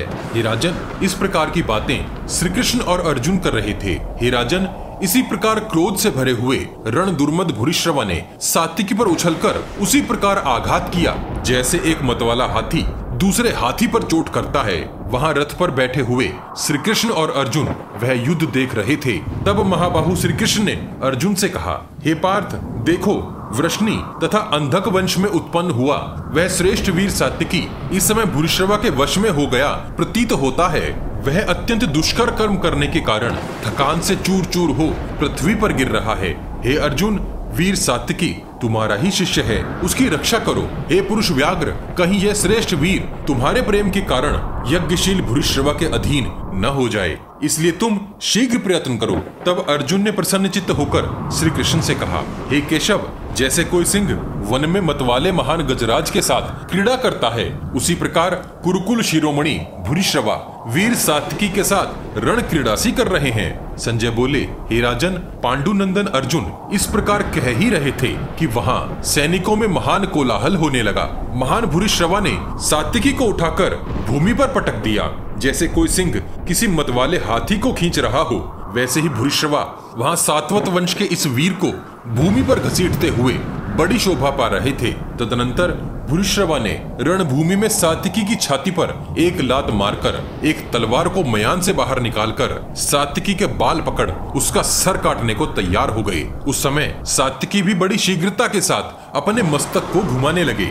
राजन, जैसे कोई कुम्हार डंडे से चाक को घुमाता है, उसी प्रकार केश पकड़े हुए भूरिश्रवा से खुद को छुड़ाने के लिए सातिकी अपने मस्तक को ज़ोर ज़ोर से घुमाने लगा। इस प्रकार वहाँ केश खींचे जाने के कारण सात्विकी को कष्ट पाते देख श्री कृष्ण अर्जुन से पुनः बोले, हे महाबाहो, देखो, वृष्णि और अंधक वंश का यह सिंह भूरिश्रवा के वश में पड़ गया है। वह तुम्हारा शिष्य है, चतुर है, धनुर्विद्या में तुमसे कम नहीं है।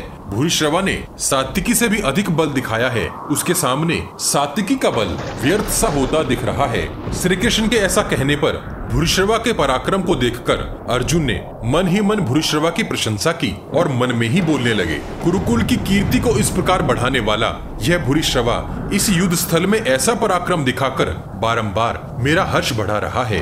भूरिश्रवा वीर सात्विकी को खींच तो रहा है, परंतु वह उसे मार नहीं सकेगा। हे राजन, इस प्रकार मन ही मन उस कुरुवंशी वीर की प्रशंसा करके कुंती कुमार अर्जुन ने श्री कृष्ण से कहा, हे प्रभु, मेरी दृष्टि सिंधुराज जयद्रथ पर टिकी हुई है। इसलिए मैं सातिकी की ओर पूर्ण दृष्टि घुमाकर नहीं देख रहा हूँ। परंतु अब मैं इस यदुवंशी वीर की रक्षा के लिए जो दुष्कर कर्म करने वाला हूँ, उसे आप देखिए। ऐसा कहकर श्री कृष्ण की आज्ञा का पालन करते हुए पांडुनंदन अर्जुन ने गांडीव धनुष पर एक तीखा शुरप्र बाण रखा। अर्जुन की भुजाओं से छोड़े गए उस शुरप्र ने आकाश से गिरी हुई एक उल्का के समान उस यशस्वी भूरी श्रवा की बाजूबंद विभूषित दाहिनी भुजा को खड़ग सहित काट गिराया।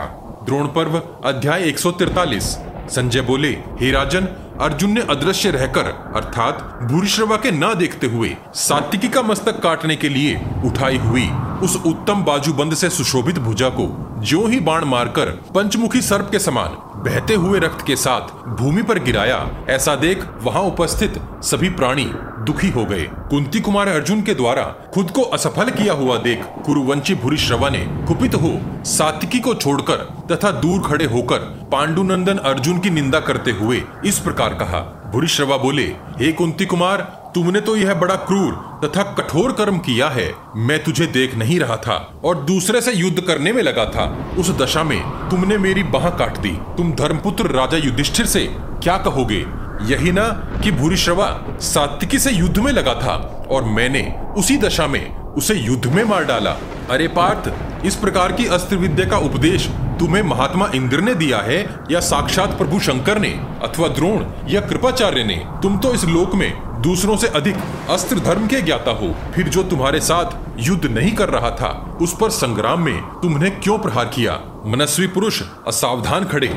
डरे हुए, रथहीन, प्राणों की भिक्षा मांगने वाले, तथा संकट में पड़े हुए मनुष्य पर प्रहार नहीं करते हैं। हे पार्थ, यह नीच तथा दुष्ट पुरुषों के द्वारा किया जाने वाला अत्यंत दुष्कर पाप कर्म तुमने कैसे किया? हे धनंजय, श्रेष्ठ पुरुषों के लिए श्रेष्ठ कर्म करना अत्यंत सुलभ होता है, परंतु उनसे इस प्रकार का खोटा कर्म नहीं किया जाता। उत्तम पुरुष के लिए नीच कर्म का आचरण अत्यंत दुष्कर होता है। हे नरव्याग्र मनुष्य जहाँ जहाँ जिन जिन लोगों के बीच रहता है, उसमें शीघ्र ही उन लोगों का स्वभाव आने लगता है। यही बात अब तुझ में भी दिखाई देती है। तू राजाओं के वंश और विशेषतः कुरुकुल में उत्पन्न होकर भी अपने क्षत्रिय धर्म से कैसे डिग गया? तेरा शील स्वभाव तो अत्यंत उत्तम था और तूने श्रेष्ठ वेदताओं का पालन भी किया था। तुमने सात्विकी को बचाने के लिए जो यह अत्यंत नीच कर्म किया है, यह निश्चय ही तूने वासुदेव श्री कृष्ण के कहने से किया होगा। अन्यथा तुझ में ऐसा नीच विचार संभव नहीं है। तेरी कीर्ति और प्रतिष्ठा के विरुद्ध तुझे ऐसा कर्म नहीं करना चाहिए था। जो श्री कृष्ण का मित्र हो, भला उसके सिवाय कौन दूसरे से युद्ध कर रहे पुरुष को ऐसा दुख दे सकता है? हे कुंती नंदन वृष्णि और अंधक वंश के लोग तो संस्कार भ्रष्ट, हिंसा प्रधान कर्म करने वाले और स्वभाव से ही निंदित होते हैं। फिर उनकी बातों को तुमने कैसे मान लिया? रणभूमि में भूरिश्रवा के ऐसा कहने पर अर्जुन ने उससे कहा अर्जुन बोले, हे प्रभो, यह स्पष्ट है कि जो पुरुष मरने वाला होता है, उसकी बुद्धि भी मारी जाती है। तुमने इस समय जो कुछ कहा है, वह सब व्यर्थ ही कहा है। तुम संपूर्ण इंद्रियों के नियंता, अर्थात नियमों को जानने वाले श्री कृष्ण को और मुझ पांडुपुत्र अर्जुन को भी भली प्रकार जानते हो। फिर भी तुम हमारी निंदा करते हो। तुम संग्राम के धर्म को जानते हो और वेद शास्त्रों के अर्थ ज्ञान में भी पारंगत हो। मैं किसी प्रकार अधर्म नहीं कर सकता। यह जानते हुए भी तुम मेरे विषय में मोहित हो रहे हो। युद्ध करने वाले क्षत्रिय अपने अपने भाई, पिता, पुत्र, सगे संबंधी बंधु बांधवों समान अवस्था वाले साथी और मित्रों से घिरकर शत्रुओं के साथ युद्ध करते हैं। वे सब लोग उस प्रधान योद्धा के बाहुबल पर ही आश्रित होते हैं। सात्विकी मेरा शिष्य और सुखप्रद संबंधी है। वह मेरे ही लिए अपने दुस्तेज प्राणों, अर्थात जिसे छोड़ना दुष्कर हो, का मोह छोड़कर युद्ध कर रहा है। रण दुर्मद सात्विकी, इस युद्ध स्थल में मेरी दाहिनी भुजा के समान है। उसे तुम्हारे द्वारा कष्ट पाते देख मैं कैसे उसकी रक्षा न करूँ? हे राजन, रणभूमि में गए हुए वीर के लिए केवल अपनी ही रक्षा करना उचित नहीं है। जो उसके लिए लड़ रहा है, वह अवश्य ही उसके द्वारा रक्षणीय हुआ करता है। इसी प्रकार, उन सुरक्षित किए गए सुहृदयों तथा योद्धाओं का भी कर्तव्य है कि वे महासमर में अपने राजा की रक्षा करें। यदि मैं इस महायुद्ध में सात्विकी को अपने सामने ही मरते देखता तो उसकी मृत्यु से मुझे अनर्थकारी पाप लगता। इसलिए मैंने उसकी रक्षा की है। अतः तुम मुझ पर क्यों क्रोध करते हो? हे राजन, आप जो यह कहकर मेरी निंदा कर रहे हैं कि हे अर्जुन, मैं तो दूसरे के साथ युद्ध में लगा था। उस दशा में तुमने मेरे साथ छल किया है। यह तो तुम्हारी बुद्धि का ही भ्रम है। तुम स्वयं कवच पहन, रथ पर चढ़े थे, धनुष की प्रत्यंचा खींचते थे और अपने बहुसंख्यक शत्रुओं के साथ युद्ध कर रहे थे। इस प्रकार रथ, हाथी, घुड़सवार और पैदलों से भरे हुए सैन्य समुद्र में, जहाँ अपने और शत्रु पक्ष के लोगों का परस्पर युद्ध चल रहा था तुम्हारी सात्विकी के साथ मुठभेड़ हुई थी, जैसा युद्ध यहाँ हो रहा है। ऐसे तुमुल युद्ध में किसी भी एक योद्धा का एक ही योद्धा के साथ संग्राम भला कैसे समझा जा सकता है? सात्विकी, बहुत से योद्धाओं के साथ युद्ध करके कितने ही महारथियों को पराजित करने के बाद थक गया है। उसके अश्व भी परिश्रम से चूर चूर हो रहे थे और वह अस्त्र शस्त्रों से पीड़ित हो अपने मन को संयमित नहीं रख पा रहा था। ऐसी अवस्था में महारथी सात्विकी को जीतकर तुम यह समझने लगे कि मैं सात्विकी से बड़ा वीर हो गया हूँ और वह मेरे पराक्रम से वश में आ गया है। क्या इसे तुम अपना बड़प्पन समझते हो? इसीलिए तुम युद्ध स्थल में तलवार से उसका सर काट लेना चाहते थे। सात्विकी को वैसे संकट में देखकर मेरे मेरे पक्ष का भला कौन सा वीर इसे सहन कर सकेगा? तुम स्वयं अपनी ही निंदा करो, जो कि अपनी भी रक्षा तक नहीं कर सका। हे वीरवर, फिर जो तुम्हारा आश्रय लेकर युद्ध कर रहा है, उसकी रक्षा भला तुम कैसे ही कर सकोगे? संजय बोले, हे राजन, अर्जुन के ऐसा कहने पर यूप अर्थात यज्ञ में लगने वाला स्तंभ के चिन्ह की ध्वजा वाले महाबाहु भूरी श्रवा सातिकी को छोड़कर रणभूमि में आमरण अनशन का नियम लेकर बैठ गए। पवित्र लक्षणों वाले भूरिश्रवा अपने बाएँ हाथ से बाणों को भूमि पर बिछाकर उस पर आसन लगाकर बैठ गए। ब्रह्मलोक में जाने की इच्छा से प्राणायाम के द्वारा प्राणों को प्राणों में ही होम, अर्थात लीन करने लगे। नेत्रों को सूर्य में, अर्थात भ्रकुटियों के मध्य, त्रिनेत्र के स्थान पर उत्पन्न होने वाले पवित्र प्रकाश में और मन को निर्मल जल में समाहित करके, अर्थात नितांत पवित्र और शांत करके जिसमें कोई हलचल न हो रही हो और पर ब्रह्म का चिंतन करते हुए एक योग युक्त मुनि के समान हो गए, ऐसा होता देख कौरव सेना के सभी योद्धा श्री कृष्ण और अर्जुन की निंदा कर नरश्रेष्ठ भूरिश्रव की प्रशंसा करने लगे। उनके द्वारा निंदित होने पर श्री कृष्ण और अर्जुन ने कोई बात नहीं कही तथा प्रशंसा होने पर भी योग में लीन भूरिश्रवा ने कोई हर्ष प्रकट नहीं किया। हे राजन, आपके पुत्र जब भूरिश्रवा की ही भांति उन दोनों को निंदा भरी बातें कहे ही जा रहे थे, तब अर्जुन उनके कथन को मन ही मन सहन न कर सके। किंतु हे भरत नंदन पांडुपुत्र अर्जुन के मन में तनिक भी क्रोध उत्पन्न नहीं हुआ। उन्होंने पूर्व काल की बातें याद दिलाते हुए तथा कौरवों पर आक्षेप करते हुए इस प्रकार कहा, सब राजे, मेरे इस महान व्रत को भली प्रकार जानते हैं कि यदि मेरा कोई आत्मीय जन मेरे बाणों की पहुँच के भीतर होगा वह किसी शत्रु के द्वारा मारा नहीं जा सकता। यूप ध्वज वाले भूरिश्रवा, इस बात को जानते बूझते हुए आपको मेरी निंदा नहीं करनी चाहिए। धर्म के स्वरूप को जाने बिना किसी दूसरे की निंदा करना उचित नहीं है। आप तलवार हाथ में लेकर रणभूमि में वृष्णिवीर सात्विकी का वध करना चाहते थे, उस दशा में मैंने जो आपकी बाह काट डाली है, वह आश्रित रक्षा रूप के कारण धर्म निंदित नहीं है। हे वीरवर, बालक अभिमन्यु, शस्त्र, कवच और रथ से हीन हो चुका था। उस दशा में जो उसका वध किया गया था, उसकी भला कौन धार्मिक पुरुष प्रशंसा कर सकता है? मेरा यह दृढ़ निश्चय है कि मुझे प्राण संकट में दिखाई देने पर अपने आत्मीयजनों की रक्षा अवश्य करनी चाहिए, विशेषकर उन वीरों की, जो मेरी आँखों के सामने मारे जा रहे हों। संजय बोले, हे राजन, फिर बहुत से भिन्न भिन्न बातें सोचकर अर्जुन दया से द्रवित और शोक से पीड़ित हो उठे और कुरुवंशी भूरिश्रवा से इस प्रकार बोले, अर्जुन ने कहा, उस क्षत्रिय धर्म को धिक्कार है, जहाँ दूसरों को शरण देने वाले आप जैसा महावीर, शरणागत वत्सल नरेश ऐसी अवस्था में जा पहुँचा है। अर्जुन आगे बोले, हे शल के बड़े भाई भूरिश्रवा जी, धर्मराज युधिष्ठिर, महाबली भीमसेन, नकुल तथा सहदेव पर जैसा आपका प्रेम है वैसा ही प्रेम मेरा भी आप पर है। यदि पहले से प्रतिज्ञा न की गई होती तो संसार में मेरे जैसा कौन श्रेष्ठ पुरुष आप जैसे गुरुजन पर ऐसा प्रहार कर सकता था? ध्यान रहे यहाँ कही गई कुछ पंक्तियाँ अलग अलग संस्करणों में अलग अलग ढंग से वर्णित हैं, किंतु उनका मर्म एक जैसा ही है। अर्जुन के ऐसा कहने पर भूरिश्रवा ने अपने मस्तक से भूमि का स्पर्श किया। बाएँ हाथ से अपना दाहिना हाथ उठाकर अर्जुन की ओर फेंक दिया, अर्थात उन्हें समर्पित कर दिया। हे राजन, पार्थ की ऐसी बातें सुनकर यूप चिन्हित ध्वजा वाले महातेजस्वी भूरिश्रवा नीचे मुख किए चुपचाप बैठे रहे। संजय बोले, हे राजन, भूरिश्रवा के छोड़ देने पर शीनी पौत्र सातिकी उठकर खड़े हो गए। उन्होंने एक तलवार हाथ में लेकर महामना भूरिश्रवा का सिर काटने का निश्चय किया। शल के बड़े भाई तथा प्रचुर दक्षिणा देने वाले भूरिश्रवा सर्वथा निष्पाप थे। पांडुपुत्र अर्जुन ने उनकी बाह काटकर उनका वधशाही कर दिया था। इसलिए वे आमरण अनशन का निश्चय लेकर ध्यान आदि अन्य उत्तम कर्मों में आसक्त हो गए थे। उस अवस्था में सात्विकी ने सूंड कटे हाथी के समान बैठे हुए भूरिश्रवा को मार डालने की इच्छा की। उस समय समस्त सेना के लोग चिल्ला चिल्ला कर सात्विकी की निंदा कर रहे थे, परंतु सात्विकी की मनोदशा उस समय बहुत बुरी थी। श्री कृष्ण तथा महात्मा अर्जुन भी उन्हें रोक रहे थे। भीमसेन चक्र रक्षक युधामन्यु और उत्तम औजा अश्वत्थामा, कृपाचार्य, कर्ण, वृषसेन तथा जयद्रथ भी उन्हें मना कर रहे थे। किंतु समस्त शत्रुओं और सुहृदयों के चीखने चिल्लाने पर भी सात्विकी ने उस व्रतधारी भूरिश्रवा का वध कर ही डाला।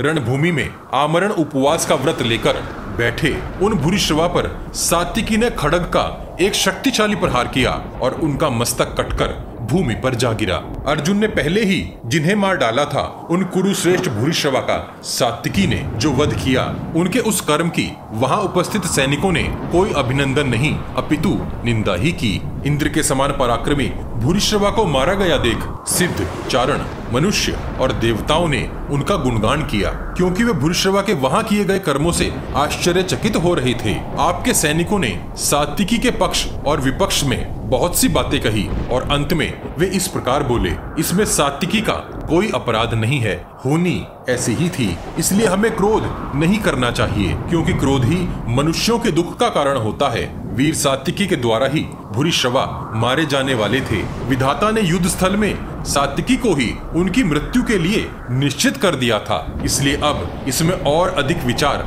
नहीं किया जाना चाहिए। सात्विकी बोले, धर्म का चोला पहनकर खड़े हुए अधर्म परायण पापात्माओं, इस समय तुम मुझे धर्म की बातें सुनाते हुए, जो बारंबार कह रहे हो कि न मारो न मारो, इस प्रकार भूरिश्रवा का वध उचित नहीं है। जब तुम लोगों ने सुभद्रा के बालक पुत्र अभिमन्यु को युद्ध में शस्त्रहीन करके मार डाला था। उस समय तुम्हारा धर्म कहाँ चला गया था रे पापियों? मैंने तो पहले ही यह प्रतिज्ञा कर रखी थी कि जिसके द्वारा कभी भी मेरा तिरस्कार हो जाएगा, अथवा जो संग्राम भूमि में मुझे पराजित कर रोष पूर्वक मुझे लात मारेगा। फिर चाहे वह शत्रु मुनियों के समान मौन व्रत लेकर ही क्यों ना बैठा हो, मेरे हाथों उसका वध अवश्य होगा। मेरी बाहों में बल उपस्थित है और मैं अपने ऊपर किए गए आघात का बदला लेने की निरंतर चेष्टा कर रहा हूँ, परंतु फिर भी, यदि तुम आँखें होते हुए भी मुझे मरा ही जान रहे हो तो यह तुम्हारी बुद्धि की लघुता का ही परिचायक है। हे कुरुश्रेष्ठ वीरों, मैंने तो भूरिश्रवा का वध करके अपना बदला चुकाया है, जो सर्वथा उचित है। पार्थ ने अपनी प्रतिज्ञा की रक्षा करते हुए, जो मुझे संकट में देखकर भूरिश्रवा की तलवार सहित बाह काट डाली, इससे तो मैं भूरिश्रवा को मारने के यश से वंचित ही रह गया हूँ। जो होना होता है, उसके अनुकूल ही, देव, अर्थात भाग्य काम करता है। इसी के अनुसार इस संग्राम में भूरिश्रवा मारे गए हैं। इसमें अधर्म पूर्ण चेष्टा भला क्या है? महर्षि बाल्मीकि ने पूर्व काल में ही इस पृथ्वी पर एक श्लोक कह सुनाया है कि मनुष्य को सदैव ऐसा कर्म करना चाहिए जो शत्रुओं को कष्ट देने वाला हो और उन पर विजय पाने वाला हो। संजय बोले हे महाराज, सात्विकी के ऐसा कहने पर समस्त कौरव उसके उत्तर में कुछ भी न कह सके। वे मन ही मन उसकी प्रशंसा भी करने लगे। परंतु बड़े बड़े यज्ञों में मंत्रयुक्त अभिषेक से जो पवित्र हो चुके थे, यज्ञों में स्वर्ण मुद्राओं की दक्षिणा देते थे, जिनका यश सर्वत्र फैला हुआ था और जो वनवासी मुनि के समान वहाँ बैठे हुए थे, उन भूरिश्रवा के वध का किसी ने भी अभिनंदन नहीं किया। वर देने वाले भूरिश्रवा के श्याम केशों से अलंकृत तथा कबूतर के समान लाल नेत्रों वाला, वह कटा हुआ मस्तक वहाँ ऐसा जान पड़ता था। मानो, अश्वमेघ यज्ञ के मध्य किसी उत्तम अश्व का कटा हुआ मस्तक अग्नि कुंड के भीतर रखा हुआ हो। वर देने तथा वर पाने के योग्य भूरिश्रवा ने उस महायुद्ध में शस्त्र के तेज प्रहार से पवित्र हो, अपने उत्तम शरीर का परित्याग कर, अपने उत्कृष्ट कर्म के द्वारा पृथ्वी और आकाश को लांग उधर लोक की ओर प्रस्थान किया। द्रोण पर्व, अध्याय 144 जब धृतराष्ट्र ने सात्विकी के द्वारा भूरिश्रवा के वध की बात जानी, तब धृतराष्ट्र ने संजय से पूछा, हे संजय, जो वीर सात्विकी, द्रोण, कर्ण, विकर्ण और कृतवर्मा से भी परास्त न हो सके। और युधिष्ठिर के कहने पर कौरव सेना रूपी समुद्र को भी पार कर गए जिन्हें सम्रांगण में कोई पीछे न हटा सका। उन्हीं को कुरुवंशी भूरिश्रवा ने बलपूर्वक पकड़कर आखिर कैसे पृथ्वी पर गिरा दिया? संजय बोले, हे राजन, आप भूरिश्रवा और सात्विकी की उत्पत्ति के विषय में नहीं जानते। इसीलिए आपको इस प्रकार का संशय हो रहा है। उसे स्पष्ट रूप से समझने के लिए पूर्व काल में सात्विकी और भूरिश्रवा की उत्पत्ति जिस प्रकार हुई थी, उसे आप सुनिए। महर्षि अत्रि के पुत्र सोम हुए। सोम के पुत्र बुध हुए। बुध को एक ही पुत्र हुआ, पुरुरवा, जो देवराज इंद्र के समान परम तेजस्वी था। पुरुरवा के पुत्र आयु और आयु के पुत्र नहुष हुए। नहुष के पुत्र ययाति हुए, जिनका देवताओं तथा ऋषियों में बड़ा ही आदर था। ययाति से देवयानी के गर्भ से जो ज्येष्ठ पुत्र हुआ, उसका नाम यदु था। इन्हीं यदु के वंश में देवमीढ़ नाम के विख्यात एक राजा हुए, जिनके पुत्र का नाम शूर था, जो तीनों लोकों में सम्मानित तथा पूजित थे। शूर के पुत्र नरश्रेष्ठ शौरी हुए, जो वसुदेव के नाम से प्रसिद्ध हुए। वे धनुर्विद्या के बड़े विद्वान थे तथा युद्ध में कार्तिवीर्य अर्जुन के समान पराक्रमी थे। हे राजन, जिस कुल में शूर का जन्म हुआ, उसी में उन्हीं के समान बलशाली शीनी का भी जन्म हुआ था। हे राजन, महात्मा देवक की पुत्री देवकी के स्वयंवर में संपूर्ण क्षत्रिय एकत्रित हुए थे। उस स्वयंवर में शीनी ने शीघ्र ही समस्त राजाओं को जीतकर वसुदेव के लिए देवी देवकी को रथ पर बैठा लिया। राजन उस समय महातेजस्वी तथा शूरवीर सोमदत्त ने देवकी को रथ पर बैठे हुए देखा।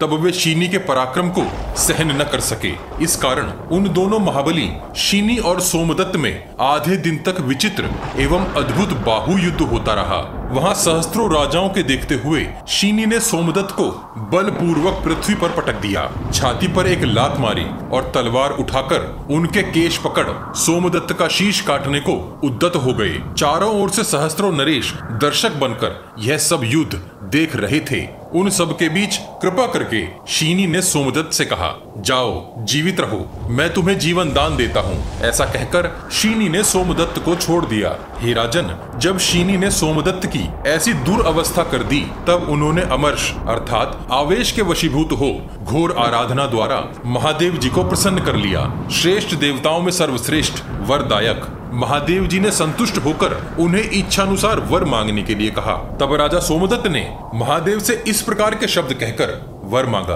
हे भगवान, मैं ऐसा पुत्र पाना चाहता हूँ, जो शीने के पुत्र को सहस्त्रों राजाओं के बीच युद्ध में पृथ्वी पर गिराकर उसकी छाती पर लात मारे। यहाँ महाभारत के विभिन्न संस्करणों में थोड़ा भेद है। एक संस्करण के अनुसार महादेव जी एवं अस्तु अर्थात ऐसा ही हो कहकर वरदान देकर अंतर्ध्यान हो जाते हैं। दूसरे संस्करण के अनुसार सोमदत्त का ऐसा कथन सुनकर महादेव जी ने शीश हिलाकर कहा, ऐसा नहीं हो सकता। हे सोमदत्त शीनी के पुत्र ने पहले ही तपस्या द्वारा मेरी आराधना करके तीनों लोकों में किसी से भी युद्ध में न मारे जाने का उत्तम वर मुझसे प्राप्त कर लिया है। परंतु तुम्हारा यह प्रयास निष्फल नहीं होगा। हे राजन, तुम्हारा पुत्र समर भूमि में शीनी के पौत्र, अर्थात पुत्र का पुत्र, को तुम्हारी इच्छा के अनुसार मूर्छित कर देगा। परंतु उसके हाथ से भी वह मारा नहीं जा सकेगा, क्योंकि उस काल में श्री कृष्ण द्वारा वह सुरक्षित होगा। मैं ही श्री कृष्ण हूँ। हम दोनों में कहीं कोई भेद नहीं है। तब महादेव जी एवं अर्थात ऐसा ही हो कहकर वरदान देकर अंतर ध्यान हो गए। उसी वरदान के प्रभाव से सोमदत्त ने प्रचुर दक्षिणा देने वाले भूरी श्रवा को पुत्र रूप में प्राप्त किया और उसने समरांगण में शीनी वंशज सात्विकी को भूमि पर गिरा दिया। इतना ही नहीं, उसने सारी सेनाओं के देखते देखते सात्विकी को लात भी मारी। हे राजन, आप मुझसे जो पूछ रहे थे, उसके उत्तर में यह प्रसंग मैंने आपको सुनाया है। सात्विकी को रणभूमि में श्रेष्ठ से श्रेष्ठ मनुष्य भी नहीं जीत सकते। यह वृष्णिवंशी योद्धा अपने निशाने को सफलता पूर्वक भेद लेता है। वह संग्राम भूमि में अनेक प्रकार से विचित्र युद्ध करने की कला जानता है। देवताओं, दानवों तथा गंधर्वों पर भी विजय प्राप्त कर सकता है। फिर भी उसके मन में गर्व या विस्मय नहीं होता। वह अपने ही बल से विजयी होने का उद्योग करता है। वृष्णिवंशी कभी पराधीन नहीं होते हैं। ऐसा समझा जाता है कि भूत, वर्तमान तथा भविष्य में कोई वृष्णिवंशियों के समान नहीं है। ये अपने कुटुम्बजनों की अवहेलना नहीं करते। सदैव बड़ों की आज्ञा में तत्पर रहने वाले होते हैं। देवता, असुर, गंधर्व, यक्ष, नाग और राक्षस भी युद्ध में वृष्णि वीरों पर विजय नहीं पा सकते। फिर मनुष्य किस गिनती में आते हैं? ये ब्राह्मण, गुरु तथा कुटुंब जनों से धन के लिए कभी हिंसा नहीं करते। ब्राह्मण गुरु आदि में जो कोई भी किसी विपत्ति में पड़ जाता है, उनकी ये वृष्णि वंशी रक्षा करते हैं। ये धनाढ़ अभिमान शून्य, गुरु भक्त और सत्यवादी होते हैं। दूसरों के संरक्षक तथा आत्म प्रशंसा से दूर रहने वाले हैं। हे राजन, कोई मेरु पर्वत को सिर पर उठा ले अथवा समुद्र को हाथों से तैरकर पार कर जाए, परंतु वृष्णि वीरों से लड़कर उनका नाश कर दे। ऐसा कोई नहीं है। हे राजन, जहाँ आपको संदेह था, वह सब मैंने भली प्रकार आपको कह सुनाया है। द्रोण पर्व, अध्याय 145 धृतराष्ट्र ने पूछा, हे संजय, उस अवस्था में कुरुवंशी भूरिश्रवा के मारे जाने पर पुनः जिस प्रकार युद्ध हुआ, वह तुम मुझे विस्तार से बताओ। संजय बोले, हे राजन, भूरिश्रवा के परलोक सिधार जाने पर महाबाहु अर्जुन ने श्री कृष्ण से यूँ कहा, हे केशव, जिस ओर राजा जयद्रथ खड़ा है, उसी ओर अब इन अश्वों को शीघ्रता पूर्वक हाँकिए। हे कमल नयन सुना जाता है कि वह इस समय तीन धर्मों में विद्यमान है और किसी एक धर्म की शरण में जाएगा। यदि वह युद्ध करते हुए पराक्रम दिखाते हुए मारा जाएगा तो स्वर्ग पाएगा। यदि युद्ध से भागता हुआ मारा जाएगा तो नरक में जा पड़ेगा। और यदि डर के मारे अपने नगर लौट जाएगा तो अपयश पाएगा। हे निष्पाप महाभुज केशव, मेरी प्रतिज्ञा आप ही सफल कर सकते हैं। मुझे इस बात पर अटूट विश्वास है। हे महाबाहो सूर्य देव तीव्र गति से अस्तांचल की ओर जा रहे हैं। हे पुरुष सिंह मेरी बड़ी भारी प्रतिज्ञा के कारण ही कौरव सेना के सभी महारथी इस जयद्रथ की रक्षा कर रहे हैं। हे श्री कृष्ण सूर्य देव अस्तांचल को न चले जाएँ। उससे पहले मेरी प्रतिज्ञा पूर्ण हो जाए और मैं जयद्रथ को मार सकूँ। आप शीघ्रता पूर्वक इन अश्वों को हाँकिए, माधव। तब अश्व विद्या के श्रेष्ठ ज्ञाता महाबाहु श्री कृष्ण ने जयद्रथ को मारने के उद्देश्य से उसकी ओर चांदी के समान श्वेत अश्वों को हाँक दिया। हे राजन, जिनके बाण अचूक हैं तथा कभी व्यर्थ नहीं जाते, उन अर्जुन को इस प्रकार शीघ्रता से जयद्रथ की ओर आते देख कौरव सेना के प्रधान प्रधान वीर बड़े वेग से दौड़ पड़े। दुर्योधन, कर्ण वृषसेन मदराज शल्य अश्वत्थामा, कृपाचार्य तथा स्वयं सिंधुराज जयद्रथ, ये सभी युद्ध के लिए डट गए। वहाँ उपस्थित हुए सिंधुराज को सामने पाकर अर्जुन ने क्रोध से भरे अपने नेत्रों द्वारा उसे इस प्रकार देखा, मानो वहीं उसे जलाकर भस्म कर देगा। तब राजा दुर्योधन ने अर्जुन को जयद्रथ को मारने के लिए उसकी ओर आते देख तुरंत ही कर्ण से कहा हे वीरवर, यह इस युद्ध का सबसे अद्भुत क्षण है। तुम इस समय अपना पराक्रम दिखाओ। हे कर्ण, रणभूमि में अर्जुन कुछ भी करके जयद्रथ का वध न कर पाए, ऐसा प्रयत्न करो। हे नरवीर, अब दिन का थोड़ा ही भाग शेष है। तुम अपने बाण समूहों द्वारा इस समय शत्रु के कार्य में बाधा डालो। यह दिन समाप्त होने पर तो निश्चय ही हमारी विजय हो जाएगी। सूर्यास्त होने तक यदि सिंधुराज सुरक्षित रहे तो प्रतिज्ञा झूठी होने के कारण अर्जुन अग्नि में प्रवेश कर जाएगा। हे मानद, यह पृथ्वी यदि क्षण भर को भी अर्जुन रहित हो गई तो उसके भाई तथा अन्य अनुचर शीघ्र ही नष्ट हो जाएँगे। हे कर्ण, पांडवों के नष्ट हो जाने पर हम लोग, पर्वत, वन सहित इस निष्कंटक पृथ्वी का राज्य भोगेंगे। हे मानद देव अर्थात भाग्य के कारण, अर्जुन की बुद्धि विपरीत हो गई थी। इसलिए अपने कर्तव्य और अकर्तव्य का विचार न करके, उसने रणभूमि में जयद्रथ को मारने की ऐसी प्रतिज्ञा कर ली। हे कर्ण, निश्चय ही अर्जुन ने अपने ही विनाश के लिए जयद्रथ वध की यह प्रतिज्ञा कर डाली है। हे राधा नंदन तुम जैसे दुर्धुर्ष वीर के जीते जी, अर्जुन, सिंधु राज को सूर्यास्त होने से पहले भला कैसे ही मार सकेगा? मदराज शल्य और महामना कृपाचार्य से सुरक्षित हुए जयद्रथ को अर्जुन कैसे मार सकेगा? मैं, दुशासन तथा अश्वत्थामा जिनकी रक्षा कर रहे हैं, उन सिंधुराज जयद्रथ को अर्जुन कैसे मार सकेगा? यहाँ बहुत से शूरवीर युद्ध कर रहे हैं और सूर्य भी ढलता जाता है। अतः हे मानद, मैं समझता हूँ कि अर्जुन जयद्रथ को नहीं पा सकेगा। हे कर्ण, तुम मुझे, अश्वत्थामा मदराज शल्य कृपाचार्य और अन्य शूरवीर महारथियों को साथ लेकर पूरा प्रयत्न करके रण क्षेत्र में अर्जुन के साथ युद्ध करो। हे राजन, आपके पुत्र के ऐसा कहने पर कर्ण ने कुरुश्रेष्ठ दुर्योधन से इस प्रकार कहा। हे मानद, सुदृढ़ लक्ष्य भेदने वाले वीर धनुर्धर भीमसेन ने समरांगण में अपने बाण समूहों द्वारा अनेक बार मेरे शरीर को अत्यंत शक्त विक्षत कर दिया है। फिर भी मुझे यहाँ युद्ध में खड़ा रहना चाहिए और युद्ध करना चाहिए। यह सोचकर ही इस समय मैं रणभूमि में ठहरा हूँ। इस समय मेरा कोई भी अंग किसी प्रकार की चेष्टा नहीं कर रहा है। मैं बड़े बड़े बाणों के प्रहार से संतप्त हूँ। तथापि मैं युद्ध अवश्य करूँगा। पांडवों के प्रधान वीर अर्जुन किसी तरह भी सिंधुराज को नहीं मार सके, वैसा प्रयत्न करूँगा। जब तक मैं युद्ध में तत्पर होकर अपने पैने बाण छोड़ता रहूँगा, तब तक सव्यसाची वीर धनंजय सिंधुराज को नहीं पा सकेगा। हे कुरुनंदन, सदा मित्र का हित चाहने वाले तथा समर्पित पुरुष को जैसा कार्य करना चाहिए, मैं वैसा ही करूँगा। विजय की प्राप्ति तो देव अर्थात भाग्य के अधीन है। हे कुरुश्रेष्ठ, आज सारी सेनाएँ, मेरे और अर्जुन, दोनों के भयंकर एवं रोमांचकारी युद्ध को देखेंगी। हे राजन, जब रण क्षेत्र में कर्ण और दुर्योधन इस तरह की बातें कर रहे थे, उसी समय अर्जुन ने अपने पैने बाणों द्वारा आपकी सेना का संहार आरंभ कर दिया। उन्होंने तीखे बाणों से रणभूमि में कभी पीठ न दिखाने वाले शूरवीरों की सुदृढ़ तथा हाथी की सूंड के समान मोटी भुजाओं को काट डाला। महाबाहु अर्जुन ने सब और अपने तीखे शूर नामक बाणों से वेगशाली प्रहार करके शत्रुओं के मस्तक, हाथियों की सूंड, अश्वों की गर्दने तथा रथ के धुरे खंडित कर डाले। हाथों में प्रास तथा तोमर लिए खून से रंगे घुड़सवारों को अर्जुन ने अपने छुरों, अर्थात तेज धार वाले बाणों से दो दो और तीन तीन टुकड़े कर डाले। बड़े बड़े हाथी और अश्व सब और धराशाही होने लगे। ध्वज, छत्र, धनुष, योद्धाओं के मस्तक कट कट कर भूमि पर गिरने लगे। हे राजन जैसे कोई प्रचंड अग्नि घास फूस के जंगल को जला डालती है, उसी प्रकार अर्जुन ने आपकी सेना को दग्ध करते हुए बहुत अल्प काल में वहाँ की भूमि को रक्त से आप्लावित अर्थात भिगो दिया। वीरवर अर्जुन, आपकी सेना के अधिकांश योद्धाओं को मारकर सिंधुराज के समीप पहुँच गए। हे राजन, इस समय भीमसेन और सात्विकी से सुरक्षित हो। अर्जुन, प्रज्वलित अग्नि के समान प्रकाशित हो रहे थे। अर्जुन को इस प्रकार बल, पराक्रम से युक्त होकर युद्ध में डटा हुआ देख आपकी सेना के श्रेष्ठ पुरुष एवं महाधनुर्धर वीर सहन न कर सके।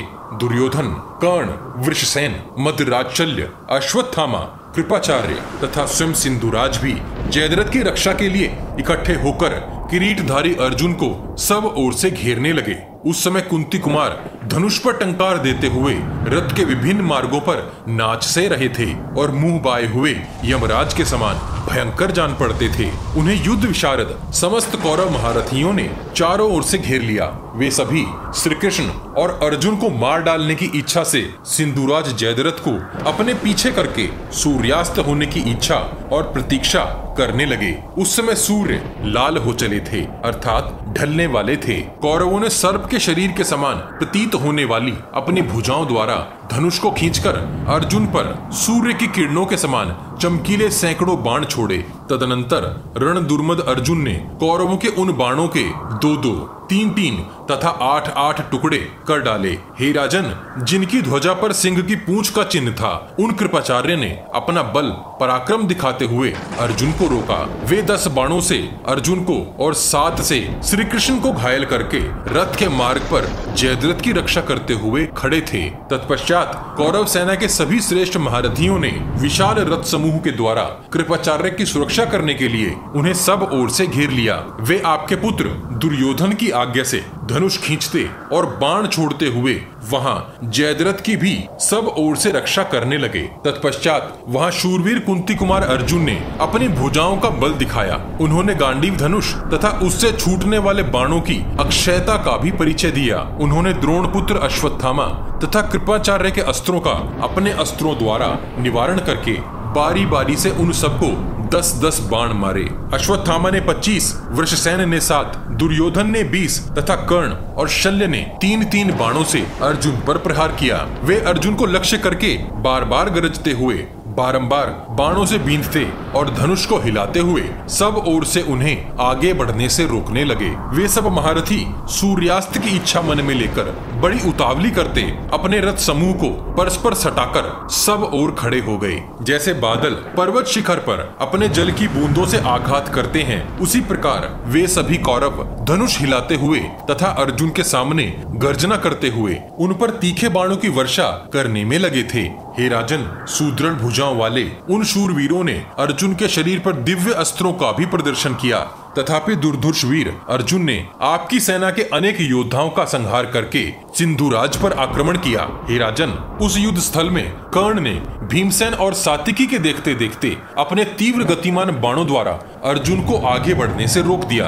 तब महाबाहु अर्जुन ने आपकी सारी सेना के देखते देखते ही कर्ण को दस बाणों से घायल कर दिया। हे राजन, तदनंतर सात्विकी ने भी तीन बाणों से कर्ण को भेद दिया। फिर भीमसेन ने भी उसे तीन बाण मारे और अर्जुन ने पुनः सात बाणों से कर्ण को घायल कर दिया। तब महाबली कर्ण ने उन तीनों को साठ साठ बाण मारकर अपना बदला चुकाया। हे राजन, कर्ण का वह युद्ध अनेक वीरों के साथ हो रहा था। वहाँ हमने कर्ण का अद्भुत पराक्रम देखा कि समर भूमि में कुपित होकर उसने अकेले ही तीन तीन महारथियों को रोक दिया था। उस समय महाबाहु अर्जुन ने रणभूमि में सौ बाणों द्वारा कर्ण को उसके शरीर के मर्म स्थानों में चोट पहुँचाई। प्रतापी कर्ण के समस्त अंग खून से लथपथ हो गए। तब भी उस वीर ने पचास बाणों से अर्जुन को भी घायल किया। रण क्षेत्र में उसकी यह फुर्ती देखकर अर्जुन सहन न कर सके। तदनंतर वीर धनंजय ने एक बाण से कर्ण का धनुष काटकर बड़ी उतावली के साथ उसकी छाती में नौ बाणों का प्रहार किया। अर्जुन के वे बाण अति गतिशाली थे। तत्पश्चात अर्जुन ने रणभूमि में दर्शक बने हुए समस्त योद्धाओं को अपने हाथों की फुर्ती दिखाते हुए उस समय कर्ण को आच्छादित कर दिया। साथ ही शीघ्रता के उस अवसर पर शीघ्रता करते हुए अर्जुन ने कर्ण का वध करने के लिए उसके ऊपर एक सूर्य के समान तेजस्वी बाण चलाया। उस बाण को वेग पूर्वक आते देख अश्वत्थामा ने एक तीखे अर्धचंद्राकार बाण से उसे बीच में ही काट दिया। कटकर वह बाण भूमि पर गिर गया। तब प्रतापी कर्ण ने दूसरा धनुष हाथ में लेकर अनेक सहस्त्रों बाणों से पांडुपुत्र अर्जुन को ढक दिया। कर्ण के धनुष से प्रकट हुई उस अनुपम बाण वर्षा को अर्जुन ने अपने बाणों द्वारा उसी प्रकार नष्ट कर दिया, जैसे प्रचंड वायु टिड्डियों के दल को उड़ा देती है। वे दोनों पुरुष सिंह महाबली अपने सीधे जाने वाले बाणों द्वारा आकाश को आच्छादित करने लगे। वे दोनों एक दूसरे पर चोट करते हुए एक दूसरे को पुकार कर इस प्रकार कहते थे, हे कर्ण, खड़ा रहे, मैं अर्जुन हूँ। उधर कर्ण बोलते, हे अर्जुन खड़ा रहे। मैं कर्ण हूँ। इस प्रकार एक दूसरे को ललकारते। वे दोनों वीर शब्दों के बाणों द्वारा भी परस्पर चोट करते हुए अत्यंत सुंदर ढंग से बड़ा विचित्र युद्ध कर रहे थे। वहाँ खड़े सभी योद्धा बड़े ही दर्शनीय हो रहे थे।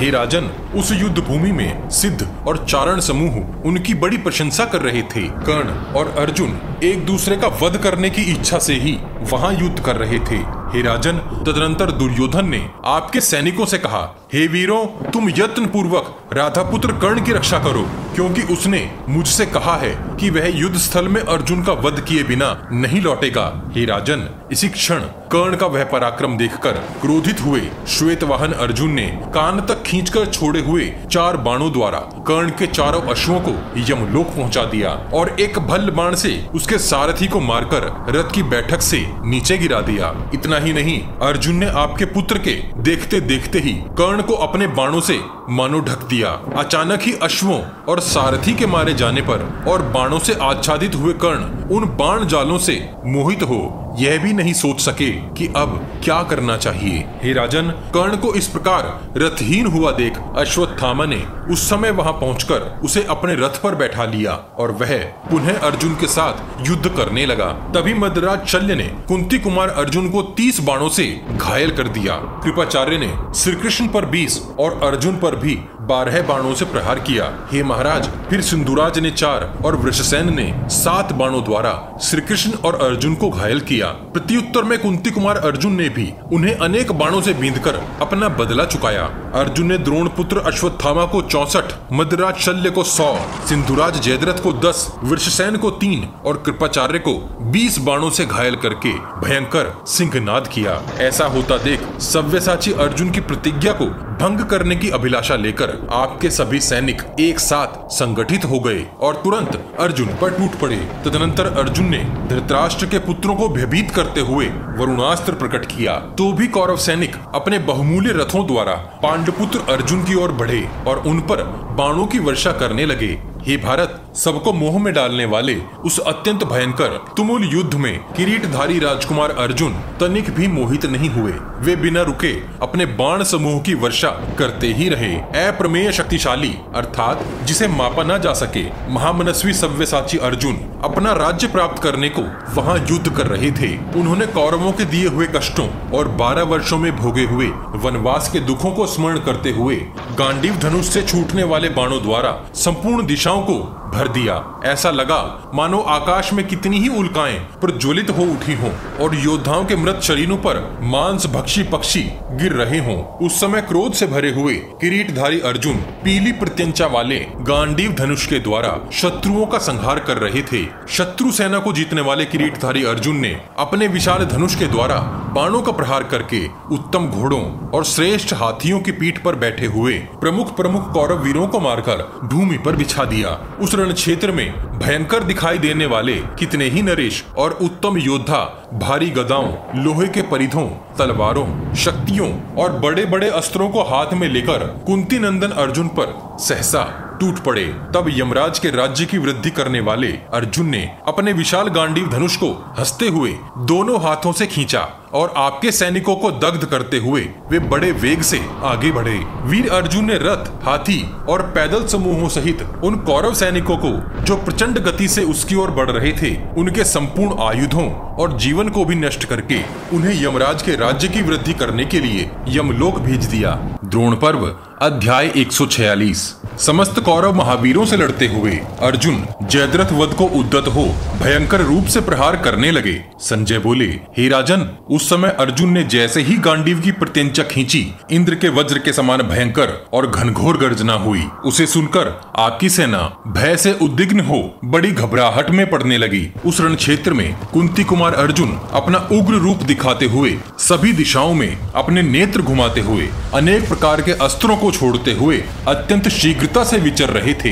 हीराजन उस समय अर्जुन की उस अद्भुत फुर्ती के कारण हम यह नहीं देख पाते थे कि वे कब बाण निकालते थे, कब उसे धनुष पर रखते थे, कब धनुष को खींचते और कब उस बाण को छोड़ देते थे। वे सभी दिशाओं में बहुत तीव्रता से बाण छोड़ रहे थे। यहाँ महाभारत के संस्करणों में थोड़ा भेद है। एक संस्करण के अनुसार अर्जुन ने कौरव योद्धाओं पर अनेक सहस्त्र बाणों की वर्षा कर डाली। दूसरे संस्करण के अनुसार महाबाहु अर्जुन ने कुपित हो कौरव सेना के समस्त योद्धाओं को भयभीत करते हुए दुर्धुर्ष इंद्रास्त्र प्रकट किया। उस अभिमंत्रित बाण से सैकड़ों तथा सहस्त्रों प्रज्वलित अग्निमुखी बाण प्रकट होने लगे। उन अग्निशिखा तथा सूर्य किरणों के समान तेजस्वी बाणों से भरा हुआ आकाश, उल्काओं से भरा हुआ सा जान पड़ता था। योद्धाओं का उनकी ओर देखना कठिन हो रहा था। तदनंतर कौरवों ने भी अर्जुन के उन बाणों का प्रतिकार करने के उद्देश्य से अस्त्र शस्त्रों की इतनी भारी वर्षा कर डाली कि वहाँ मानो अंधेरा सा ही छा गया। पांडुपुत्र अर्जुन भी कुछ क्षण के लिए भ्रम में पड़ गए थे परंतु बड़ी शीघ्रता करते हुए उन्होंने अपने मंत्रों से अभिमंत्रित बाणों द्वारा ठीक उसी प्रकार उस अंधकार को हर लिया जैसे प्रातः काल में सूर्य अपनी किरणों द्वारा रात्रि के अंधकार को शीघ्रता से नष्ट कर देते हैं। जिस प्रकार सूर्य की किरणें सभी दिशाओं को भर देती हैं, वैसे ही अर्जुन के सहस्त्रों बाण शत्रु सेना पर बरस रहे थे। वे प्रचंड तेजस्वी बाण वीर योद्धाओं के हृदय में इस प्रकार प्रवेश कर जाते थे जिस प्रकार कोई प्रिय बंधु गले से लगता है, हे राजन, स्वयं को शूरवीर मानने वाले आपके जो जो योद्धा अर्जुन का सामना करने गए, वे जलती आग में पड़े हुए पतंगों के समान अतिशीघ्र नष्ट हो गए। किन्हीं शत्रुओं के मुकुट मंडित मस्तक तो किन्हीं की बाजूबंद विभूषित विशाल भुजाएँ तो किन्हीं के कुंडलों से अलंकृत दोनों कान कटकर भूमि पर जा गिरे। देवराज इंद्र के समान रथ पर बैठे हुए अर्जुन एक ही साथ संपूर्ण दिशाओं में महान अस्त्रों का प्रहार करते हुए सबके लिए बड़े ही दर्शनीय हो रहे थे। अर्जुन ने वहाँ एक अत्यंत भयंकर घोर रक्त की नदी बहा दी, जिसमें प्राण शून्य जाने कितने ही योद्धा डूबे पड़े थे। हे राजन, इस प्रकार आपकी उस चतुरंगिनी सेना, अर्थात गज, अश्व, रथ और पैदलों की सेना को घोर व्याकुल करके कुंती कुमार अर्जुन जयद्रथ की ओर आगे बढ़े। उन्होंने अश्वत्थामा को पचास, वृषसेन को तीन, कृपाचार्य को नौ, शल्य को सोलह, कर्ण को बत्तीस और सिंधुराज को चौसठ बाणों से घायल करके सिंह के समान गर्जना की। अर्जुन के बाणों से उस प्रकार घायल होने पर सिंधुराज व्याकुल हो उठे और अंकुश की मार खाए हुए हाथी के समान अत्यंत क्रोध में भर गए। हे राजन, उनकी ध्वजा पर वराह का चिन्ह था। जयद्रथ ने गिद्धों के पंखों से युक्त सीधे जाने वाले बहुत से बाण धनुष को कान तक खींचकर अर्जुन के रथ की ओर चलाए। तीन बाणों से श्री कृष्ण छह से अर्जुन तथा आठ बाणों से उनके अश्वों को घायल करके जयद्रथ ने एक बाण से अर्जुन की ध्वजा पर भी चोट की। अर्जुन ने तुरंत ही जयद्रथ की ओर से आते बाणों को काट गिराया और एक ही साथ दो बाण छोड़कर सिंधुराज के सारथी का मस्तक तथा उसकी ध्वजा काटकर भूमि पर गिरा दी। यहाँ भी महाभारत के संस्करणों में भेद है। एक मत के अनुसार यहाँ श्री कृष्ण किसी प्रकार की माया उत्पन्न नहीं करते हैं। अर्जुन को जयद्रथ के शीश का रहस्य बताते हैं तथा किस प्रकार का बाण चलाना है, उस विषय में बताते हैं। बाकी व्याख्या में अधिक भेद नहीं है। दूसरे विस्तारित संस्करण के अनुसार संजय बोले, हे राजन, इसी समय जब सूर्य देव तीव्र गति से अस्तांचल की ओर जा रहे थे, तब श्री कृष्ण ने पांडुपुत्र अर्जुन से कहा, हे पार्थ यह सिंधुराज जयद्रथ प्राण बचाने की इच्छा से अत्यंत भयभीत होकर खड़ा है और उसे छह वीर महारथियों ने अपने बीच में छुपाकर रखा है। हे अर्जुन, रणभूमि में इन छह महारथियों को परास्त किए बिना सिंधुराज को जीता नहीं जा सकता। अतः मैं एक युक्ति अर्थात परीक्षण करूँगा, जिससे सिंधुराज सूर्य को स्पष्ट रूप से अस्त हुआ जानेगा। अपने को छुपाकर बैठा जयद्रथ इस समय हर क्षण गिन रहा है और अत्यंत ही अधीर अवस्था में है। सूर्य को अस्त हुआ जानकर वह किसी प्रकार भी अपने आप को गुप्त नहीं रख सकेगा और उतावला होकर खुद को स्पष्ट रूप से प्रकट कर देगा। हे अर्जुन वैसा अवसर आने पर तुम्हें उसके ऊपर अति शीघ्र प्रहार करना चाहिए। इस बात पर ध्यान नहीं देना कि सूर्य देव अस्त हो गए हैं। यह बात सुनकर अर्जुन ने श्री कृष्ण से कहा, हे प्रभु, ऐसा ही होगा। तब समस्त योग और प्रकृति के भेद को जानने वाले श्री कृष्ण ने सूर्य को छिपाने के लिए विचित्र अंधकार की सृष्टि की। हे राजन श्री कृष्ण द्वारा उस अंधकार की सृष्टि होने पर वहाँ ऐसा लगा, मानो सूर्य देव अस्त हो गए हों। तत्क्षण आपके योद्धा अर्जुन का विनाश निकट देख हर्ष मग्न हो गए। हे राजन, उस रण क्षेत्र में हर्ष मग्न हुए आपके सैनिकों ने सूर्य की ओर तक नहीं देखा। वे सब अंधकार को ही सूर्यास्त समझने लगे। मात्र राजा जयद्रथ उस समय बारंबार मुँह ऊँचा करके सूर्य की ओर देख रहा था। जब इस प्रकार सिंधुराज सूर्य की ओर देखने लगा तब श्री कृष्ण पुनः अर्जुन से इस प्रकार बोले, हे भरत श्रेष्ठ देखो, सिंधुराज जयद्रथ अब तुम्हारा भय छोड़कर सूर्य देव की ओर दृष्टिपात कर रहा है। हे महाबाहो, इस दुरात्मा के वध का यही एकमात्र अवसर है। तुम शीघ्र इसका मस्तक काट डालो और अपनी प्रतिज्ञा सफल करो। वहाँ अनेक योद्धा अभी भी अर्जुन पर बाण बरसा रहे थे। श्री कृष्ण के ऐसा कहने पर प्रतापी अर्जुन ने सूर्य और अग्नि के समान तेजस्वी बाणों द्वारा आपकी सेना का वध आरंभ किया। उन्होंने कृपाचार्य को 20, कर्ण को 50 तथा शल्य और दुर्योधन को छह छह बाण मारे। हे राजन इस प्रकार पांडुनंदन अर्जुन ने आपके अन्य सैनिकों को भी बाणों द्वारा गहरी चोट पहुंचाकर जयद्रथ पर धावा बोल दिया। अपनी लपटों से सबको नष्ट कर देने वाली अग्नि के समान अर्जुन को निकट खड़ा देख जयद्रथ के रक्षक भारी संशय में पड़ गए। उस समय रणभूमि में अर्जुन से मार खाकर अनेक योद्धा भयभीत हो, सिंधुराज को छोड़ भाग निकले। वहाँ हम लोगों ने कुंती कुमार का अद्भुत पराक्रम देखा। उन महायशस्वी वीर ने उस समय जो पुरुषार्थ प्रकट किया, वैसा न तो पहले कभी प्रकट हुआ था और न ही आगे कभी होगा। उस समय धूल और अंधकार से सारे योद्धाओं के नेत्र आच्छादित हो गए थे। वे भयंकर मोह में पड़ गए। वे समीप खड़े योद्धाओं को भी पहचान न सके। हे राजन, अर्जुन के चलाए हुए बाणों से उनके मर्म स्थल विदीर्ण हो रहे थे। बहुत से सैनिक तो वहाँ मारे गए हाथियों के बीच जा छिपे थे। निरंतर बाण छोड़ते हुए अर्जुन का केवल मंडलाकार धनुष एवं चारों ओर फैलते हुए उनके बाण ही दृष्टि गोचर होते थे। अर्जुन ने कर्ण और वृषसेन के धनुष को काट डाला और एक भल्ल द्वारा शल्य के सारथी को रथ की बैठक से नीचे गिरा दिया। रणभूमि में मामा भांजे अर्थात कृपाचार्य और अश्वत्थामा दोनों को बाणों द्वारा बींधकर गहरी चोट पहुंचाई। इस प्रकार आपके उन महारथियों को व्याकुल करके पांडु कुमार अर्जुन ने एक अग्नि के समान तेजस्वी एवं भयंकर बाण निकाला। वह दिव्य बाण दिव्यास्त्रों से अभिमंत्रित होकर इंद्र के वज्र के समान प्रकाशित होने लगा। महाबाहु अर्जुन ने उस बाण को विधि पूर्वक वज्रास्त्र से संयोजित करके शीघ्र ही अपने गांडीव धनुष पर रखा। हे राजन, जब अर्जुन अग्नि के समान तेजस्वी उस बाण का संधान करने लगे, उस समय वहाँ श्री कृष्ण पुनः उतावले होकर बोल उठे, हे धनंजय, तुम इस दुरात्मा सिंधुराज का मस्तक शीघ्र काट डालो। जयद्रथ वध के विषय में तुम मेरी यह बात भी ध्यान से सुनो। सिंधुराज के पिता वृद्ध छत्र इस जगत में बड़े विख्यात हैं। उन्होंने दीर्घ काल के पश्चात इस जयद्रथ को अपने पुत्र के रूप में प्राप्त किया था। इसके जन्म के समय एक अदृश्य आकाशवाणी ने जयद्रथ के विषय में इस प्रकार कहा था, हे समर्थ राजन, तुम्हारा यह पुत्र कुल, शील और संयम आदि सदगुणों में सूर्य वंशियों और चंद्र वंशियों के समान होगा। इस जगत के क्षत्रियो में यह श्रेष्ठ माना जाएगा। शूरवीर सदा इसका सत्कार करेंगे, परंतु अंत समय में संग्राम भूमि में युद्ध करते समय कोई क्षत्रिय शिरोमणि वीर इसका शत्रु होकर इसके सामने आ खड़ा हो क्रोध पूर्वक इसका मस्तक काट डालेगा।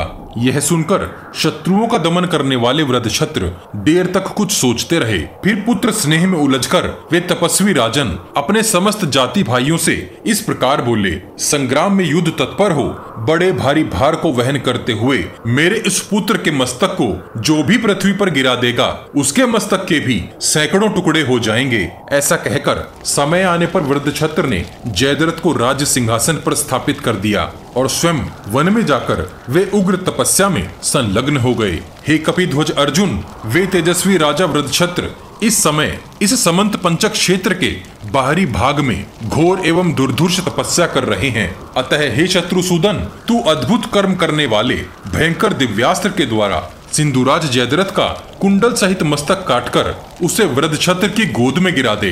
हे भारत, तुम भीमसेन के छोटे भाई हो, अर्थात तुम अपने बल से सब कुछ कर सकते हो। यदि तुम इसके मस्तक को पृथ्वी पर गिराओगे तो तुम्हारे मस्तक के भी सौ टुकड़े हो जाएँगे। इसमें कहीं कोई संशय नहीं है। राजा वृद्ध छत्र, तपस्या में संलग्न है। तुम अपने दिव्यास्त्र का आश्रय लेकर ऐसा प्रयत्न करो, जिससे उन्हें, अर्थात वृद्ध छत्र को जयद्रथ के मारे जाने का पता न चले। हे इंद्र कुमार संपूर्ण त्रिलोक में कोई ऐसा कार्य नहीं है जो तू चाहे और न कर सके। श्री कृष्ण के ऐसे वचन सुनकर अपने जबड़े चटकाते हुए अर्जुन ने सिंधुराज के वध के लिए धनुष पर रखे उस बाण को तुरंत ही छोड़ दिया। गांडीव धनुष से छूटा हुआ वह शीघ्रगामी बाण सिंधुराज का मस्तक काटकर बाज पक्षी के समान उसे आकाश में ले उड़ा। जयद्रथ के उस मस्तक को उन्होंने अनेक बाणों द्वारा आकाश में बहुत ऊपर की ओर चढ़ा दिया, जिससे वह बहुत अधिक दूरी तक जा सके। अर्जुन ने एक के बाद एक करके अनेक बाण मारकर उस मस्तक को कदम्ब के फूल सा बना दिया, अर्थात उसमें अनेक बाण धसा दिए। इतना ही नहीं, वे साथ साथ उन छह महारथियों से भी युद्ध करते रहे। हिराजन, उस समय हमने समंत पंचक से बाहर, जहाँ अर्जुन के बाण उस मस्तक को ले गए, वहाँ बड़े भारी आश्चर्य की घटना दिखी। संध्योपासना में बैठे हुए, आपके तेजस्वी संबंधी, वृद्ध छत्र की गोद में, सिंधुराज जयदरथ का वह काले केशों वाला कुंडल मंडित मस्तक उनके बिना देखे और जाने ही आ गिरा अर्थात उन्हें उसके आ गिरने का आभास नहीं हुआ। जाप समाप्त करके जब वृद्ध छत्र सहसा उठे, तब उनकी गोद से वह मस्तक भूमि पर जा गिरा। हे राजन, जयद्रथ का मस्तक पृथ्वी पर गिरते ही राजा वृद्ध छत्र के मस्तक के भी सौ टुकड़े हो गए। हे राजन, किरीटधारी अर्जुन के द्वारा सिंधुराज जयद्रथ के मारे जाने पर श्री कृष्ण ने अपने रचे हुए अंधकार को समेट लिया कुछ क्षणों बाद आपके पुत्रों को यह ज्ञात हुआ कि यह अंधकार श्री कृष्ण द्वारा फैलाई हुई माया थी। हे राजन, इस प्रकार तेजस्वी अर्जुन ने आपकी आठ अक्षोहिणी सेनाओं के संहार की पूर्ति करके आपके दामाद सिंधुराज जयद्रथ को मार डाला। हे राजन, जयद्रथ को मारा गया देख आपके पुत्र दुख के आँसू बहाने लगे और अपनी विजय को लेकर निराश हो गए। तब अर्जुन श्री कृष्ण भीम, सात्विकी और पराक्रमी उत्तम औजा ने अपने अपने शंख बजाए। उस महान शंखनाद को सुनकर व्यू के बाहर धर्मराज युधिष्ठिर को यह निश्चय हो गया कि अर्जुन ने सिंधुराज जयद्रथ को मार डाला है। तदनंतर युधिष्ठिर भी विजय की रणभेरियाँ बजाकर अपने योद्धाओं का हर्ष बढ़ाने लगे। हे राजन, सूर्यास्त होते समय द्रोणाचार्य का सोमकों के साथ रोमांचकारी संग्राम छिड़ा हुआ था। सिंधुराज के मारे जाने पर समस्त सोमक योद्धा द्रोणाचार्य के वध की इच्छा ले उन पर प्रहार करने लगे। हे राजन, जिस प्रकार देवराज इंद्र शत्रुओं का संहार करते हैं तथा जिस प्रकार सूर्यदेव उदित होकर अंधकार का विनाश कर डालते हैं, उसी प्रकार किरीटधारी अर्जुन ने अपनी भयंकर प्रतिज्ञा सच करके सब ओर से आपकी सेना का संहार आरंभ कर दिया। द्रोण पर्व का 146वां अध्याय यहीं समाप्त होता है। अब हम जयदरथ वध की इस श्रृंखला को यहीं विराम देते हैं। इस संपूर्ण श्रृंखला की प्लेलिस्ट आपको वॉच गॉड चैनल के पेज पर मिल जाएगी। यूट्यूब पर यह श्रृंखला महाभारत को ठीक से समझने में आप सभी की अवश्य सहायता करेगी। ऐसा हमारा विश्वास है। हमें उम्मीद है कि हम महाभारत के इस विस्तारित रूप को आपके सामने रखने में सफल हुए होंगे। इस विशाल ग्रंथ महाभारत को शीघ्रता से समेटने के लिए हम ग्राफिक्स के साथ पॉडकास्ट का सहारा भी ले रहे हैं, ताकि आप तक कुछ जल्दी से महाभारत का सही रूप पहुँचाया जा सके। आपको हमारा प्रयास कैसा लग रहा है? कृपया कमेंट बॉक्स में कमेंट करके हमें ज़रूर बताइए। जयदरथ वध की श्रृंखला के पिछले सभी भाग आपको हमारे चैनल के पेज पर और इस वीडियो के डिस्क्रिप्शन बॉक्स में भी मिल जाएँगे। हम हर सीरीज़ की एक प्लेलिस्ट भी बनाते हैं। उम्मीद है आप हमारी वीडियोस अपने उन दोस्तों को शेयर ज़रूर करते होंगे, जो महाभारत का सही रूप समझना और जानना चाहते हैं। आपके हर शेयर से हमारा मनोबल बढ़ता है। अपने प्रियजनों तक यह ज्ञान पहुँचाने के लिए वॉच गॉड चैनल को सब्सक्राइब और शेयर करना मत भूलिए। सब्सक्राइब बटन के बगल में बनी छोटी सी घंटी भी बजा दीजिए। जय श्री कृष्ण, हर हर महादेव।